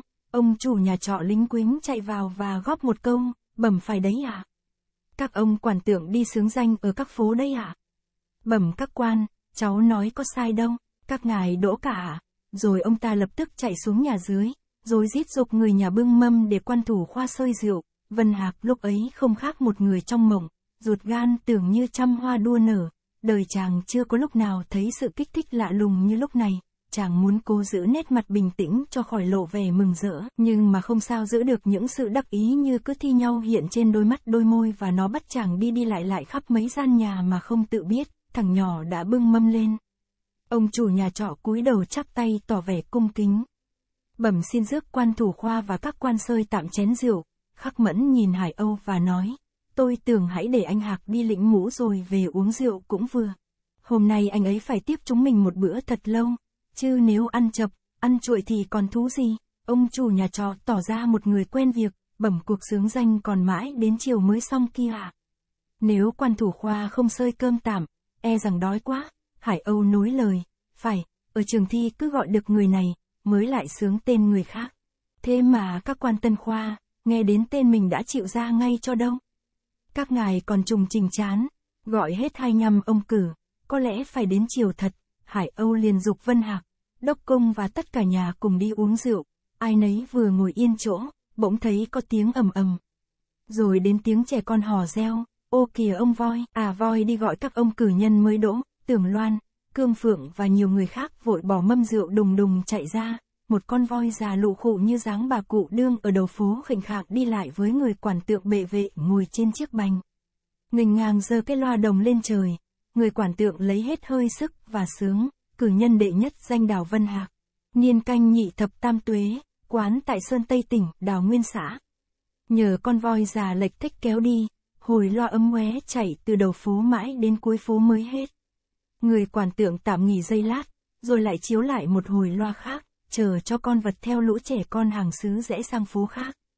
Tường Loan, Cương Phượng và các người kia mới cùng trở vào. Mâm cơm vẫn còn chờ đợi, Vân Hạc nhìn Đốc Cung và nói một cách đắc ý, bây giờ tao quyết là không hỏng nữa, Đốc Cung ra bộ lo ngại, còn tao không biết thế nào, rồi đó, ai ngồi vào chỗ của nấy, Vân Hạc cũng như Đốc Cung, chẳng thiết gì sự ăn uống. Bữa cơm chỉ trong chốc lát thì xong, ông chủ nhà trọ đệ lên hai chiếc ảo tất xếp trong khăn gói, thưa các quan, tôi đã sắp sẵn đôi áo, để quan thủ khoa và quan cử mới dùng tạm, Đốc Cung xua tay, cái nào của quan thủ khoa thì để lại đấy, còn cái nào ông nguyện cho tôi thì xin cất đi, chưa chắc tôi có dùng đến hay không, ông chủ nhà trọ tươi cười, bẩm có ạ. À. Cháu chắc thế nào lát nữa ngài cũng phải dùng, Hải Âu pha trò, thôi thì cứ đem đi cả, hệ bác công không mặc thì tôi mặc, rồi Hải Âu bảo ông chủ nhà trọ cho thằng nhỏ cắp chiếc khăn gói theo hồng. Mọi người lũ lượt kéo đi, ở nhà chỉ còn đốc công với bộ ruột gan nóng như lò lửa, trẻ con hàng phố sao mà tinh quá. Vân Hạc vừa nhô ra cửa, chúng đã vỗ tay bảo nhau, a ông thủ khoa đây rồi, ồ ông thủ khoa trẻ nhỉ, không biết ông thủ khoa đã có vợ chưa, hàng trăm con mắt chồng chọc trông vào, kẻ khen ông thủ khoa đẹp, người bảo ông thủ khoa tươi, giữa sự chỉ trỏ nhìn ngắm của hàng xứ, Vân Hạc theo bọn Hải Âu đùng đỉnh lên phố Trường Thi. Khi sắp tới nơi, ở nẻo xa xa có tiếng thỏ thẻ đưa lại, ai muốn xem mặt ông thủ khoa mới thì ra, ông ấy đã đến kia kìa, theo sau mấy tiếng óng ẻo, đào phượng, đào cúc thướt tha dẫn lại với một bộ điệu óng ẻo, tới gần Vân Hạc. Hai ả chắp tay vái dài và cười bằng nụ cười của nhà nghề, bẩm quan thủ khoa đã lên ạ. Một năm trời nay mất quan thủ khoa, chúng em tưởng, Vân, Hạc sẽ hỏi, Tưởng chết mất rồi, phải không? Hai ả cùng đáp, đâu dám thế. Chúng em tưởng rằng ngài bán cây sới Hà Nội, Vân Hạc vội vàng lảng ra, thôi hãy hãm các chuyện lại, để dành đến hôm tôi khao nhà trọ. Bây giờ lỗ tai người ta còn nghe sướng danh, và chàng đưa mắt cho cả hai ả, như muốn tỏ rằng có các ông anh cùng đi, không tiện nói chuyện, Đào Phượng cố ý hỏi thêm câu nữa, thế còn anh cung đâu mất? Vân Hạc sẽ đáp, anh ấy sắp lên bây giờ, Đào Cúc vỗ tay, thế thì sung sướng quá nhỉ. Chúng tôi đi đón anh cung, hai ả tiến xuống nẻo dưới, Vân Hạc và bọn Hải Âu thì đi lại phía cửa trường, người ở đâu đến mà nhiều như vậy. Trên một khu đất ở ngoài cửa tiền, đầu người lố nhố như một đám nấm sau trận mưa xuân, kẻ lách ra, người cố chen vào, không biết họ xem cái gì, Vân Hạc đứng chờ một hồi khá lâu, chàng đã bồn chồn nóng ruột, bỗng có tiếng loa ậm ọe đưa ra cũng đúng như tiếng lúc nãy, cử nhân đệ nhất danh Đào Vân Hạc, niên canh nhị thập tam tuế, quán tại Sơn Tây tỉnh, Đào Nguyên Tiếng, xã, vừa dứt, Vân Hạc liền bảo thằng nhỏ nhà trọ, mày to tiếng, giả đi hộ tao, thằng nhỏ quay mặt trở vào, ưỡn ngực dạ một tiếng thật lớn, như đoàn tên của toán lính cung nỏ chĩa vào quân địch, trong đám đông có bao nhiêu mặt đều xô về phía Vân Hạc. Người ta ồn ào hỏi nhau, không biết ông nào là ông thủ khoa, thằng nhỏ nhà trọ liền mở khăn gói lấy chiếc áo tấp cho Vân Hạc, với một dáng bộ hùng dũng như ông mãnh tướng phá vòng vây, người lính áo nẹp theo chỗ tiếng dạo múa roi dẹp đánh hàng xứ, để cho khu đất cửa trường có một lối đi. Theo người lính ấy, Vân Hạc lính xính đi vào với cương phượng, trên chiếc ghế chéo kê ở phía hữu, ông tránh chủ khảo với chiếc mũ cánh chuồn đương ôm cây hút ở ngực, đối nhau với ông tránh đề điệu và chiếc mũ võ ngồi ở mặt ghế phía tả. Sau khi vái chào quan tránh chủ khảo, Vân Hạc quay sang vái chào quan tránh đề điệu, bằng một giọng trọ trẻ khó nghe. Ông tránh chủ khảo nói những câu gì không rõ, rồi ông tránh đề điệu chỉ đám mũ áo để trên một chiếc án thư cạnh đó. Bảo người lính hầu chọn cho Vân Hạc mỗi thứ một chiếc. Vân Hạc đón áo và mũ đưa cho Cương Phượng. Một lần nữa chàng cúi chào hai vị quan trường tỏ ý cảm ơn. Hai tên lính đưa chàng đi thẳng vào nhà thập đạo. Bấy giờ trong nhà thập đạo, các ông sơ khảo, phúc khảo, các ông đề điệu đã họp đông đủ. Hôm nay quang cảnh khác hẳn mọi ngày. Trước nhà thập đạo, một tòa dạp cót chạy dọc, tinh hênh dựng ở giữa trời. Hai bên cạnh dạp, hai bức chấn song che tươi hưởng hở ngăn khu lòng dạp với phía ngoài dạp, dưới dạp hai dãy chiếu hoa cạp đỏ sàm sạp trải trên mặt đất, theo lời chỉ dẫn của người lính đưa đường. Vân Hạc ngồi vào chiếc chiếu đầu hàng bên lề, Cương Phượng cắp gói mũ áo trang nghiêm đứng ở đằng sau. Vân Hạc còn đương phân vân không biết đã nên đội mũ và mặc áo mới hay chưa. Một ông sơ khảo vừa xuống bảo cho chàng biết những mũ áo đó ngày mai làm lễ tạ ân mới phải dùng đến, rồi các khảo quan lần tới đó hỏi chuyện. Các ngài nhắc lại văn bài các kỳ và khen Vân Hạc là bậc tài hoa, ngoài trường lúc ấy đã xương đến tên ông cử thứ hai, chừng một giờ sau, thì ông Á Nguyên đi với người lính áo nẹp vào dạp và ngồi góc chiếu ở đầu hàng chẵn, với ông đó. Vân Hạc tuy chưa quen thuộc bao giờ, nhưng ngay lúc đó, cái nghĩa đồng khoa, đã làm cho hai người coi nhau rất thân và rất tương đắc, từ đó trở đi. Cứ chừng mỗi giờ, trong dạp lại thêm một ông cử nữa, mặt trời ở mái thập đảo nhòm xuống, ánh nắng xuyên qua lỗ cót, khoang khua in vào mặt chiếu, ngoài cứ văng vẳng có tiếng, đốc cung, Vân Hạc vội để ý nghe, tiếng loa vừa ậm ỏe gọi, cử nhân đệ bát danh bùi đốc cung. Niên canh nhị thập nhị tuế, quán tại Hà Nội tỉnh. Trúc Lâm xa, Văn Hạc mừng quá, chàng liền đem hết ra thế, tính tình, tài học của đốc cung kể với các bạn đồng niên. Một hồi khá lâu mới thấy đốc cung ve vẩy đôi tay khấu của chiếc áo tắc lụng thụ đi vào với người cháu họ cắp bộ mũ áo của chàng vừa lĩnh. Người chàng khi ấy đã thành một thiên trào phúng rất có ý vị, khiến cho Vân Hạc không thể nín cười. Các ông vào trước lần lượt khai tên họ với ông vào sau. Giữa cuộc gặp gỡ của cửa không sân trình, câu chuyện thanh khí mỗi lúc mỗi nồng nàn đầm thắm, mặt trời tà tà, hai nhăm ông cử đến đã đủ mặt, trong đó có đến bảy ông đều là học trò cụ bảng tiên kiều. Sau khi bảng cử nhân và bảng tú tài đã ít ở ngoài cửa trường, hai ông chủ khảo đề điệu lại về trong nhà thập đạo. Lúc ấy quan tổng đốc Hà Nội mới vào trong trường chúc mừng các ông Tân Khoa và hẹn giờ mão ngày mai đến đây ăn yến. Rồi đó các ông Tân Khoa đồng thời đứng dậy và cùng giải tán theo mệnh lệnh của quan chủ khảo, ra khỏi cửa trường, Vân Hạc, đốc công liền cởi áo tắc trao cho thằng nhỏ nhà trọ. Hai chàng định cố len vào xem bảng tú tài, vừa thấy tường loan đi tìm và nó cho biết khắc mẫu được độ tú tài đội bảng. Đốc công vui cười, cứ như sức học anh ta thì đỗ đội bảng tú tài cũng phải. Nhưng giá được trên một người thì danh giá hơn, Vân Hạc cũng cười, đến anh bằng tao năm ngoái cũng chỉ đỗ trên hai người, huống chi thẳng mẫn. Thôi thì đội bảng cũng được, miễn làm được là ông Tú cũng sướng cho nó lắm rồi, đi vài bước nữa thì gặp Hải Âu, đoàn bằng, không hiểu đã ai báo tin cho biết, khắc mẫn lúc ấy cũng đã tới đó. Cả bọn nghênh ngang trở về với sự hoan hỉ của một toán quân thắng trận, tường loan vừa đi, vừa kể, lúc nãy có một ông cử lạ quá. Người lính sướng danh vừa bắc loa gọi, ông ta liền nắm hai tay đấm mãi vào chiếc nón sơn để trước ngực. Rồi nhảy như con choi choi và reo một thôi, sỏ lợn về ai. Lúc đầu ai cũng tưởng là người điên, về sau có người nhắc rằng, sao không dạ đi, ông ta mới dạ một tiếng rất lớn. Bấy giờ hàng xứ mới biết đó là ông cử, Hải Âu bật cười. Chắc là ông đó đã hỏng nhiều khoa, cho nên bây giờ được đỗ mới sướng như thế, mặt trời sắp lặn, cả bọn mới về đến nhà, quang cảnh nhà trọ đêm ấy cố nhiên phải cực náo nhiệt, sự vui vẻ có phần còn hơn đám hội. Ông chủ nhà trọ và nhiều người khác đều phải thức đến sáng bạch, hôm sau, vào khoảng nửa buổi, Vân Hạc, Đốc Cung, sắm sửa khăn áo chỉnh tề rồi mồi chàng đem một người sách gói mũ áo đến trường thi. Bấy giờ, quan trường đều đã tề tựu ở nhà thí viện. Cụ bảng Tiên Kiều, cụ nghè Quỳnh Lâm, cụ cử Mai Đình và nhiều văn thân các tỉnh cùng được mời đến. Sau khi hai chàng vái chào khắp lượt, cụ cử Mai Đình liền nói cho các quan biết khoa này học trò cụ bảng Tiên Kiều chiếm một góc bảng cử nhân. Cử tỏa đều hết sức ca tụng, phục cụ là bậc sơ biểu của sĩ lâm. Một lát sau, các ông cử mới lục tục đến dần. Theo lệnh quan tránh chủ khảo, hết thảy mọi người đều lên nhà thí viện làm lễ, trinh giữa thí viện vừa mới thiết lập một chiếc hương án.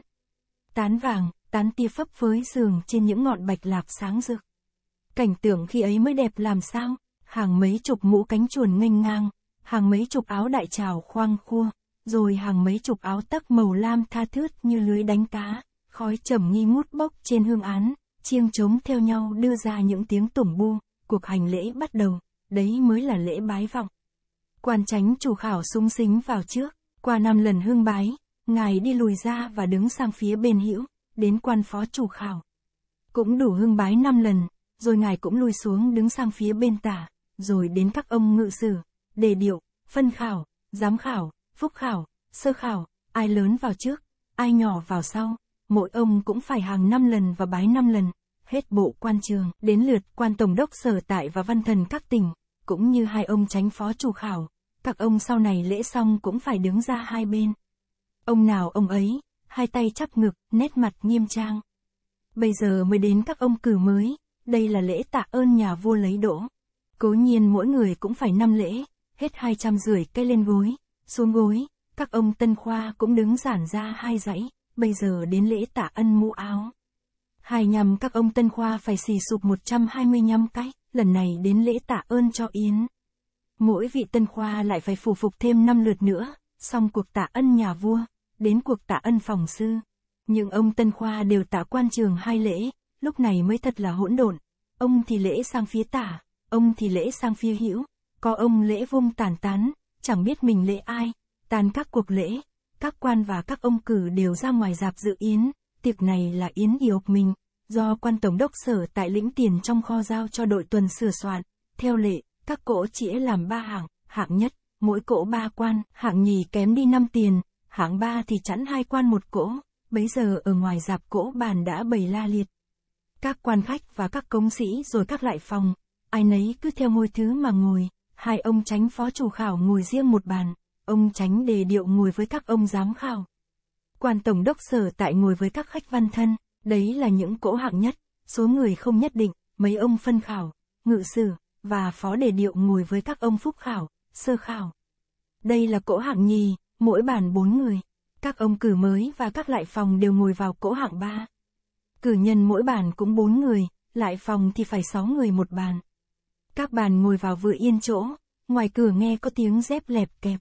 Một lũ đào kép lố nhố tiến vào trước dạp với các sinh phách, đàn trống, thì ra hôm ấy là ngày đại yến, bao nhiêu danh ca trong tỉnh đều bị gọi đến hầu tiệc. Đào Phượng, Đào Cúc cũng có ở đó, sau khi vái chào các quan, hai đào một kép xin phép ngồi xuống chiếc chiếu trải ngoài cửa dạp, còn các ả khác thì đến các mâm rót rượu, theo lời đề cử của quan tổng đốc sở tại, ông thủ khoa mới phải đánh chồng.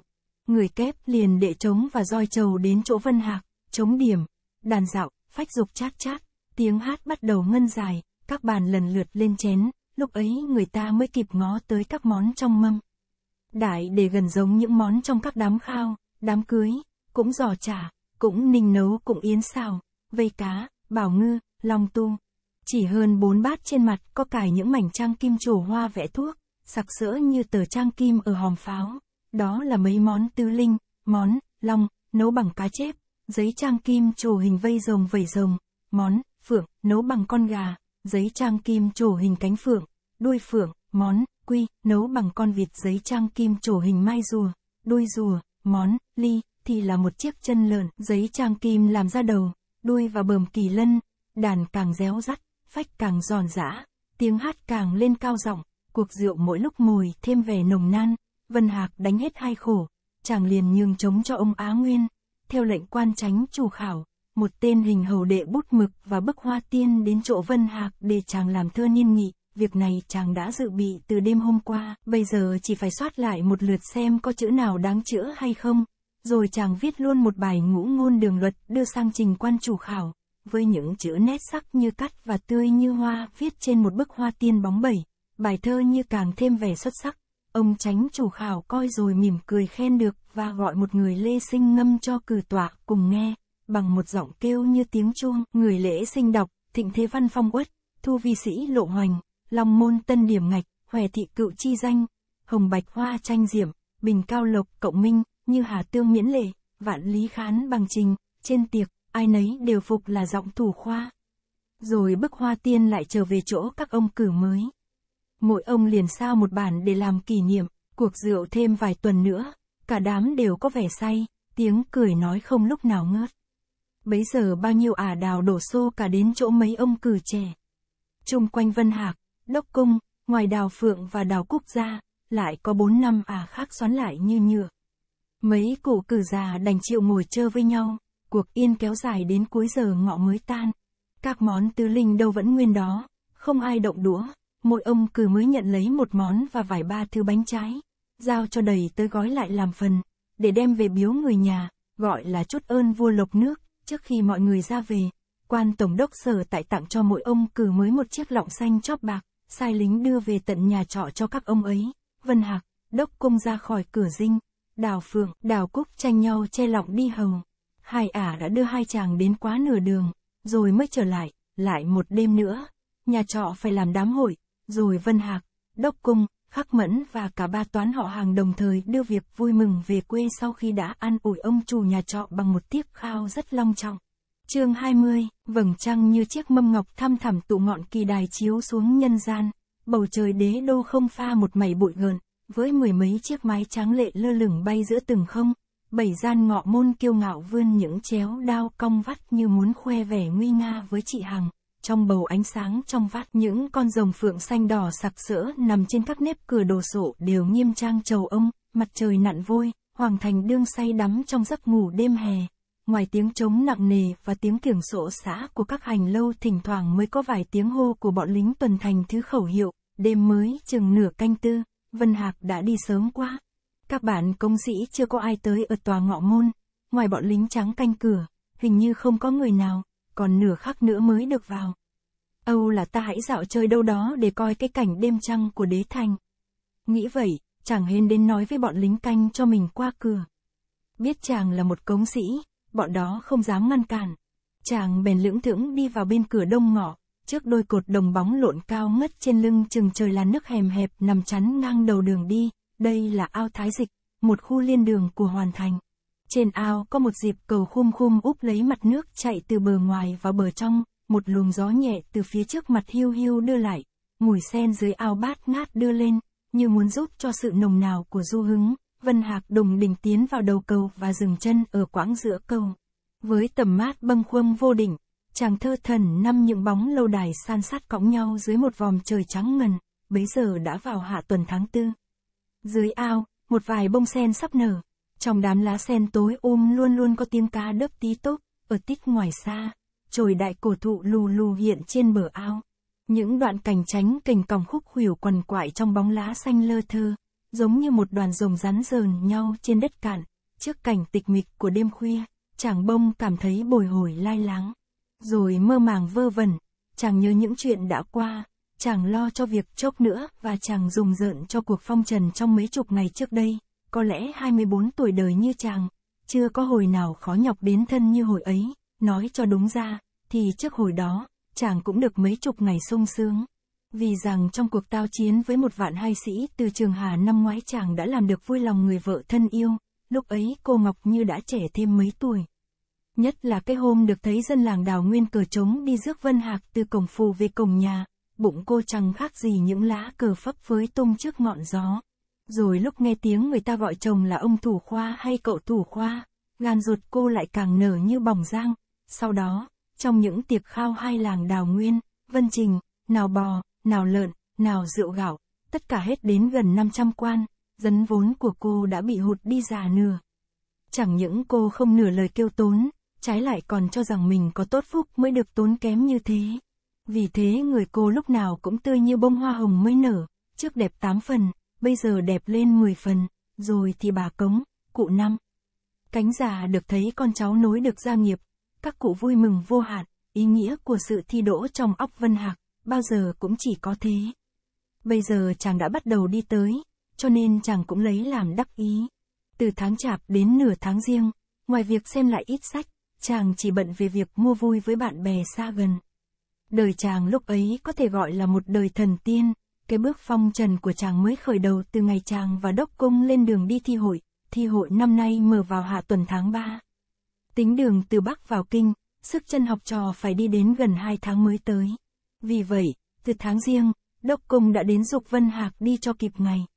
Sợ chồng đi bộ vất vả, cô Ngọc đã khuyên chàng nên đi đường thủy, nhưng theo ý chàng, đi đường thủy tốn tiền, và cũng song gió nguy hiểm, đốc cung cũng nghĩ như thế, cho nên hai chàng mới cùng nhất định đi đường bộ, trước khi khởi hành, cô Ngọc thuê cho mỗi chàng một người đầy tớ khỏe mạnh, lực lưỡng, để đeo hành lý đi hầu. Tính suốt các tiền ăn đường, ở trọ, mỗi người hà tiện cũng phải hết gần trăm quan, cô liền đổi cho mỗi chàng lấy sáu nén bạc, bó vào hai gói mò cau, để mang đi đường cho tiện. Rồi nào rùi nhói, nào rùi đục, nào dao dựa, nào mã tải khâu quai, không biết hỏi ai mà bao nhiêu khí cụ luồn rừng, cô đã sắp sửa đủ cả, cái ngày thầy trò nhà chàng quẩy gánh lên đường là ngày 20 tháng riêng, từ Sơn Tây đến Thanh Hóa, mỗi ngày chỉ được một cung, tối đâu ngủ đấy, tuy đã nhiều khi xuống dốc lên đèo, nhưng cũng chưa thấy vất vả cho lắm, Thanh Hóa trở vào, đường đã dần dần khó khăn, rồi từ Hà Tĩnh mà đi, càng ngày càng thêm những cảnh khủng khiếp, suốt ngày luồn trong cây cối um tùm, con mắt ít khi được thấy bầu trời. Rồi những hòn núi thẳng như bức tường lù lù hiện ở trước mặt. Rồi những ngọn suối nước chảy như bắn oằn oại chắn ngang lối đi. Có khi phải ngửa ngực trèo lên đỉnh núi, có khi lại chống đôi gối mà bò dần xuống chân núi. Có khi đương đi vằn vèo theo những bờ suối khuất khúc, đứng trên đường trông xuống lòng suối, thăm thẳm hàng mười mấy trượng, tưởng như trượt chân một cái, xương thịt sẽ vụn như cám, khổ nhất là đoạn ở quãng núi trông, cạnh một quả núi cao liền với trời, con kiến trèo lên cũng khó, lối đi phải vắt lên trên một đám đá mọc lởm chởm. cái đá mới ác làm sao, hòn nào hòn ấy, đầu nó nhọn như mũi gươm, đặt chân lên trên, có thể tủng cả da thịt. Cho được tránh sự đau đớn của đôi bàn chân, mỗi bước người ta cứ phải nhằm vào những vết nhẵn nhụi của người đi trước, rồi nhún hai chân mà nhảy cho tời, cái dép đã rách, đôi gối đã trồn, mà vẫn không thể tạm nghỉ.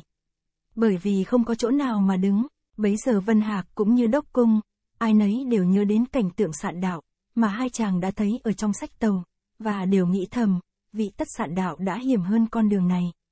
Nhưng từ thượng cổ, người tàu đã biết bắc ván đi qua, làm sao ngày nay nước mình vẫn chưa bắt trước kiểu đó, đi thoát quãng đường ác nghiệt, hai chàng đều thấy mệt ngoài. Nhưng vì sợ lỡ cung đường, không có chỗ trọ, cho nên chỉ dám ngồi lại bên đường một lúc, để dở sôi gói, cơm nắm ra ăn, rồi lại đi, một hôm đương đi, thấy ở bên đường, có mấy con dao đặt trên tảng đá. Đốc cung tưởng là của bọn tiểu phu nào đó, nên không để ý, Vân Hạc nhìn đến mấy dòng chữ vôi nguệch ngoạc viết ở hòn đá liền đấy, mới biết những con dao đó, người ta dự bị cho các hành khách chặt những cành cây vì gió bão gãy xuống ngang đường, sau khi dùng rồi, dao ở chỗ nào, lại phải để vào chỗ ấy. Đi một quãng nữa, quả nhiên giữa đường có bụi ngứa đổ, lấp cả thân đường, không thể nào mà trèo qua được trong gánh hành lý sẵn có đôi dao. Hai chàng liền bảo hai người đầy tớ phát hết đống gai góc đó. Họ phát, chàng và đốc cung thì kéo, thầy trò dọn mất một hồi khá lâu, bấy giờ mới có lối đi, lại một hôm khác, Vân Hạc vừa bị nhược sức về leo trèo, vừa bị dãi dầu trong sương gió, chàng thấy trong mình hầm hập phát sốt uể oải đi không buồn bước. Đốc cung và hai người quẩy gánh cứ phải luôn luôn chờ đợi. Tưởng chừng trời đã chiều rồi, theo lỗ thủng trong đám lá cây mù mịt ngó sang dãy núi bên kia, mặt trời đã nằm giữa sát đầu núi, mà vẫn chưa đến chỗ trọ, hai chàng đều cuống lo sợ, đêm nay đành phải ngủ ở ngọn cây. Vân Hạc bàn với đốc cung như vậy, nhưng các cây cối gần đó, cây nào cũng cao von vót và thắng tuồn tuột, dưới gốc không có một màu cành nhánh thì làm thế nào mà leo lên được, may khi lại gần thấy có mấy cây từ gốc đến chỗ xẻ chạc, có đóng một hàng đanh tre bằng ngón chân cái, trước kia đã có người nào ngủ trên cây ấy, người ta đóng những đanh ấy để làm bậc trèo cho dễ, một cây thấp nhất đã lòng mất vài cái đanh. Hai người đầy tớ hến phải đẵn tre đẽo cái đanh khác. Và họ dở gánh lấy rủi nhói và rủi đục ra, người nọ kề vai làm thang cho người kia đứng lên, để nhói mấy lỗ ở thân cây và đóng đanh vào. Rồi họ đem các mã tài dùng dây tam cố buộc vào những cành đâm ngang, giống như người ta mắc võng. Đó là chỗ ngủ của người đi rừng. Có thế mới khỏi lo về nạn rắn giết beo cọp, tay ôm thân cây, chân đạp vào các đanh tre, leo hết một đoạn gốc cây và đánh đu vào đoạn cành ngang để ngồi xuống tâm mã tải. Vân Hạc, cũng như đốc cung, ai nấy dùng mình sờn gáy, bụng bảo giả. nếu nó đứt dây một cái, thì thật tan xác, hai chàng đã ngồi yên chỗ, hai người đầy tới lại đi chặt lấy mấy tàu lá gồi, buộc lên trên chiếc mã tải, để che cho người nằm dưới khỏi bị mưa sương, rồi họ mới trèo lên chỗ của họ. Trời tối như cửa địa ngục, nào cố kêu, khỉ ho, nào dễ run rên khóc, thỉnh thoảng lại thêm những tiếng cọp gầm theo với ngọn gió tanh tanh thối thối ở nẻo xa xa đưa lại. Biết bao nhiêu sự ghê sợ rùng rợn kéo đến chung quanh hai chàng.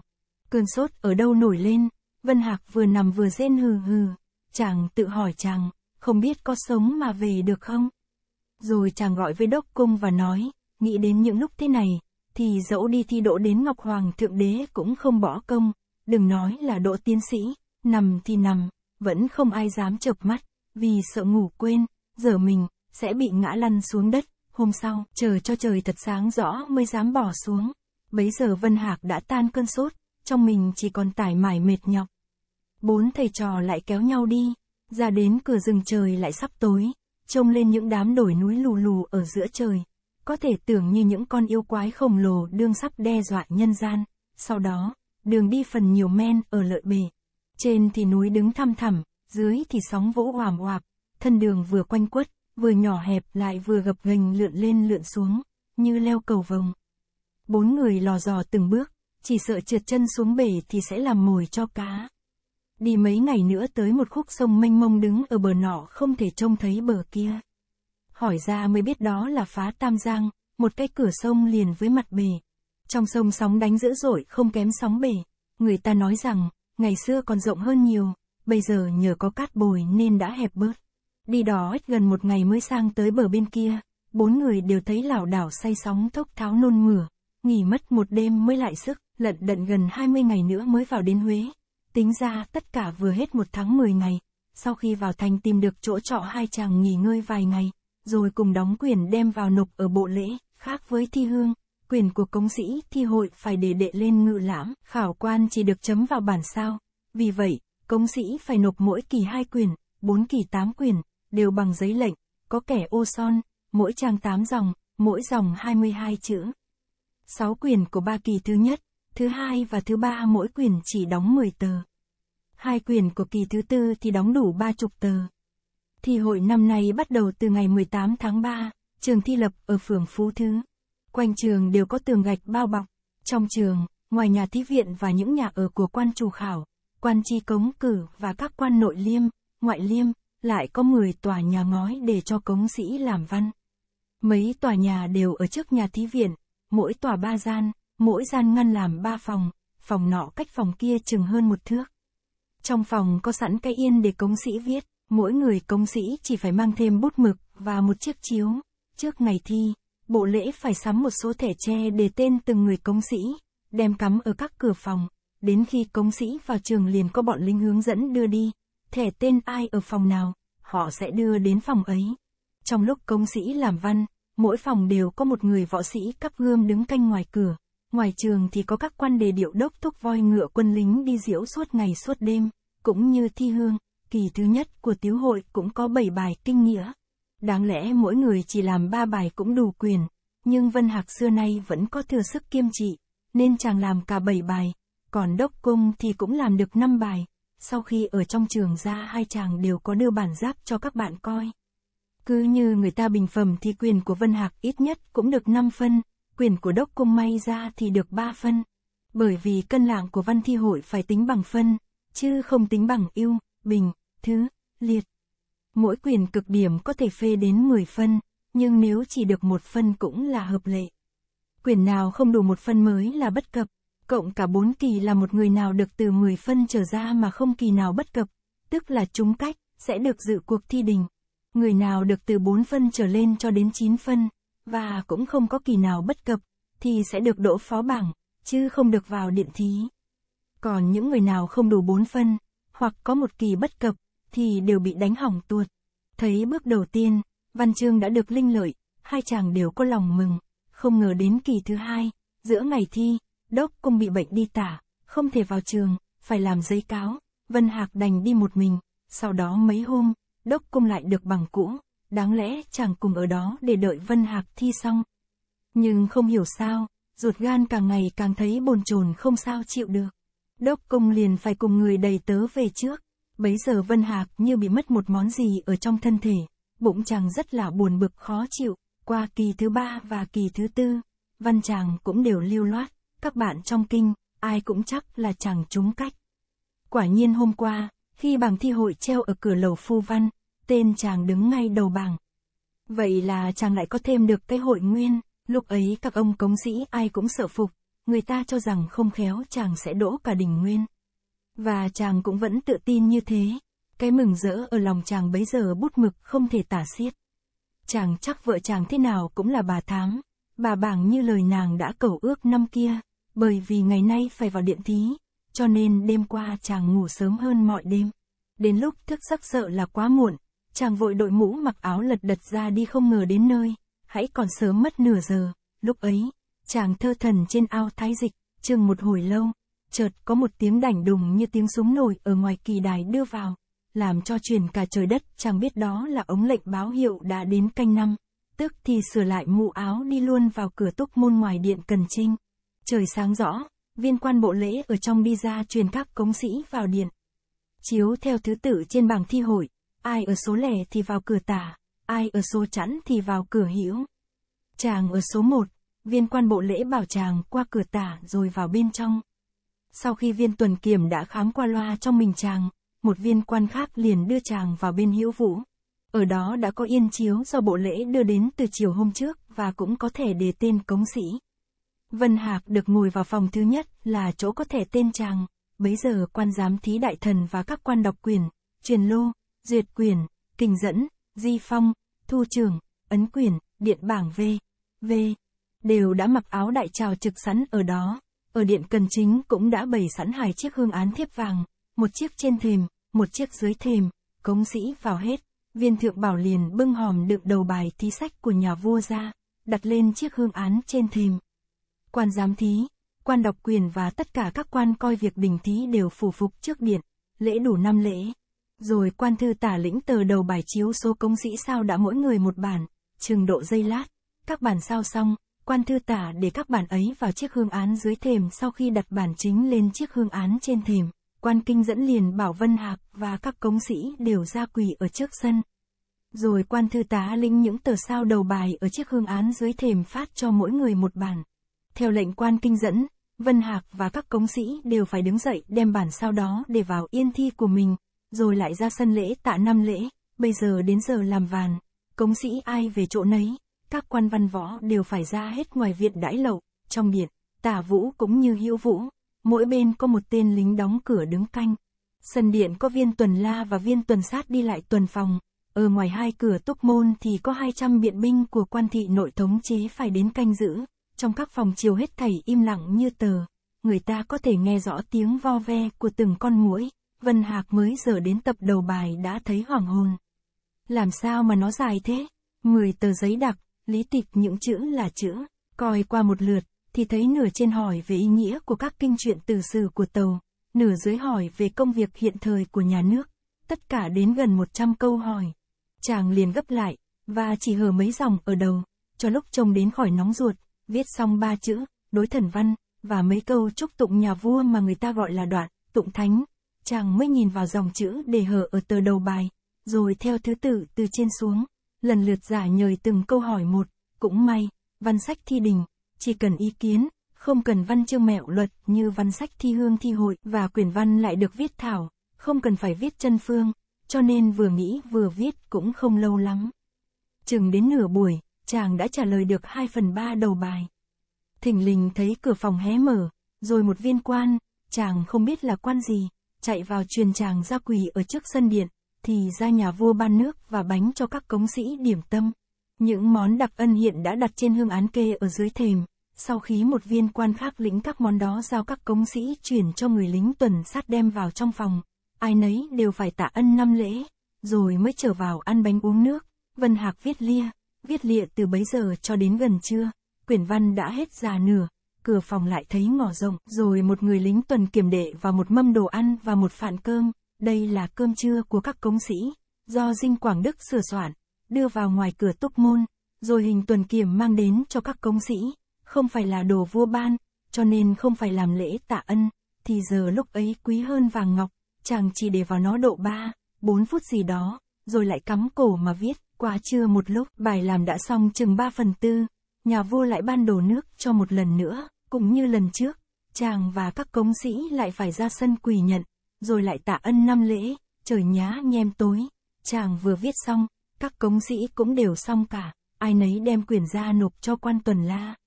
Bấy giờ biện bình ngoài cửa túc môn lại ngó cánh cửa cho các cống sĩ đi ra. Rồi quan giám thì đại thần và tất cả các viên quan khác đều phải trở lại trong điện. Ông thu quyền nhận quyền của ông Tuần La giao lại, ông ấn quyền đóng dấu, luân tài thịnh điển, vào các cuối quyền. Ông Di Phong xếp quyển vào dương và dán niêm phong, rồi giao cho ông thủ trưởng canh giữ. Các ông ấy đều phải ngủ ở chiều phòng để ngày mai chầu trực nhà vua chấm văn, Vân Hạc và các cống sĩ ra khỏi cửa điện thì trời tối mịt. Luôn thể chàng mới tất cả mấy người cùng về nhà trọ mình ăn cơm. Trong lúc uống rượu, người nọ đọc văn cho người kia nghe, hết thảy mọi người đều phục văn chàng có nhiều ý kiến lỗi lạc hơn cả. Người ta lại càng tin rằng Đình Nguyên sẽ phải về chàng, luôn hai hôm sau, chàng và mấy ông bạn mỗi lần lượt dắt nhau di chơi các danh thắng gần đấy để chờ nghe tin truyền lô. Bụng chàng vẫn chắc mầm rằng, nếu không đô bảng nhỡn, thám hoa, cũng phải độ đến nhị giáp tiến sĩ, chiều hôm thứ ba, chàng đương cùng bọn cống sĩ trò chuyện vui đùa, bỗng thấy có hai tên lình vác hèo và gông sống sụp vào trong nhà. Sau khi hỏi qua tên chàng, họ liền đưa chàng một mảnh giấy chữ dấu sơn đỏ chóe. Té ra con lệp của viện đô sát sai đi nã chàng, không biết là vì việc gì. Cái gông ở tay người lính liền ghép luôn vào cổ chàng, rồi họ điệu chàng về giam ở ngục hộ thành. Các bạn công sĩ ai cũng thương hại và kinh sợ. Chương 21, một lần nữa, cụ bảng tiên kiều lại đứng làm ông tơ hồng xe duyên cho con gái út ông Đồ Vân Trình. Chẳng bao lâu nữa, cô gái ngoan ngoãn và ngây thơ đó sẽ thành ra bà nội tướng của ông cử cung, nhưng lần này không phải do ở cụ bảng chủ trương như mối nhân duyên cô Ngọc. Đây là tự ý cụ mền Trúc Lâm, từ khi đốc công mới có tin đỗ cử nhân, ở Hà Nội và Sơn Tây cũng có nhiều người gọi gả con gái cho chàng. Trong số đó, có người hiện đương làm quan, có người nổi tiếng cự phú, không ai là nhà tầm thường, nhưng theo ý cụ mền, thì việc kén chọn nàng dâu chỉ cốt ở người và nét, rồi ở phúc đức của cha mẹ, chứ sự phú quý thì không cần lắm. Vì là bạn thân của ông Đồ Vân Trình, trước kia cụ vẫn thường thường đến chơi, đã có biết mặt cô Bích cho nên cụ mới từ chối các đám, rồi cụ cậy cụ bàng làm mối cô này cho đốc cung, với đốc cung, ông Đồ, bà Đồ đều không lạ gì. Nếu chàng hỏi cô Bích từ khi chưa đỗ, ông bà cũng vui lòng gả, huống chi bây giờ chàng lại mới đỗ cử nhân. Cố nhiên ông bà không hề từ chối nửa lời, hôm nay là ngày ăn hỏi, ông đồ nghĩ mình hiếm hoi lại đã tuổi già, ít khi có dịp được gặp anh em cố giao, cho nên khi mới nhận nhời nhà trai, ông có cho mời mấy ông bại già gần đó đến chơi với mình, từ lúc nửa buổi, cụ nghè Quỳnh Lâm, cụ cử Liên Trì, cụ cử Mai Đình, thầy nào tớ nấy, đã cùng đến cả, họ nội, họ ngoại cũng đương lục tục kéo vào. Trong nhà rất là tấp nập, chỉ có cô Ngọc sắc mặt vẫn buồn rười rượi, nhiều lúc nước mắt chạy quanh, có khi lén vào trong buồng, lăn đùng trên giường bưng mặt khóc thầm, là vì trước đây 7 ngày, người đầy tớ của cô thuê đi theo Hầu Vân Hạc vào kinh, vừa về báo cho cô biết tin chồng bị bắt vào ngục, thật là xét đánh bên tai cũng không sợ bằng. Lúc ấy mặt mũi cô không còn sắc máu, chân tay cô run cầm cập, chống ngực cô đánh thình thình, luống cuống cô vội hỏi hắn vì cớ gì mà chàng bị bắt, nhưng mà ai biết. Chính chàng cũng còn chưa biết, huống chi đầy tớ của chàng, ông đổ bà đổ cuống quýt lo sợ, lập tức cho người sang làng đào nguyên nói với bà Cống và anh em Hải Âu. Bên ấy được tin, cả nhà đều kinh khủng, bà Cống kêu khóc như mưa như gió, ngay sáng hôm sau, Tiêm Hồng liền phải thuê người cùng đi với mình vào kinh để xem tình đầu ra sao, thầy trò Tiêm Hồng đi được một lát, cô Ngọc cũng tới đảo nguyên, mọi người trông thấy đều phải giật mình. Vì không biết rằng cô bắt đầu đi bao giờ, mà bây giờ đã sang đến đó. Thì ra đêm ấy, cô những nóng đồng nóng ruột chỉ muốn biết ngay tin tức của chồng, cho nên mới đầu canh tư cô đã cắp nón ra đi, cốt về nhà chồng để xin phép mẹ và anh cho mình vào Huế thăm chồng. Nhưng bà Cống và Hải Âu, đoàn bằng đều không bằng lòng cho đi. Sợ rằng thân gái dặm trường có thể xảy ra nhiều sự nguy hiểm. Và Trăng đã có tiêm hồng đi rồi, công việc thế nào sẽ có tin về không cần phải thêm người đi nữa, cô cũng biết thế là phải. Nhưng nghĩ đến chồng bị giam, không biết tội lệ ra sao, thì gan ruột cô tự nhiên thấy như lửa chất. Cô cứ khóc rũ, khóc rợi, khóc không dứt tiếng. Hải Âu, đoàn bằng tuy đã hết sức khuyên giải, nhưng cũng không ngăn được nỗi thương tâm của em dâu. Quá trưa cơn khóc của cô đã không còn tiếng, thì có người nhà ở bên Vân Trình sang hỏi cô có đấy không? Là vì lúc đi cô không kịp nói với ông đồ, bà đồ, ông bà không biết rằng con đi đâu, nên phải cho người sang tìm. Hải Âu, đoàn bằng tức thì dục cô phải về Vân Trình, kẻo nữa ông bà lo ngại, từ đấy, suốt ngày suốt đêm không mấy khi cô giáo nước mắt. Chấm, chỉ muốn mọc ngay đôi cánh để bê ai vào kinh xem chồng thế nào, trước cái tai nạn, của rể và sự thê thảm của con, cố nhiên ông đồ, bà đồ cũng đều đau xót vô hạn. Bởi vì ông bà bây giờ đã đều mình già sức yếu, chỉ có vợ chồng Vân Hạc làm vui cho cảnh nắng quái chiều hôm. Nếu chàng bị tội, tất nhiên gia đình sẽ phải tan nát, mà rồi công việc trăm năm của mình cũng khó có người khả dĩ trông cậy. Cho nên từ hôm được tin Vân Hạc bị bắt, ông Đồ cũng như bà Đồ, lúc nào cũng ủ dầu dầu, có bữa bỏ cả ăn uống, đáng lẽ lễ hỏi cô Bích, ông bà cũng không bày biện lình đình làm gì. Trong nhà đương có vết thương, ai còn bụng dạ nào mà nghĩ đến chuyện vui mừng, nhưng vì chót mời khách khứa từ trước, hoãn lại, sợ có ngáng chờ cho việc tốt lành của đôi trẻ sau này. Vì thế, ông bà cũng phải miên cưỡng giữ đúng hẹn cũ. Nhưng việc cỗ bàn, thì chỉ sửa soạn một cách lạo thảo, không có hoa hòe gì hết, các cụ bè bạn của ông Đồ, lúc trước, đều chưa biết tin Vân Hạc bị nạn, khi thấy ông Đồ nói chuyện, ai cũng có vẻ ái ngại. Nhất là cụ bảng tiên kiều lại càng lo thay cho học trò mình. Vì cụ biết chàng chưa hết cái tính tự phụ của tuổi trẻ, nếu như trong bài đình đối mà có chỗ nào nói ngông, làm cho Phật ý triều đình, thì không khéo sẽ bị tội nặng. Rồi các cụ lần lượt phỏng đoán cái cớ Vân Hạc bị bắt. Cụ này bảo Phạm Húy, cụ kia bảo chàng làm văn trai ý nhà vua, có cụ lại đồ là chàng đã đi vào chỗ cấm địa. Rút lại, chẳng ai dám chắc lời của cụ nào là đúng, gần trưa, ngoài sân lù lù tiến vào một dãy mâm thau phủ khăn đỏ đi theo một lũ quả tròn sơn son. Cụ mền Trúc Lâm, và họ nhà trai đã dẫn lễ vật sang cho nhà gái. Ông cử bùi đốc cung cũng phải có mặt trong đám. Bấy giờ cỗ bàn vừa xong, sau khi nhà trai đã ngồi yên chỗ, ông đổ liền khăn áo lên nhà thờ cúng, để cho chàng rể làm lễ, với nhà này, đốc công tuy không phải là người xa lạ, nhưng khi đóng vai chú rể, chàng cũng không khỏi có vẻ bẽn lẽn ngượng nghịu, thoáng nhìn đốc cung, cô Ngọc nhớ ngay đến chồng, máu uất lại hừng hực như sắp bốc lên. Vì sợ lỡ có sự gì, sẽ thành gàn quải công việc vui mừng của em. Cô phải uống mãi nước lã cho ngực đỡ nóng. Nghe tin Vân Hạc bị bắt, đốc công dụng rời chân tay, sắc mặt tự nhiên xám lại, như người vừa qua một trận khủng khiếp, cả nhà súng lại hỏi chàng về chuyện Vân Hạc ở kinh.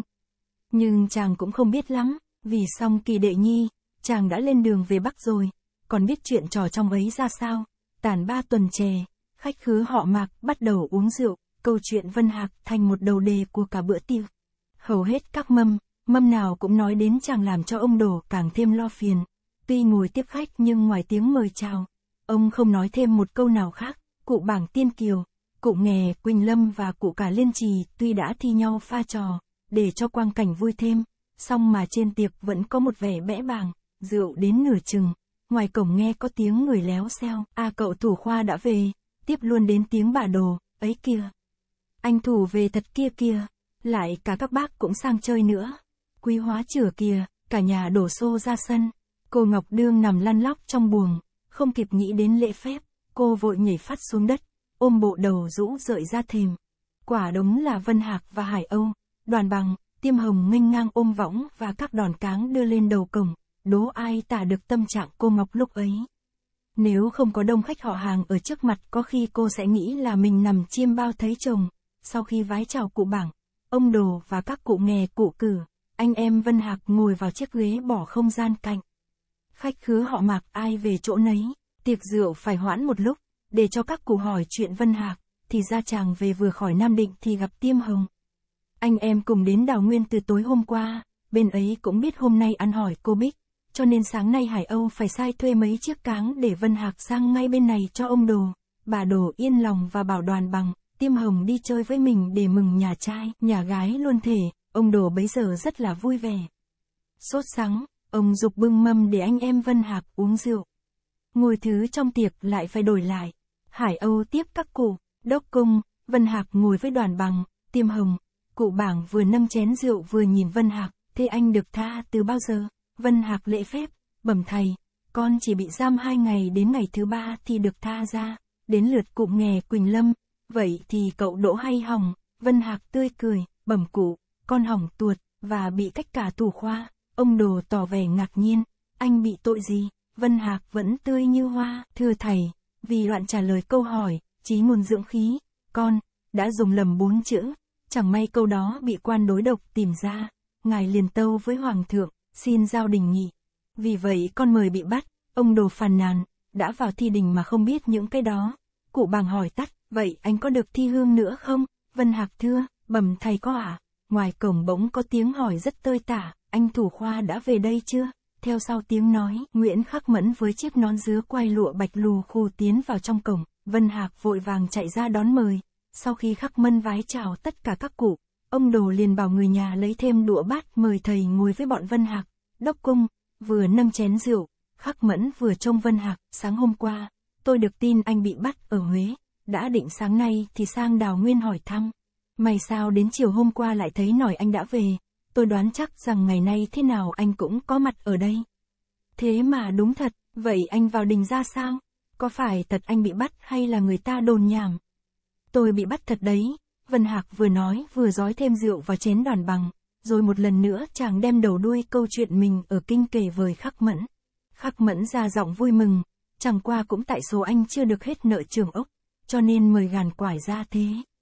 Nhưng cứ như tài học của anh, thì thi lúc nào có thể đỗ ngày lúc ấy. Miễn là anh còn được đi thi, chẳng làm gì mà phải chán nản, Vân Hạc chỉ cười không đáp. Khắc mẫn tiếp khốn nạn, thân anh nghề long bây giờ mới đáng thương chứ, Vân Hạc, đốc cung đều tỏ ra vẻ kinh ngạc, anh ta làm sao, khắc mẫn đáp, vừa mới có chỉ phải đi tiền quân hiệu lực, cụ nghề Quỳnh Lâm thoáng nghe câu đó liền hỏi, Ông Tú Nguyễn nói ai phải đi tiền quân hiệu lực, khắc mẫn khiêm tốn, bẩm cụ, anh nghề văn khoa chúng tôi, ông đồ, vội đặt chén rượu xuống mâm, tôi mới nghe nói ông ấy đã đi chi phủ thuận thành kia mà, khắc mẫn thưa, bẩm vâng. Năm ngoái ảnh ấy được bổ chi phủ thuận thành, hồi đầu tháng tư đổi ra chi phủ Hải Ninh. Bấy giờ đương có giặc khách quấy nhiễu ở vùng Duyên Hải, triều đình có phái đại bình ra tiễu, anh ấy cũng phải cầm quân đi đánh một mặt. Chẳng ngờ gặp phải y toán giặc rất kiệt hiệt, giao chiến một trận, bao nhiêu lính tráng chết gần hết. Anh ấy chỉ còn một thầy một trò trốn về. Việc đó tâu vào trong triều, triều đình chiếu luật, ngộ thất quân cơ, đã định trị tội đúng như quân pháp. Sau nhờ hoàng thượng có lòng nhân từ mới giảm xuống tồi, tiền quân hiệu lực, cụ cử liên trì cũng hỏi, có thật thế không? Khắc mẫn đáp, bẩm thật thế à? Tôi vừa chơi ở văn khoa sang đây, cứ như cụ cố nói lại, thì trước đây 10 ngày, anh Nghề Long đã phải giải vào Quảng Nam để xung đội tiên phong đánh mọi thạch bích. Vân Hạc phàn nàn, Nghề Long cũng là một bậc thông minh có tài. Nếu được từng trải việc đời, chắc sẽ thành ra một người đài dụng, có thể giúp dân giúp nước được nhiều việc. Nhưng mà bây giờ vừa mới thi đỗ, còn là một anh thiếu niên thư sinh, gần nửa đời người chỉ được nghiền ngẫm kinh nghĩa thơ phú, chưa nghe tiếng súng lần nào. Thế mà nhất đán phải đi cầm quân đánh giặc, cả đám nghe tin, ai cũng ngại cho Trần Đằng Long. Mặt trời tà tà, tiệc vừa tan, ông đồ vì mừng Vân Hạc được về, muốn lưu tất cả khách khứa ở lại đến mai. Nhưng mà các cụ sợ rằng Vân Hạc đi xa mới về, chắc trong mình còn mệt nhọc, nếu lại thức thêm đêm nữa, không khéo có khi bị bệnh, cho nên ai nấy đều khất đến ngày cho cưới cô Bích sẽ lại đến chơi, rồi đó các cụ và họ nhà trai lũ lượt ra về. Hải Âu, Đoàn Bằng, Tiêm Hồng, Khắc Mẫn cũng bị cụ bằng Tiên Kiều bắt phải sang chơi bên ấy. Quang cảnh trong nhà lúc ấy lại bình tĩnh như mọi khi, người nhà dọn dẹp vừa xong, thì trời vừa tối, ông đồ, bà đồ vì mấy đêm trước thức luôn, cho nên đêm ấy, sau khi hỏi Han Vân Hạc ít câu, cả hai đều đi ngủ trước. Ở nhà học chỉ có cô Ngọc với chàng, dưới ánh sáng rực rỡ của ngọn đèn đầy dầu. Cô trông mặt chồng tuy vẫn tươi trẻ như xưa, nhưng vì mấy tháng ăn gió nằm xương, da thịt cũng có xanh sao gầy suốt hơn lúc ở nhà, bụng cô rất băn khoăn thương hại. Khi nghe chàng kể lại những nỗi nguy hiểm ở dọc đường, thì cô thương xót không biết chừng nào, có lúc hai hàng nước mắt chảy ra chan chứa. Rồi cô vỗ vào vai chàng và nói bằng giọng âu yếm, chỉ vì tôi muốn được làm bà tháng, bà bảng, suýt nữa làm cho chồng tôi chết oan. Mình có giận tôi hay không? Vân Hạc mỉm cười, giận lắm chứ. Làm khổ người ta như thế, ai mà không giận, cô cũng đáp lại bằng nụ cười bông đùa. Thôi từ giờ trở đi, tôi không bắt mình thi cử nữa, xin mình vuốt giận làm lành. Rồi cô lảng sang chuyện khác, lúc nãy tôi nghe như bác Tú Mẫn nói ông Nghề Long phải đi, tiền quân hiệu lực, phải không? Vân Hạc đáp, phải.